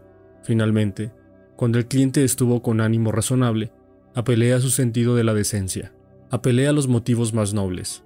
Le dije así. Primero, quiero que sepa que esta cuestión ha sido mal llevada. Se lo ha molestado, incomodado, irritado con las visitas de nuestros representantes, Nunca debió procederse así. Lo lamento y, como representante de la compañía, le pido disculpas. Al escuchar ahora su versión, no he podido menos que impresionarme por su rectitud y su paciencia. Y ahora, como usted es ecuánime y paciente, voy a pedirle que haga algo por mí. Es algo que usted puede hacer mejor que cualquiera, porque usted sabe más que cualquiera. Aquí está su cuenta. Sé que no me arriesgo al pedirle que la ajuste como lo haría si fuera el presidente de mi compañía. Dejo todo en sus manos. Lo que usted decida, se hará. ¿Pagó la cuenta? Claro que sí. Y muy complacido quedó al hacerlo. Las cuentas oscilaban entre 150 y 400 dólares. ¿Y se aprovecharon los clientes? Sí. Uno de ellos se negó a pagar un centavo del renglón protestado, pero los otros cinco pagaron todo lo que decía la compañía. Y lo mejor del caso es que en los dos años siguientes Entregamos automóviles nuevos a los seis clientes, encantados ahora de tratar con nosotros. La experiencia me ha enseñado, dijo el señor Thomas finalmente, que cuando no se puede obtener un informe exacto acerca del cliente, la única base sobre la cual se puede proceder es la de presumir que es una persona sincera, honrada, veraz, deseosa de pagar sus cuentas una vez convencida de que las cuentas son exactas. En otras palabras, más claras quizá, la gente es honrada y quiere responder a sus obligaciones. Las excepciones de esta regla son comparativamente escasas, y yo estoy convencido de que el individuo inclinado a regatear reaccionará favorablemente en casi todos los casos si se le hace sentir que se le considera una persona honrada recta y justa. Regla número 10. Apele a los motivos más nobles.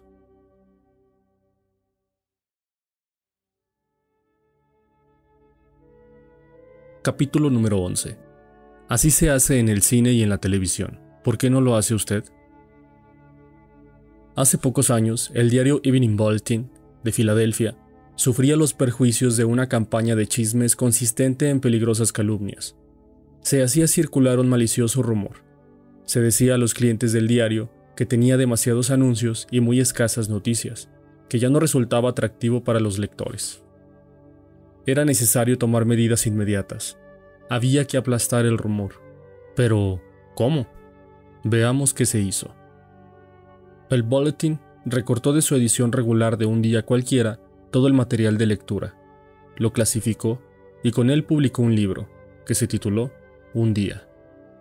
Constaba de 307 páginas, tantas como un libro corriente, pero el diario había publicado todo ese material en un día para venderlo, no por varios dólares, sino por unos pocos centavos. La publicación de este libro dramatizó el hecho de que el diario daba a sus lectores una enorme cantidad de interesante material de lectura. Hizo conocer este hecho más vividamente, con mayor interés, que lo que se podría haber logrado en muchos días de publicación de cifras y anuncios. Este es el tiempo de la dramatización. No basta con decir una verdad. Hay que hacerla vívida, interesante, dramática. El cine lo hace, la televisión lo hace, y usted también tendrá que hacerlo si quiere llamar la atención. Los peritos en arreglo de vidrieras conocen el gran poder de la dramatización. Por ejemplo, los fabricantes de un nuevo veneno para ratas dieron a los comerciantes una vidriera que contenía dos ratas vivas. La semana en que se mostraron esas ratas, las ventas subieron cinco veces por encima de lo normal. Los comerciales de televisión muestran abundancia de ejemplos del uso de las técnicas dramáticas para vender productos. Siéntese una noche delante de su televisor y analice lo que hacen los publicitarios en cada una de sus presentaciones. Notará cómo un medicamento antiácido cambia el color de un ácido en un tubo de ensayo, mientras el producto de la competencia no lo hace. Cómo una marca de jabón o detergente limpia una camisa engrasada, mientras otra marca la deja grisácea verá un auto maniobrando a través de una serie de curvas y obstáculos, lo cual es mucho mejor que simplemente oír como lo dicen. Verá caras felices mostrando la satisfacción que da una cantidad de productos. Todo lo cual dramatiza, para los espectadores, las ventajas de cualquier cosa que se venda, y logra que la gente la compre. Pueden dramatizarse las ideas en los negocios o en cualquier otra área de la vida. Es fácil. Jim Gimmons, vendedor de la NCR, una fábrica de cajas registrada de Richmond, Virginia, nos contó cómo hizo una venta gracias a una demostración dramatizada. La semana pasada visité a un almacenero del vecindario y vi que la caja registradora que usaba en su mostrador era muy anticuada. Me acerqué entonces al dueño y le dije, Usted está literalmente tirando centavos a la calle cada vez que un cliente se pone en fila. Y al decirlo, arrojé hacia la puerta un puñado de monedas. Capté su atención de inmediato. Las meras palabras no le habrían resultado demasiado interesantes, pero el sonido de las monedas en el piso despertó de veras su interés, y logré un pedido para reemplazar su vieja máquina. También funciona en la vida doméstica. Cuando el novio clásico le proponía matrimonio a su chica, ¿lo hacía con meras palabras? Claro que no. Se ponía de rodillas. Eso significa que hablaba en serio. Ya no nos ponemos más de rodillas, pero muchos novios siguen prefiriendo una atmósfera romántica antes de lanzar su gran pregunta.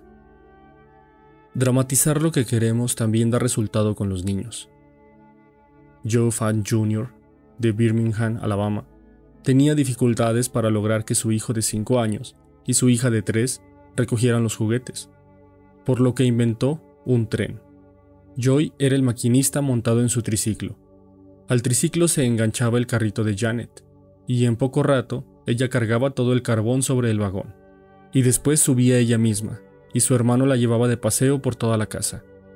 De este modo se juntaban todos los juguetes, sin retos, amenazas ni discusiones. Mary Catherine Wolf, de Mishawaka, Indiana, tenía problemas en el trabajo y decidió hacerle una exposición de ellos a su patrón. El lunes a la mañana, pidió una entrevista, pero él le hizo decir que estaba muy ocupado y que debería hacer una cita con la secretaria para algún otro día de la semana. La secretaria le indicó que la agenda del jefe estaba muy cargada, pero tratarían de hacerle un lugarcito. La señora Wolf describió lo que sucedió. No recibí respuesta alguna de la secretaria durante toda la semana. Cada vez que la interrogaba, me daba un motivo distinto por el que mi jefe no podía atenderme. El viernes a la mañana fui otra vez, y tampoco hubo nada definido. Yo realmente quería verlo y hablarle de mis problemas antes del fin de semana, así que me pregunté cómo podía lograr enfrentarlo. Lo que hice al fin fue esto. Le escribí una carta formal. En ella le decía que entendía perfectamente lo ocupado que estaba durante la semana, pero era importante que yo le hablara. Incluía un formulario hecho por mí y un sobre con mi nombre, y le pedía que por favor lo llenara o le pidiera a su secretaria que lo hiciera y me lo enviara. El formulario decía esto. Señorita Wolf, ¿podré verla el día? A la hora. Le concederé minutos de mi tiempo. Puse esta carta en su canasta de correspondencia a las 11 de la mañana.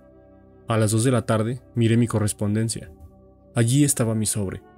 Había respondido diciendo que podría verme esta tarde y me concedería 10 minutos de su tiempo. Fui a verlo Hablamos durante más de una hora, y mis problemas quedaron resueltos.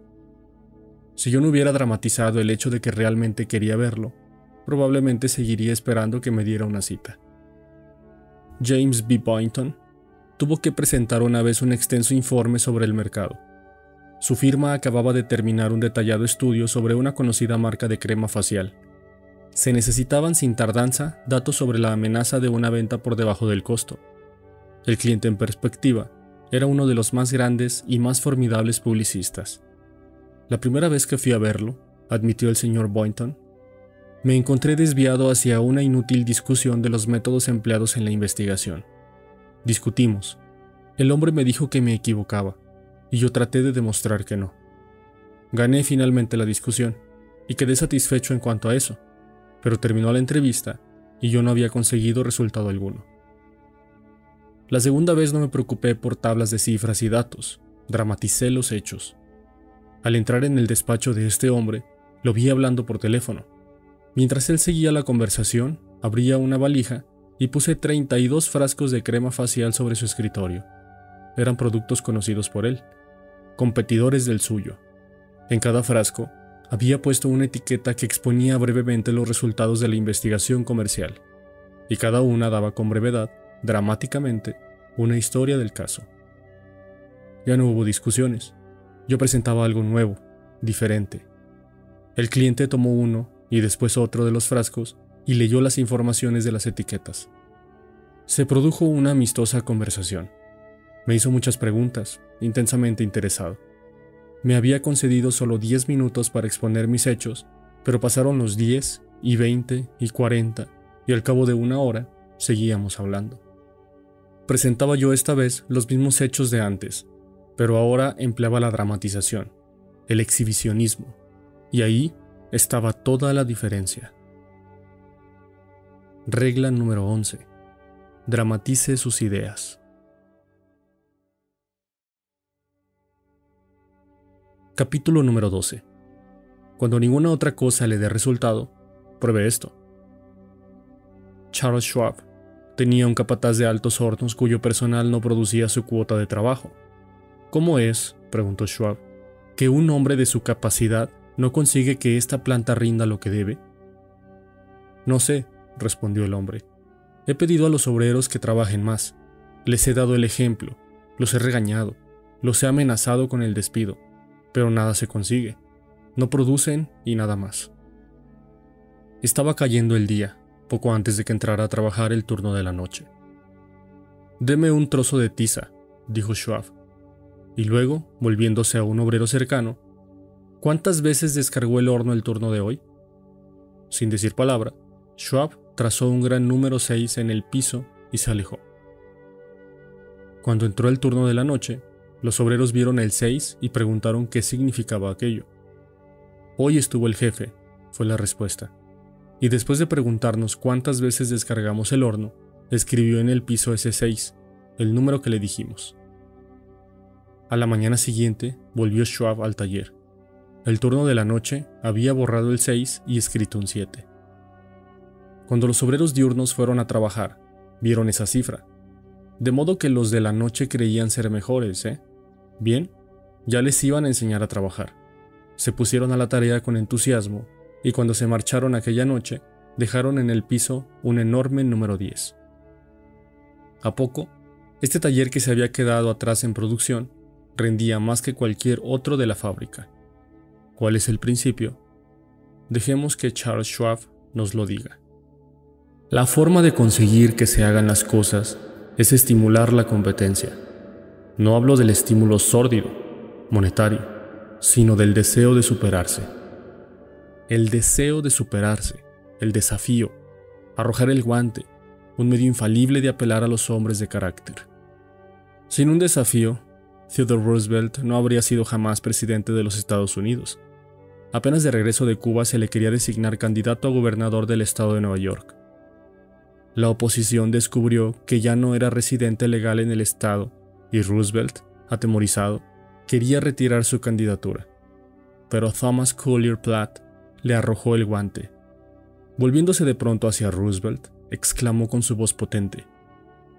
¿Es un cobarde el héroe del Cerro de San Juan? Roosevelt emprendió la lucha, y lo demás es ya cosa de la historia. Ese desafío no solamente cambió su vida, sino que tuvo un efecto tremendo sobre la historia de la nación. Todos los hombres tienen temores, pero los valientes los olvidan y van adelante, a veces hasta la muerte, pero siempre hasta la victoria. Ese era el lema de la Guardia Real en la antigua Grecia.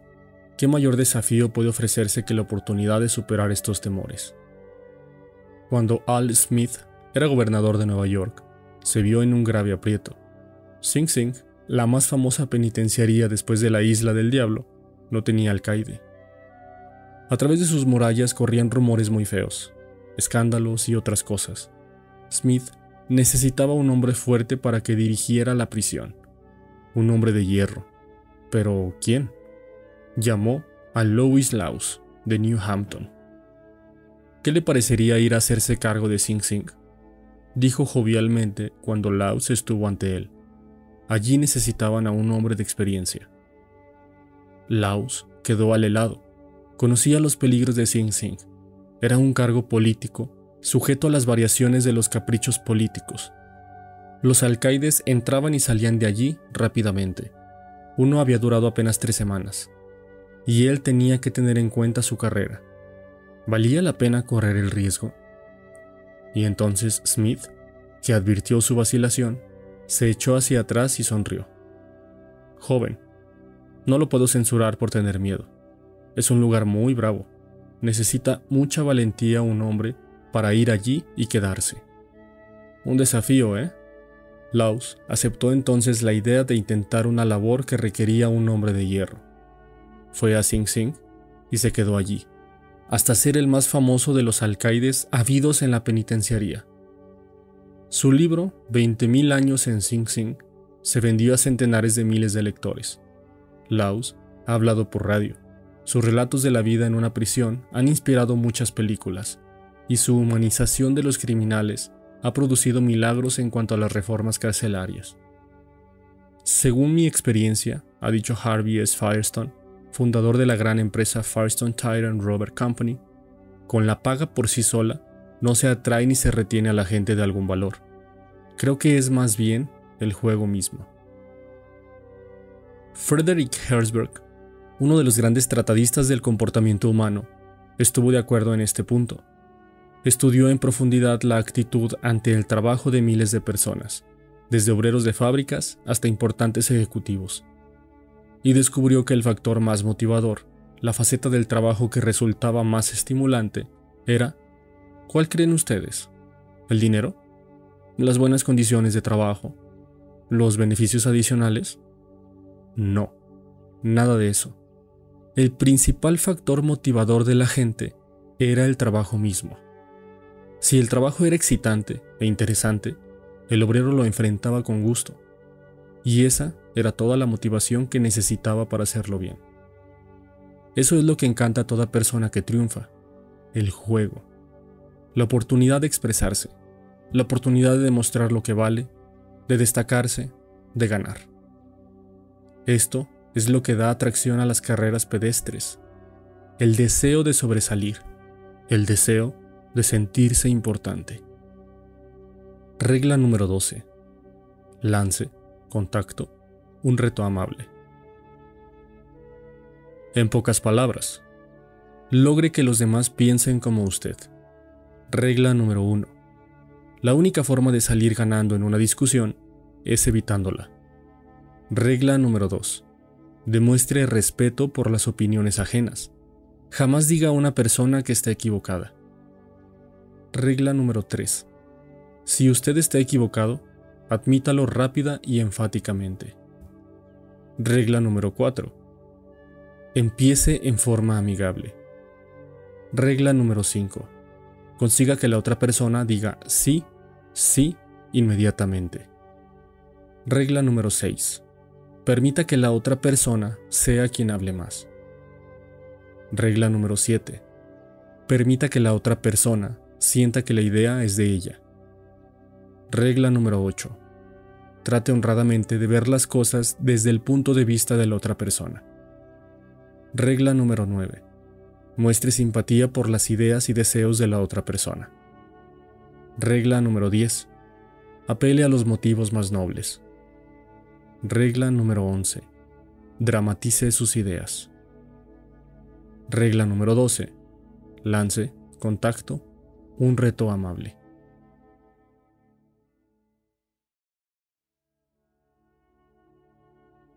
Cuarta parte. Sea un líder. ¿Cómo cambiar a los demás sin ofenderlos ni despertar resentimientos? Capítulo número 1. Si tiene usted que encontrar defectos, esta es la manera de empezar. Un amigo mío fue invitado a pasar un fin de semana en la Casa Blanca durante la administración de Calvin Coolidge.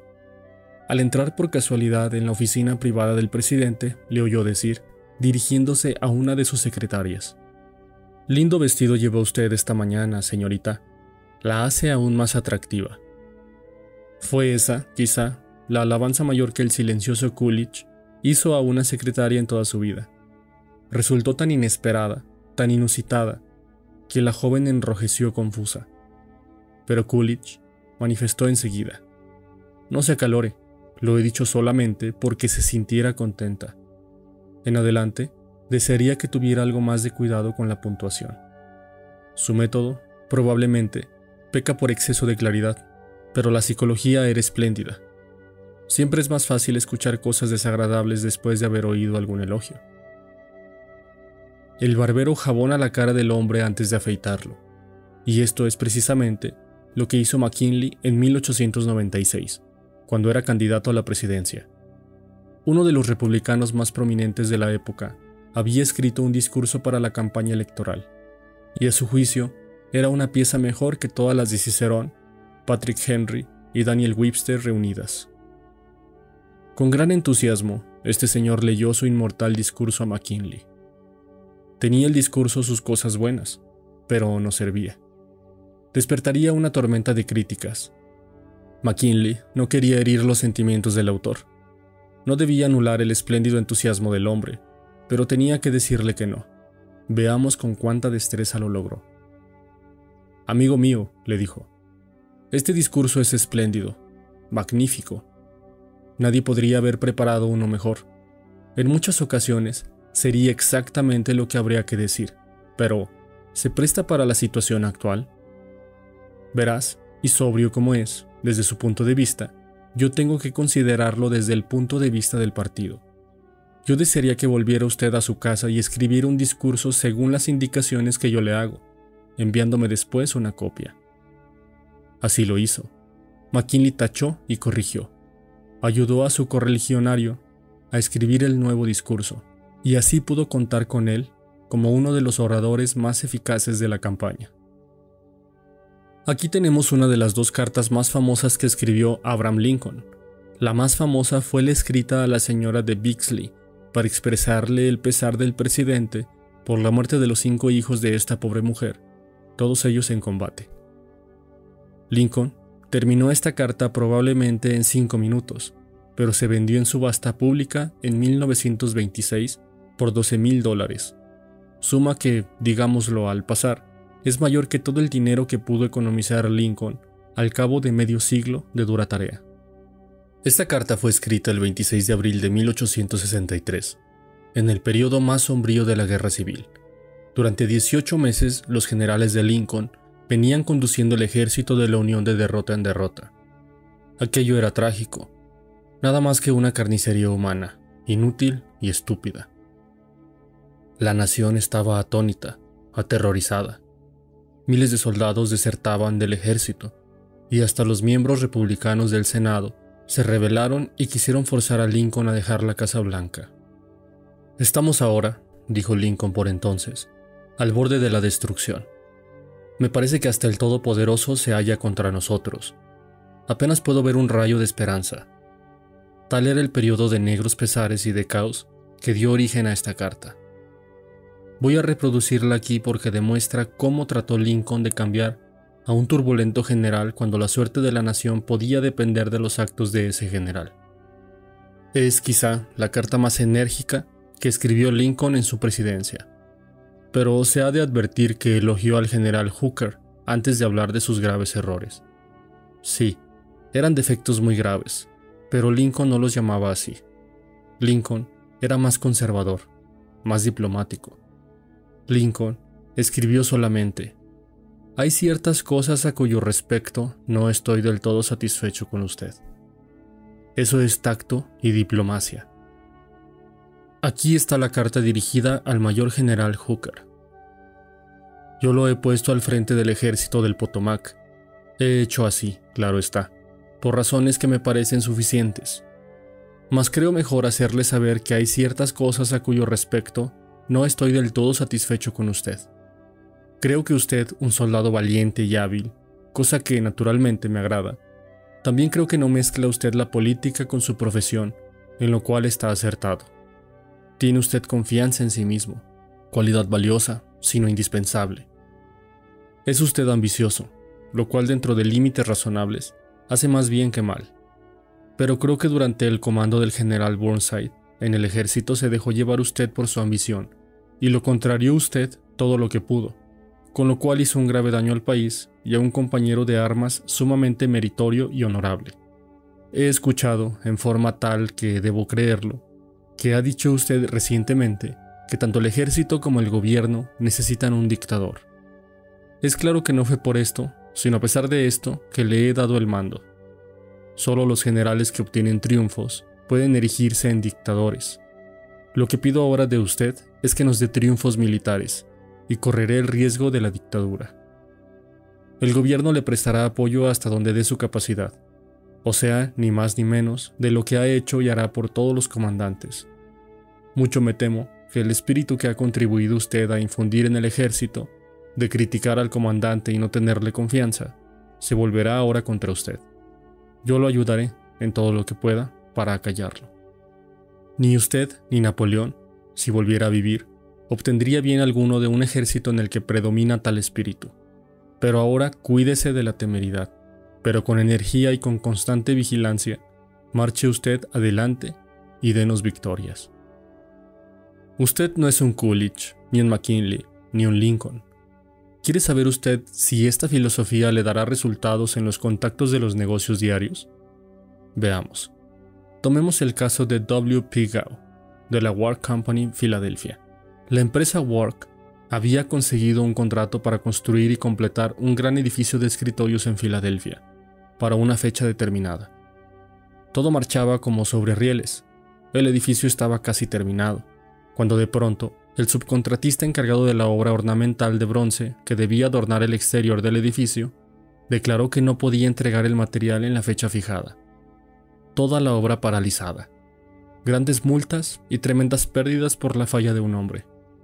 Hubo comunicaciones telefónicas a larga distancia, discusiones, conversaciones acaloradas, todo en vano. Por fin, el señor Gao fue enviado a Nueva York para entrevistar a León en su cueva. ¿Sabe usted que es la única persona en Brooklyn con este apellido? preguntó Gao apenas hubo entrado en el despacho del presidente. No lo sabía, repuso sorprendido el presidente. Así es, insistió Gao.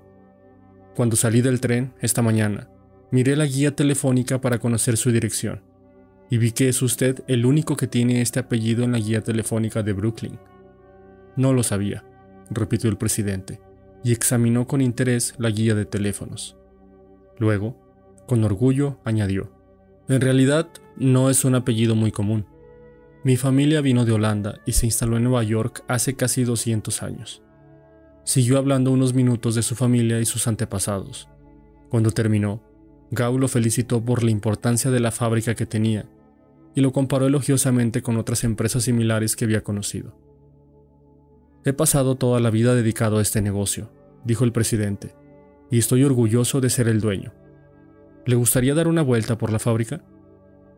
Durante esta gira de inspección, el señor Gao lo felicitó por el sistema de trabajo empleado y le explicó cómo y por qué le parecía superior al de algunos competidores. Gao comentó algunas máquinas poco comunes, y el presidente le anunció que las había inventado él. Dedicó mucho tiempo a mostrar cómo funcionaban y los buenos resultados que daban. Insistió en que Gao lo acompañara a almorzar. Hasta entonces no se había pronunciado una palabra sobre el verdadero propósito de la visita del señor Gao. Después de almorzar, el presidente manifestó, Ahora, a lo que tenemos que hacer. Naturalmente, yo sé por qué ha venido usted. No esperaba que nuestra entrevista sería tan agradable. Puede volver a Filadelfia con mi promesa de que el material para esa obra será fabricado y despachado a tiempo, aunque haya que retrasar la entrega de otros pedidos. El señor Gao consiguió lo que quería sin pedirlo siquiera. El material llegó a tiempo y el edificio quedó terminado el día en que expiraba el contrato para su entrega.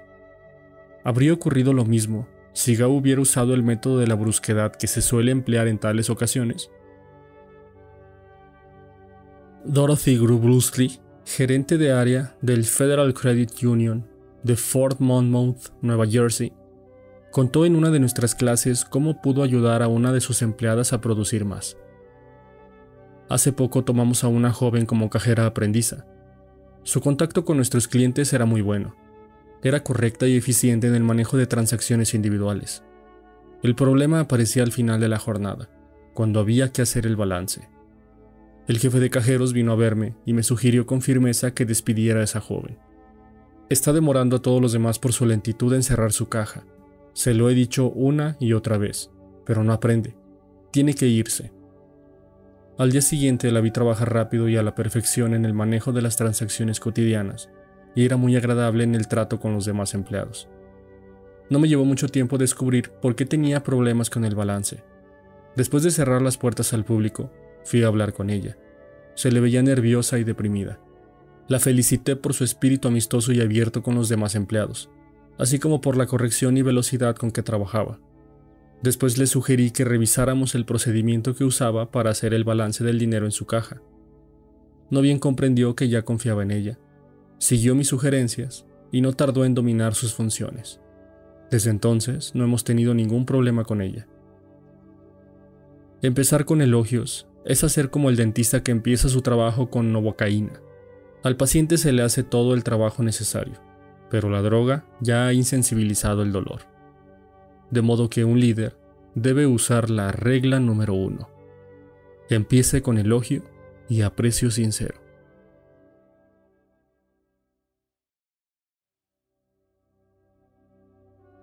Capítulo número 2. Cómo criticar y no ser odiado por ello. Charles Schwab pasaba por uno de sus talleres metalúrgicos un mediodía, cuando se encontró con algunos empleados fumando. Tenían sobre las cabezas un gran letrero que decía, prohibido fumar. Pero Schwab no señaló el letrero preguntando, ¿no saben leer? No, señor. Se acercó a los hombres, entregó a cada uno un cigarro y dijo, Les agradeceré mucho, amigos, que fumen estos afuera. Ellos no ignoraban que él sabía que habían desobedecido una regla, y lo admiraron porque no decía nada al respecto. Les obsequiaba y los hacía sentir importantes. No se puede menos que querer a un hombre así, ¿verdad? John Wanamaker empleaba la misma táctica, todos los días solía efectuar una gira por su gran tienda de Filadelfia. Una vez vino a una clienta que esperaba junto a un mostrador. Nadie le prestaba la menor atención. Los vendedores estaban reunidos en un grupo al otro extremo del mostrador, conversando y riendo. Wanamaker no dijo una palabra. Se colocó detrás del mostrador, atendió personalmente a la mujer y después entregó su compra a los vendedores para que le hicieran envolver y siguió su camino. A los funcionarios públicos se los suele criticar por no mostrarse accesibles a sus votantes. Son gente ocupada, y el defecto suele estar en empleados sobreprotectores que no quieren recargar a sus jefes con un exceso de visitantes. Carl Langford, que fue alcalde de Orlando, Florida, donde se encuentra Disney World, durante muchos años insistió en que su personal permitiera que la gente que fuera a verlo pudiera hacerlo. Decía tener una política de puertas abiertas, y aún así los ciudadanos de su comunidad se veían bloqueados por secretarias y empleados cada vez que querían verlo. Al fin, el alcalde encontró una solución. Sacó la puerta de su oficina. Sus ayudantes comprendieron el mensaje, y el alcalde tuvo una administración realmente abierta al público desde que derribó simbólicamente la puerta. El mero cambio de una pequeña palabra puede representar la diferencia entre el triunfo y el fracaso en cambiar a una persona sin ofenderla o crear resentimientos. Muchos creen eficaz iniciar cualquier crítica con un sincero elogio seguido de la palabra pero, y a continuación la crítica. Por ejemplo, si se desea cambiar la actitud descuidada de un niño respecto de sus estudios, podemos decir, estamos realmente orgullosos de ti, Johnny, por haber mejorado tus notas este mes. Pero si te hubieras esforzado más en álgebra, los resultados habrían sido mejores todavía. Johnny se sentirá feliz hasta el momento de oír la palabra pero. En ese momento, cuestionará la sinceridad del elogio, que le parecerá un truco para poder pasar de contrabando la crítica. La credibilidad sufrirá, y probablemente no logremos nuestro objetivo de cambiar la actitud de Johnny hacia sus estudios. Esto podría evitarse cambiando la palabra pero por Estamos realmente orgullosos de ti, Johnny, por haber mejorado tus notas este mes, y si sigues esforzándote, podrás subir las notas de álgebra al nivel de las demás. Ahora sí, Johnny podrá aceptar el elogio porque no hubo un seguimiento con crítica. Le hemos llamado indirectamente la atención sobre la conducta que queríamos cambiar, y lo más seguro es que se adecuará a nuestras expectativas. Llamar la atención indirectamente sobre los errores obra maravilla sobre personas sensibles que pueden resentirse ante una crítica directa. Mark Jacob, de Woonsocket, Rhode Island, contó en una de nuestras clases cómo convenció a unos desprolijos obreros de la construcción de que hicieran la limpieza al terminar el trabajo, mientras construían una adición a su casa. Durante los primeros días de trabajo, cuando la señora Jacob volvía de su oficina, notaba que el patio estaba cubierto de fragmentos de madera, no quería ganarse la enemistad de los obreros, que por lo demás hacían un trabajo excelente, de modo que cuando se marcharon, ella y sus hijos recogieron y apilaron todos los restos de madera en un rincón. A la mañana siguiente, llamó aparte al capataz y le dijo, Estoy realmente contenta por el modo en que dejaron el patio anoche. Así de limpio y ordenado no molestará a los vecinos. Desde ese día, los obreros recogieron y apilaron los restos de madera y el capataz se acercaba todos los días a la dueña de casa buscando aprobación por el orden que habían hecho el día anterior. Una de las áreas de controversia más áspera entre los miembros de la Reserva de las Fuerzas Armadas y los oficiales regulares es el corte de pelo. Los reservistas se consideran civiles, cosa que son la mayor parte del tiempo, y no les agrada tener que hacerse un corte militar. El sargento Harold Kaiser de la Escuela Militar 542 se vio ante este problema al trabajar con un grupo de oficiales de la reserva sin destinos. Como veterano sargento, lo normal en él habría sido aullarle a las tropas y amenazarlas. En lugar de eso, prefirió utilizar un enfoque indirecto. Caballeros, comenzó. Ustedes son líderes, y el mundo más eficaz de practicar el liderazgo es hacerlo mediante el ejemplo. Ustedes deben ser un ejemplo que sus hombres quieran seguir. Todos saben lo que dicen los reglamentos del ejército sobre el corte de pelo.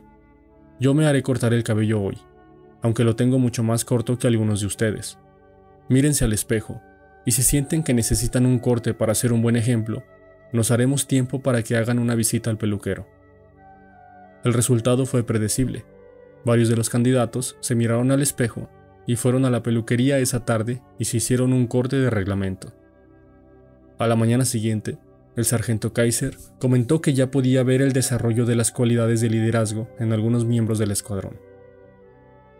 El 8 de marzo de 1887 murió el elocuente Henry Ward Beecher. Al domingo siguiente, Lyman Abbott fue invitado a hablar desde el púlpito vacante por el deceso de Beecher. Ansioso de causar buena impresión, Abbott escribió, corrigió y pulió su sermón con el minucioso cuidado de un Flaubert. Después lo leyó a su esposa.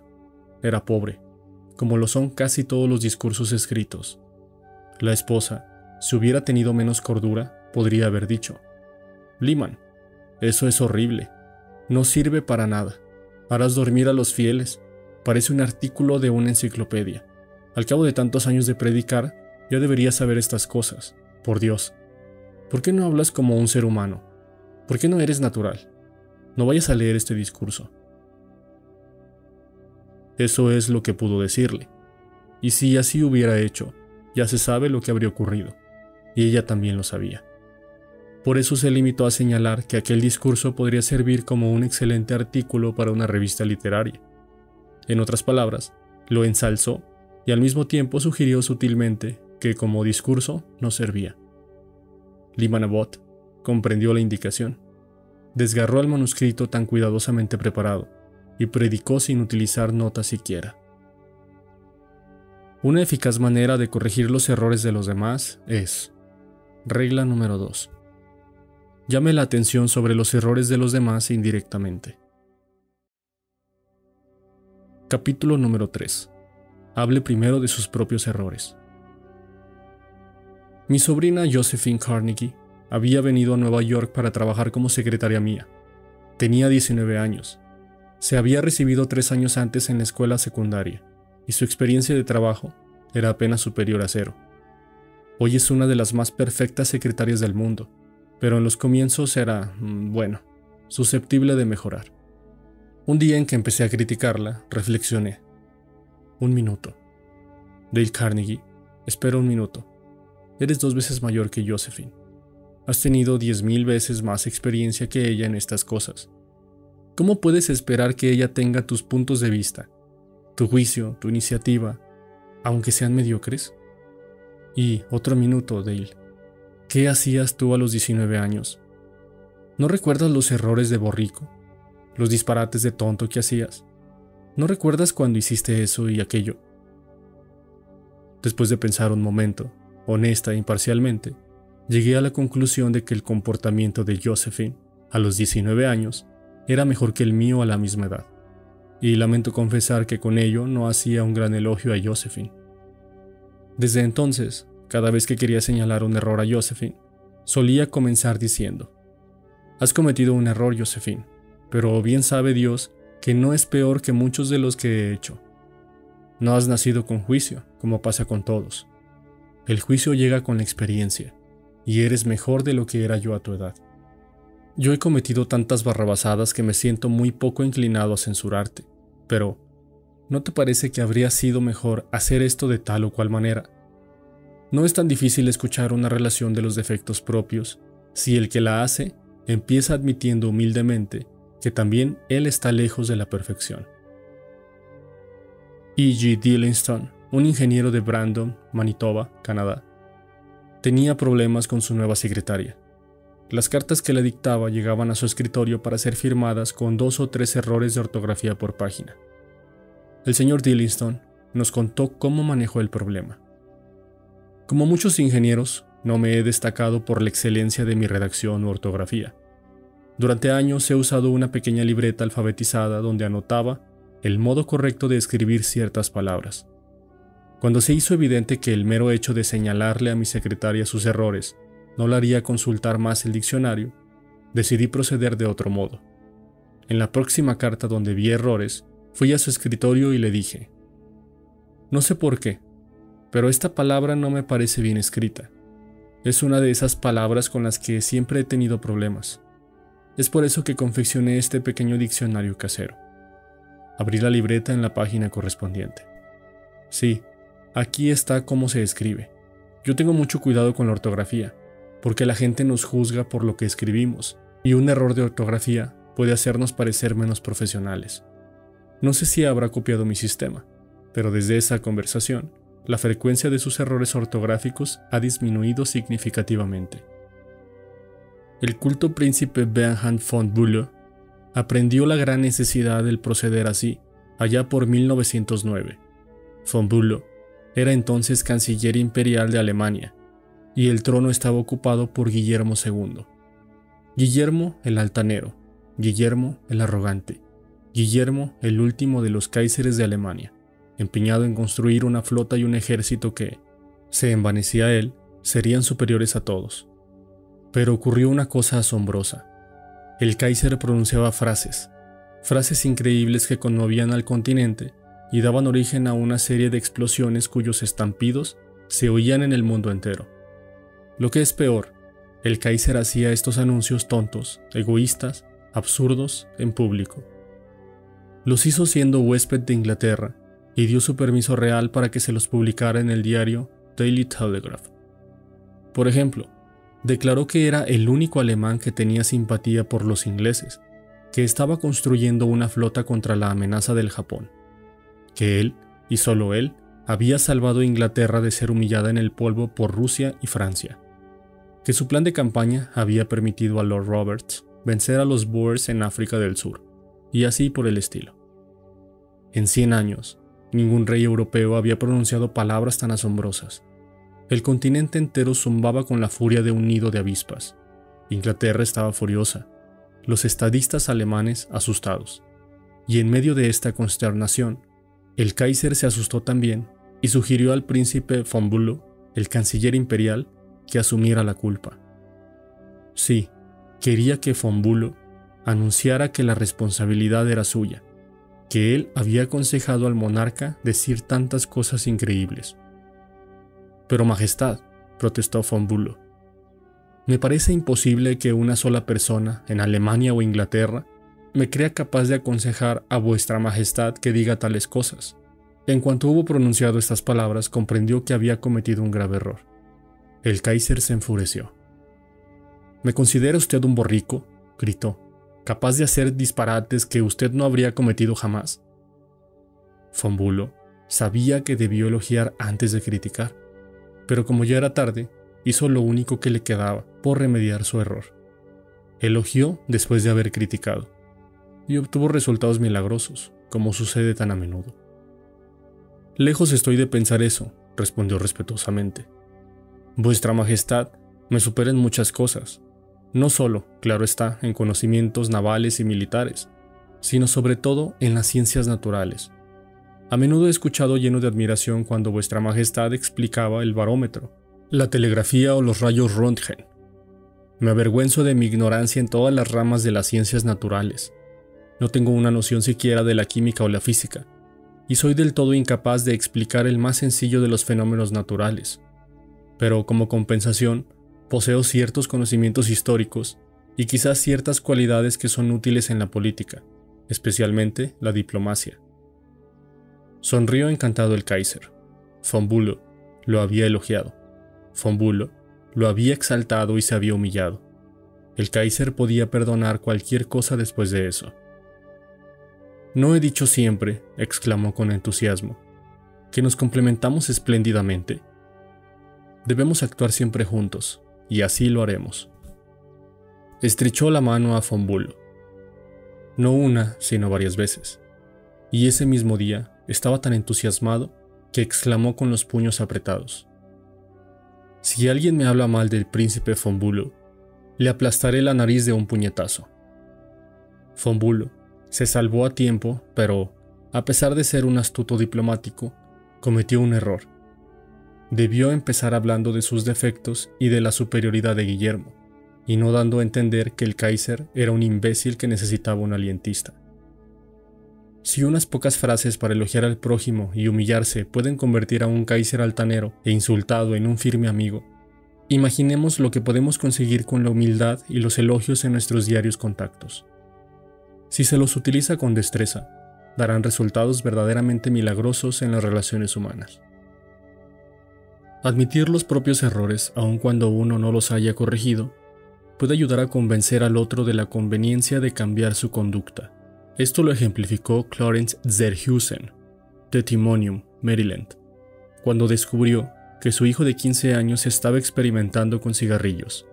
Naturalmente, no quería que David empezara a fumar, nos dijo el señor Zerhusen. Pero su madre y yo fumábamos. Le estábamos dando constantemente un mal ejemplo. Le expliqué a David cómo empecé a fumar yo, más o menos a su edad, y cómo la nicotina se había apoderado de mí y me había hecho imposible abandonarla. Le recordé lo irritante que era mi tos, y cómo él mismo había insistido para que yo abandonara el cigarrillo, pocos años antes. No lo exhorté a dejar de fumar ni lo amenacé o le advertí sobre los peligros. Todo lo que hice fue contarle cómo me había enviciado en el cigarro y lo que había significado para mí. El muchacho lo pensó y decidió que no fumaría hasta terminar la secundaria. Pasaron los años y David nunca empezó a fumar, y ya no lo hará nunca. Como resultado de esa misma conversación, yo tomé la decisión de dejar de fumar, y con el apoyo de mi familia lo he logrado. Un buen líder sigue esta regla. Regla número 3. Hable de sus propios errores antes de criticar los de los demás.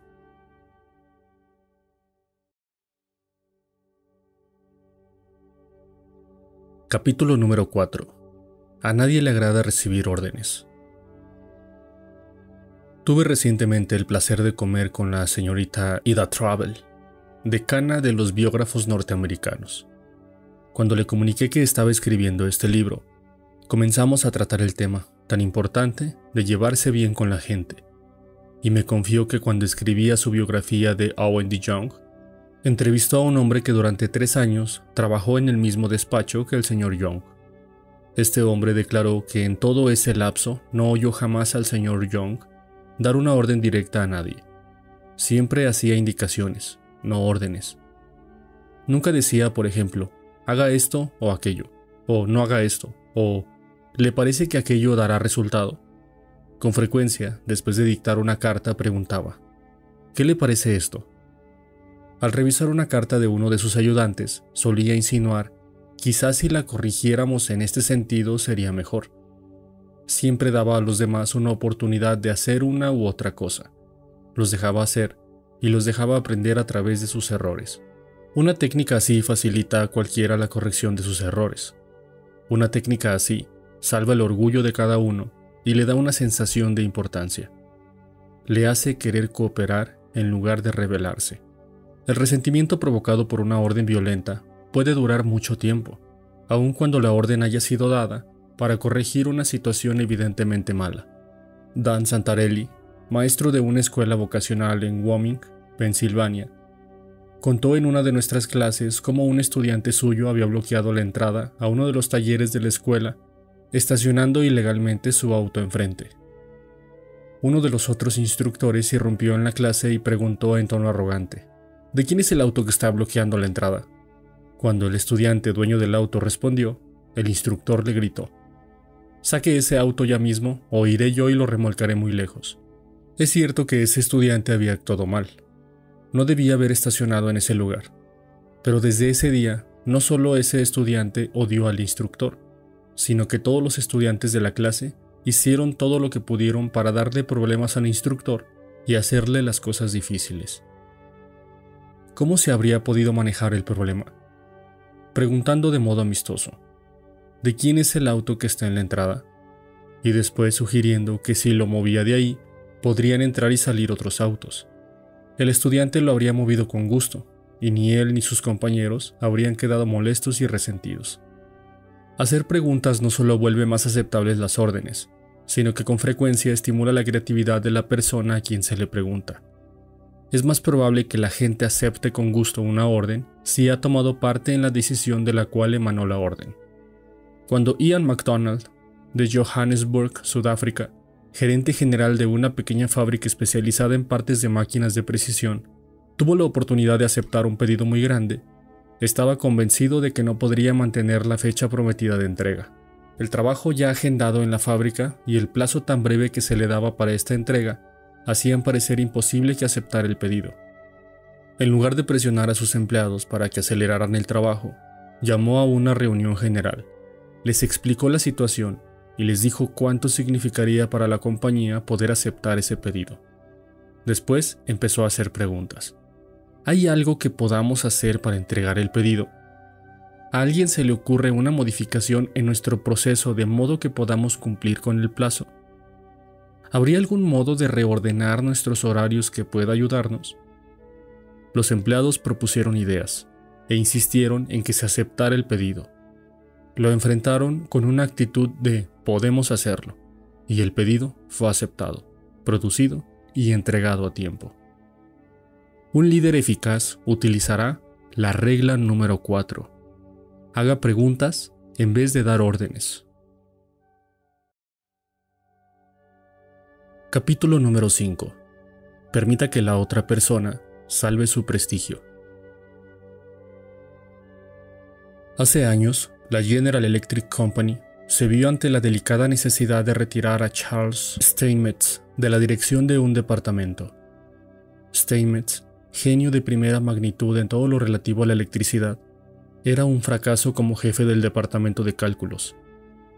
Pero la compañía no quería ofenderlo. Era un hombre indispensable y sumamente sensible. Se le dio, pues, un nuevo título. Se le convirtió en ingeniero consultor de la General Electric Company, nuevo título para el trabajo que ya hacía, al mismo tiempo que se puso a otro hombre al frente del departamento.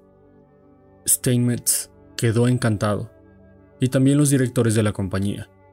Habían maniobrado con su astro más temperamental sin producir una tormenta, al dejarlo que salvara su prestigio. Salvar el prestigio cuán importante, cuán vitalmente importante es esto, y cuán pocos entre nosotros nos detenemos a pensarlo. Pisoteamos los sentimientos de los demás para seguir nuestro camino, descubrimos defectos, proferimos amenazas, criticamos a un niño o a un empleado frente a los demás, sin pensar jamás que herimos el orgullo del prójimo, y unos minutos de pensar, una o dos palabras de consideración, una comprensión auténtica de la actitud de la otra persona, contribuirán poderosamente a aligerar la herida. Recordemos esto la próxima vez que nos veamos en la desagradable necesidad de despedir a un empleado. Despedir empleados no es muy divertido. Ser despedido lo es menos todavía, dice una carta que me escribió Marshall Granger, contador público. Nuestro negocio trabaja según las temporadas, por lo tanto, tenemos que despedir a muchos empleados en marzo. En nuestra profesión, es cosa ya sabida que a nadie le agrada ser el verdugo. Por consiguiente, se adoptó la costumbre de acabar lo antes posible, generalmente así. Siéntese, señor fulano. Ha terminado la temporada y parece que ya no tenemos trabajo para usted. Claro está que usted sabía que lo íbamos a ocupar durante la temporada, etc. El efecto que se causaba en los empleados era de decepción, la sensación de que se los había dejado en la estacada. Casi todos ellos eran contadores permanentes y no conservaban cariño alguno por una casa que los dejaba en la calle con tan pocas contemplaciones. Yo decidí hace poco despedir a nuestros empleados extraordinarios con un poco más de tacto y consideración.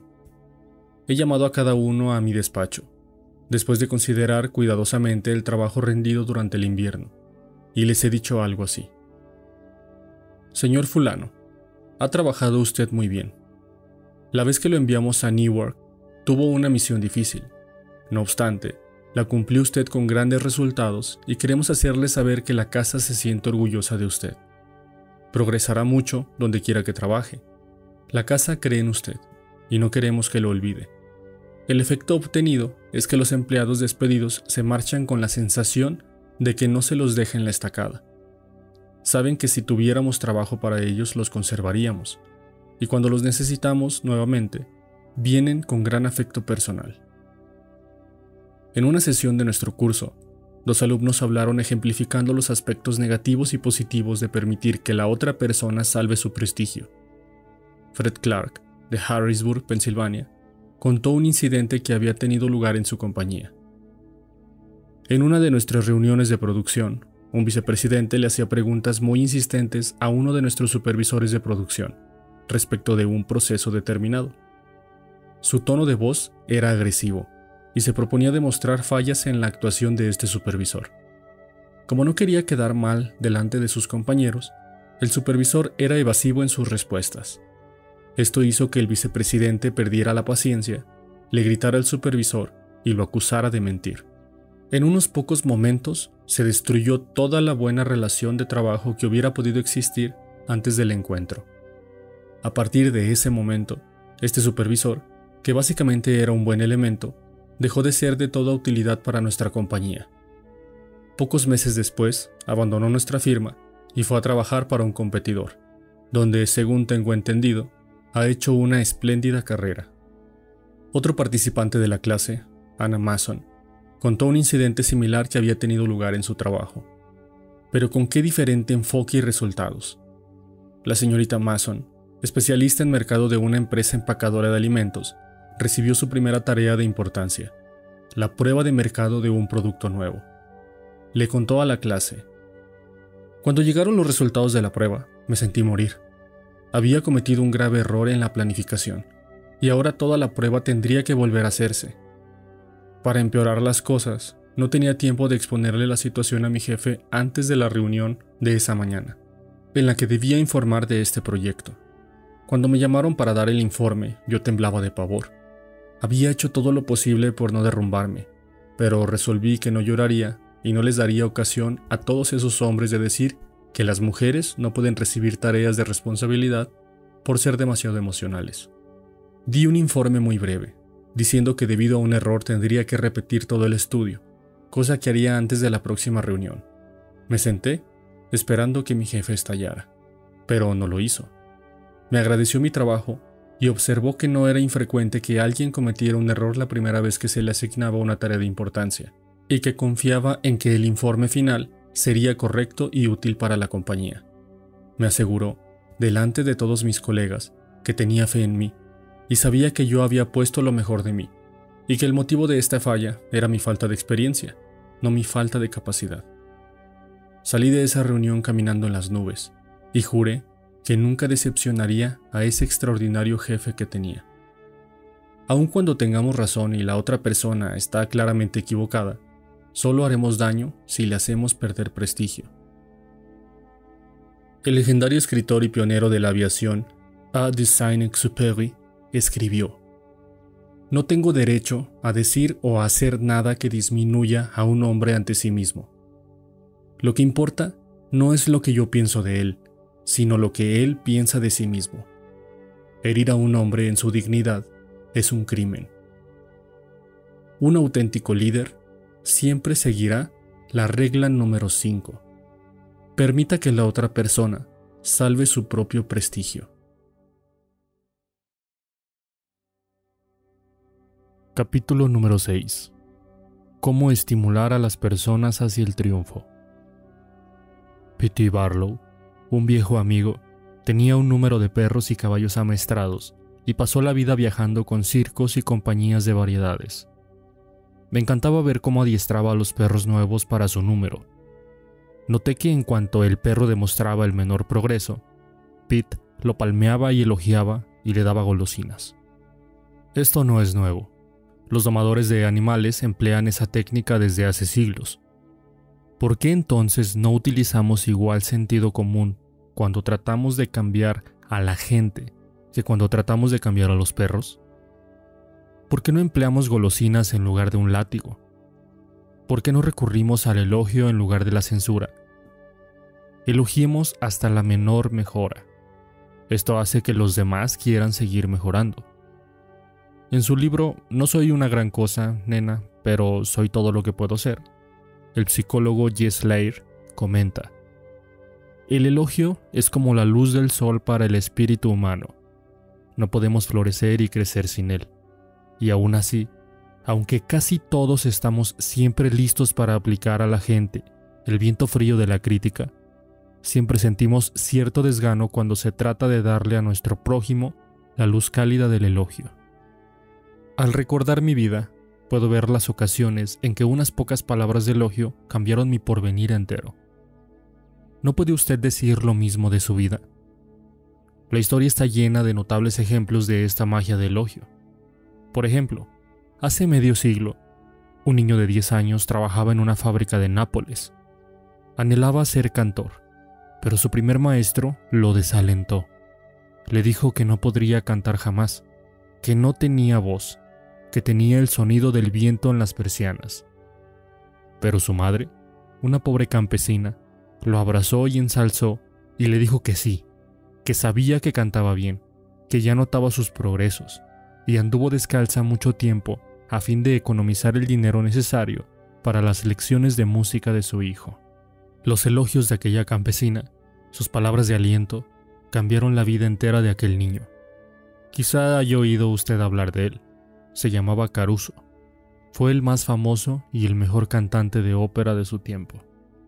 A comienzos del siglo XIX, un jovenzuelo de Londres aspiraba a ser escritor, pero todo parecía estar en su contra. No había podido ir a la escuela más que cuatro años. Su padre había sido arrojado a una cárcel porque no podía pagar sus deudas, y este jovencito conoció a menudo las punzadas del hambre.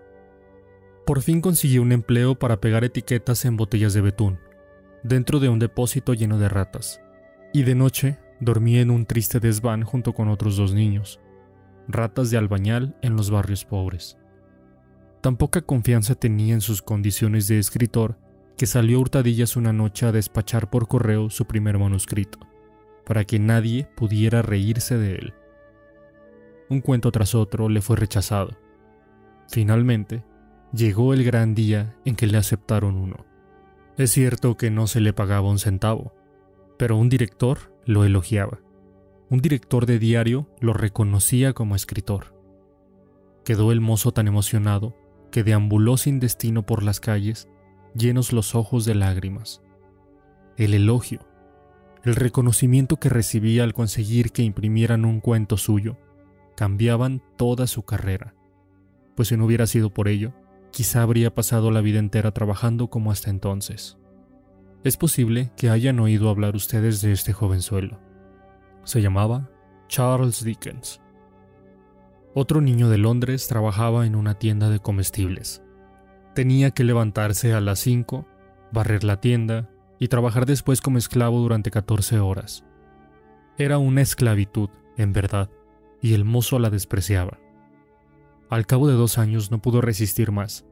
Se levantó una mañana y sin esperar el desayuno, caminó 25 kilómetros para hablar con su madre que estaba trabajando como ama de llaves.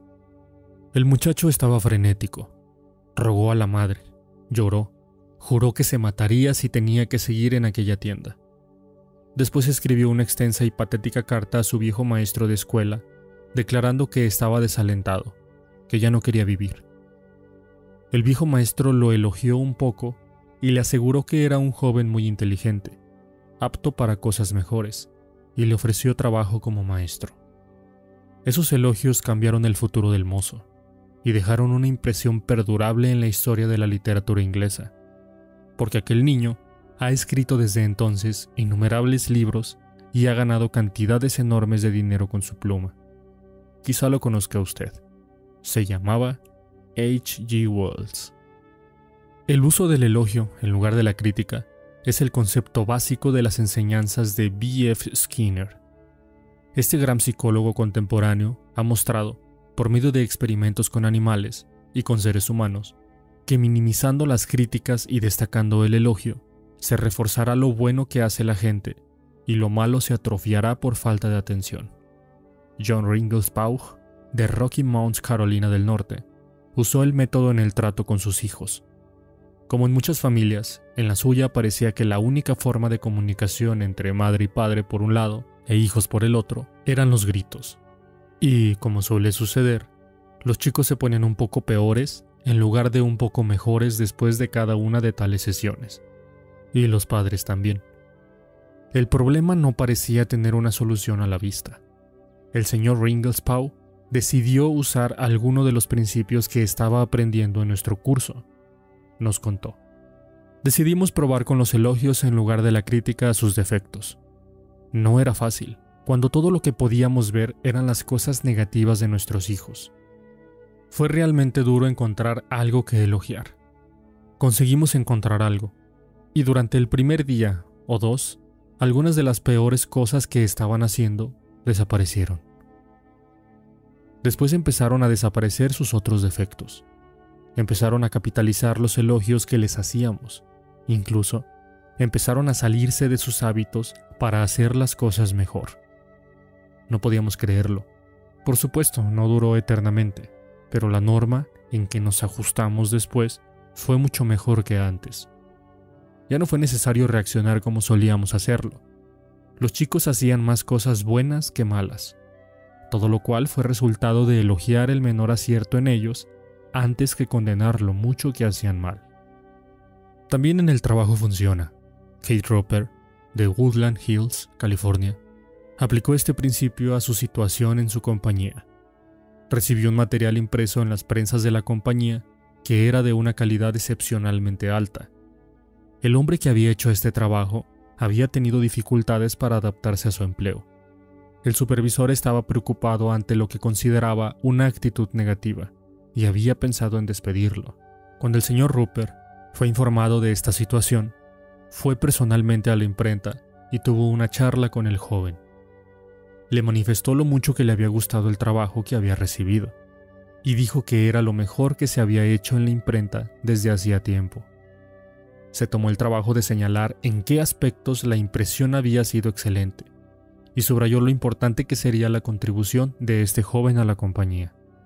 ¿Les parece que esto afectó la actitud del joven impresor hacia la empresa? En pocos días, hubo un cambio completo. Les contó a varios de sus compañeros esta conversación, y se mostraba orgulloso de que alguien tan importante apreciara su buen trabajo. Desde ese día, fue un empleado leal y dedicado.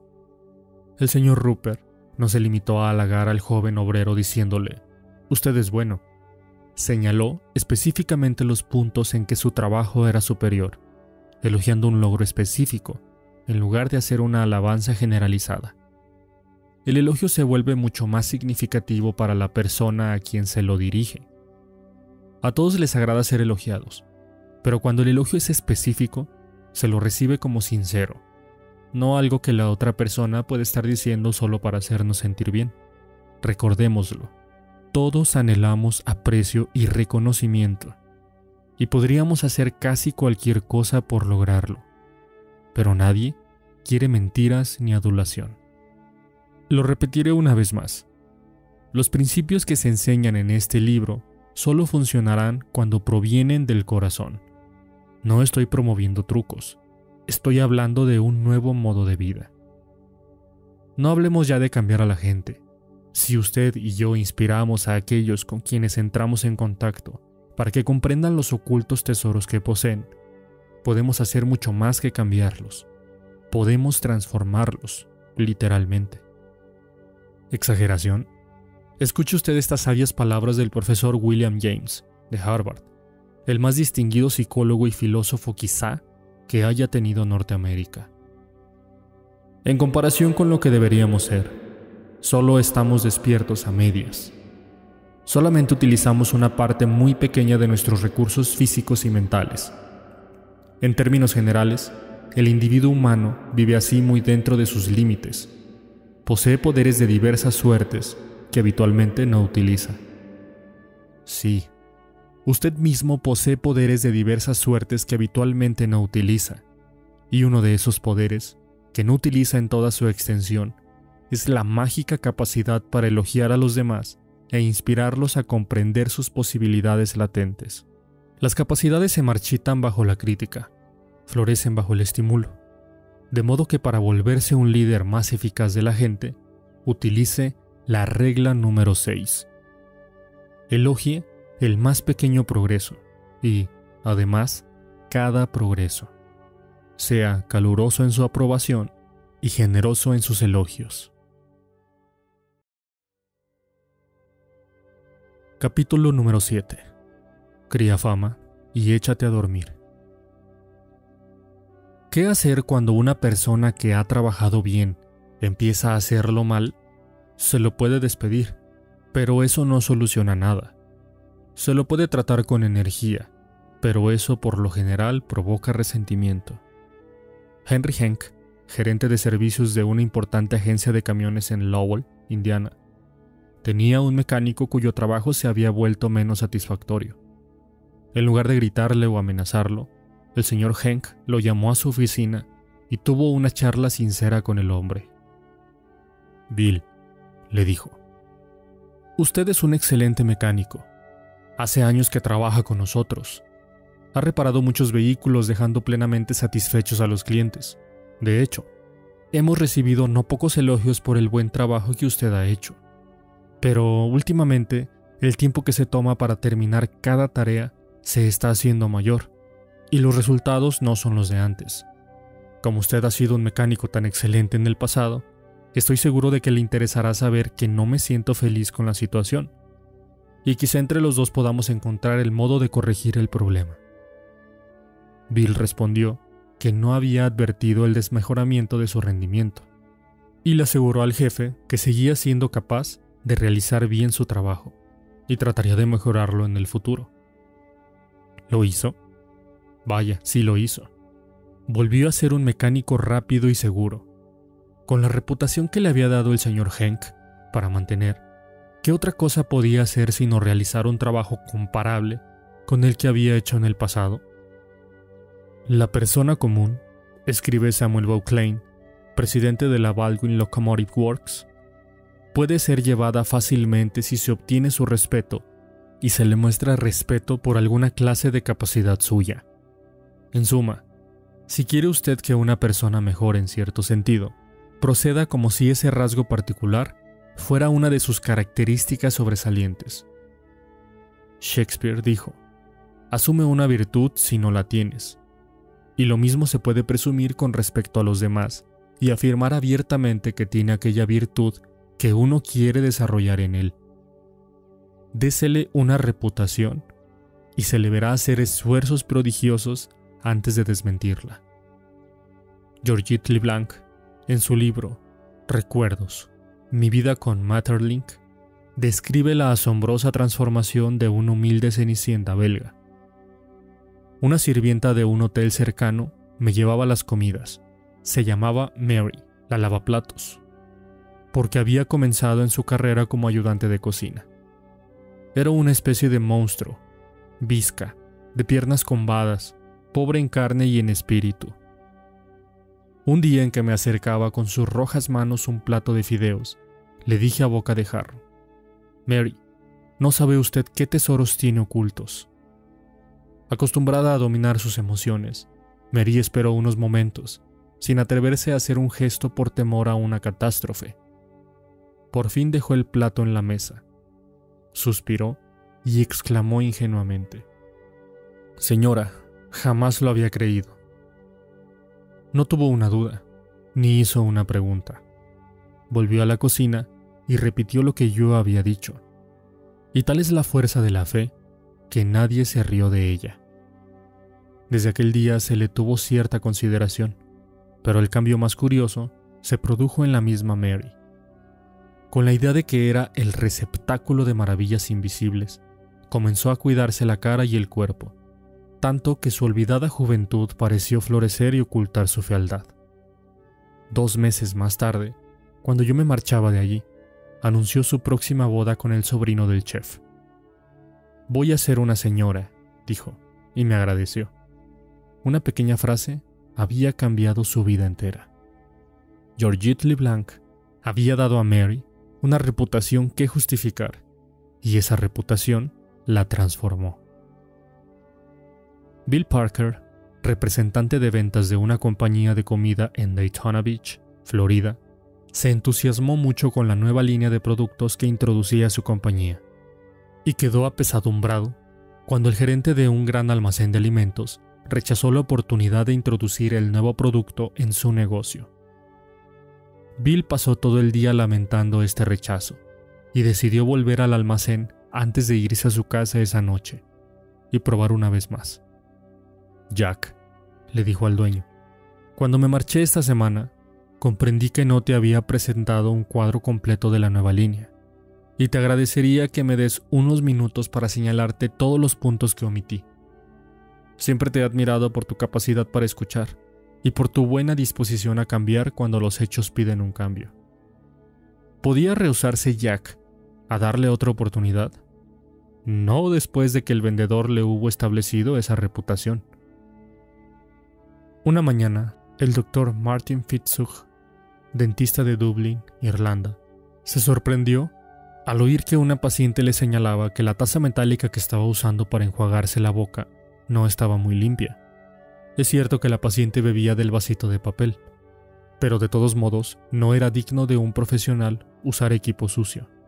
Cuando la paciente se marchó, el doctor Fitzhugh pasó a su oficina privada a escribirle una carta a Brigitte, la mujer que venía dos veces por semana a limpiar su oficina. Escribió esto. Mi querida Brigitte, nos vemos tan rara vez que quise tomarme un momento para agradecerle el excelente trabajo de limpieza que hace. A propósito, quería decirle que, como dos horas dos veces por semana es un tiempo muy limitado, puede trabajar una media hora extra de vez en cuando, cada vez que sienta necesidad de ocuparse de esas cosas que se hacen de tanto en tanto, como limpiar la taza de metal donde van los vasitos de papel o cosas así. Por supuesto que le pagaré el tiempo extra. Al día siguiente, cuando entré al consultorio, contó el doctor Fitzhugh, mi escritorio había sido limpiado hasta quedar como un espejo, lo mismo que la silla, de la que casi me resbalé. Al entrar a la sala de tratamiento, encontré la taza de metal más brillante que hubiera visto nunca. Le había dado a la mujer de la limpieza una excelente reputación que mantener y este pequeño gesto mío había hecho que se superara a sí misma. ¿Y cuánto tiempo adicional creen que le tomó? Ni un minuto. Hay un viejo dicho, cría fama y échate a dormir. Demos fama a los demás y veamos qué ocurre. Cuando la señora Ruth Hopkins, maestra de cuarto grado de una escuela de Brooklyn, Nueva York, echó una mirada a su clase el primer día del año, su entusiasmo y alegría por empezar un nuevo término quedaron matizados por el temor. En su clase este año tendría a Tommy T., el más notorio chico malo de la escuela. Su maestra de tercer grado se había quejado constantemente de Tommy T., como sus colegas, la directora y todos los que quisieran escucharla. No era solo un chico díscolo, sino que además provocaba graves problemas de disciplina en la clase. Buscaba pelea con los chicos, molestaba a las niñas, le respondía a la maestra y parecía empeorar a medida que crecía. Su único rasgo redentor era su facilidad para aprender. La señora Hopkins decidió enfrentar el problema Tommy de inmediato. Cuando saludó a sus nuevos alumnos, hizo pequeños comentarios sobre cada uno de ellos. Rose, es muy lindo el vestido que tienes. Alicia, me han dicho que eres muy buena dibujante. Cuando llegó a Tommy, lo miró a los ojos y le dijo, Tommy, tengo entendido que tienes alma de líder. Dependeré de ti para que me ayudes a hacer de esta división el mejor de los cuartos grados. Reforzó esto en los primeros días de clase felicitando a Tommy por cada cosa que hacía y comentando lo buen alumno que era. Con esa reputación que mantener, ni siquiera un chico de nueve años podía defraudarla, y no la defraudó. Si usted quiere obtener buenos resultados en esa difícil misión de cambiar la actitud o conducta de los otros, recuerde la regla número 7.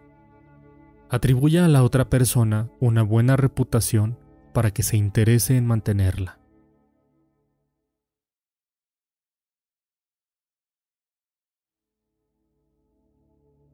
Capítulo número 8. Haga que los errores parezcan fáciles de corregir. Un amigo mío, soltero, de unos 40 años de edad, se comprometió para casarse, y su novia lo persuadió de que tomara unas tardías lecciones de baile. Bien sabe Dios, me confesó este hombre al narrarme el caso, que necesitaba lecciones de baile, porque yo bailaba tal como cuando empecé, hace 20 años la primera profesora a quien vi me dijo probablemente la verdad. Me dijo que tenía que olvidarme de todo lo aprendido y empezar otra vez. Con eso me desalentó. no me quedaba un incentivo para seguir aprendiendo. Así pues, la dejé. Quizá mintiera la profesora a quien fui a ver después, pero de todos modos me gustó. Dijo, tranquilamente, que quizá mi manera de bailar era un poco anticuada, pero que en lo fundamental todo iba bien, y que no tendría inconveniente alguno para aprender unos cuantos pasos nuevos. La primera profesora me había desalentado al acentuar o destacar mis errores. Esta nueva profesora hizo lo contrario. Me aseguró que yo tenía un sentido natural del ritmo, que era un bailarín nato. El sentido común me dice que he sido siempre y siempre seré un bailarín de cuarta categoría. Pero en lo hondo del corazón, me gusta pensar que quizá la profesora tenía razón. Es claro que yo le pagaba porque me lo dijera, pero ¿a qué recordar eso? De todos modos, sé que soy mejor bailarín de lo que habría sido si no me hubiese dicho que tengo un sentido natural del ritmo. Eso me alentó, me dio esperanza, me hizo desear el progreso. Digamos a un niño, a un esposo o a un empleado que es estúpido o tonto en ciertas cosas, que no tiene dotes para hacerlas, que las hace mal, y habremos destruido todo incentivo para que trate de mejorar. Pero si empleamos la técnica opuesta, si somos liberales en la forma de alentar, si hacemos que las cosas parezcan fáciles de hacer, si damos a entender a la otra persona que tenemos fe en su capacidad para hacerlas, la veremos practicar hasta que asome la madrugada a fin de superarse. Esta es la técnica que empleaba Lowell Thomas. Y a fe mía que este hombre es un artista supremo en cuanto atañe a las relaciones humanas. Da coraje a los demás, da confianza, inspira valor y fe. Por ejemplo, pasé el fin de semana con él y su esposa, y el sábado por la noche se me pidió que participara de un amistoso juego de la canasta. ¿Canasta? ¿Yo? Ah, no, no, no, no, yo no. Yo no sabía nada de este juego. Siempre había sido un misterio para mí. No, no, imposible. Pero Dale, dijo Lowell, si no es un misterio, no se necesita más que buena memoria y buen juicio. Tú escribiste una vez un capítulo sobre la memoria. La canasta será cosa facilísima para ti. Tienes todas las condiciones para juzgarlo. Y sin tardanza, casi antes de saber lo que hacía, me encontré por primera vez ante una mesa de canasta. Todo porque se me decía que tenía dotes naturales para el juego, y así se me hizo considerar que me sería fácil. Al hablar de canasta, recuerdo a Ellie Culbertson. Ahora, en todas partes donde se juega canasta, el nombre de Culbertson es cosa conocida. Y sus libros sobre el tema han sido traducidos en una docena de idiomas y vendidos a millones de lectores. Pero él mismo me ha dicho que nunca habría pasado en convertir el juego en una profesión si un joven no le hubiese asegurado que estaba especialmente dotado para ello. Cuando llegó a los Estados Unidos en 1922, trató de conseguir empleo como profesor de psicología y sociología, pero no pudo. Después trató de vender carbón y fracasó. Después trató de vender café y fracasó. Jamás pensó, en esos días, en enseñar canasta. No solamente era un mal jugador, sino también muy terco. Hacía tantas preguntas y efectuaba tantos estudios de cada partido después de hecho, que nadie quería jugar con él. Pero conoció a una bella jugadora, Josephine Dillon. Se enamoró y se casó con ella. Josephine notó con cuánto cuidado analizaba Culbertson sus cartas y lo persuadió de que era un genio en potencia. Este aliento, me ha dicho Culbertson, fue lo que lo llevó a hacer de la canasta una profesión.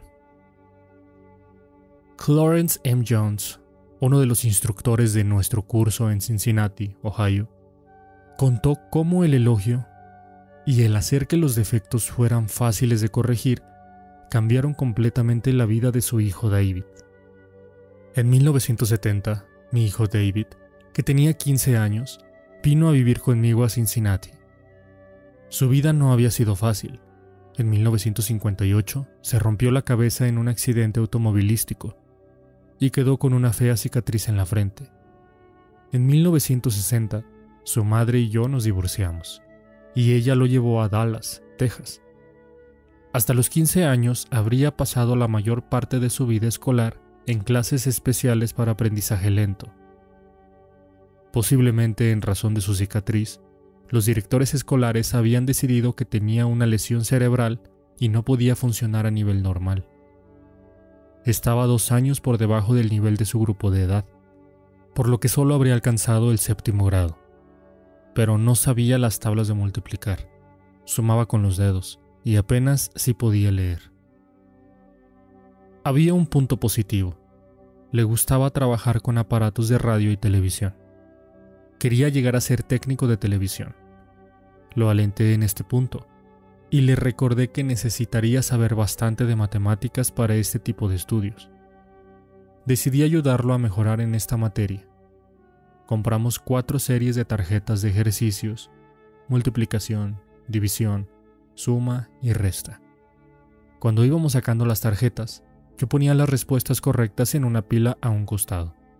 Cuando David se equivocaba, le explicaba cuál era la respuesta acertada y volvía a poner la tarjeta en el montón a sacar.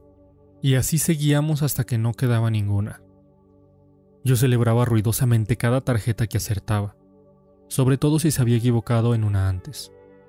Todas las noches hacíamos de esa manera con todas las tarjetas.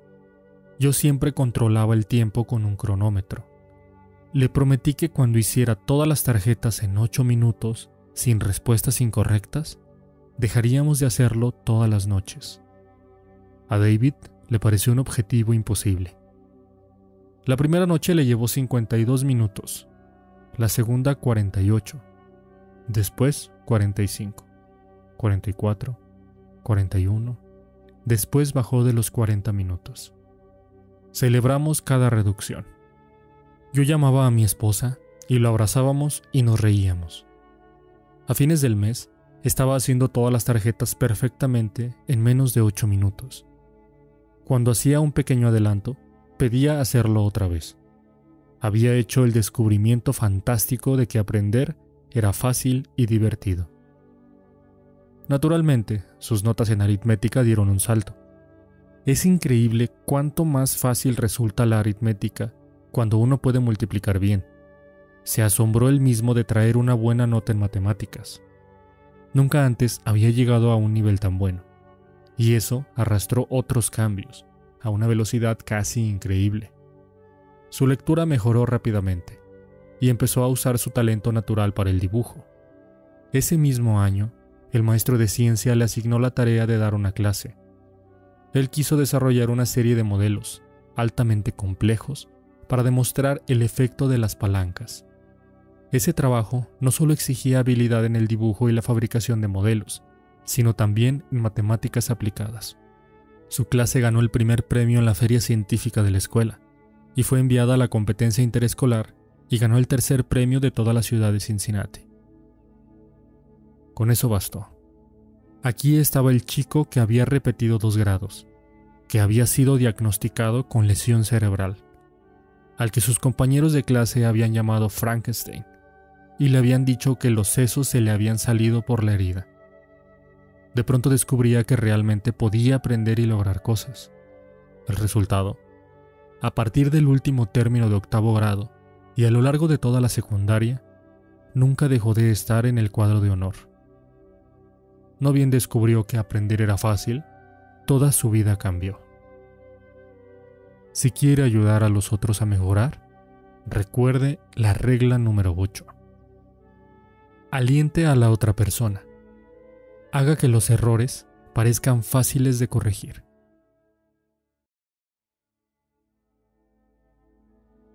Capítulo número 9. Procure que la otra persona se sienta satisfecha de hacer lo que usted quiere.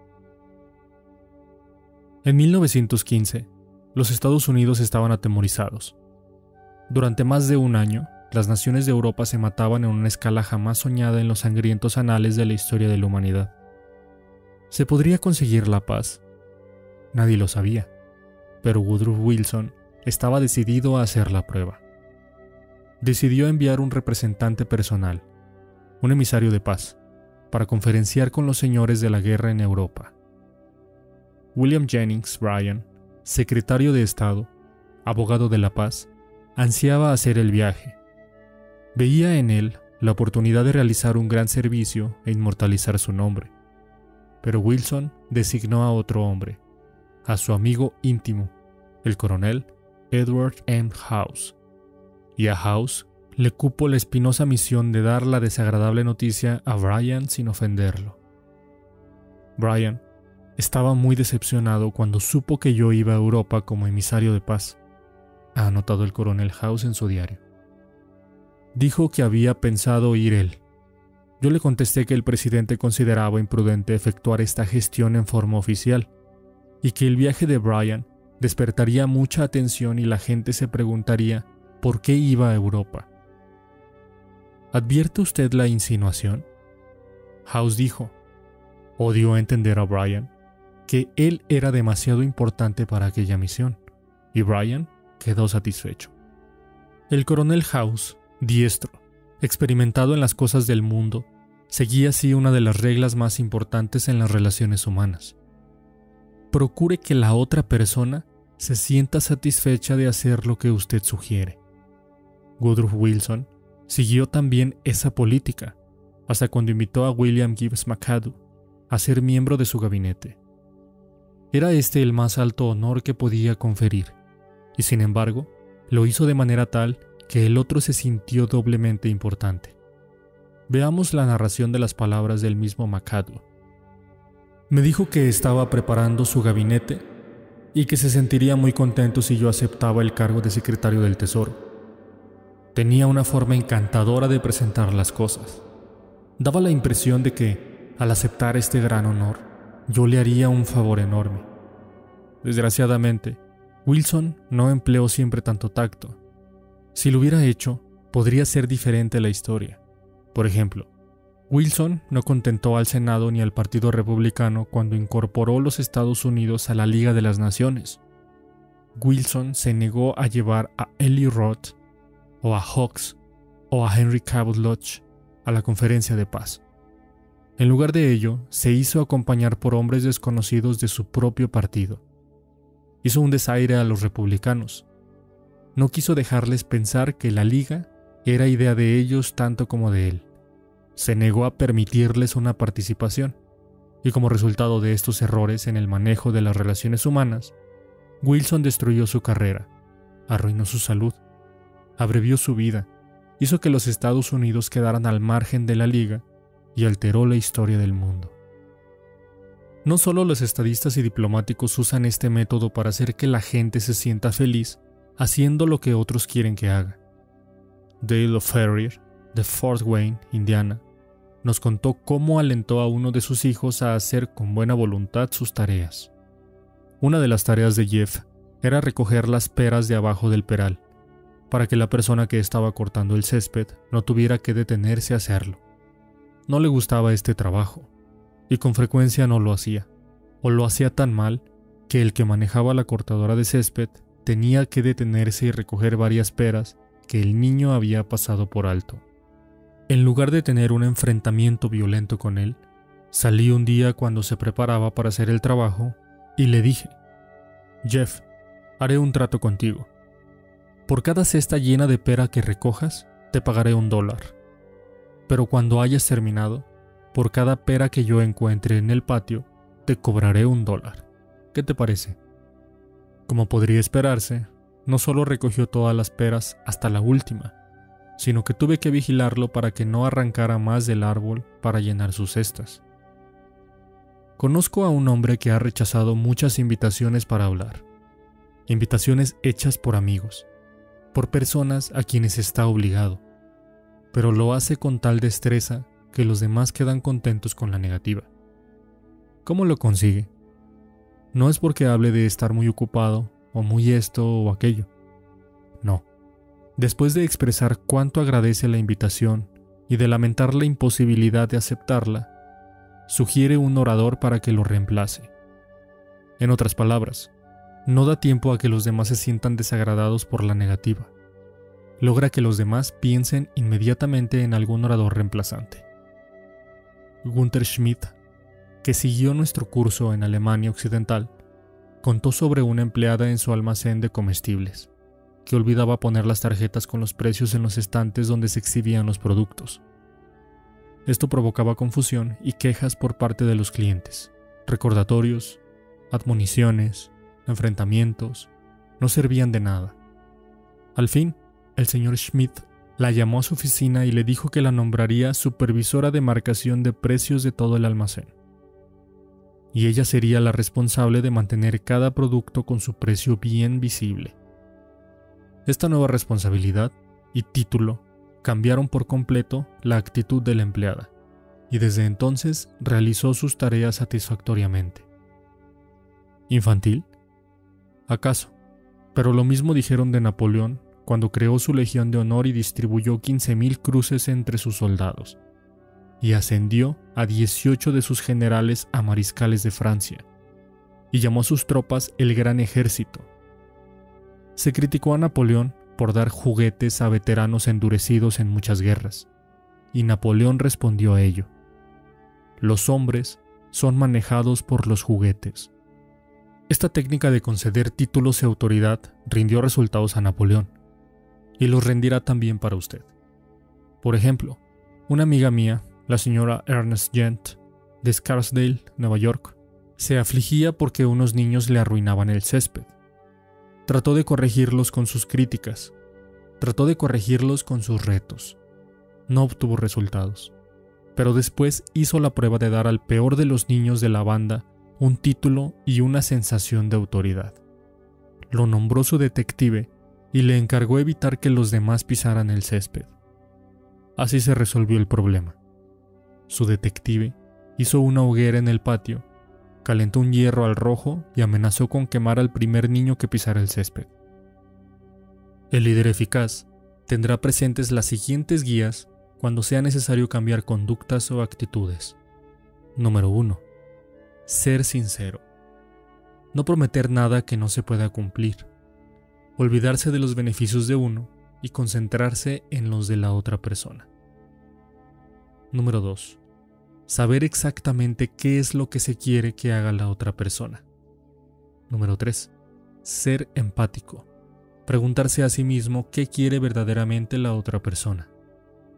Número 4.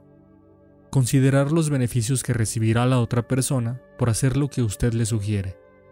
Número 5 hacer coincidir esos beneficios con los deseos en la otra persona. Y número 6. Al hacer el pedido, hacerlo en una forma que destaque los beneficios que redundará para la otra persona. Por ejemplo, en lugar de dar una orden seca como esta, Juan, mañana vendrán clientes y quiero que el depósito esté limpio. Así que bárralo, apile con prolijidad la mercadería y limpie el mostrador podemos expresar lo mismo mostrando los beneficios que obtendrá Juan si hace su trabajo. Juan, tenemos un trabajo que habrá que hacer, y si se hace ahora, no habrá que preocuparse después. Mañana traeré a unos clientes a mostrarles las instalaciones. Me gustaría mostrarles el depósito, pero no está presentable. Si usted puede barrerlo, apilar la mercadería con prolijidad y limpiar el mostrador, nos haría lucir más eficientes y usted habrá hecho su parte para darle una buena imagen a nuestra compañía. ¿Se sentirá feliz Juan haciendo lo que le sugiere? Probablemente no muy feliz, pero más que si no le hubieran indicado sus beneficios. Suponiendo que uno sabe que Juan se enorgullece de la higiene de su depósito y está interesado en contribuir a la imagen de la compañía, habrá más probabilidades de que coopere. También se le ha indicado a Juan que ese trabajo habrá que hacerlo tarde o temprano y si se lo hace ahora, ya no causará problemas en el futuro. Es ingenuo creer que siempre se obtiene una reacción favorable de la otra persona cuando se usan estos métodos, pero la experiencia de la mayoría indica que es más probable cambiar actitudes de este modo que no usando estos principios. Y si con ello se aumenta el rendimiento, aunque más no sea en un 10%, usted es un líder un 10% más eficaz y este es su beneficio es más probable que la gente haga lo que usted sugiere cuando se usa la regla número 9. Procure que la otra persona se sienta satisfecha de hacer lo que usted sugiere.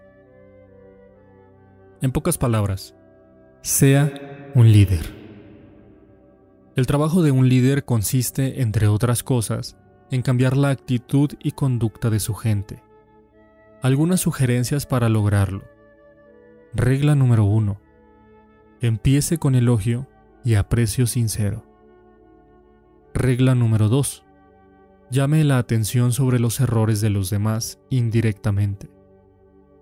Regla número 3. Hable de sus propios errores antes de criticar los de los demás. Regla número 4. Haga preguntas en vez de dar órdenes. Regla número 5. Permita que la otra persona salve su propio prestigio. Regla número 6. Elogie el más pequeño progreso y además cada progreso. Sea caluroso en su aprobación y generoso en sus elogios. Regla número 7. Atribuya a la otra persona una buena reputación para que se interese en mantenerla. Regla número 8. Aliente a la otra persona. Haga que los errores parezcan fáciles de corregir. Y regla número 9.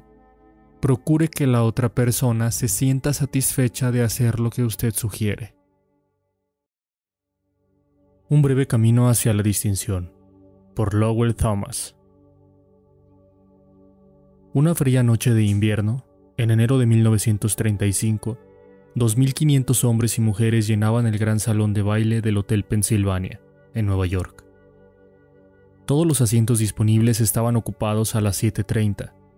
Media hora después seguía llegando la ansiosa muchedumbre.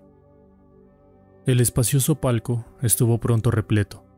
Más tarde, era difícil conseguir colocación de pie, y centenares de personas, fatigadas de lidiar un día con sus negocios, se mantuvieron de pie una hora y media aquella noche para presenciar.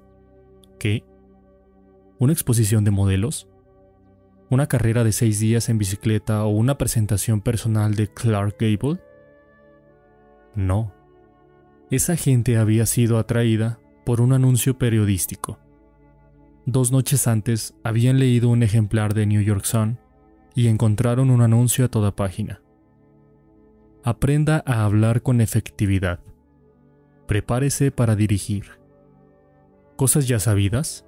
Sí, pero, créase o no, en la más moderna ciudad de la Tierra, durante una crisis que había dejado a cargo de la ayuda oficial un 20% de la población, 2.500 personas dejaron sus casas y fueron presurosamente al hotel en respuesta a ese anuncio. Quienes respondieron fueron gentes de las capas económicas superiores, jefes de empresas, patrones y profesionales. Estos hombres y estas mujeres habían acudido a oír el cañonazo inicial de un curso ultramoderno y ultrapráctico sobre cómo hablar en forma eficaz e influir sobre los hombres en los negocios. Curso organizado por el Instituto Dale Carnegie de Comunicación Eficaz y Relaciones Humanas. ¿Por qué acudieron esos 2.500 hombres y mujeres de negocios? ¿Debido a una repentina ansia por educarse a causa de la crisis? Aparentemente no porque ese mismo curso se venía dictando ante salas repletas en Nueva York, todas las temporadas desde hacía 24 años. Durante ese lapso, más de 15.000 hombres de negocios y profesionales fueron preparados por Dale Carnegie, y hasta organizaciones tan grandes, tan escépticas y tan conservadoras como la Westinghouse Electric and Manufacturing Company, McGraw-Hill Publishing Company, Brooklyn Union Gas Company, la Cámara de Comercio de Brooklyn y el Instituto de Ingenieros Electricistas y la New York Telephone Company han empleado a Carnegie para instruir a sus miembros y sus directores en las oficinas de las mismas entidades. El hecho de que estos hombres, 10 o 20 años después de haber salido de sus escuelas o colegios, acudan a recibir esas enseñanzas, constituye un decisivo comentario con respecto a las sorprendentes fallas de nuestro sistema educativo. ¿Qué quieren estudiar los adultos? Se trata de una pregunta muy importante, y con el fin de responderla, la Universidad de Chicago, la Asociación para la Educación de Adultos y las Escuelas Unidas de la Asociación Cristiana de Jóvenes efectuaron un estudio que duró dos años. Esa indagación reveló que el interés primario de los adultos es la salud. Reveló también que en segundo término está el interés por lograr habilidad en el trato con los demás. Los adultos quieren aprender la técnica de llevarse bien e influir sobre las personas. No quieren ser oradores públicos y no quieren escuchar palabras rimbombantes sobre psicología. Quieren indicaciones que les sea posible emplear inmediatamente en los negocios, en los contactos sociales y en el hogar. ¿De modo que era eso lo que querían estudiar los adultos? Muy bien, dijeron quienes hacían la indagación. Espléndido. Si quieren eso, los haremos estudiar. A la busca de un texto, descubrieron que jamás se habrían escrito un manual para ayudar a la gente a resolver sus diarios problemas de las relaciones humanas. Bonito estado de cosas.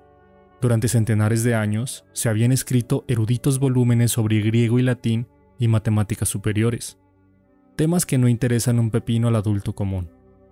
Pero en cuanto al único tema que despierta su sed de conocimiento, que reclama guía y ayuda, nada.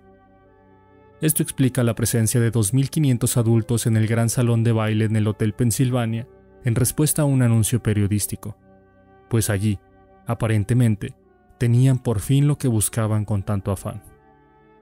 En los lejanos tiempos de la escuela o del colegio, habían leído y releído libro tras libro, con la idea de que solo el conocimiento era el ábrete sésamo para obtener recompensas financieras y profesionales.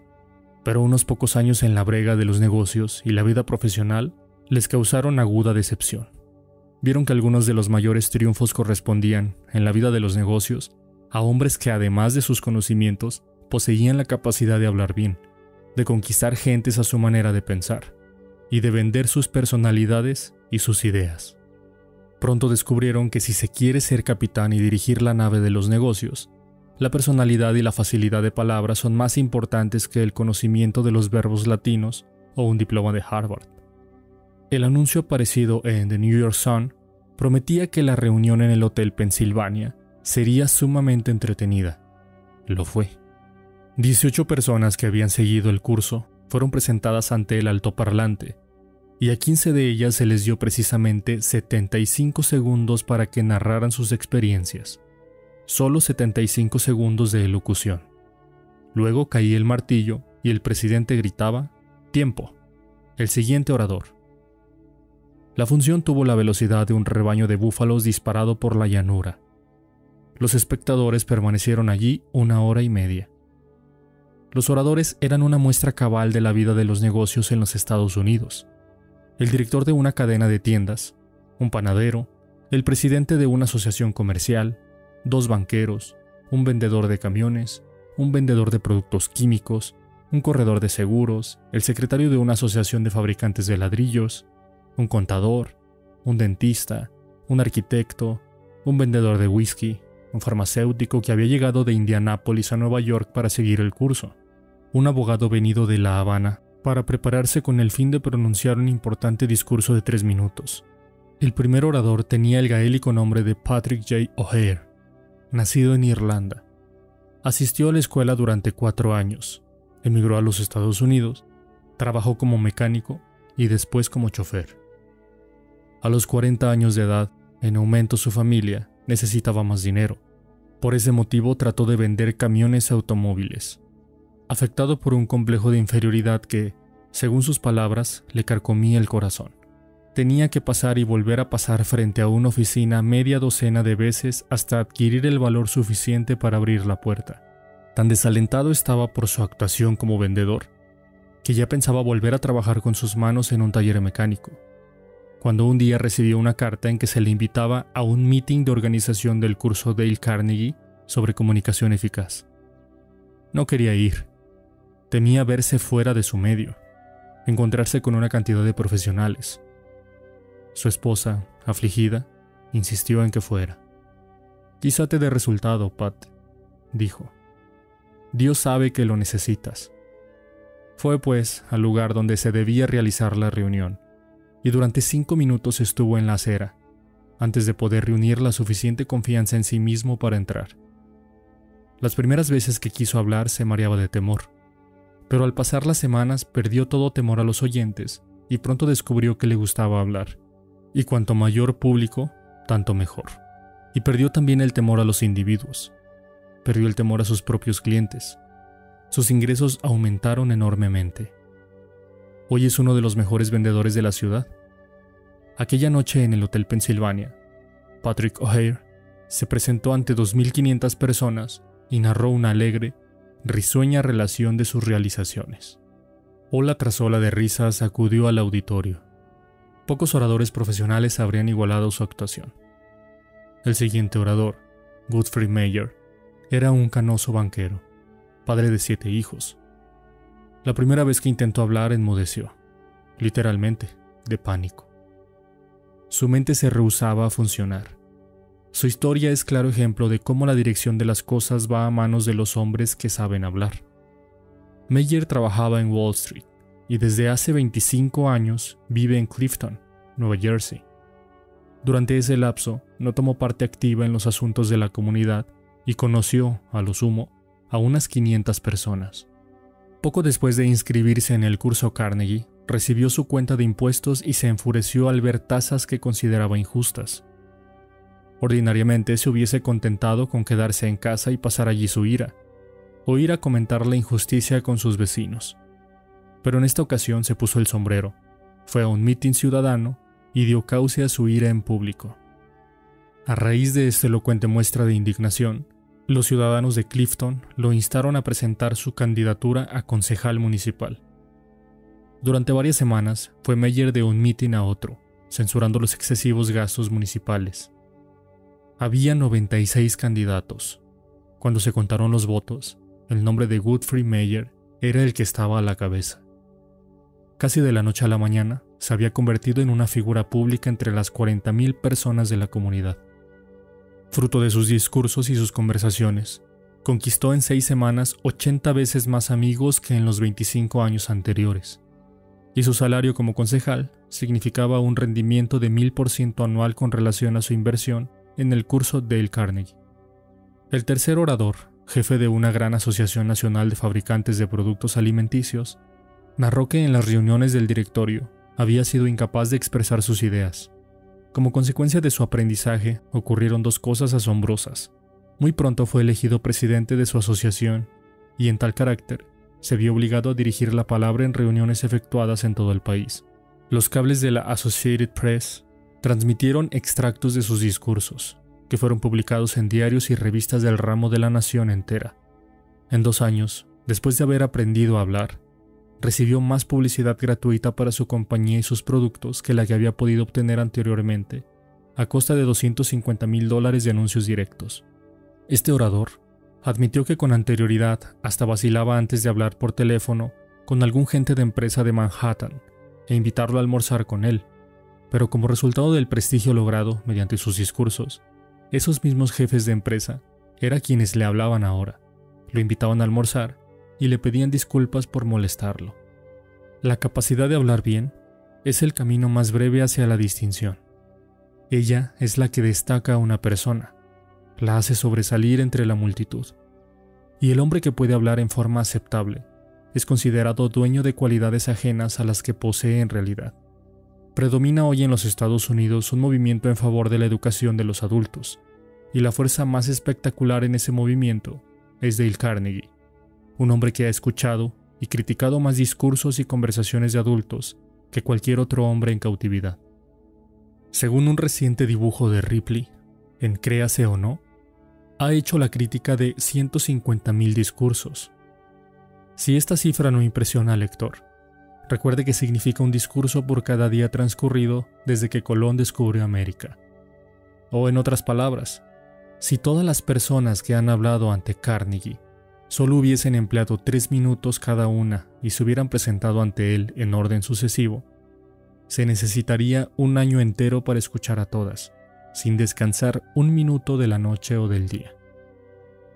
La misma carrera de Dale Carnegie, llena de grandes contrastes, es un notable ejemplo de lo que puede realizar un hombre cuando siente obsesión por una idea original y le enciende el entusiasmo. Nacido en una granja de Missouri, a 10 millas de un ferrocarril, no vio una tranvía hasta que tuvo 12 años, pero hoy, a los 46, está familiarizado con todos los extremos de la Tierra, desde Hong Kong hasta Hammerfest. Y en una ocasión estuvo más cerca del Polo Norte que lo que el cuartel general del almirante Byrd en Pequeña América estuvo jamás del Polo Sur. Este mozo de Missouri, que solía recoger fresas y cortar cizaña a razón de 5 centavos la hora, percibe ahora un dólar por minuto por adiestrar en el arte de la autoexpresión a los dirigentes de grandes empresas. Este vaquero de otrora, que arriaba ganado y marcaba terneros en el oeste de Dakota del Sur, fue más tarde a Londres y organizó funciones teatrales bajo el patrocinio de la familia real. Este hombre, que fue un fracasado a la primera docena de veces que trató de hablar en público, se convirtió después en mi gerente general. Gran parte de mis triunfos se han debido al aprendizaje que realicé a las órdenes de Dale Carnegie. El joven Carnegie tuvo que luchar por conseguir una educación, porque la mala suerte golpeaba sin cesar a las puertas de la vieja granja en el noreste de Missouri. Año tras año, el río 112 salía de cauce y ahogaba el maíz y se llevaba el heno. Una vez tras otra, los cerdos ya engordados se enfermaban y morían de cólera. Desaparecía el mercado para las vacas y las mulas, y el banco amenazaba con ejecutar la hipoteca. Enferma de desaliento, la familia vendió la granja y compró otra, cerca del Colegio de Maestros del Estado, en Warrensburg, Missouri. Podía conseguirse alojamiento y comida en la ciudad a razón de un dólar por día, pero Carnegie no tenía ese dinero. Por eso vivía en la granja e iba a caballo al colegio en un viaje de una legua todos los días. En la granja ordeñaba las vacas, cortaba leña, alimentaba a los cerdos y estudiaba sus verbos latinos a luz de una lámpara primitiva hasta que se le nublaban los ojos y comenzaba a cabecear. Y al irse a la cama, a medianoche, ponía el despertador para las 3 de la madrugada. Su padre criaba cerdos de Jersey, de pura raza, y durante las noches más frías habría peligro de que los lechones murieran helados. Para impedirlo, se le colocaba un cesto cubierto por una arpillera y se los dejaba junto a la cocina. Los lechones exigían alimento a las 3 de la mañana. Cuando sonaba el despertador, Del Carnegie dejaba el abrigo de su cama, tomaba el cesto y llevaba los lechones hasta las madres. Esperaba a que mamaran y los llevaba de vuelta a la tibieza de la cocina. Había 600 estudiantes en el Colegio de Maestros del Estado, y Dale Carnegie formaba parte de un aislado grupo de media docenas de niños que no tenían dinero para vivir en la ciudad. Estaba avergonzado de la pobreza que le hacía necesario volver a la granja a ordeñar vacas todas las noches. Le avergonzaba su ropa, pantalones demasiado cortos, chaqueta demasiado ajustada.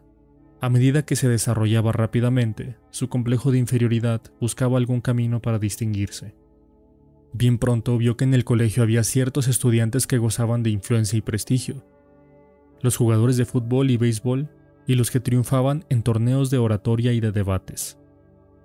Como comprendió que no tenía facilidad para el deporte, decidió ganar uno de los torneos de oratoria. Tardó meses en prepararse para ello. Practicaba mientras galopaba a caballo de su casa al colegio y del colegio a su casa. Practicaba discursos mientras ordeñaba las vacas y después subía un fardo de heno en el granero, y con entusiasmo y muchos gestos arengaba a las asustadas palomas acerca de la necesidad de contener la inmigración japonesa. Mas a pesar de todo este entusiasmo y de tantos preparativos, fue derrotado una vez tras otra. Tenía entonces 18 años. Era sensitivo y orgulloso. Tanto se desalentó, quedó tan deprimido, que hasta pensó suicidarse. Y de pronto comenzó a triunfar no solamente en un torneo, sino en todos los torneos de oratoria del colegio. Otros estudiantes le rogaron que los preparara y también ellos triunfaron. Terminados ya sus estudios, empezó a vender cursos por correspondencia a los rancheros del oeste de Nebraska y del este de Wyoming.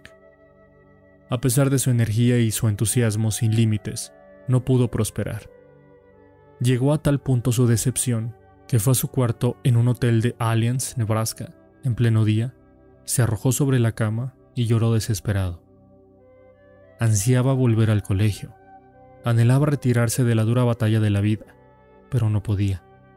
Decidió entonces ir a Omaha y conseguirse otro empleo. No tenía dinero para el pasaje ferroviario, y por ello viajó en un tren de carga, dando agua y forraje a dos vagones de caballos a cambio de su pasaje. Llegando al sur de Omaha, consiguió un empleo de vendedor de tocino jamón y cecina para Armour y Sia. Le asignaron un territorio difícil, entre las tierras malas y las zonas de indios y de hacendados en el oeste de Dakota del Sur. Recorría el territorio en trenes de carga y en diligencias a caballo, y dormía en hoteles primitivos donde la única separación entre las habitaciones era un tabique de lona. Estudió libros para viajantes de comercio, montó potros, jugó al póker con hombres rudos y aprendió a cobrar las cuentas. Cuando algún tendero no le podía pagar en efectivo el tocino y los jamones que había pedido, Del Carnegie retiraba de los estantes una docena de pares de zapatos los vendía a los empleados ferroviarios y entregaba el producto a la Armour y CIA. A menudo tenía que viajar en tren de carga 150 kilómetros por día. Cuando el tren se detenía para descargar mercancías, Carnegie corría al centro de la población. Veía a tres o cuatro comerciantes, recibía sus pedidos y cuando sonaba el silbato de la locomotora, corría calle abajo otra vez y subía al tren ya en movimiento. En menos de dos años convirtió a un territorio improductivo que estaba en el vigésimo quinto lugar de la lista, en el primero de todos los 29 que dependían en la central de Omaha. Armour y Sia ofreció ascenderlo, diciéndole, Usted ha conseguido lo que parecía imposible. Pero rechazó el aumento y renunció. Sí, renunció. Fue a Nueva York. Estudió en la Academia de Artes Dramáticas y recorrió el país haciendo el papel de Dr. Hartley en Polly, la del circo. Jamás sería un Booth o un Barrymore. Tuvo sentido común para reconocerlo. De modo que volvió a trabajar como vendedor, esta vez de camiones automóviles, para la Packard Motor Car Company. Nada sabía de mecánica y nada le importaba de motores. Terriblemente desgraciado, tenía que hostigarse todos los días para ir a trabajar. Anhelaba tener tiempo para estudiar, para escribir los libros que allí, en el colegio, había deseado escribir por eso renunció otra vez. Iba a pasar escribiendo cuentos y novelas de día y a ganarse el sustento como maestro en alguna escuela nocturna. ¿Maestro de qué? Al recapacitar y valorar su actuación en el colegio, advirtió que su adiestramiento para hablar en público le había dado más confianza, valor, soltura y capacidad para conversar y tratar con la gente de negocios que todo el resto de las asignaturas estudiadas. Por este motivo, instó a las escuelas de la Asociación Cristiana de Jóvenes en Nueva York a que le dieran una oportunidad para organizar cursos sobre oratoria para hombres de negocios. ¿Qué? ¿Convertir a los hombres de negocios en oradores? Absurdo. Ya lo sabían. Habían hecho la prueba con estos recursos y siempre fracasaba. Cuando se negaron a pagarle el sueldo de dos dólares por noche que pedía Carnegie, este convino en enseñar a comisión y percibir un porcentaje de los beneficios netos si es que se hacían beneficios, y en menos de tres años le pagaban 30 dólares por noche sobre base en lugar de dos. El curso fue creciendo. Otras ramas de la asociación oyeron hablar del caso. Después la voz se pasó a otras ciudades. Dale Carnegie se convirtió bien pronto en un famoso profesor ambulante que cubría Nueva York, Filadelfia, Baltimore y más adelante Londres y París. Todos los textos eran demasiado académicos y poco prácticos para los hombres de negocios que acudían a sus cursos. Intrépido como siempre, se sentó a escribir uno que tituló Cómo hablar bien en público e influir en los hombres de negocios. Este libro es ahora el texto oficial de todas las escuelas de la Asociación Cristiana de Jóvenes, así como de la Asociación de Banqueros y de la Asociación Nacional de Hombres de Crédito. Dale Carnegie sostiene que cualquier hombre puede hablar cuando se enoja. Dice que si se derriba de un puñetazo en la mandíbula al hombre más ignorante de la ciudad, se lo verá ponerse de pie y hablar con una elocuencia, un calor y un vigor que rivalizarán con los mejores esfuerzos de William Jennings Bryan en sus días famosos. Sostiene Carnegie que casi todas las personas pueden hablar pasablemente en público si tienen la confianza en sí mismos y hay una idea que hierve en su interior. La forma de lograr confianza en sí mismo, añade, es hacer lo que se teme hacer y reunir en este sentido una historia de experiencias felices. Por eso obliga a cada alumno a hablar en todas las clases del curso. El auditorio está lleno de simpatía por el orador. Todos están en el mismo aprieto y mediante una práctica constante, todos logran la confianza, el valor y el entusiasmo que han de hacer valer cuando hablen en privado. Del Carnegie dice que se ha ganado la vida en estos años, pero no como profesor de oratoria pública. Esto ha sido un incidente. Dice que su tarea principal ha consistido en ayudar a los hombres a dominar sus temores y a desarrollar su seguridad y su coraje. Al principio empezó solamente con un curso de oratoria pública, pero los estudiantes que lo seguían eran hombres de negocios. Muchos de ellos no habían entrado en un aula durante 30 años. Muchos pagaban esa enseñanza por cuotas. Querían resultados, y los querían rápidos. Resultados que pudiesen utilizar al día siguiente en sus entrevistas comerciales y al hablar entre grupos de hombres de negocios. Por esta razón, Carnegie se vio obligado a ser veloz y práctico. De ello ha surgido su sistema de enseñanza, que es único, una notable combinación de oratoria en público, de capacidad como vendedor, de relaciones humanas y de psicología aplicada. Como no es un esclavo de ninguna regla inflexible, ha logrado presentar un curso que es tan eficaz como la viruela y mucho más divertido. Cuando terminan las clases, los alumnos forman clubes y continúan reuniéndose en ellos cada 15 días durante muchos años. Un grupo de 19 hombres de Filadelfia se ha venido reuniendo dos veces por mes durante la época invernal desde hace 17 años. Hay muchos hombres que viajan 80 o 100 kilómetros en automóvil para asistir a las clases de Carnegie.